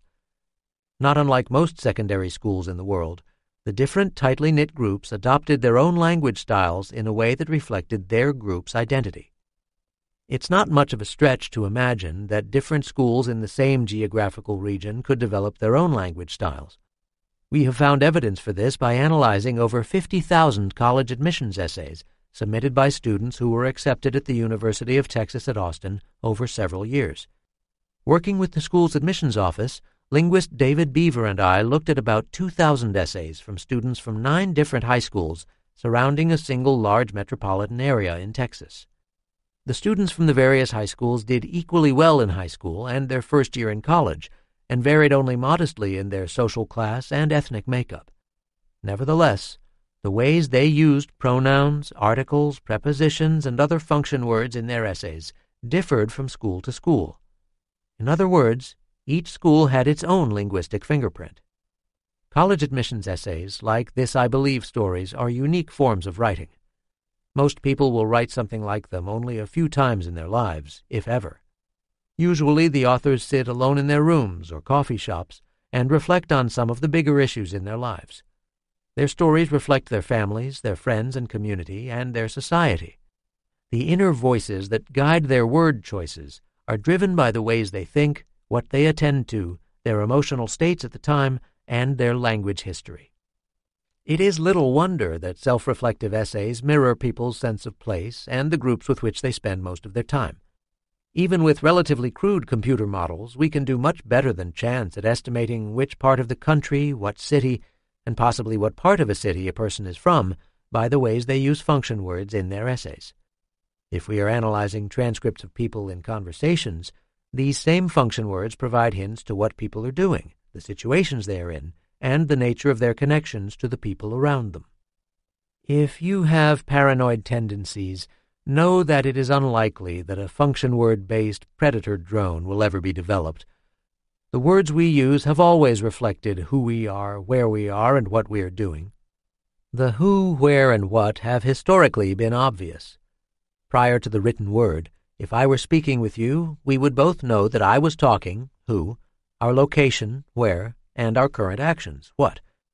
Only through the fluke of technological advancements have we had a period where the who, where, and what of communicating became opaque. The delicious irony is that with additional advances in technology, we may eventually be able to determine the who, where, and what of communication at levels comparable to our ancestors more than 5,000 years ago. This chapter has explored how the words people use in groups can reveal something about the groups themselves. Use of we words by group members often suggests that the members identify with their group. Over time, as people become more comfortable with their group, everyone tends to use we words more. When groups succeed or are threatened from the outside, group identity increases, with a corresponding increase in the use of we words. We words reflect group identity but not the degree to which a group works well together. It may be possible to increase a team's sense of identity, but that doesn't mean the team will actually perform any better. There may be no I in team, but there is no we in team either. Language analyses suggest that for groups to work best, they must think alike and pay close attention to the other team members. In all likelihood, language style matching reflects mutual interest and respect among different people in a group. The definition of a group has been used rather loosely in this chapter. This is okay. I'm a social psychologist. What is particularly intriguing is that similar processes for the use of we words and language style matching are apparent among dating couples, working laboratory groups, real world work groups, online communities, and entire schools, communities, and societies. The unifying theme is that all of these groups use language to communicate. Words are the common currency of interaction, whether written or spoken. Finally, just as words of group members reveal information about group processes, they also tell us something about what groups are doing and where they are. In an odd way, function word usage is highly contagious. Whether in couples, small groups, neighborhoods, or communities, people tend to adopt the language styles of the people around them. Our words, especially our function words, inadvertently reveal what we are doing and where we are. Just as our accents, body language, and clothes reveal our social and psychological selves, so do our words. If you are a private investigator, put away your spyglass. Instead, boot up your computer and start counting words. Chapter 10 Word Sleuthing In studying words, I have frequently been asked to analyze language to answer questions that I would have never considered. Lawyers, historians, music lovers, political consultants, educators, intelligence agents, and others have occasionally contacted me to see if our language approach could give them a different perspective on a problem they have been thinking about. This chapter brings together some of the more interesting projects my students and I have been playing with over the years. The topics vary quite a bit. Nevertheless, they showcase different ways words can be analyzed to answer novel questions. Using words to identify authors. The phone call I received from the senior partner in a law firm caught me off guard. He was curious if I could analyze an email that had been sent to a member of his firm. Let's call her Ms. Livingston. It was quite sensitive, he confided, and it was important that he talk directly with the person who had sent the email. The only problem was that the email had been sent anonymously from an untraceable email address. After I agreed to look at it, he sent me the following email. Ms. Livingston, I think you should know that David Simpson has perpetuated the idea that you have no credibility among your colleagues. He says you altered depositions and falsified expense reports at your last job in New York. He says this is the reason you left so abruptly. He has spread these stories to people in various departments, including billing, personnel, public relations, and to those at the executive level. It is uncertain how and when our senior partners will deal with this, but if you start getting the cold shoulder, you will know why. When I first heard of this, I was surprised, but took what he said at face value. Of course, this was before I learned of his voracious appetite for propagating half-truths, gossip, and outright lies, all in the name of somehow making himself look knowledgeable and better. Such a pity. He obviously has talent, but it is all negated by his vile, malicious tongue. All I can think of is a tremendous sense of insecurity. But I digress. I just thought you would like to know. A friend. After receiving the email, Miss Livingston turned it over to the law firm. She dismissed the rumor as provably false, but was concerned that if David Simpson really was spreading false rumors, it could damage her reputation, along with that of the firm.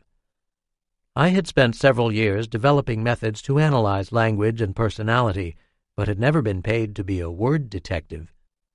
What kind of person may have written the note? Is a friend a male or female? and what is his or her approximate age? What is the person's link to Miss Livingston, to David Simpson, and to the firm? Any hints as to the person's personality traits? In the years since I worked on the case, several new ways of looking at words have been developed. One involves comparing the words a friend used with those of tens of thousands of regular bloggers. For example, by looking at just the function and emotion words, we can guess that there is a 71% chance that the author is female and a 75% chance that she is between the ages of 35 and 45. It is much harder to get a good read on her personality. One analysis suggests that there is a fairly good chance that the author of the email is high in the trait of narcissism, meaning she may be somewhat conceited and manipulative.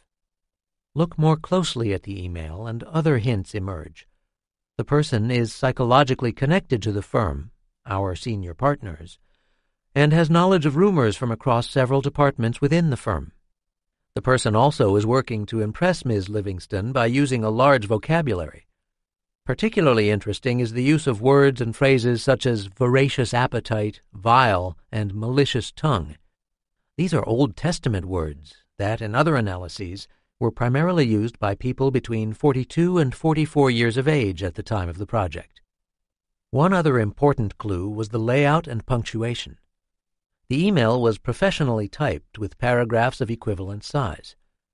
There was only one space between the period and the beginning of the next sentence, which suggests the person learned to type after about 1985, when desktop computers became popular, or the person had some background in journalism or publishing before 1985, where the single space after a period was the norm.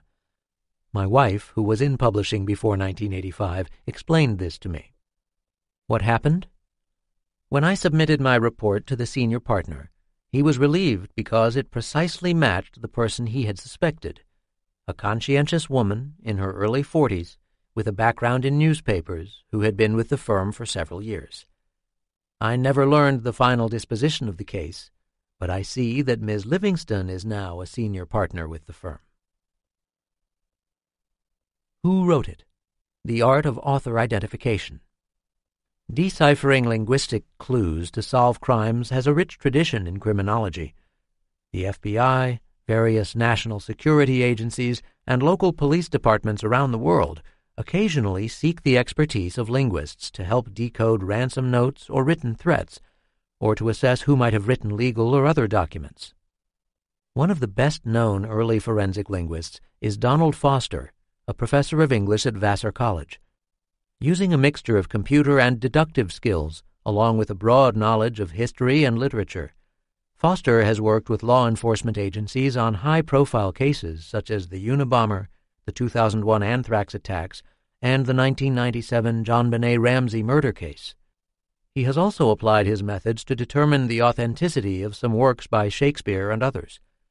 Perhaps his most successful venture was in identifying Joe Klein as the author of an anonymously published satirical novel on the Clinton presidency, Primary Colors.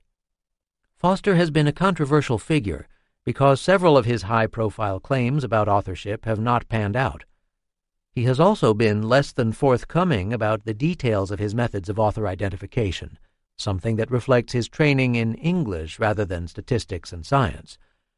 Nevertheless, Foster's approach has alerted the literary and forensic worlds to the promise of computer based methods to identify authors and their work. Finding the Tells World class poker players closely watch and listen to their opponents in attempts to predict the cards they may be holding. Often players will pretend they have a poor set of cards when they have a good set. Other times they will bluff by giving the impression they have a winning hand when they don't. Experts look for telling signs of deception, or tells. Some players avoid looking around the table, others tap their feet, yet others talk more loudly. The ability to decipher tells can give card players a large advantage in high stakes poker games. There are various types of tells in people's use of written language as well. Two are particularly good clues in identifying authors function words and punctuation. This can be seen in looking back at the blogs we collected in 2001 as part of the September 11th project discussed in the last chapter. Recall that we saved about 70 blog entries from each of a thousand people in the two months before and after the 9 11 attacks. Every few years, my students and I revisit livejournal.com to see if the same people are still posting. Ten years later, 25 to 30 percent are still active. About 25 percent have erased their accounts. The remainder stopped posting on average five years after the attacks in 2006. Many of the former posters migrated to other systems such as Facebook or Twitter. Simply reading the last 10 years of people's posts provides an intimate picture of their lives. Not unlike Michael Apted's 7 Up documentary series, we have been able to track the unfolding experiences of the bloggers as they grow older. Many of the same issues still drive the authors. Even though some have now married, had children, and started careers, recurring insecurities, motives, and goals keep returning. Those who were happy and upbeat in 2001 tend to be the same optimistic people nine years later. For example, a young father writes in a random blog in 2001 about his favorite hockey team. Lucky, lucky chicken bone. I shall do the happy cup dance. We shall win. We shall triumph, and there will be much rejoicing. I just need to get cable first. Okay, I wasn't just going to post about hockey, but Yvonne's ready to go. Yeah, shut up. You try resisting that sweet, sweet candy.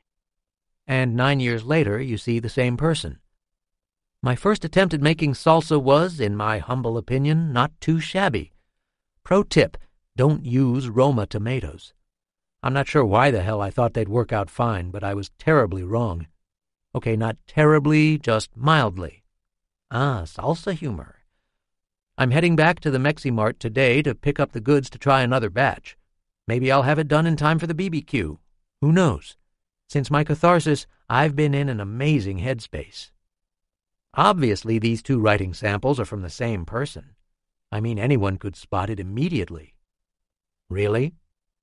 Actually, we can see the similarities once we know that they were written by the same person. But what if we read blogs all day and came across the second one several hours after reading the first? In all likelihood, most people wouldn't jump up yelling, Aha! I have read that writing style earlier. Yes, from the guy who wrote about hockey.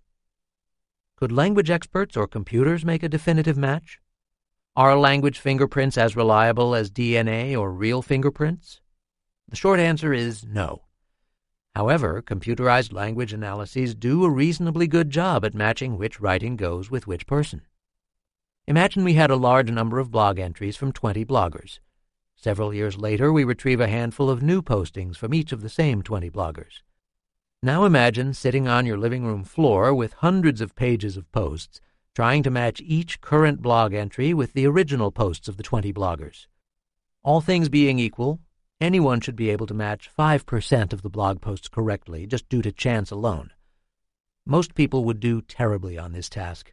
It is unlikely that you would match at rates any better than 10 to 12%.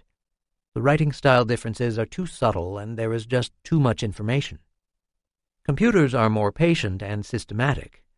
If we just analyze function words, the computer correctly matches the recent blog posts with the original authors about 29% of the time. This is actually impressive given the time lag between the writing of the posts. But there is more to author identification than function words. The following woman, for example, continues to use asterisks for emphasis nine years apart. This was part of an early 2001 entry. Oh, I have also discovered a shy streak I didn't know I had. I guess you would call it shyness. Somebody made me blush. Repeatedly. That is weird. Blush and weird are surrounded by asterisks. I don't blush. And in 2010, we are in post-post-punk now, aren't we? R is surrounded by asterisks. The guys in the band made a joke about how they just wrote that song yesterday, and maybe a quarter of the people in the room didn't get why the rest of us were chuckling. Weird. Shrug. Shrug is surrounded by asterisks. Others use punctuation in equally unique but more subtle ways. Punctuation marks can identify some people better than anything they write. In fact, when looking only at punctuation, computer programs identified 31% of authors correctly essentially the same rate as relying on function words. When both function words and punctuation were used together, the computer correctly paired the original bloggers with writing samples several years later 39% of the time. Punctuation, function words, and content words that are used in everyday writing are all parts of our personal signature.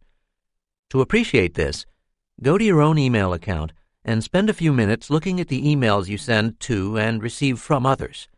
Start with the page layout. Some people tend to write very long emails, whereas others keep them to a sentence or two. People tend to differ in the length of their paragraphs and sentences. Their greetings and closings vary tremendously as well. Some use emoticons, some never do. Some of these differences may be psychologically important, but most probably aren't. The person who ends most emails with sincerely may do this just because they were told to do so when they were younger. Even though these variations may not say anything about your conflicts with your mother when you were an infant, they still mark you. That is, they are part of your general writing style that makes you stand out from everyone else. And that is the interesting story. All of the language features we can measure can help to identify you. The case of the Federalist Papers. In 1787 and 1788, a series of 85 essays were published in pamphlets and newspapers across the American colonies in an attempt to sway people to support the proposed document that would become the U.S. Constitution. Published anonymously under the name Publius, the papers discussed a wide range of topics, including the role of the presidency, taxation, state versus federal power, etc. Even at the time, many knew that Publius was not a single person, but instead James Madison, who would become the fourth president, Alexander Hamilton, the first Secretary of the Treasury, and John Jay, the first Chief Justice of the Supreme Court. In the years that followed, the authorship of 74 of the essays gradually became known. Madison wrote 15, Hamilton 51, Jay 5, and Madison and Hamilton jointly wrote three of the articles. The authorship of the remaining eleven was never determined and has been a source of speculation ever since. The first serious attempt to identify the author of the 11 papers was undertaken by historian Douglas Adair as part of his dissertation in 1943. Adair's historical analysis deduced that all 11 anonymous essays had been written by James Madison. The debate resurfaced in 1964 when statisticians Frederick Mosteller and David Wallace introduced a new way to analyze words. By focusing on a small number of function words, they concluded that Adair was indeed correct, because their elegant statistical models pointed to Madison as the likely author. Since then, identifying the anonymous authors of the Federalist Papers has become something of a sport whenever new language analysis methods are developed. I am proud to announce the new official findings. Historians, prepare your quills. Function word analyses. Using similar methods to those of Mosteller and Wallace, we find the same effects. The anonymous 11 cases all use pronouns, prepositions, and other stealth words in ways similar to James Madison. Case closed? Not so fast. Other statisticians have discovered a small problem that exists with the investigation of our founding fathers' function words. Since Mosteller and Wallace, another technique has been devised that is called cross-validation. The idea is to examine each of the original essays individually as if they were anonymously written. In other words, we pull one of the known essays out of the stack and then develop a computer model based on the remaining essays to try to determine who wrote the essay we pulled out. It's a marvelous method because we are determining results about a question whose answer we already know if our cross-validation analyses successfully guess who wrote all of the known essay writers, we can place a tremendous amount of trust in our research methods. Heartbreak City. The cross-validation results suggest that Mosteller and Wallace might have been wrong. About 14% of the known essays are not classified correctly based on function words. This is a serious problem. If the computer can't tell us what we already know with extremely high accuracy, we have to be careful in interpreting the results from essays about which we don't know the author. Punctuation analyses. Recall that people's use of punctuation can reveal authorship in many cases. Using similar cross-validation analyses on punctuation resulted in disappointing results as well. And using a combination of function words and punctuation to predict authorship produced slightly better results than the function words alone. Interestingly, the function words plus punctuation results hinted that Hamilton wrote three of the eleven anonymous essays. Going for the tell, people's use of obscure words. Over the course of my career, I have written more papers than I care to admit. Perhaps ten years ago, a colleague thanked me for a review I had written about her research. I was flattered, of course, but a bit puzzled since my review had been written anonymously. How did you know I was the author of that review? I blurted out. She just laughed and said one word intriguing. Intriguing indeed. I went back to many of my reviews, then articles, and even books. I was shocked by how frequently I used the word intriguing. Even this book is littered with intrigue. I just can't help myself. Over the years, I've noticed that most of my colleagues and friends have their own favorite but relatively obscure words that even they aren't familiar with. The words aren't used at high rates, but they find their ways into the occasional email, Facebook post, blog, tweet, or article. Did Madison or Hamilton have tell words in their articles? With a little sleuthing, it turns out the answer is yes. In almost half of his papers, Hamilton used the word readily. Madison never did. In nine of his fifteen articles, Madison used consequently, compared with Hamilton's use of the word three times across his 51 papers. Hamilton also had a fondness for commonly, enough, intended, kind, and naturally. Madison tended to overuse absolutely, administer, betray, composing, compass, innovation, lies, proceedings, and wish. If we just examine the use of these 14 words, the statistics are promising, almost a perfect score for cross-validation. However, the story for the unknown authors comes out quite differently than what the earlier scholars claimed. They suggest that Hamilton actually wrote eight of the anonymous essays, and Madison wrote only three. What is truth in this case? Reading Douglas Adair's delightful account of the controversy surrounding the Eleven Articles, it is clear that Hamilton and Madison had very different memories of who wrote what.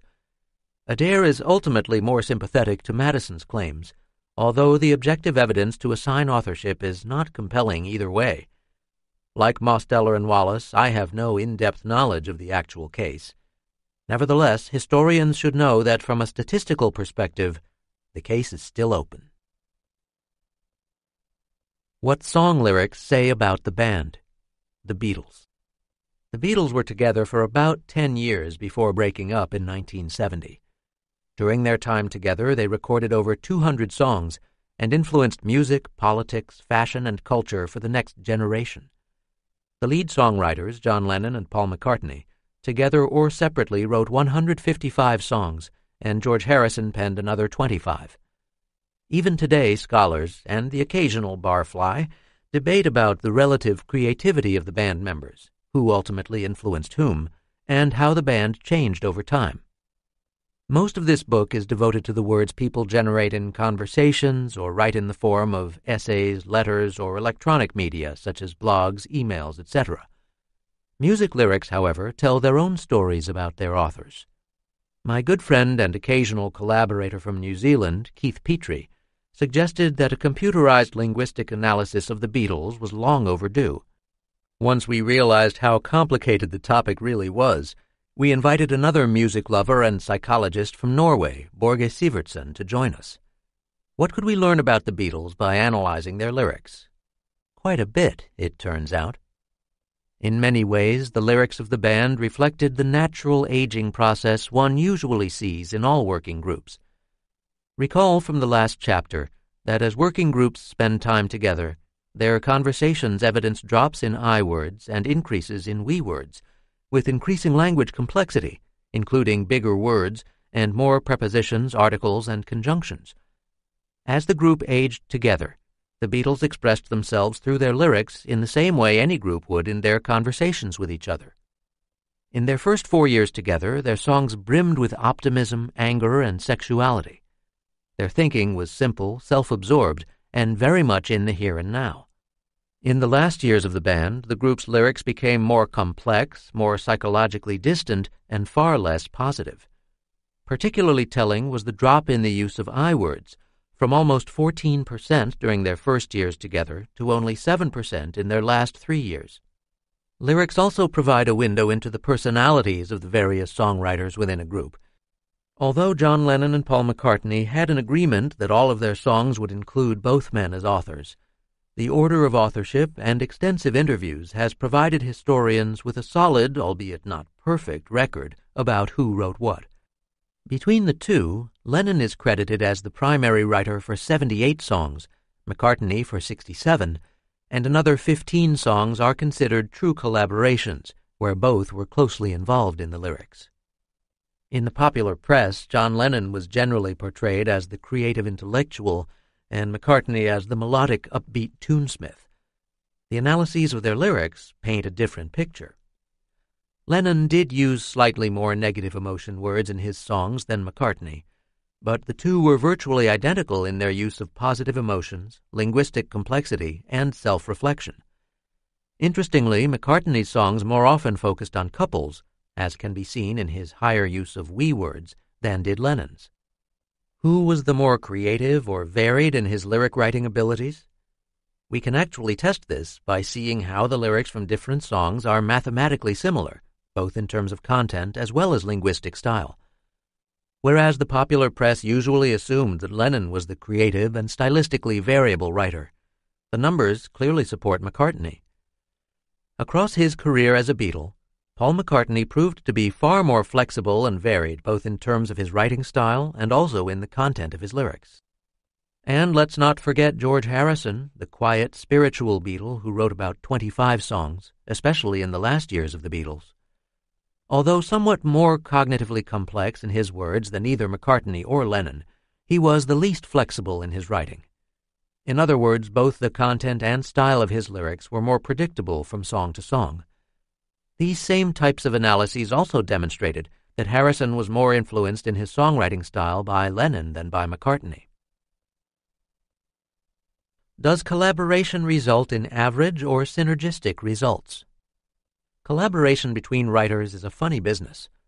When two people work together, in John Lennon's words, eyeball to eyeball, do they produce something that is the average of their usual styles, or is the result something completely different than either could have written alone? Language analyses can answer this question for both the Beatles and the Federalist Papers. Recall that Lennon and McCartney had very close collaborations on 15 of their 160 songs. Alexander Hamilton and James Madison jointly wrote three Federalist Papers. Across the various dimensions of language and even punctuation, we can calculate what percentage of the time the collaboration produces an effect that is the average of the two collaborators working on their own. There are three clear hypotheses. Just like another member of the team hypothesis, Collaborative writing projects produce language that is similar to that produced by a single person writing alone. Sometimes the work will use words like one author and other times like the other author. The average person hypothesis. More interesting is that collaborations produce language that is the average of the two writers. If Lennon uses a low rate of we words and McCartney uses a high rate, it would follow that their collaboration would produce a moderate number of we words the synergy hypothesis. Even more interesting is the idea that when two people work closely together, they create a product unlike either of them would on their own. Their language style will be distinctive in a way such that most people would not recognize who the author was. Wouldn't it be great if the results supported this hypothesis? Come on, statistics. Please, please me. And the winner by a mile is, in fact, the synergy hypothesis. When Lennon and McCartney and when Madison and Hamilton were working together, they produced works that were strikingly different than works produced by the individual writers themselves.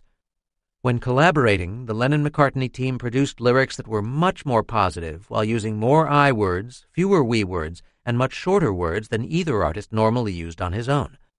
Similarly, when Hamilton and Madison worked together, they used much bigger words, more past tense, and fewer auxiliary verbs than either did on their own. In fact, across about 75 dimensions of language and punctuation, more than 90% of the time collaborations resulted in language that was either higher or lower than the language of the two writers on their own. Note that collaborations produce quite different language patterns than what the individuals would naturally do on their own. What's not yet known is if collaborative work is generally better than individual products. This is a research question that is begging to be answered. Summing up, packing your author identification toolkit. Author identification is becoming a very hot topic in the computer world. The three methods that we have relied on involve tracking the rate of function word usage, analyzing punctuation and layout, and examining the use of obscure words. Each of these methods does far better than chance in identifying characteristics of an author as well as matching the author's writing to other writing samples. In terms of understanding the author's personality, we currently know the most about function words.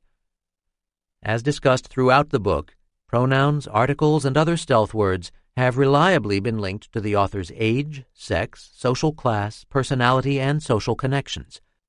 Less is currently known about punctuation and personality, but I suspect future research will begin demonstrating convincing links. After all, it's hard to imagine that there isn't a difference between the writer who writes at the end of his or her note, thanks, with a single period, versus one who writes thanks with a series of exclamation points. The least is known about the use of relatively obscure words and their link to personality. If one author uses intriguing and another remarkable, does the choice of the word itself say anything about the person? There are also a number of other exciting methods being developed by labs around the world that are relevant to author identification. One strategy is to look at something called n-grams. These can be pairs of words or bigrams, three words in a row or trigrams, etc. Looking at the beginning of this paragraph, the bigram approach would look at the occurrence of there are, are also, also a, and so forth. The idea is that some people naturally use groups of words together in a unique way that identifies who they are. More elaborate strategies attempt to mathematically predict word order within sentences based on the words the writer has already used. In the beginning of the last paragraph, the odds that it would start with the word there might be 1 in 1,000. The odds that the word are would be the second word, knowing that the first word is there, is perhaps 1 in 20. Knowing there are, the odds that the third word is also, you can get the idea. Researchers can determine how unique a person's writing is and how much it deviates from chance on a sentence by sentence level. One argument is that every person's way of stringing words together is unique to them. Yet another linguistic fingerprint idea. Other new methods examine parts of speech, syntax, cohesiveness of sentences and paragraphs, all using increasingly sophisticated mathematical solutions. The time is not too far away where the author of most any extended language sample will be identifiable. Words as clues to political and historical events. It comes as no news to historians and literary scholars that the primary key to understanding people or works of the past is the study of the written word. Most scholars, however, rely primarily on their own reading of historical works rather than computerized text analyses. This has been changing over the last few years. One area that has been particularly innovative is political science partly because of the availability of transcribed speeches, interviews, newspaper and online articles, newscasts, and even letters to the editor, researchers have been able to tap the appeal of political candidates and people's responses to them. One of the pioneers in the field, Roderick Hart, has published a series of groundbreaking books and articles that help explain how the results of important historical elections, such as the race between Bill Clinton and Bob Dole, were presaged by the ways the candidates used words in their speeches. He also collected hundreds of letters to the editors in newspapers across the United States and was able to track the perceptions of voters. Extending Hart's work, we can begin to reinterpret historical events by analyzing the words of all the historical players who leave behind trails of words. Who are these people? Trying to figure out U.S. presidents. Watch any news source television, internet, newspaper, magazine, and much of the coverage is devoted to understanding the thinking of the current, future, and past presidents. If it's the middle of an election cycle, pundits make predictions about how each of the candidates would perform if elected. If a president has recently been elected or re-elected, we want to know what he or she will try to accomplish in the months and years ahead. And even after the president has stepped down, pundits continue to ask, what was he thinking? Why did he do that? In one of the most impressive books on the psychology of politics, The Political Brain, researcher Drew Westen argues that the most successful politicians are the ones who can emotionally connect with the electorate. Logic, intelligence, and reason are certainly very fine qualities, but when the voter enters the ballot box, it is the social and emotional dimensions of the campaign that usually drive the election. We resonate with people who seem to be attentive and respectful to others and at the same time exhibit their emotions in a genuine way. Social emotional styles can be detected through body language, tone of voice, and, of course, words. For presidents and presidential candidates, we have ample opportunity to evaluate social emotional style through speeches, interviews, pictures, and videos of their interacting with their families and others. From a language perspective, Presidents leave a stream of words like no other humans.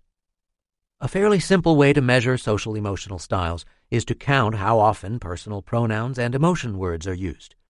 As a general rule, people who are self reflective and who are interested in others will use all types of personal pronouns at high rates, including I, we, you, she, and they. Similarly, people are viewed as more emotionally present if they use emotion words, both positive and negative, than if they don't.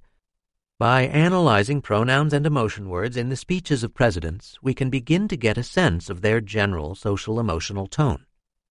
At most, U.S. presidents give inaugural addresses once every four years. However, most submit a State of the Union message to Congress every year that they are in office. State of the Union messages began with George Washington in 1790. Although Washington and John Adams presented the message in speeches to Congress, Thomas Jefferson changed the tradition by simply submitting a written version. In 1913, Woodrow Wilson reinstated the spoken State of the Union message. However, from 1924 until 1932, the messages returned to written format. Beginning with the inauguration of Franklin Delano Roosevelt, or FDR, in 1933 and up to today, virtually all states of the Union have been presented in speech format to Congress. Despite these variations in presentation style, it is fascinating to see how the emotional tones of the messages have changed from president to president. As you can see in Figure 10.1 on your PDF companion, several presidents were far more social emotional than their predecessors.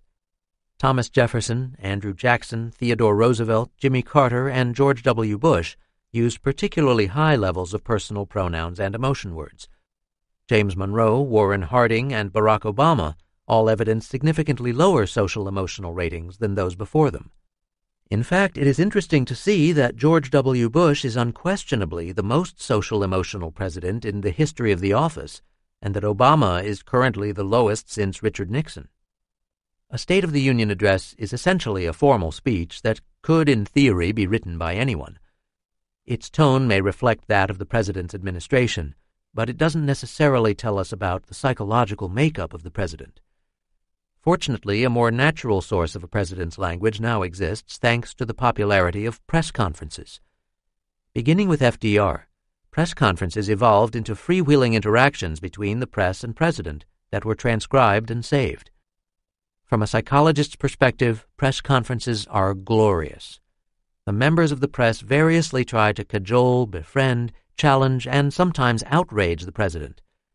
The press president relationship is further complicated because both the press and the president desperately need each other to accomplish their somewhat different goals. Most important, interactions with the press are generally unscripted and allow us to monitor the president's thoughts and emotions through the use of words. Most presidents have only a small number of formal press conferences every year, usually between four and ten, more if there is a national crisis, fewer if they are being publicly ridiculed or impeached. In addition to the formal press conferences, presidents often will talk with reporters on random occasions, such as after introducing a foreign dignitary or while waiting for their car.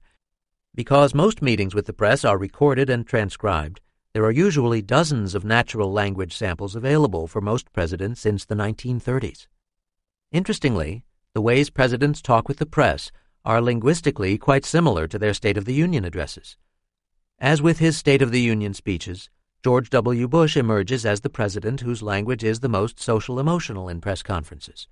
Since FDR, Nixon has been the lowest by far. What about Ronald Reagan? Many people consider Reagan one of the most socially adept presidents since FDR. In both speeches and press conferences, Reagan's use of personal and emotional language was always around the average. From the outside, he seemed like a social emotional person, perhaps a bit like George W. Bush. Closer analyses of Reagan's language suggest that this may be an illusion.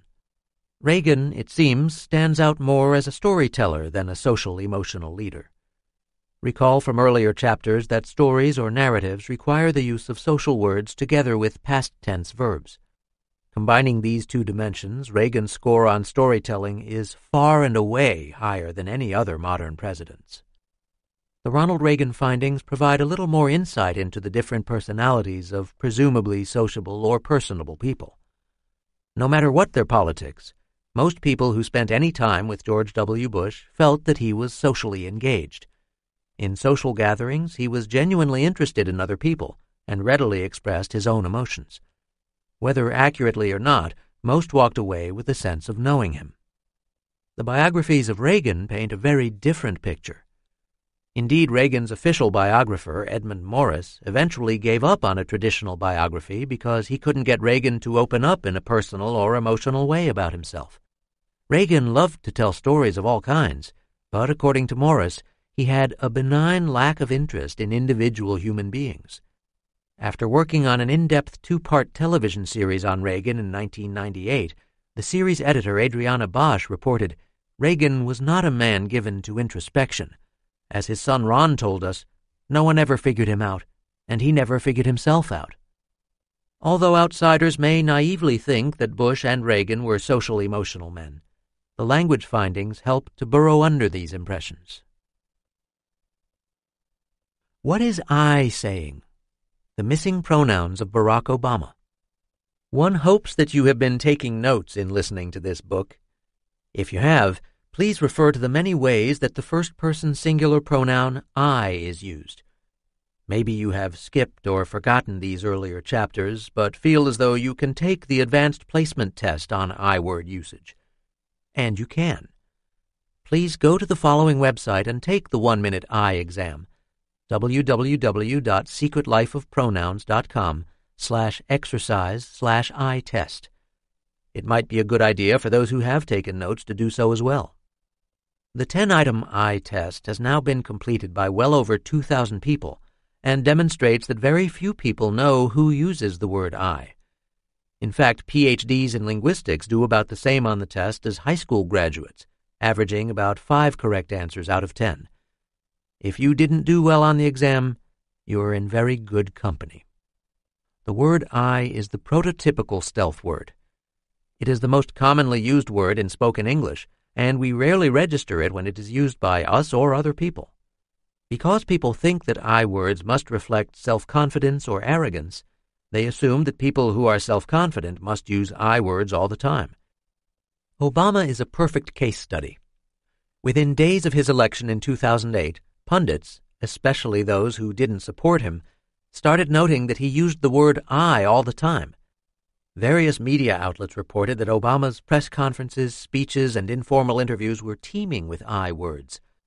A long list of noteworthy news analysts such as George Will, English scholars including Stanley Fish, and even occasional presidential speechwriters such as Peggy Noonan pointed out Obama's incessant use of I words.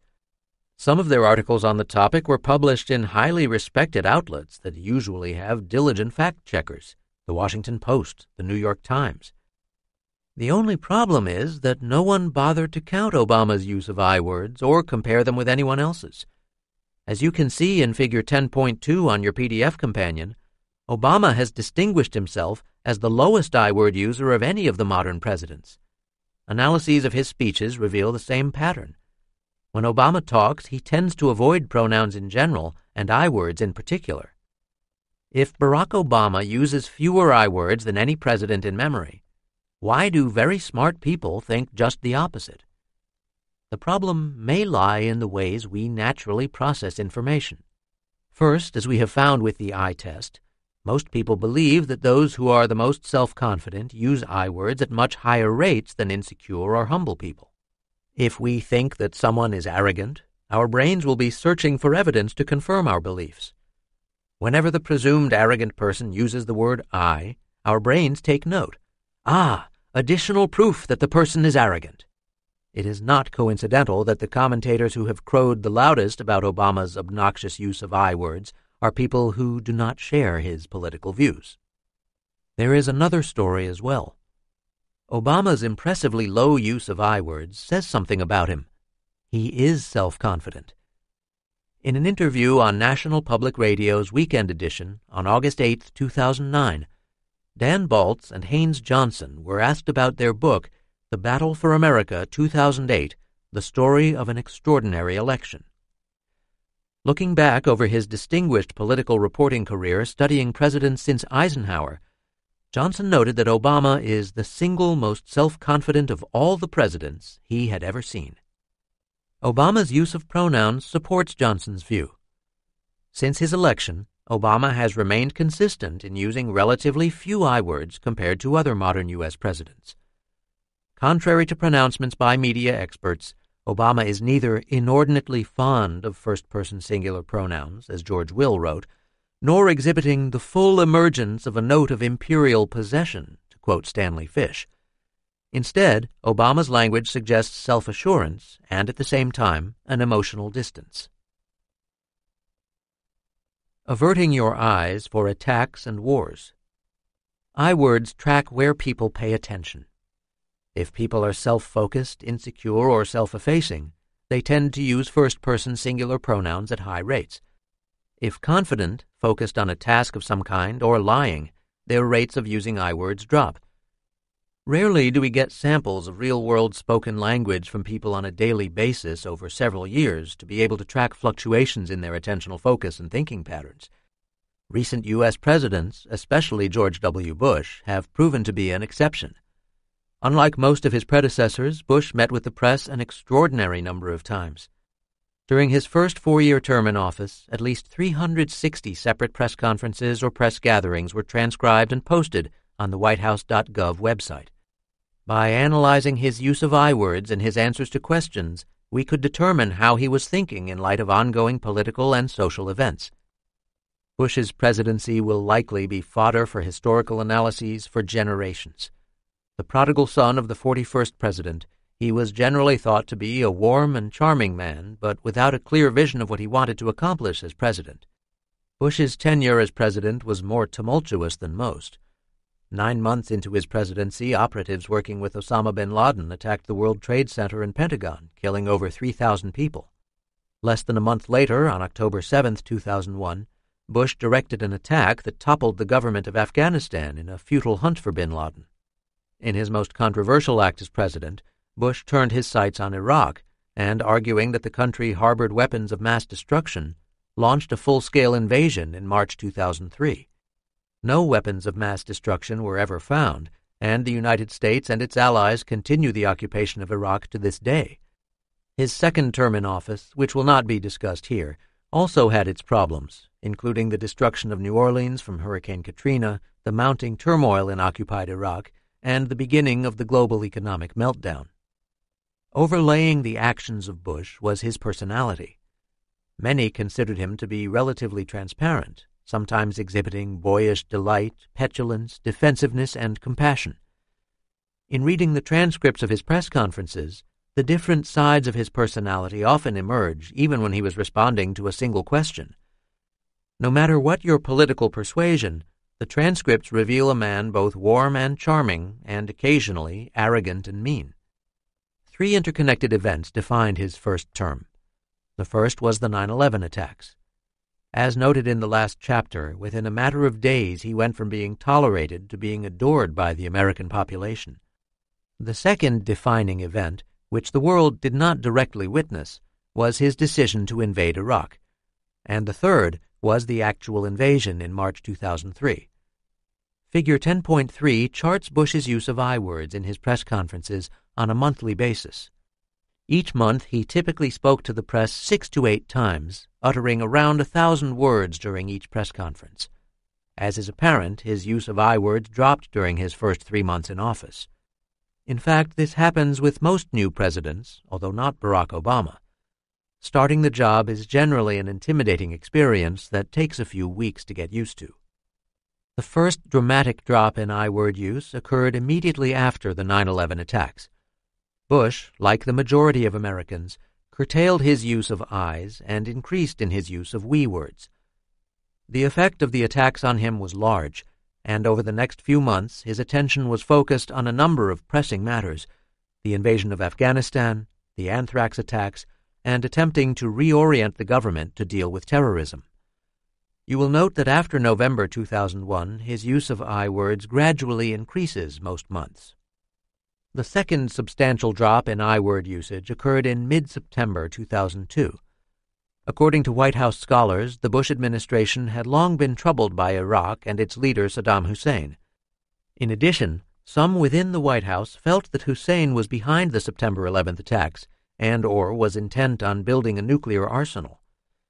In June 2002, some in the Bush administration began to suggest a new approach to foreign policy. Part of the Bush doctrine, as some referred to it, was that the United States was justified in preemptively attacking a country with hostile intent. Through the summer of 2002, secret plans were drawn up about a possible invasion. In late September, the Bush administration asked Congress for authority to go to war with Iraq. This was couched as a bargaining tool and would only be done as a last resort if Iraq failed to allow inspectors full access to the country to ferret out weapons of mass destruction. Congress voted in support of the request on October 16th. In a nationally televised speech that night, Bush made it clear that he hoped that war would be avoided.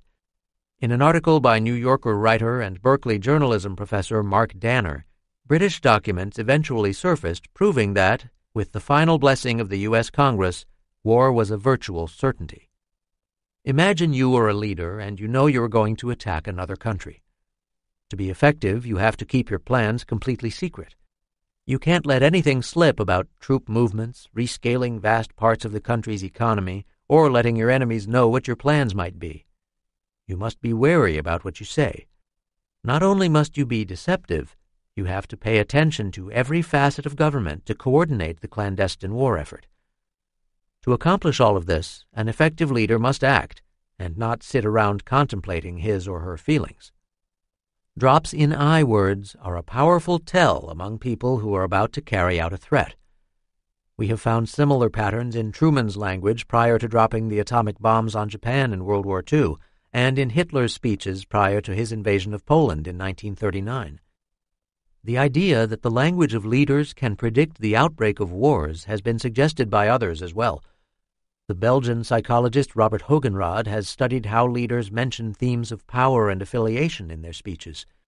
When references to affiliation and friendship are commonplace, and comments about power, aggression, and mastery are low, the outlook for the country is usually good. However, if themes of power and aggression start to rise, with a corresponding drop in words associated with nurturance and relationships, watch out.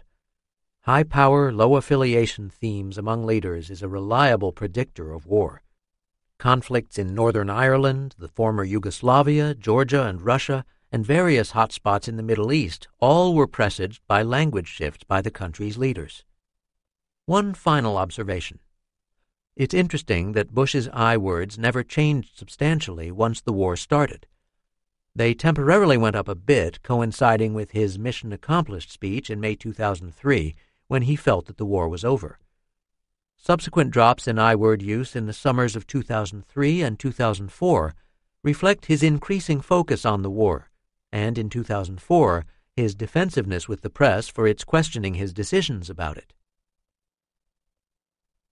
The power of words to rethink history. I've tried to give a taste of the exciting possibilities that word analysis can bring to the study of politics and history. Wherever there is a word trail, no matter what language, computer text analysis methods can help interpret the psychology of the authors. Some of the studies in this area have practical applications. Other work is simply fun to do. For example, my students, colleagues, and I have worked with several federal agencies to better understand the psychology of leaders of groups such as Al Qaeda to try to understand the relationships between their public messages and their sometimes brutal actions. Can we understand their appeal by studying their language or the language of their followers? We have used these same methods to better understand extremist groups in the United States, ranging from far right wing neo Nazis to far left wing weathermen. In general, we are finding the violent groups have a very different linguistic fingerprint than nonviolent ones. Further, as they evolve from being nonviolent to increasingly violent, their language shifts accordingly. We have also turned our language tools to the study of powerful, often despotic leaders of the past and present.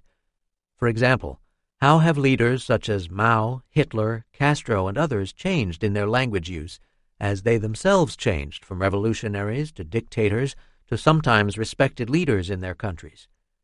How has their language predicted changes in their countries, and how have events changed their language? Most important, language analyses can shed light on historical events in new ways. We've seen some possibilities with the Federalist Papers, relationships among poets and scholars, and even the Beatles. The historical questions that can be answered are limited only by the availability of language samples and the researchers' imaginations. For example, did the Australian explorer Henry Hellyer really commit suicide, or might he have been murdered? Probably suicide, based on his language in his diaries. Did St. Paul really write all the letters attributed to him in the Bible? Nope, not a chance. Has Lady Gaga had an affair with Tom Cruise? No idea. Hope not. Now it's your turn. Using people's words to predict their behaviors in the future. Can word analyses tell us if someone will eventually be a good president, a good spouse, a good employee or student? In fact, we do these calculations in our heads all the time. If a student writes to me and wants to work in my lab, I read her email, her resume, and her plans. Her words, which reflect her accomplishments, hopes for the future, and personality, will be the basis of my decision.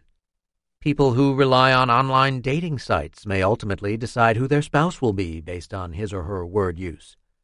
And yes, we weigh political candidates' faces and body language, but we also evaluate their platforms and plans, which are expressed in language. Although we listen to and think about people's words before voting for, hiring, or marrying them, it is impressive how frequently we err in our judgments. Would a language analysis program do a better job? Or would it help us in making better decisions? The jury is still out, but some interesting examples can be found among students planning to go to college and prisoners planning to find a normal life. Using words in college admissions essays to predict college grades. My linguist friend David Beaver and I were sitting in a bar talking about pronouns. How many bar stories have you heard start off that way?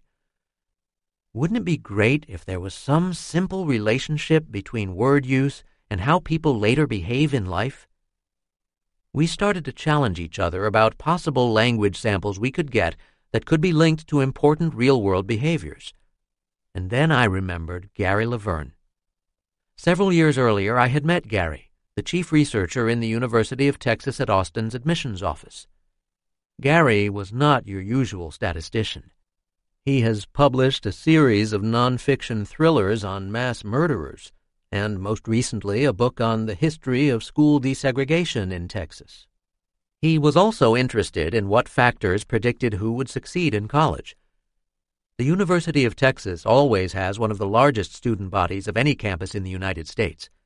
Although the school enrolls over 7,000 new first year college students each year, the admission standards are surprisingly competitive. Part of the application process involves students writing two general essays. Could the function words students use in their admissions essays predict their college grades? This was an appealing question for both David and me, and as it turned out, for Gary as well. To be clear, this was not a strategy to invent a new way to evaluate college essays to determine who should be admitted. Rather, we first wanted to learn if word use was related to academic performance, and if it was, whether we could influence the students to become better writers and thinkers in college. We eventually analyzed over 50,000 essays from 25,000 students who had enrolled over a four year period. The results were straightforward. Word use was indeed related to students' grades over all four years of college. The word categories most strongly related to making good grades were high rates of articles and concrete nouns, high rates of big words, low rates of auxiliary and other verbs, especially present tense, low rates of personal and impersonal pronouns. This constellation of words should sound familiar to you. You might recall from earlier chapters that people differ in the degree to which they are categorical versus dynamic thinkers. A categorical thinker is someone who tends to focus on objects, things, and categories. The opposite end of this dimension are people who are more dynamic in their thinking. When thinking dynamically, people are describing action and changes. Often, dynamic thinkers devote much of their thinking to other people, which explains their high use of pronouns. Does this mean that categorical thinkers are simply smarter than dynamic thinkers? Not at all. However, the American educational system is designed to test people concerning the ways they categorize objects and events.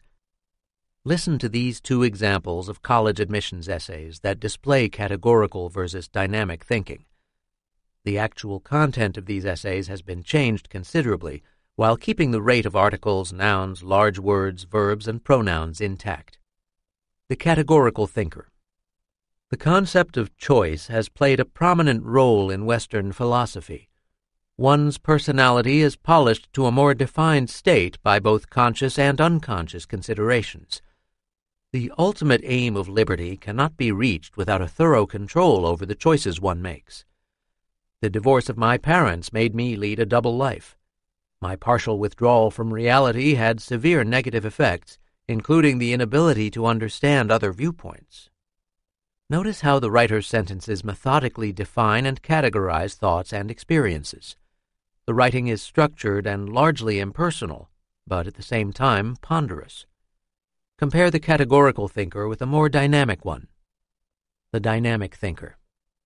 I looked over at my brother, who was much older and wiser, only to see him crying.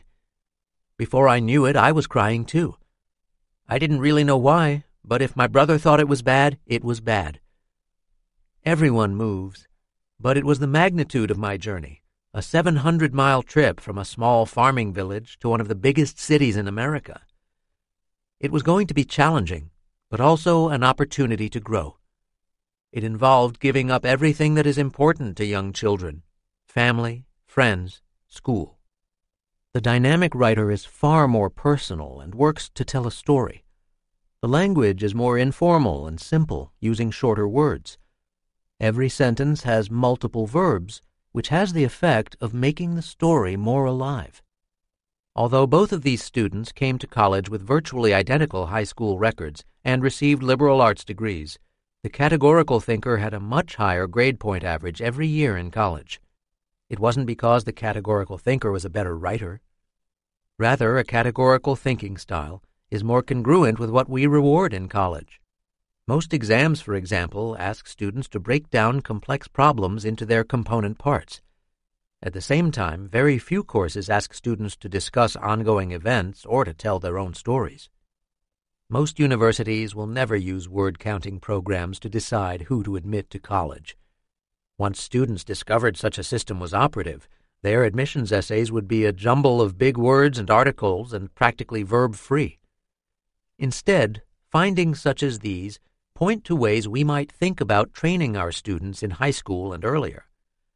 To the degree that categorical thinking is encouraged and rewarded in our educational systems, students should be explicitly trained in doing it.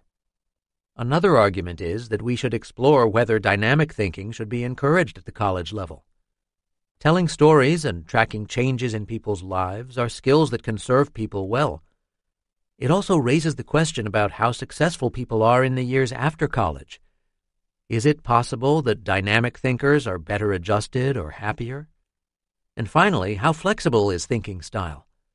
It is entirely possible that all of us occasionally need to think categorically and at other times dynamically. Using words to predict a better life after prison. Drug and alcohol abuse takes a massive toll on society. One way that many states have attempted to curb and treat abuse is by establishing therapeutic communities, which are essentially treatment prisons where people are given the opportunity to undergo intensive drug and alcohol rehabilitation over several months after they have been convicted of a drug related crime. If the participants successfully complete the program and stay drug or alcohol free for a specified time after they are released, their records are usually expunged. Most therapeutic communities require intensive group therapy along with writing exercises. One of my former graduate students, Anne Vano, conducted an ambitious project to learn if the ways women wrote within a treatment facility might predict their lives once they were released from prison. Working with a single therapeutic community, Anne collected and transcribed writing samples from about 120 women. The writing samples she focused on were essays that the women wrote within about a week of their being released. The essays were expected to be personal and heartfelt. In the months afterward, Anne worked with the warden's office to collect follow-up information, such as the women's abilities to maintain jobs and whether or not they violated their parole or were rearrested. The stories the women wrote were powerful by any measure. They often described instances of being the victims of physical and sexual abuse, and at the same time detailed their own deplorable behaviors toward others, such as their children. They often expressed great anxiety about their leaving the prison to return to an uncertain home life. After leaving the prison, 15% of the 120 women were arrested, and another 10% jumped parole four months after the program was completed. About 65% were holding down a steady job. Interestingly, the way the women wrote in their final essay modestly predicted whether they were functioning effectively four months later. The two language dimensions that were most closely associated with therapeutic success were a high social emotional style, which includes use of personal pronouns and emotion words, a high rate of positive emotion words, The tasks for the women on leaving the therapeutic community were to integrate into new jobs and into a functioning social network. Categorical and dynamic thinking were simply irrelevant dimensions for these women. To survive in their worlds outside prison, they needed to be aware of others and themselves. It appears that the social emotional and optimistic styles they exhibited in their writings were skills that could serve them well on the outside. It's hard to imagine two studies more different than the college admissions and therapeutic community projects. Categorical thinking predicts better college grades for one group, social emotional language predicts lower rearrest rates in another. Different aspects of language are linked to different parts of our lives. What I love about these two studies, and in fact all of the projects in this book, is that stealth words rearrange themselves in different configurations to predict a broad array of behaviors. For example, using language associated with high social emotional style can help keep you out of prison and contribute to your being elected president, and maybe provide some of the skills needed to write successful top selling love songs. Depending on the context, using I words at high rates may signal insecurity, honesty, and depression proneness but also that you aren't planning on declaring war any time in the near future. Using I words at low rates, on the other hand, may get you into college and boost your grade point average, but may hurt your chances of making close friends. It's important to return to a theme that has bubbled up several times. The words related to social and psychological states are reflections of those states, not causes. They are telling us what is going on inside people's heads. The people who use high rates of personal pronouns and emotion words just prior to their release from prison are approaching their writing topic in a social emotional way. It's unknown if the treatment program they were immersed in actually pushed them to think social emotionally. It is also impossible to know if the words in their writing samples directly affected their behaviors once they were released. And it's even more unlikely that if they had forced themselves to use these words in their essays, thinking it might be good for them, it would have influenced their lives outside the prison gates at all. We are standing on the threshold of a new world.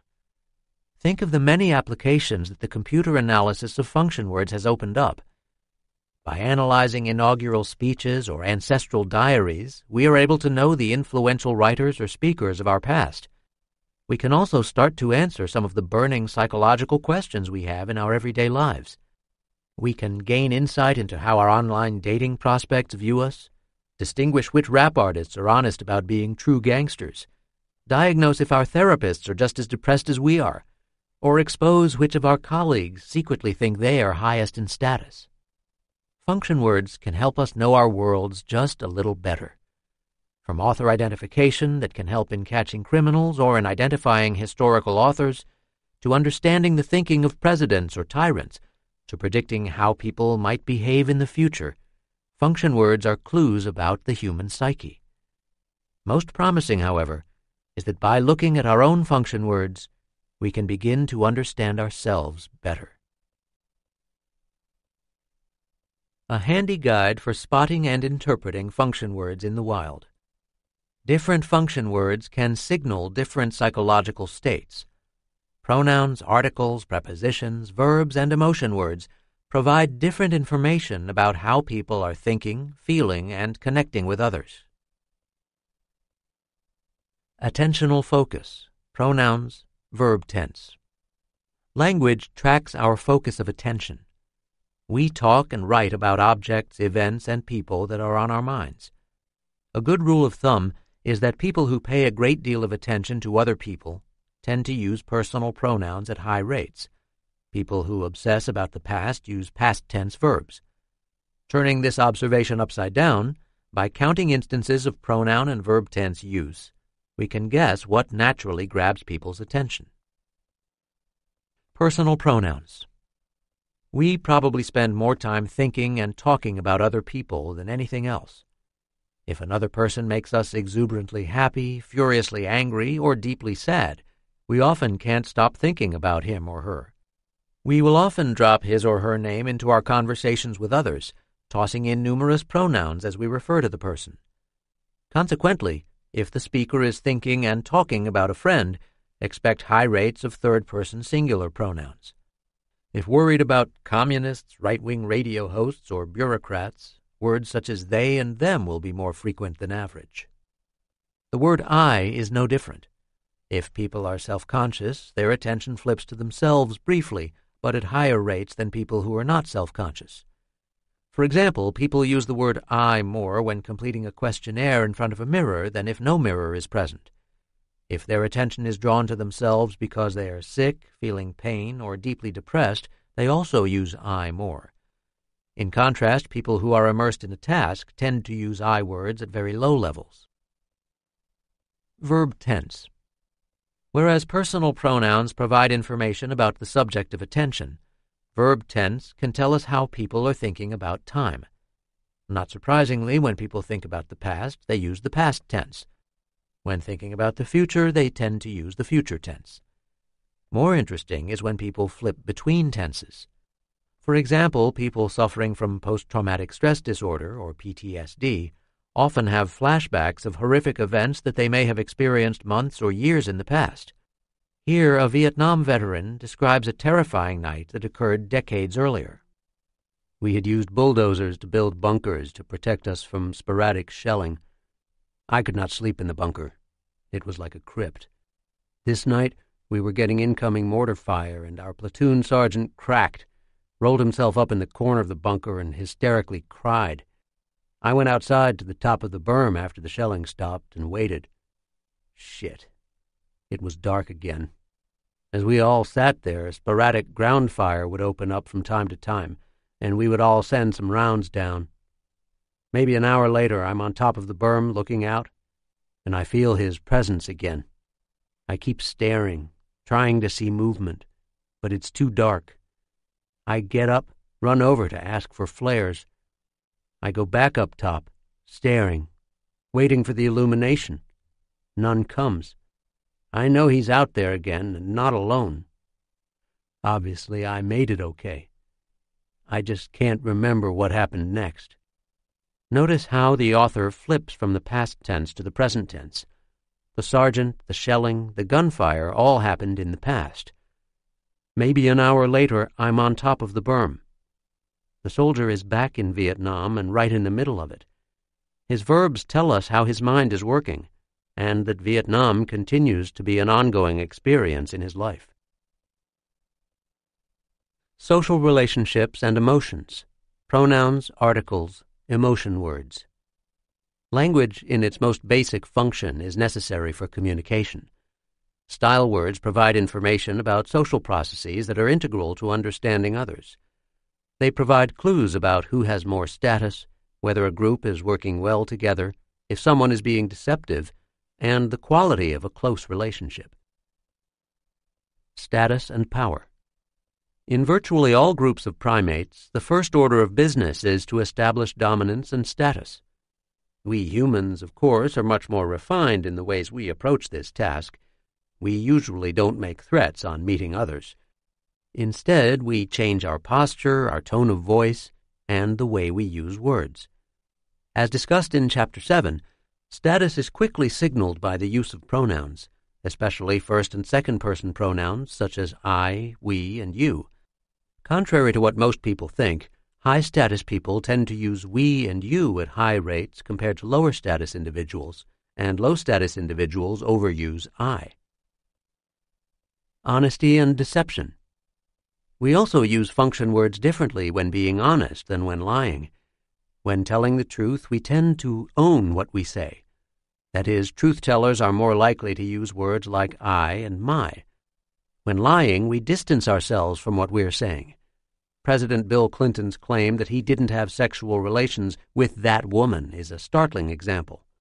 That woman is certainly more distant than, say, my woman, or simply Monica. We also think and talk in more complex ways when being truthful. As discussed in Chapter 6, lying is hard work. If we're having to invent a story that isn't true, we avoid certain conjunctions, such as but and or, prepositions, except, without, and negations, not, never. Strangers and friends. People who are good friends and have a long history use language with each other in ways that are quite different from two strangers. Some language markers are obvious. People who like one another use the first person plural, we, us, and our, more than strangers. They also use more positive and negative emotion words. People with a shared background are more likely to use the specific article the, as in the chair, since both have probably talked about that same damned chair for years. Strangers will initially talk about a chair, or maybe that chair, especially in the early phase of their relationship. Thinking styles, conjunctions, prepositions, nouns, verbs, and causal words. You discover that your best friend's spouse is having an affair. Should you tell your friend? Why or why not? Questions such as this force people to think about complex topics that don't have easy answers. People's answers generally require a certain degree of logic, reasoning, and causal thinking. Unanticipated complex questions also require people to work through a problem. They often begin answering in one way and then adopt a different perspective to evaluate if their thinking makes sense. As people write about complex issues, their style words provide clues to the ways they are thinking in general. Although there are dozens of ways to analyze thinking styles, three are particularly well suited to language analysis. Complex versus simple thinking. So, your best friend's spouse is having an affair. Ask a dozen people what they would do, and you will get 12 different responses. However, some answers will reveal a much more complicated way of thinking. Complex thinker. First, what is the history of their relationship? If the couple has some pre existing agreement about extramarital relationships, then nothing needs to be said. What are the costs to my friend, the spouse, and to me for either talking about it or keeping it secret? If it had been the other way and it was my spouse that was having an affair, would I want to know from my friend?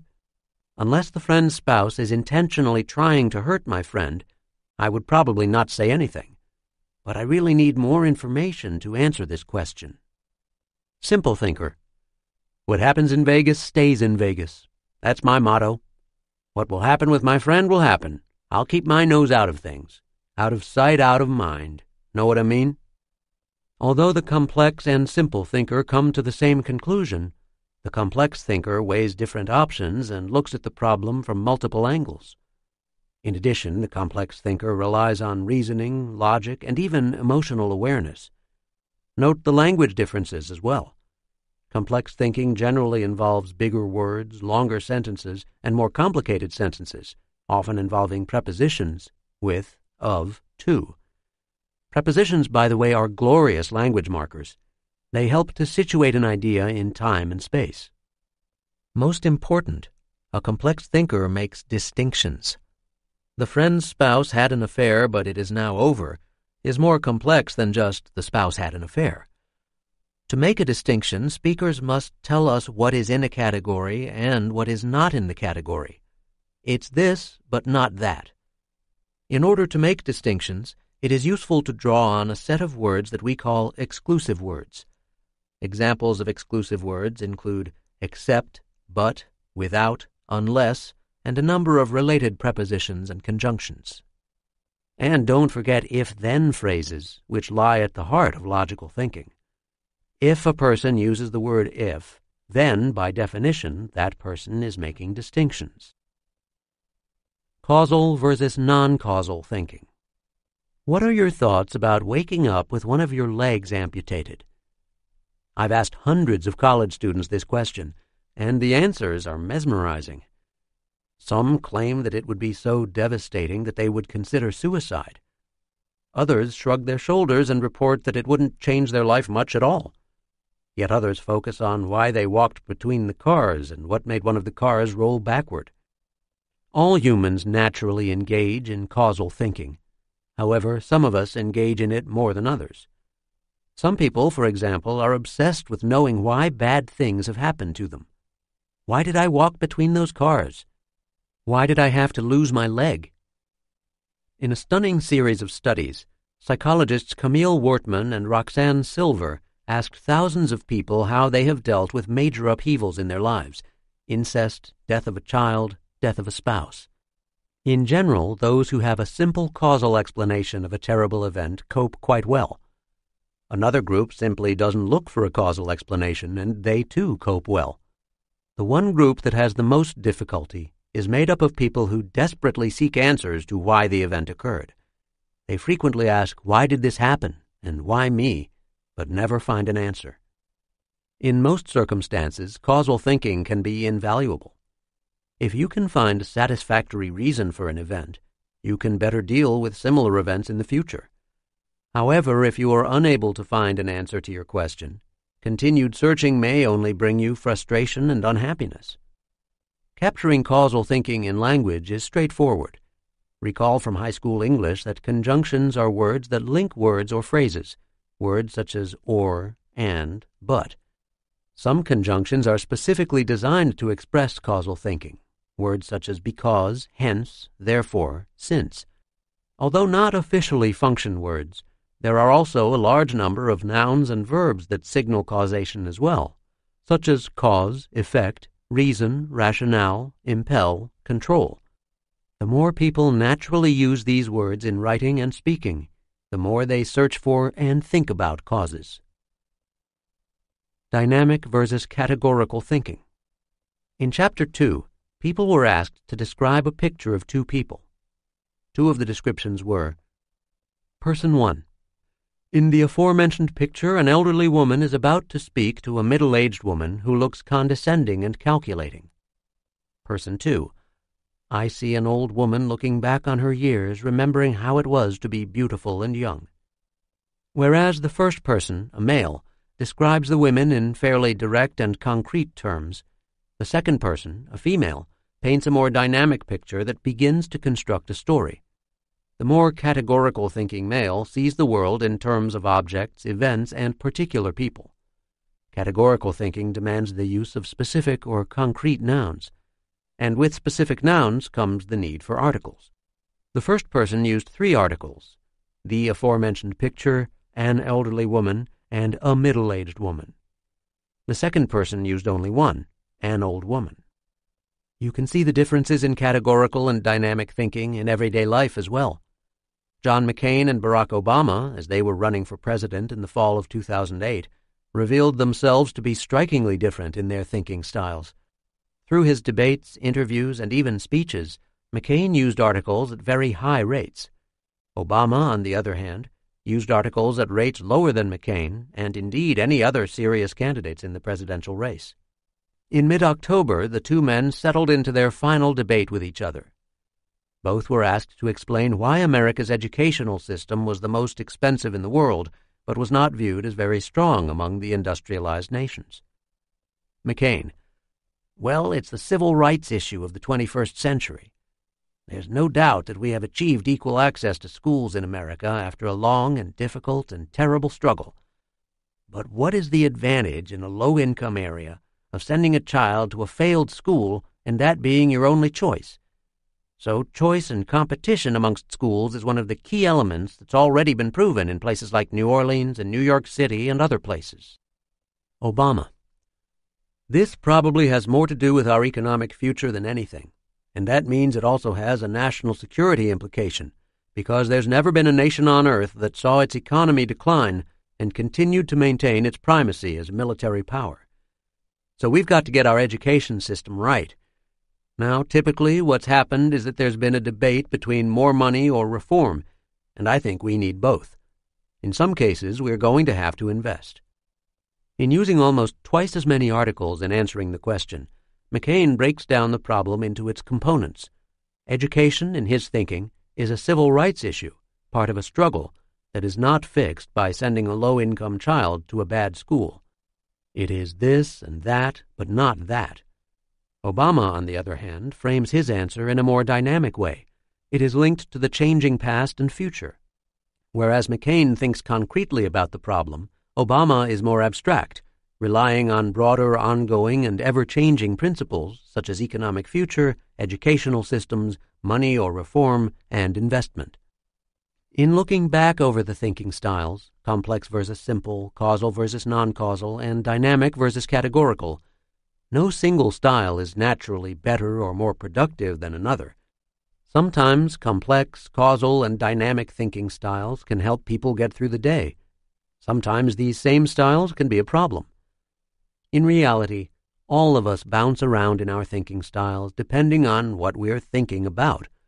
Just because Obama is abstract and answering a question about education, it doesn't tell us how he thinks about his decision to smoke a cigarette or take aspirin for a headache.